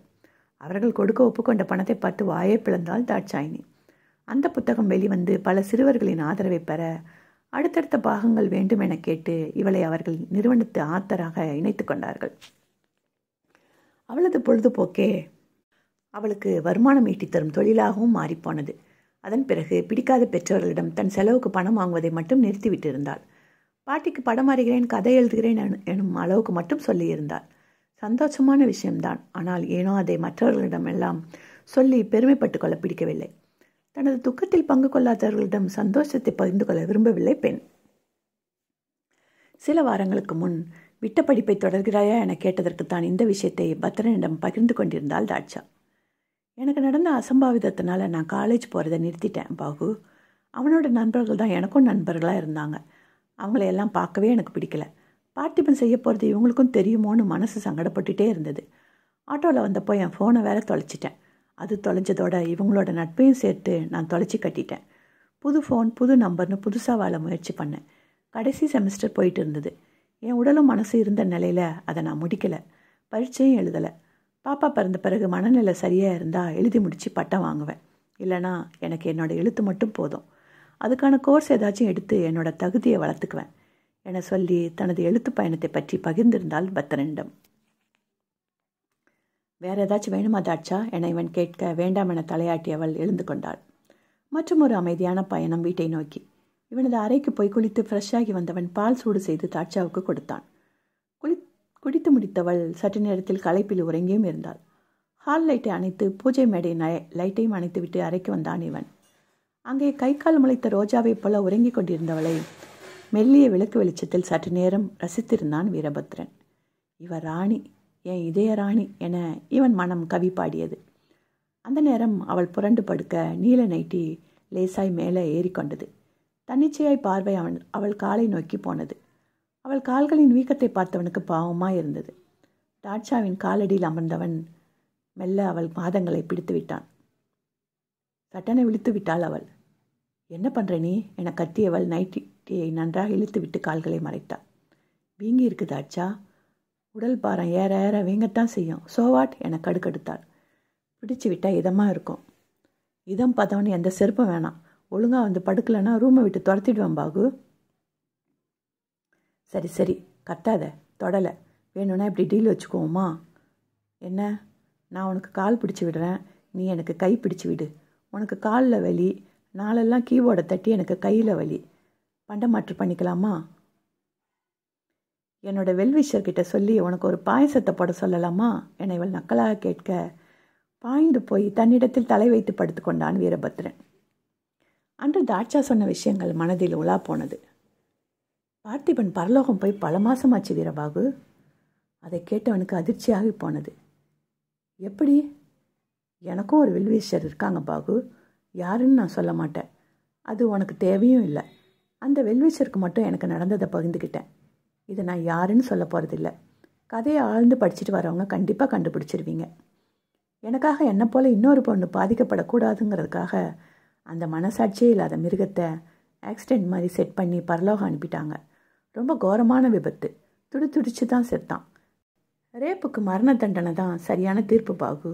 செக்ஸ் ஆசையை அடக்க முடியாமல் தான் ஆம்பளைங்க ரேப் பண்ணிடுறாங்கன்னு சொல்கிறாங்க அஞ்சறிவு மிருகத்தால் அதை அடக்க முடியாது பாகு. மனுஷனால் கண்ட்ரோல் பண்ணிக்க முடியும். ரேபிஸ்ட்டுக்கு மோட்டிவேஷன் என்ன தெரியுமா? பொம்பளைக்கிட்ட அவனோட பவரை காட்டணும். அவளை அடைக்க ஆளணும். அவளை உடல் அளவில் ஜெயிச்சிட்டோங்கிற திருப்தி தர போதை தான் அவனோட வெற்றி. என்னை ஜெயிச்சிட்டதில் எவ்வளோ கர்வமாக இருந்திருப்பான் அந்த பார்த்திபன். ஆனால் எனக்கு காலத்துக்கும் அவன் தந்த வடு இந்த நெஞ்சில் உறுத்திட்டே இருக்கும் பாகு. குழந்த முகத்தை பார்க்குறப்பெல்லாம் மனசு தவிச்சிட்டே இருக்கும். என் ஜென்மம் முடிகிற வரைக்கும் அந்த ரணம் என்னை விட்டு போகாது. என்னை போல் இன்னும் எத்தனை பொண்ணுங்க இவனால் சீரழிவாங்களோ? அதான் முடிச்சு விட சொல்லிட்டேன். ஒரு உயிரை எடுத்துட்டோமேன்ற கொஞ்சம் கூட எனக்கு கில்ட்டி ஃபீலிங் இல்லை. அவன் செத்த நாள் தான் என் வாழ்க்கையில் தீபாவளி நாள். என்னப்பா யோசிச்சுட்டு இருக்க? பாயசத்தை நினச்சி பயந்துட்டியா? என்றவளின் குரலில் பழைய நினைவுகள் அறுபட்டதை இவனுக்கு. அப்படிலாம் பண்ணிடாத தாட்சா. வாழ்க்கையில் நான் ஒன் இன்னும் ஒன்றுமே அனுபவிக்காத அப்பாவி. முத்தங்கிற பேரில் நீ கடிச்சு வச்சது மட்டும்தான் எனக்குன்னு கிடைச்ச ஒரே கிளுகிழுப்பு பரலோகம் அனுப்பிட்டேன்னா இந்த பாவி உசுறு சாந்தி அடையவே அடையாது. அடிக்கடி சாந்தி வேணும் சாந்தி அடையாதுன்னு சொல்லிகிட்டே இருக்கே பாகு. யார் அந்த சாந்தி? உனக்கு பாயசத்தை போட்டுட்டு அந்த சாந்திக்கு பாசுந்தியை போட்டுடலாமா? என கேட்டவளின் கண்கள் சிரிப்பில் ஒளிர்ந்தன. அருகே தெரிந்த அவளது சிரித்த முகம் இவன் மனதை மயக்கியது. தாய்மை இவளை இன்னும் வசீகரமாக்கி இருக்குது பேரலையே தெரிகிறா என எண்ணி அவன் கை நீட்டி அவளது நெற்றியில் புரண்ட கேசத்தை ஒதுக்கி விட்டான் விரல்களின் மெல்லிய தீண்டல் ஆணவனின் கண்களில் நேசத்தின் சாரல் சட்டனே இவள் கண்களில் நீர் நிறைய எழுந்து அமர்ந்து கொண்டாள் தாட்சாயினி. தாட்சா மேலே கை வைக்காத பிடிக்கல என்றவள் எழுந்து பாத்ரூமுக்குள் நுழைந்து கொண்டாள். பத்து நிமிடம் கழித்து வந்தவள் அவனுக்கு முதுகு காட்டி படுத்துக்கொண்டாள் பெருமூச்சுடன் அவள் முதுகையே வெறித்தபடி அமைதியாக இவனும் படுத்துக்கொண்டான் உள்ளுக்குள் நேசம் இருந்தாலும் பயத்தில் அதை ஏற்க மறுக்கும் இந்த தாட்சாயினி இவனுக்கு தயை காட்டுவாளா? தயை கிட்டுமா? வானிஷாவின் தயை காட்டு நீ. எப்படி மடக்குனாலும் கட்டையை போடுறாள?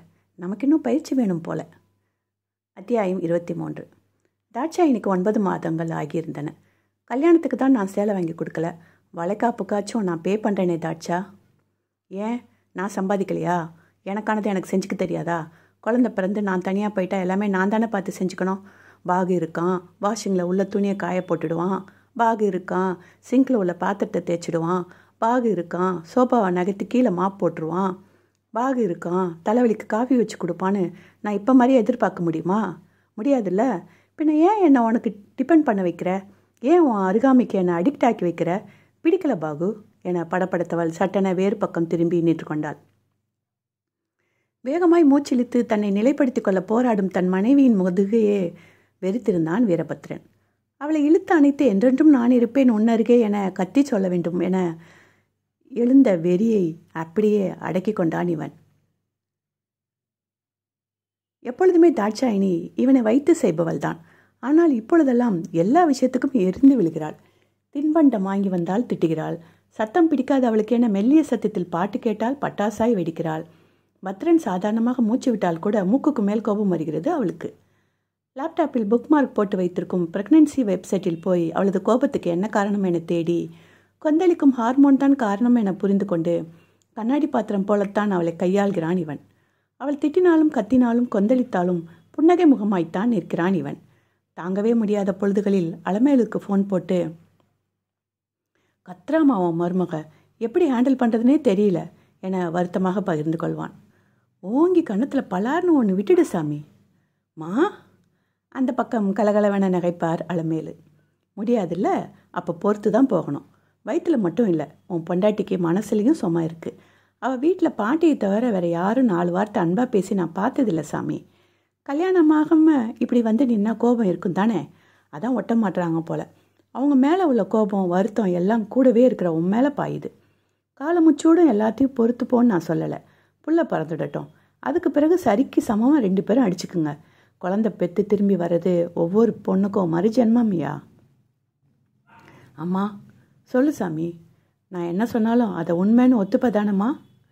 என் பிள்ளைக்கு பொய் பொருட்டெல்லாம் வராதுன்னு எனக்கு தெரியாதா? அப்படியே உங்கள் அப்பா குணம் உனக்கு. இப்போ நான் சொல்ல போகிறதையும் ஏன் எதுக்குன்னு காரணம் கேட்காம நம்பணும். சொல்லுப்பா. உன் மருமக ரொம்ப நல்லவம்மா. ஒரு பொண்ணான உங்களுக்கு விருப்பப்பட்டும் வயிற்றில் குழந்த வரலாம் விதிவசத்தாலும் குழந்த விதைக்கப்படலான்னு புரியும்னு நினைக்கிறேன். அவள் ரெண்டாவது ரகம்மா. டாச்சாவோட குடும்பம் கூட நிற்கலனாலும் என் குடும்பம் அவள் கூட கால காலத்துக்கும் நிற்கணும்னு ஆசைப்படுறேம்மா. அதனால தான் இதெல்லாம் சொல்கிறேன் நான் நான் அவளை மனசார விரும்புகிறேம்மா அந்த பக்கம் சற்று நேரம் அமைதியாகி போனார் அலைமையில் ரொம்ப சந்தோஷம்யா. எங்கே என் மகன் வாழ்க்கை தாமரையில் தண்ணி போல் ஒட்டாமலே போயிடுமோன்னு தினமும் கவலைப்பட்டுட்டு இருப்பேன். இப்போ நிம்மதியாக இருக்குது சாமி. பெங்களூருக்கு உங்களை குடி வைக்க வந்தப்பவே தாட்சாவை என் முழு மனசாக என் மருமகளாக ஏற்றுக்கிட்டேன்ப்பா அவள் வாழ்க்கையில் என்ன நடந்திருந்தாலும் எப்படி இருந்திருந்தாலும் இனி இவ என் மருமகன் மனசில் பதிய வச்சிட்டேன் இப்போ நீ இந்த விஷயத்த சொல்லியிருக்கலன்னா கூட ஒரு மாமியாராக அவள் கூடவே இருந்து பிரசவம் பார்த்து தேத்தி விட்டுருப்பேன். அவள் நிலைய சூசகமாக நீ சொன்னதை கேட்டதும் ஒரு அம்மா ஸ்தானத்திலிருந்து கண்ணுக்குள்ளே வச்சு பார்த்துப்பேன்ப்பா. என அவர் சொன்னதை கேட்டு கண்கள் பணித்து போனது அலமேலுவின் சாமிக்கு. தாட்சாயினி கடந்து வந்த பாதையை அறியாத முன்னமே அவள் பால் சாயத் தொடங்கி இருந்ததே இவன் மனம். அவளது குறும்பு பேச்சின் ரசிகன் இவன். என்ன மூடில் இருந்தாலும் சட்டனே இவனை சிரிக்க வைத்துவிடும் அவள் திறமையின் விசிறி இவன். வினோதனை வம்பிழுத்து அவன் வழியிலேயே போய் வயிறார உணவிட்டவளாயிற்றே. அலமேலுவிடம் சரிக்கு சமமாக வாயடித்தாலும் அவரை அவமரியாதை செய்ததில்லையே தாட்சா. பிரியாவை கடுப்பேற்றினாலும் இணக்கமாகத்தானே அவளிடம் நடந்து கொண்டாள். நம்பியை அண்ணாவன் அழைத்து பேசுவதாகட்டும் இவன் அக்காவிடம் முகம் பார்த்து வாயசைப்பதாகட்டும் அவர்கள் மகனை தூக்கி கொஞ்சுவதாகட்டும் எங்கேயும் அவளது பணக்காரத்தனத்தையோ ஆணவத்தையோ காட்டியதில்லை தாட்சாயினி. இவன் தகப்பனிடம் கூட ஒரு மரியாதையான புன்னகையுடன் தலையசைத்து கடந்து விடுவாள். இதையெல்லாம் விட இளைமறை காய் போல வீரபத்ரனிடம் அவள் காட்டும் அன்பு கடமை எனும் வேலி தாண்டி காதல் எனும் பூஞ்சோலைக்குள் இவனை அழைத்து போயிருந்தது. அடிக்கடி செய்தால் கண்டுகொள்வான் என வாரத்தில் சில நாட்களுக்கு உணவு மீந்துவிட்டது உண்ண முடியவில்லை என்றெல்லாம் சொல்லி களைத்து வருபவனுக்கு உணவிட்டது எல்லாம் அவள் அன்பின் வெளிப்பாடு அல்லவா? அவன் சாப்பிடாவிட்டால் ஏக்மார் தோ துக்கடா என மிரட்டுவதையெல்லாம் வெறும் மனிதாபிமானத்தில் சேர்த்துவிட முடியாதே. அவள் வயிற்று வெளியில் துடித்த போது கூட புது காரை ஏக்க தயங்கி மலைத்து நின்றவனை கடிந்து கொள்ளவில்லையே. வழியையும் மீறி பொறுமையாக சொல்லிக் கொடுக்கத்தானே செய்தாள்? தன்னை மீறி இவனிடம் கோபப்பட்டு விட்டாலும் எப்பாடுபட்டாயிலும் சமாதானம் செய்து மறுபடி பேச வைத்து விடுவாளே. ஒரே வீட்டில் ஒரே அறையில் இவனோடு தங்கி இருந்தவள் பெரிதாய் மெனக்கடாமலேயே இவன் இதய அறையில் நுழைந்திருந்தாள். தாட்சாவை பார்க்க பார்க்க பிடித்து போனது. அவளோடு பழக பழக பாசம் வந்தது. பெண்ணோடு பேச பேச பித்தம் தலைக்கேறியது. விந்தி விந்தி அவள் நெஞ்சில் விருட்சமாய் நிறைந்து நின்றாள் தாட்சாயினி. அவள் தூங்கும்போது கழுத்திலிருந்து வெளியேறி காட்சி கொடுக்கும் தாலியை பார்க்கும் போதெல்லாம் இவள் என் மனைவி என நெஞ்சம் விம்மும் அவள் சூழ்கொண்ட வயிற்றை பார்க்கும் போதெல்லாம் இது என் குழந்தை என உள்ளம் ஆர்ப்பரிக்கும். இவர்கள் இருவரையும் எப்பாடுபட்டாயிலும் தன்னுடனே வைத்துக்கொள்ள வேண்டும் என உடலும் உள்ளமும் தவியாய் தவிக்கும். அவள் கதையை கேட்டதிலிருந்து தாட்சாணியின் மேல் இன்னும் கிறுக்காகி நின்றான் வீரபத்ரன். எந்த கஷ்டம் வந்தாலும் அதை எதிர்த்து நிற்கிற இவளோட ஆட்டிடியூட் இன்னும் இன்னும் என்னை கட்டி இழுக்குது. அன்பு பாசம் நேசம் அரவணைப்பு காதல் காமம் என எல்லாவற்றையும் இவனிடம் மட்டுமே இவள் பெற வேண்டுமெனத்தான் இவ்வளவு கஷ்டங்களையும் அள்ளி கொடுத்திருந்தானோ கடவுள் என எண்ணிக்கொள்வான் பத்ரன். இவள் மட்டும் இடம் கொடுத்தால் திகட்ட திகட்ட தாட்சாவை அன்பால் கொள்ள இந்த பத்ரன் ரெடி ஆனால் அவளை பற்றி பகிர்ந்து கொண்ட தினத்திலிருந்து என்னை நெருங்காதே என்பது போலத்தான் இருந்தது அவளது நடவடிக்கைகள். சமைத்து கொடுத்தால் பேசினாள் பழகினாள் ஆனால் நெருக்கம் மட்டும் குறைந்திருந்தது. கிண்டல் கேலி எல்லாம் மறைந்து போயிருந்தது. இவனை வம்பிழுக்கும் போது கண்களில் தெரியும் ஒளி மங்கி போயிருந்தது. சில சமயம் இரவில் இவன் கன்னத்தில் மயிலிறகை கொண்டு தடவியது போல உணர்வு தோன்றும். கண் திறந்து பார்த்தால் தாட்சா இவன் புறம் திரும்பி அமைதியாக தூங்கிக் கொண்டிருப்பாள். பஞ்சன விரல்களால் தன் கண்ணம் தீண்டினாலோ இவள் என எண்ணம் முகிழ்க்க மறுதினத்திலிருந்து அத்தீண்டலை உணரும்போது கண்ணை திறக்காமல் அமைதியாய் படுத்திருப்பான் பத்ரன். பெண் வீரர்கள் அவன் நெற்றியில் ஆரம்பித்து கன்னம் தொட்டு மூக்கை வருடி உதட்டில் வந்து இழைப்பாரும் அவளது மெலிதான பெருமூச்சு இவன் காதை தீண்டும். சற்று நேரத்தில் மெல்லிய விசும்பல் ஒன்று வெளிப்படும் தாட்சாவிடமிருந்து. ஏண்டி இந்த பாடுபடுற? என்கிட்ட என்னடி தயக்கம் உனக்கு? என்ன பயம் உனக்கு? என்னையும் நெருங்க விட மாற்ற நீயும் நெருங்கி வர மாற்ற நான் என்ன தான் செய்யட்டும்? நடந்த சம்பவத்தில் உன்னோட தப்பு எதுவும் இல்லை. சாணியில் காலை விட்டுட்டா காலை வெட்டியாக எடுத்துடுறோம். கழுவி விட்டுட்டு வேறு வேலைகளை பார்க்க போயிடுறது இல்லையா? உனக்கு ஞாபகமே இல்லாத ஒரு விஷயத்த ஏன் பிடிச்சி தொங்கிட்டு இருக்க? அதுலேருந்து வெளியே வா. அந்த நாய் தப்பு பண்ணிட்டா எல்லா ஆம்பளங்களையும் நம்ப மாட்டியா? என கத்தி கதற வேண்டும் போல இருக்கும் இவனுக்கு. எந்த உணர்ச்சியும் காட்டாமல் அவள் தொடுகைக்கு ஆட்பட்டு அமைதியாகவே படுத்திருப்பான் வீரபத்ரன். பலமுறை அவளிடம் தனது காதலை சொல்ல முயன்றிருக்கிறான். என்ன பரிதாபமா? இனிஷியல் தான் கேட்டேன் உன்கிட்ட. இழிச்சிட்டு வர சொல்லலை. லவ்வான் லவ்வு எதை பார்த்து லவ் வந்துச்சு உனக்கு? சொல்லு. என் அழகை பார்த்தா? என் நடையை பார்த்தா? சிக்குன்னு இருக்கிற இந்த உடம்பை பார்த்தா? என உப்பி இருக்கும் தன் வயிற்றை காட்டி ஆங்காரமாய் கேட்டவளை பார்த்து சற்று நேரம் பேச்சே அளவில்லை பத்ரனுக்கு. தாட்சாயினி அழகையும் உடல் வளைவையும் பார்த்து தான் லவ் வரும்னா இந்த உலகத்தில் முக்கால்வாசி பேர் சிங்கிளாக தான் சுற்றிட்டு இருப்பாங்க. ஒருத்தவங்க அழகாக இல்லையான்றது அவங்க அவங்க பார்க்குறவங்களோட பார்வையை பொறுத்து தான் இருக்குது ஏன் பார்வைக்கு நீ பேர் அழகி தான் அழகான உன் கண் எடுப்பான இந்த மூக்கு எப்பவுமே துளக்கி வச்ச வெண்கல சிலை போல் பளிச்சுன்னு இருக்கிற உன் நேரம்னு உன்னோட அழகு என்னை கட்டி இழுக்குது. தாய்மை கொண்ட உடல் அழகில்லைன்னு உனக்கு யார் சொன்னா? துருத்தி நிற்கிற அந்த வயிறும் மெருகேறி இருக்கிற உன்னோட உடலும் ஒரு தெய்வீக அழகை கொடுக்குது உனக்கு. இவளுக்கு மட்டும் என்ன உடுத்தினாலும் அழகாக இருந்து தொலைக்குதே. அது எப்படின்னு நான் வியக்காத நாள் இல்லை தாட்சா. இது பரிதாபத்தால் வந்த காதல் இல்லை. உன்னை பார்த்து பழகி பரவசமானதுனால வந்த காதல். பிடிக்குது தாட்சா. உன்னை ரொம்ப ரொம்ப பிடிக்குது. உனக்கு நடந்தது எல்லாம் தெரியறதுக்கு முன்னாடி இருந்தே பிடிக்குது. என்னை கேவலப்படுத்தி விடுவியோன்ற பயத்தில் தான் என் நெஞ்சுக்குள்ளேயே இந்த நேசத்தை பொத்தி வச்சுருந்தேன். என்னை புரிஞ்சுக்கோடி. கண்ணுக்குள்ளே உன்னை வைத்தேன் கண்ணம்மான்னு பாடுறது மட்டும் லவ் இல்லை தாட்சா. உன் கண்ணில் கண்ணீர் வராமல் பார்த்துப்பேன் செல்லம்மான்னு சொல்கிறதும் லவ் தான். பழைய கசடெல்லாம் இனி நினைக்க வேணாம். கவிதையாக புது புது நினைவுகளை நம்ம குடும்பமாக சேர்த்து சேகரிக்கலாம்டி என்னை ஏற்றுக்கோ விட்டுட்டு போயிடாத. அமைதியாக அவனை ஏறெடுத்து பார்த்தவள் சி போடா என சொல்லி வேகமாக அறைக்குள் சென்று மறைந்து கொண்டாள். எப்பொழுதும் இவன்தான் வார்த்தை வராமல் சீ போடி என சொல்லி ஓடிவிடுவான். இந்த முறை அவளுக்கு வாயடைத்து போனது. பிறகு ஒரு முறை இவன் மறுபடி பேச முயன்றபோது என்னை ஸ்ட்ரெஸ் பண்ணாத. பிபி ஏறி பிரசவத்தில் செத்துட போகிறேன் என சொல்லி பத்ரனின் வாயை மொத்தமாய் மூட வைத்து விட்டாள். சற்று நேரத்தில் தன்னை ஒரு நிலைப்படுத்தி கொண்டவள் பத்ரனின் புறம் திரும்பி சாரி பாகு ரியலி சாரி சேலையை நீயே வாங்கி கொடு என இறங்கி வந்தாள்.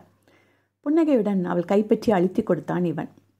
கடுப்பில்லாமல் மென்மையாக பேசுகிறப்போ இவளோட குரல் மயிலிறக போல மனசை வருடி போகுது என எண்ணிக்கொண்டவன் ஏற்கனவே அவள் தேர்ந்தெடுத்து வைத்திருந்த சேலைக்கு பணம் செலுத்தப் போனான். பணம் செலுத்திவிட்டு வந்தவனின் தொலைபேசி ஓசை எழுப்பியது. சந்திரன் அழைத்திருந்தார். சொல்லுங்கப்பா நல்லா இருக்கீங்களா ரெண்டு பேரும்? ரொம்ப நல்லா இருக்கும். தாட்சா பக்கத்தில் தான் இருக்கா? பேசுகிறீங்களா தனியாக இருந்தால் ஸ்பீக்கரில் போடு ஃபோனை இருங்கப்பா காருக்கு போயிட்டு ஃபோன் போடுறோம். என அழைப்பை நிறுத்தினான் இவன். அவனை ஏறிட்டு பார்த்தவள் இன்னுமா கேஸ் போயிட்டு இருக்கு என கேட்டாள். இது என்ன சினிமாவா? சட்டுன்னு ரிசல்ட் வர. இழுத்தடிச்சு தான் தீர்ப்பு கொடுப்பாங்க. தாட்சா பார்த்திபனுடன் இருந்த வீடியோ எப்படி பாட்டி நம்பருக்கு வந்தது என ரகசியமாக விசாரணை தொடங்கியிருந்தார்கள். சந்திரன் மாமாவின் போலீஸ் நண்பர் தான் அதை ஏற்றிருந்தார். பிரைவேட் நம்பராக இருக்க ஐடியில் சிறந்தவர்களை கொண்டு அதை தேடி கண்டுபிடிக்க நாளாகி இருந்தது. தொலைபேசி விற்கும் கடை ஒன்றில் வேலை பார்க்கும் நபரின் நம்பர் அது என கண்டுபிடித்து அவனை முட்டிக்கு முட்டி தட்டி விசாரித்த போது விஷயம் வெளியாகியிருந்தது. சம்பவம் நடந்த தினத்தன்று தாட்சாவின் சுவிட்ச் ஆஃப் ஆகி ஃபோன் ஆட்டோவின் இருக்கையின் சைடில் விழுந்து மாட்டிக்கொண்டிருந்தது. அது உயிரை இழந்திருக்கவும் அங்கிருந்தது யாருக்கும் தெரியவில்லை. பல வாரங்களுக்கு பிறகு ஆட்டோவை கழுவ முனைந்த போதுதான் அதை கண்டெடுத்தான் ஆட்டோ ஓட்டுநர். நல்ல வெளிநாட்டு ஃபோன். அதை விற்றால் பண உதவியாக இருக்குமே என தொலைபேசி கடையில் அதை விற்றிருக்கிறான். டாட்சா ஏற்கனவே அந்த சிம்மை டீஆக்டிவேட் செய்திருந்தாள். ஃபோனை சார்ஜ் போட்டு நோண்டி பார்த்த அந்த சேல்ஸ்மேனுக்கு அடித்தது லக். இவர்கள் இருவரின் அந்தரங்கத்தை ரெக்கார்ட் செய்து to my dearest friend with love Deepan என கேப்ஷன் போட்டு அனுப்பியிருந்திருக்கிறான் பார்த்திபன். அதை நெட்டில் அப்லோட் செய்வதை விட வேறு வழியில் எப்படி பணம் பார்ப்பது என மூளையை தட்டி யோசித்தவனுக்கு பிளாக்மெயில் செய்யும் எண்ணம் வந்திருக்கிறது.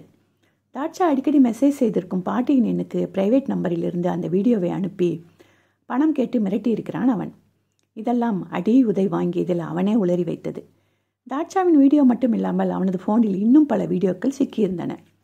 துணிக்கடை உடைமாற்றும் அறையில் எடுக்கப்பட்ட வீடியோக்கள் மால் கழிப்பறையில் எடுக்கப்பட்ட வீடியோக்கள் என அவனது கேலரியே நாரி கிடந்தது.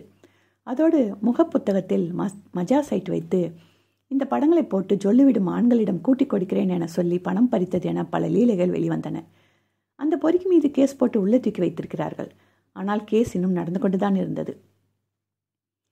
காருக்குள் வந்து அமர்ந்த பின் சந்திரனுக்கு அழைப்பெடுத்தான் பத்திரன் நேரடியாகவே விஷயத்துக்கு வந்தார் அவர். நாம் வீடியோ எல்லாத்தையும் அழிச்சிட்டாலும் செத்து போகிற முன்னமே பார்த்திபன் வேற யாருக்கெல்லாம் இந்த வீடியோவை அனுப்பியிருக்கானோ தெரியாது. அதையெல்லாம் தேடி எடுக்கிறதும் சாத்தியமில்லை. இப்படி எங்கெங்கே அது முளைச்சி வரும்னு சொல்ல முடியாது. நான் என்ன சொல்ல வரேன்னா எங்கே முளைச்சி வந்தாலும் எனக்கு கவலை இல்லைப்பா. தாட்சா மேலே எந்த தப்புமே இல்லை. அவள் சுய நினைவில் இல்லாதப்ப நடந்த ஒரு விஷயத்துக்கு வாழ்நாள் முழுக்க நாங்கள் பயந்துட்டே வாழ விரும்பலை.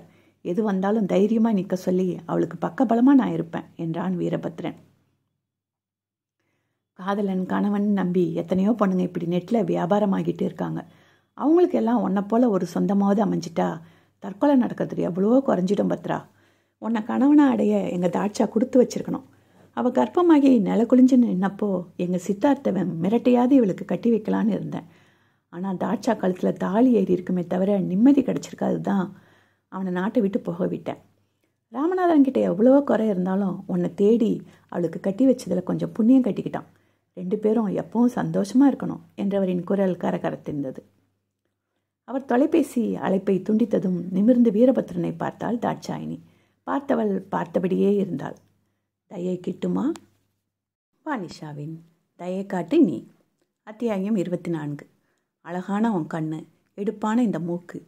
எப்போவுமே தொலைக்கி வச்ச வெண்கல சிலை போல பளிச்சுன்னு இருக்கிற உன் நேரம்னு உன்னோட அழகு என்னை கட்டி இழுக்குது. தாட்சாவின் பெங்களூர் இல்லம் உறவினர்களால் நிறைந்து வழிந்தது. பத்ரனின் குடும்பத்தில் அனைவரும் ஒரு டெம்போ வாடகைக்கு எடுத்து அழுங்காமல் குலுங்காமல் வந்து சேர்ந்திருந்தார்கள். தாட்சாவின் குடும்பத்தில் அவளது பாட்டி தாத்தா ராமநாதன் சிவகாமி சந்திரன் மற்றும் அம்பிகா என பெரியவர்கள் மட்டுமே வந்திருந்தார்கள். பத்ரனின் குடும்பத்தினரோடு தங்க மாட்டேன் என அம்பிகாவும் சிவகாமியும் ஹோட்டலில் ரூம் எடுத்திருக்க வேறு வழி இல்லாமல் பூரணியும் அவர்களுடன் இருந்து கொண்டார். தாட்சா அதை பெரிதுபடுத்திக் கொள்ளவில்லை. வளைகாப்பு எல்லாம் வேண்டாமென மறுத்துதான் பார்த்தால் தாட்சா. அலமேலுதான் கண்டிப்பாக முதல் குழந்தைக்கு செய்தே ஆக வேண்டும் என பிடிவாதம் பிடித்திருந்தார். தாய் சொல்லை தட்டாதே எனும் கோட்பாட்டில் வாழும் மகனும் காலில் விழாத குறையாக தாட்சாயிடம் கெஞ்சி அதற்கு சம்மதம் வாங்கியிருந்தான். அந்த இல்லம் அழகாய் அலங்கரிக்கப்பட்டிருக்க மல்லிகை மனமும் சந்தன வாசமும் வீட்டை இன்னும் மங்களகரமாக்கியது. முதலில் வசந்தியை அழைத்து வர வேண்டாமெனத்தான் இருந்தார் அலமேலு. இரு கற்பிணிகளும் பார்த்து கொள்ள வேண்டாமென அவர் நினைக்க அவரது மருமகள் எல்லோரும் வந்தே ஆக வேண்டும் என அடித்து சொல்லிவிட்டிருந்தார். மாப்பிள்ள சொல்லுங்க மாம்ஸ் முகத்தில் சந்தோஷம் இருந்தாலும் ஊடால என்னமோ சொணக்கமும் இருக்குதே என்ன மேட்ரு? என கேட்டான் நம்பி. அதெல்லாம் ஒன்றும் இல்லை யா மாமோ. பாத்தியா என்கிட்டே டபாய்க்க பார்க்குற நீ மட்டும் பொண்ணா பிறந்து கோயில் பக்கம் வந்திருந்தா உன்னைத்தான் மாப்பிள்ள நான் சைட் அடித்து கனாலம் கட்டியிருப்பேன். அப்படி ஒரு பாசம் வச்சிருக்கிற எனக்கு என் மச்சான் முகம் சுணுங்கன. ஆ எனக்கு தெரியாமல் போகுமா? தங்கச்சி இன்னும் முடிவை மாற்றிக்கலையா விட்டுட்டு போயிடுவேன்னு தான் நிற்குதா குழந்தை பிறந்ததும் பிரிந்து போக விரும்புகிறாள் தாட்சா என்பதை மட்டும் ஒரு முறை வேலை விஷயமாக பெங்களூர் வந்திருந்த நம்பியின் குடைச்சலில் சொல்லியிருந்தான் பத்ரன். பொறுமையாக உன் மனதை புரிய வை என மச்சானுக்கு அட்வைஸ் கொடுத்திருந்தான் நம்பி. பயமா இருக்கு மாமா. அவள் என்னை விட்டுட்டு போயிட்டா? தனியாக என்ன மாமா பண்ணுவேனா? அவளோட அருகாமைக்கு பழகிட்டேனே நான். அவளோட கை மனத்துக்கு அடிமையாகிட்டேனே நான். அவளோட சிரிப்புக்கும் பேச்சுக்கும் ஏச்சுக்கும் அடிக்ட் ஆகிட்டேனே நான். பிரிவுன்ற ஒன்றை நினச்சி பார்க்கவே முடியல மாம்ஸ். அடே மாப்பிள்ள விட்டுட்டு போகாமல் இருக்க ஒரு ஐடியா சொல்கிறேன் கேளு. என் தங்கச்சி காலில் படார்னு விழுந்துடு. நகர முடியாமல் காலை ரெண்டையும் இறுக்கி கட்டி பிடிச்சிக்க. பிறகு பார்க்கலாம் எப்படி மீறி போகிறான்னு ஐடியா கொடுக்குற மூஞ்சப்பாரு அவளை என்ன எங்கள் அக்கா வசந்தி மாதிரின்னு நினச்சியா மாமா? மூக்கு மேலே மிதிச்சிட்டு கடந்து போயிட்டே இருப்பா. உங்கள் அக்கா ரொம்ப நல்லவா மச்சான். மிதிக்கலாம் மாட்டா. முட்டைக்கண்ணை முழிச்சு பார்த்தே என் சோழியை முடிச்சிடுவா. என இவன் சொல்ல? கையை ஆட்டி என்னவோ சைகை செய்தான் வீரபத்ரன். அத்தி உங்கள் அக்காவா? என எப்படி நம்பி திரும்பி பார்க்க அங்கே யாரும் இல்லை. நம்பியின் பதட்டத்தை பார்த்து கலகலவென சிரித்தான் இவன். அந்த வழியே நடந்து வந்த தாட்சா வீரபத்ரனிடம் மிக மெல்லிய குரலில் என்ன ரொமான்ஸா? Bro plus romance. மாமா மச்சான்னு ஓவராக அன்பை புளிஞ்சிக்கிறீங்க ரெண்டு பேரும். மிடியலை என சொல்லியபடியே கிச்சனுக்கு நகர்ந்தாள். தேர் போல மெல்ல அசந்து செல்லும் தன் மனைவியை கண்ணெடுக்காமல் பார்த்திருந்தான் வீரபத்ரன். என்ன ரொமான்ஸா? என நம்பி கேட்க இவனுக்கு சிரிப்பு வந்தது. அண்ணனுக்கும் தங்கச்சிக்கும் வேறு வேலை கிடையாதா? என கேட்டவன் மீதி வேலையை பார்க்க போனான். மாலை ஆறுக்கு தான் நல்ல நேரம் ஆரம்பிக்கிறது என அந்த நேரத்தையே வளைகாப்புக்கு தேர்ந்தெடுத்திருந்தார் அலமேலு. தாட்சாவுக்கு வசந்தியும் பிரியாவும் அழகாய் சேலை கட்டிவிட்டார்கள். சடை போட்டு அதில் மல்லிகையும் ரோஜாவையும் சூட்டிவிட்டார்கள். நகை அணிவித்து விட்டு முகத்துக்கு மெலிதான ஒப்பனை செய்து மயக்கும் யட்சினியாய் மாற்றி வைத்திருந்தார்கள் அவளை. தாட்சாவுக்கு வியர்த்து கொண்டே இருந்தது. அதனால் விழா ஆரம்பிக்கும் போது வரவேற்பறைக்கு வந்தால் போதுமென அவர்கள் அறையின் ஏசி குளிரில் அவர் அவளை அமர வைத்துவிட்டு வெளியேறிவிட்டார்கள் பெண்கள் இருவரும். ஹோட்டலில் தங்கியிருந்தவர்கள் இன்னும் வந்திருக்கவில்லை. அறைக்குள் தாட்சாவிடம் எதுவோ கேட்பதற்காக வந்த வீரபத்ரன் அப்படியே மலைத்து போய் நின்றான். எம்மாடியோ மயக்கிறாளே மாயக்காரி. இவ பொண்ணு இல்லை தஞ்சாவூர் பொம்மை என கிறங்கி நின்றான் கிறுக்கன். அவனது பார்வை மாற்றத்தை கண்டுகொண்ட தாட்சா என்ன பாகு பார்வையாலே என்னை பஞ்சர் பண்ணுற மனசை அடுக்கி வை. உனக்கு கடைசி சீனில் பிம்பிளிக்கா பிலாப்பின்னு தெரிஞ்சோம். இந்த மாதிரிலாம் நடந்துக்காத. பேஜாராகி போடுவ. பார்த்துக்கோ என்றவள் கட்டிலில் கிடந்த கலட்டி போட்டிருந்த துணிகளை எடுக்க ஆரம்பித்தாள். அவள் குனிந்ததும் அழகாய் காட்சி கொடுத்தது அவள் இடுப்பு. சேலையே கட்டாதடி நீ. கேப்பில் தெரிகிற இடுப்பு என்னை கெடா வெட்ட கூப்பிடுது என நொந்து கொண்டான். மனமாகியும் மனைவியின் மனம் அறிந்திராத வீரபத்ரன். தாட்சா என்ன? உன்னே ஒன்று கேட்பேன் கொடுப்பியா? அவனை மேலிருந்து கீழ் வரை பார்த்தவள் என்ன? என கேட்டாள். வந்து வந்து இவள் முறைத்து பார்க்க ஐயோ பார்க்குறா பாரு. பார்வையாலே என்னை கொத்தி தின்னுடுற மாதிரி என்னை மனதினுள் புலம்பியவன். ஒரே ஒரு ஒரே ஒரு ஒரே ஒரு முறை சொல்லித்தல பாகு என்ன வேணும்? கிஸ்ஸா அக்கா என்ன வேணும்? என்னை குரலை உயர்த்தினால் தாட்சா. கத்தாத ப்ளீஸ் எங்கள் மாமாவுக்கு கேட்டுச்சுன்னா பங்கமாக கலாய்ப்பார். என்னை படப்படத்தான் இவன். என்ன வேணும்னு கேட்டேன்ல? நிறுத்தி நிதானமாக அவனை ஊடுருவி பார்த்தபடி கேட்டாள் இவள். ஆரம்பத்தில் அசையிறப்போ தொட்டது. அதுக்கு பிறகு என்னை நெருங்கவே விடலை நீ. ஒரு தடவை பாப்பாவை தொட்டு பார்க்கவா? என கேட்டவனின் குரலில் ஏக்கம் இருந்தது. சட்டென கண்களில் நீர் நிறைந்து விட சரி என மெல்லிய குரலில் முணுமுணுத்தாள் தாட்சாயினி. அவள் அருகே நெருங்கி மடங்கி அமர்ந்தவன் அவளது சேலையின் மேலேயே கை வைத்து பாப்பா என மெல்லிய குரலில் அழைத்தான். அங்கு அசைவே இல்லை. அமர்ந்தபடியே நிமிர்ந்து தாட்சாவை பார்த்தவன் அசைய காணோம் என பாவமாக கேட்டான். அவளை அறியாமலேயே தாட்சாவின் கை கீழிறங்கி அவன் கேசத்தை கோதி கொடுத்தது. தொண்டையை செருமியவள் மறுபடியும் கூப்பிடு என்றாள். பாப்பா என அழைத்தபடியே தாட்சாவின் வயிற்றை தடவி கொடுத்தான் வீரபத்ரன். சில வினாடிகள் கடந்து அசைவு தெரிந்தது. இரு கைகளையும் கொண்டு அவள் வயிற்றை பற்றி கொண்டவன் ஐ லவ் யூ பாப்பா என்றான். உள்ளே குழந்தை சம்மர் சால்ட் அடித்தது. குழந்தை செயலில் தடுமாறியவள் இரு கை கொண்டு வீரபத்ரனின் தலையை இறுக பற்றி கொண்டாள். அவளது திடீர் செயலில் முன்னே நகர்ந்தவனின் உதடு தாட்சாவின் வயிற்றில் ஒட்டி கொண்டது. அவளும் அவனை விளக்கவில்லை இவனும் விலகிக் கொள்ளவில்லை. கதவு தட்டும் ஓசையில்தான் பிரிந்தார்கள் இருவரும். அண்ணா அண்ணியை கூட்டிட்டு வர சொன்னாங்க அம்மா என குரல் கொடுத்தான் வினோதன். தங்களை ஒரு நிலைப்படுத்திக் கொண்டவர்கள் ஜோடியாக வெளியே வந்தார்கள். தாட்சாவின் குடும்பத்தினரும் அந்த நேரம்தான் வந்து சேர்ந்திருந்தார்கள். வேஷ்டி சட்டையில் கம்பீரமாக பத்ரனையும் பூரித்த முகத்துடன் அழகிய சேலையில் தன் பேத்தியையும் பார்த்த பூரணிக்கு கண்கள் கலங்கிவிட்டன. கடவுளே ரெண்டு பேரும் என்றென்றும் ஒற்றுமையாக சந்தோஷமாக இருக்கணும் என அவசர வேண்டுதல் ஒன்றை வைத்தார் அவர். தாட்சாணியை நாற்காலியில் அமர்த்தி ஒவ்வொரு பெண்களும் சந்தனம் பூசி வளையல் அணிவித்து ஆசிர்வாதம் செய்தார்கள். சிவகாமியும் அம்பிகாவும் செய்த போது கூட எந்த உணர்வையும் வெளிக்காட்டாது அமைதியாக அமர்ந்திருந்தால் தாட்சாயினி மற்ற வேலைகளை எல்லாம் எடுத்து போட்டு அலைமேலு செய்திருக்க அவரை இன்னும் சிரமப்படுத்த பிடிக்காமல் இரவு உணவை வெளியே ஆர்டர் கொடுத்து விட்டால் தாட்சாயினி மருமகளுக்காக கலந்த சாதங்கள் மட்டும் தனது கையால் செய்வேன் என அவர் அடம் பிடிக்க அவர் இஷ்டத்துக்கு விட்டுவிட்டாள் இவள். ரத்த சம்பந்தம் இல்லாத அலமேல் எல்லாம் பார்க்க பெற்ற தாய் விருந்தினர் போல வந்து நின்றது. மனதை பாதிக்காதவாறு பார்த்து கொண்டாள் பெண். தாயாய் நினைத்தால் தானே மனம் பாடாய்ப்படும். சிவகாமியை பூரணியின் மருமகளாய் மட்டுமே பார்க்க ஆரம்பித்த தினத்தில் இருந்துதான் நிம்மதியாக இருக்கிறாள் தாட்சா. அன்றும் அதே மனநிலையில் தான் இருந்தாள். கடைசியாக அவள் அருகே வந்த வீரபத்ரன் சந்தனம் தொட்டு மென்மையாக அவள் கன்னம் பூசினான். குங்குமம் எடுத்து அவள் கண்களை ஊடுருவி பார்த்து அழுத்தமாய் அவள் நெற்றியில் பொட்டிட்டான். அப்படியே தாட்சாவின் வகிட்டிலும் பூசிவிட்டான். அவனது செயல்கள் எல்லாம் நான் உன் கணவன் என்னும் உரிமை கொண்டிருந்தன. மெலிதாய் இருந்தாலும் அவன் வருமானத்திற்கேற்றது போல இரண்டு தங்க காப்புகள் போட்டுவிட்டான் தன் மனைவிக்கு. இன்னும் கொஞ்சம் பெருசாக போட்டிருக்கலாம். காசு இல்லைன்னா எங்ககிட்ட கேட்டால் கொடுக்க மாட்டோம் நான் சொல்லிடுவோம் என வாயை விட்டார் சிவகாமி. அவ்விடமே சட்டென அமைதியாகி போனது. தன் தாயை நிமிர்ந்து பார்த்த தாட்சாயினி இங்கே நீங்கள் பார்க்க வேண்டியது காப்போட சைஸே இல்லை. கொடுக்குறவரோட மனசை லட்சம் லட்சமாக சம்பாதிக்கிறவன் பண்ணுற தானத்தில் எந்த அதிசயம் இல்லை. அடுத்த வேலை சோத்துக்கு இல்லாதவன் பண்ணுற தானம் தான் இங்கே பெரிய தானம். இந்த காப்பு வாங்கி கொடுக்க என் புருஷன் எப்படியெல்லாம் அவரோட பட்ஜெட்டை அட்ஜஸ்ட் பண்ணியிருப்பார்னு எனக்கும் அவர் குடும்பத்துக்கு மட்டும்தான் தெரியும். அவரோட பல சுகங்களை விட்டு கொடுத்து அவர் பொண்டாட்டிக்காக ஆசையாக வாங்கி கொடுத்த அவரோட அன்பு தான் இந்த காப்பை பார்க்கும்போது என் கண்ணுக்கு தெரியுது. என்ன குறைஞ்சி போயிட்டார் என் புருஷன்? அடிக்கடி நீங்கள் எல்லாம் அவரை கேவலப்படுத்துறீங்க. என்னை கட்டிக்கிட்டு வரதட்சணை சொல்லையாக வாங்கினாரா? இல்லை சொத்தை எழுதி கொடு வீட்டை வாங்கி கொடுன்னு வந்து நின்னாரா? ஒத்த பைசா வேணும்னு உங்கள் வாசலை மிதிக்கல அவர். இன்ன வரைக்கும் அவர் சம்பாத்தியத்தில் எனக்கு சோறு போடுறாரு. அப்படிப்பட்டவரை தலையில் தூக்கி வைக்கலனாலும் போகுது. காலில் போட்டு மிதிக்காதீங்க. அவருக்காக மிஸ்ஸஸ் வீரபத்ரனான நானே நியாயம் கேட்பேன் என ஆத்திரமாய் கத்தினாள். தாட்சா விடு டென்ஷன் ஆகாத என்னை அமைதிப்படுத்தினான் வீரபத்ரன். அம்மாடி இந்த மாதிரி டைமில் இப்படிலாம் கத்தாதம்மா. எங்கனாச்சும் இழுத்துக்க போகுது. என் ராஜாத்தில என அவளை நெருங்கி கையை பிடித்து கொண்டார் அலமேல். ஒன்றும் இல்லாத அவன் புருஷனை சொன்னால் உனக்கு இந்த அளவுக்கு கோபம் வருதா? போதும்டி நீ எனக்கு கொடுத்த மரியாதை. ஏங்க வாங்க கிளம்பலாம் என பதிலுக்கு கத்தினார் சிவகாமி. மெல்ல எழுந்து நின்ற தாட்சாயினி பூர்ணியை நேராக பார்த்து பாட்டி வந்த எல்லாரும் ஒழுங்கு மரியாதை சாப்பிட்டுட்டு போகணும். என் குடும்பம் எனக்காக ஏற்பாடு செஞ்ச சுப நிகழ்ச்சி இது. இதை கலவர நிகழ்ச்சியாக மாற்றி விடுங்க யாருக்கும் உரிமை இல்லை. அப்படி மட்டும் யாராச்சும் இன்றைக்கி கை நினைக்காம போனீங்க இனி இந்த தாட்சாவை அப்படியே தலைமுழுக்கிட்டு என் வாசலை விட்டு போங்க என குரல் எடுத்து கத்தினாள்.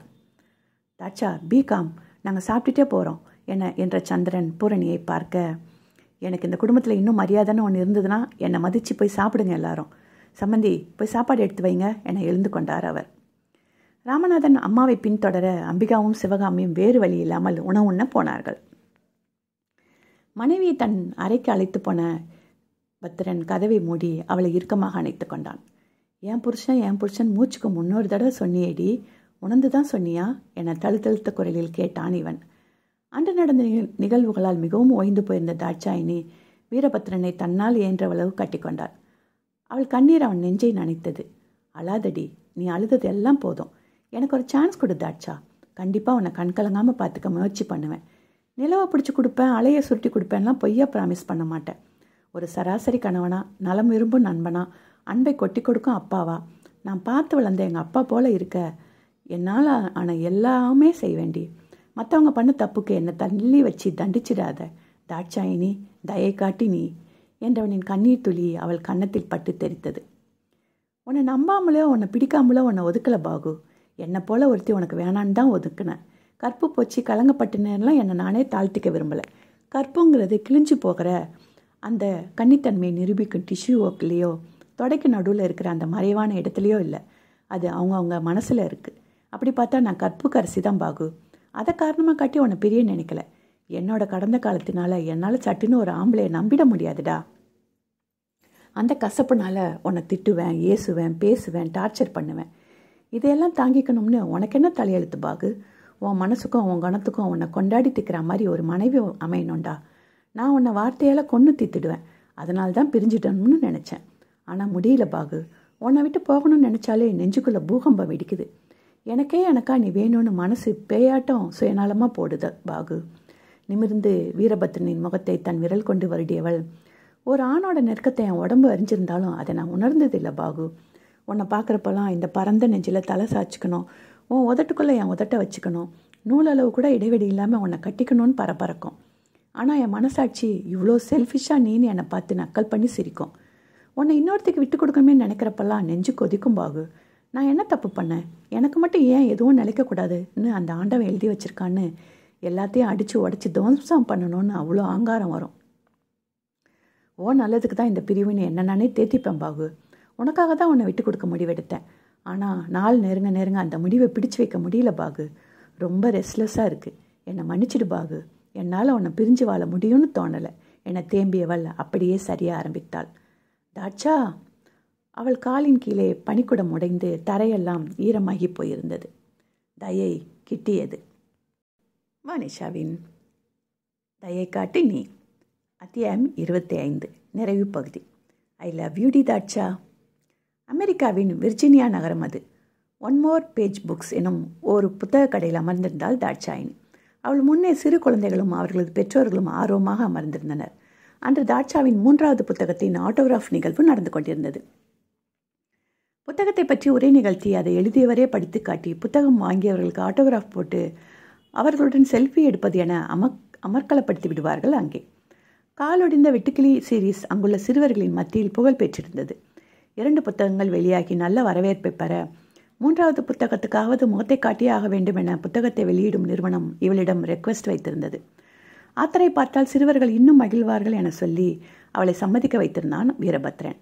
ஆம் குடும்பமாக இவர்கள் மூவரும் அமெரிக்காவில் செட்டில் ஆகி ஐந்து மாதங்கள் ஓடியிருந்தன. ஏற்கனவே அமெரிக்காவுக்கு ஆன்சைட் ஆஃபர் வந்திருந்தது வீரபத்ரனுக்கு. தன் குடும்ப வாழ்க்கையே கவலைக்கிடமாக இருக்க எப்படி அதை ஏற்றுக்கொள்வது என தள்ளி போட்டுக்கொண்டே வந்தவன் குழந்தை பிறந்தவுடன் தாட்சாவின் சம்மதத்தோடு வேலையை ஏற்றுக்கொண்டான். பெங்களூர் வீட்டையும் காரையும் விற்க போட்டுவிட்டு கிளம்பி வந்து விட்டார்கள் மூவரும். புதிய இடத்தில் புதிய சூழலில் புதியதாக வாழ்க்கையை வாழ ஆரம்பித்தார்கள் தாட்சாவும் வீரபத்ரனும். தன் முன்னே அமர்ந்திருக்கும் சிறுவர்களுக்கு அபிநயத்தோடு புத்தகத்தை படித்து காட்டிய தாட்சாவுக்கு பெருத்த கைத்தட்டல் கிடைத்தது. கேக் காஃபி என ஏற்பாடு செய்யப்பட்டிருந்த உணவை சிலர் சாப்பிட சிலர் இவள் அமர்ந்திருந்த மேசை முன்னே சைன் வாங்குவதற்காக வரிசையில் நின்றனர். புத்தக விற்பனை பீத்துக்கொள்ள அந்த கடை மேனேஜர் தாட்சாவை மகாராணி போல நடத்தினார். காஃபி கேக் ஸ்நாக்ஸ் என அவள் மேஜைக்கு வந்து கொண்டே இருந்தன உணவு வகைகள். குனிந்து சைன் போட்டு கொண்டிருந்தவள் டா டா டா எனும் சத்தத்தில் புன்னகையுடன் நிமிர்ந்து பார்த்தாள். அடுத்ததாக வரிசையில் கையில் மகளுடன் நின்றிருந்தான் வீரபத்ரன். எழுந்து வந்த தாட்சா கணவனை அணைத்து விடுவித்தவள் மகளை கைகளில் அள்ளிக்கொண்டாள் ரைட்டரின் மகள் என வந்திருந்த பெற்றோர்கள் அவளை கொஞ்சிவிட்டே போனார்கள். மடியில் அமரமாட்டேன் என மகள் முரண்டு பிடிக்க வீரபத்ரன் அவளை தூக்கி கொண்டான். கடையை சுற்றி அவளுடன் சின்ன குரலில் பேசிக்கொண்டே வேடிக்கை காட்டிக் கொண்டிருந்தவனை அடிக்கடி புன்னகை முகத்துடன் பார்த்திருந்தாள் தாட்சாயினி. சைனிங் செஷன் முடிந்ததும் கடை மேனேஜர் கொடுத்த அன்பளிப்பு ஹேம்பரோடு விடைபெற்றுக் கொண்டனர் தாட்சாவின் குடும்பத்தினர். வீட்டுக்கு செல்ல டாக்ஸியில் ஏறி அமர்ந்ததும் வேலை இருக்குது வர முடியாதுன்னு சொன்னியே பாகு இப்படி திடுப்பு திடுப்புன்னு வந்து நிற்கிற என கேட்டால் தாட்சாயினி. தாட்சா வெளியே செல்ல வேண்டியிருந்ததால் அவர்களது மகள் சந்தோஷியை பார்த்துக்கொள்ள வீட்டிலிருந்து வேலை செய்ய அனுமதி கேட்டிருந்தான் வீரபத்ரன். வேலை இருக்குதான் தாட்சா ஆனாலும் அதில் கவனத்தை வைக்க முடியல. என் தாட்சாவோட பிக் ஈவெண்ட்டு முக்கியமாக வேலை முக்கியமான்னு மனசு அல்லாடிக்கிட்டே இருந்தது. அதான் சிக் லீவ் போட்டுட்டு செல்லத்தோடு கிளம்பி வந்துட்டேன் என்றவன் அவள் கைப்பற்றி கொண்டான் மகளரசியோ அம்மாவின் கையை தகப்பனின் கையிலிருந்து விடுவிக்க போராட ஏன் புருஷண்டி என சிலிர்த்து கொண்டாள் தாட்சா. சின்னவள் உதட்டை பிதிக்க அழுகைக்கு போக ஐயோ சந்துக்குட்டி ஒன்றும் இல்லைடா. அம்மா சும்மா லலலாய்க்கு சொன்னாங்க என நெஞ்சில் சாய்த்து குட்டியை சமாதானம் செய்தான் வீரபத்ரன். ஏண்டி இப்படி பண்ணுற என வாயை சேர்த்தவனை பார்த்து நாக்கி திருத்தி காட்டினாள் தாட்சா. அடிக்கடி அம்மாவுக்கும் மகளுக்கும் இந்த உரிமை போராட்டம் நடக்கும். இவன்தான் நடுவில் கிடந்து அல்லாடுவான். இவனை ஒரு வழி செய்துவிட்டு அம்மாவும் மகளும் சமாதானாகி கொள்வார்கள். அவர்கள் வசிக்கும் அப்பார்ட்மெண்ட் வந்ததும் பணம் செலுத்திவிட்டு மூன்றாவது மாடிக்கு லிஃப்டில் ஏறினார்கள் மூவரும். வீட்டினுள்ளே நுழைந்தவுடன் தத்தி தத்தி நடந்து அவளது விளையாடும் ஏரியாவுக்கு போய்விட்டால் சந்தோஷி. வந்து சாப்பிடு தாட்சா உனக்கு பிடிச்சதை சமைச்சிருக்கேன் என்றபடி சமையல் அறையில் நின்றிருந்தவனை பின்னிருந்து அணைத்து கொண்டாள் தாட்சாயினி. பாகு இப்படி கூப்பிட்டே என்னோட ஒரிஜினல் நேம் மறந்து போச்சுடி என்றவன் செல்லமாக தலையை பின் சாய்த்து அவளை முட்டினான். ஸ்வீட்டு ராஸ்கல் உனக்கு பாகு தாண்டா சரியான பேர். என் வெள்ளை பாகு சீனி பாகு மைசூர் பாகு சக்கரை பாகு என எக்கி அவன் கழுத்தில் முத்தமிட்டபடியே கொஞ்ச நாள் தாட்சாயினி. மயக்காதடி குழந்தை முழிச்சிட்டு தான் இருக்கா. தள்ளிப்போ என்றவன் தள்ளி போகாமல் திரும்பி நின்று மனைவியை இறுக்கி அணைத்து கொண்டான். தோடா யாரு யாரை மயக்கி வச்சிருக்கா? நீ என்னையும் என் பிள்ளையும் மயக்கி வச்சிருக்கிற மாயாவி என குலைவாய் சொன்னவன். அவன் முகத்தை நிமிர்ந்து பார்த்து எங்களை விட்டுட மாட்டில்ல பாகு. பாசம் காட்டி மோசம் பண்ணிட மாட்டல்ல. நீ இல்லைனா நானும் என் மகளும் துடுப்பு இல்லாத படகு போல தவிச்சு நிற்போம் பாகு என கண்ணீர் விட ஆரம்பித்தாள். அடிக்கடி அவள் இப்படி கேட்கும் போதெல்லாம் மனம் வெதும்பி போவான் வீரபத்ரன். உள்மனதில் அவளுக்கு இருக்கும் பயம் இவனது அன்பான நடவடிக்கைகளால் மட்டுமே மறைந்து போகக்கூடிய சாத்தியக்கூறுகள் இருக்கின்றன என புரிந்தது இவனுக்கு. அந்த நிலையை அடைய இவன் இன்னும் போராட வேண்டி இருக்கும் எனவும் தெரிந்தது. கொஞ்சி குழாவுவது மட்டும்தான் காதலா?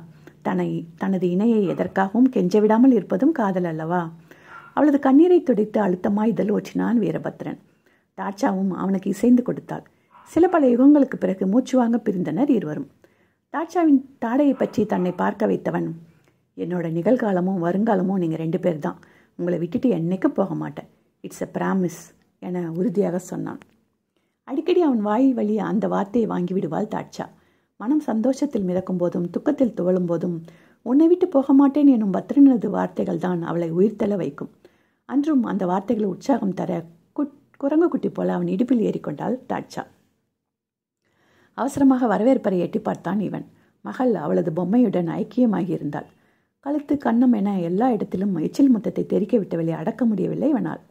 அவளை இரக்கமாக தாங்கியபடி கண்ணை மூடி மேசை மேல் சாய்த்து நின்று கொண்டவன் தன்னை அவளுக்கு அப்படியே ஒப்பு கொடுத்தான். லவ் யூ வீரபத்ரன் மை பாகு ஐ லவ் யூ டி தாட்சா.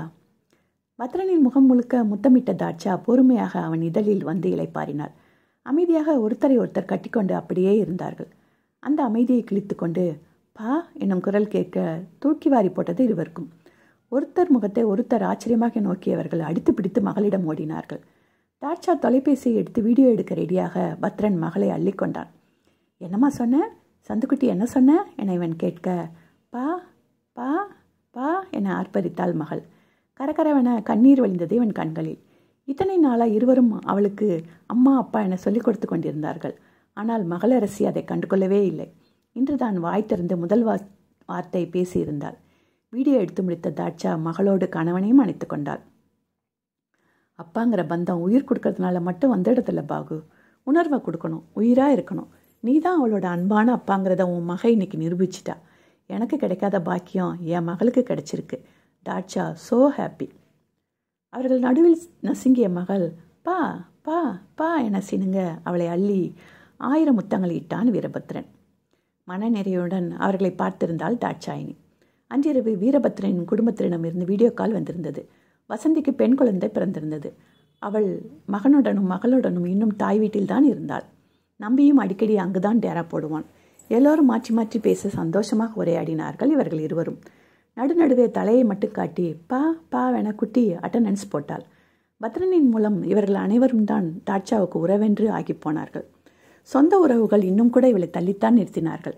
எப்பொழுதும் போல பாட்டியிடமும் சந்திரன் மாமாவிடமும் மட்டும் பேச்சுவார்த்தை வைத்துக் கொள்வாள் தாட்சா ராமநாதன் என்றாவது நினைத்து கொண்டால் இவளுக்கு ஃபோன் போட்டு பேசுவார். கடமைக்காக இரண்டு வார்த்தை பேசுவார் சிவகாமி. முகம் திருப்பாமல் பேசி வைத்து விடுவாள் தாட்சா என்ன இருந்தாலும் அவர்கள்தான் பெற்றவர்கள். அதை இவளால் மாற்ற முடியாது.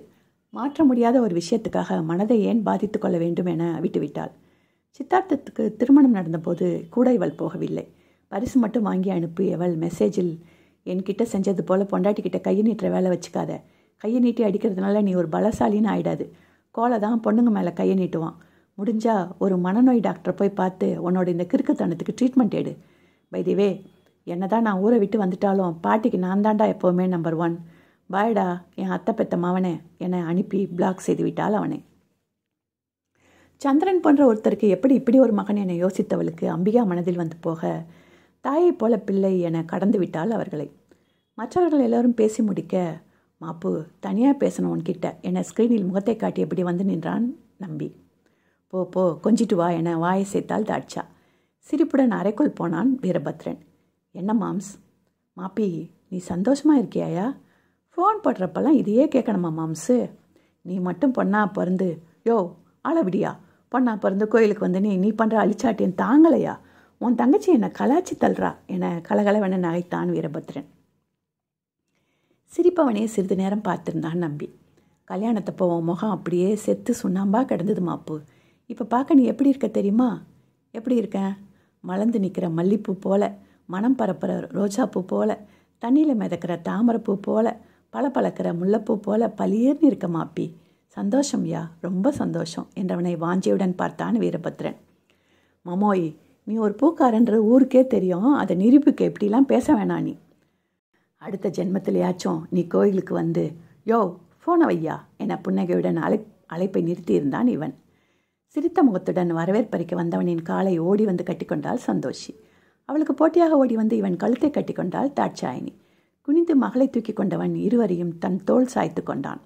மலர்ந்திருந்த இரு பெண்களின் முகமும் இவனுக்கு பேர் உவகையை கொடுத்தன. லவ் யூ போத் என்றான் இவன். லவ் யூ பாகு என்ற மனைவியின் கொஞ்சலும் பாப்பா என என்ற மகளின் சிலுங்களும் அவன் செவியையும் நெஞ்சத்தையும் சில்லென சிலிர்க்க வைத்தது. நன்றி கடவுளே நன்றி நிறைவுற்றது. இந்த கதையை தாட்சாயினி போன்ற ரேப் சர்வைவர்களுக்கு அதாவது தங்களுக்கு நடந்த துக்ககரமான சம்பவங்களை தைரியமாக கடந்து மீண்டும் வாழ்க்கையை தன் கையில் எடுத்து வெற்றிகரமாக வெற்றிகரமாக வாழ்பவர்களுக்கு சமர்ப்பணம் செய்கிறேன். நன்றி வணக்கம்.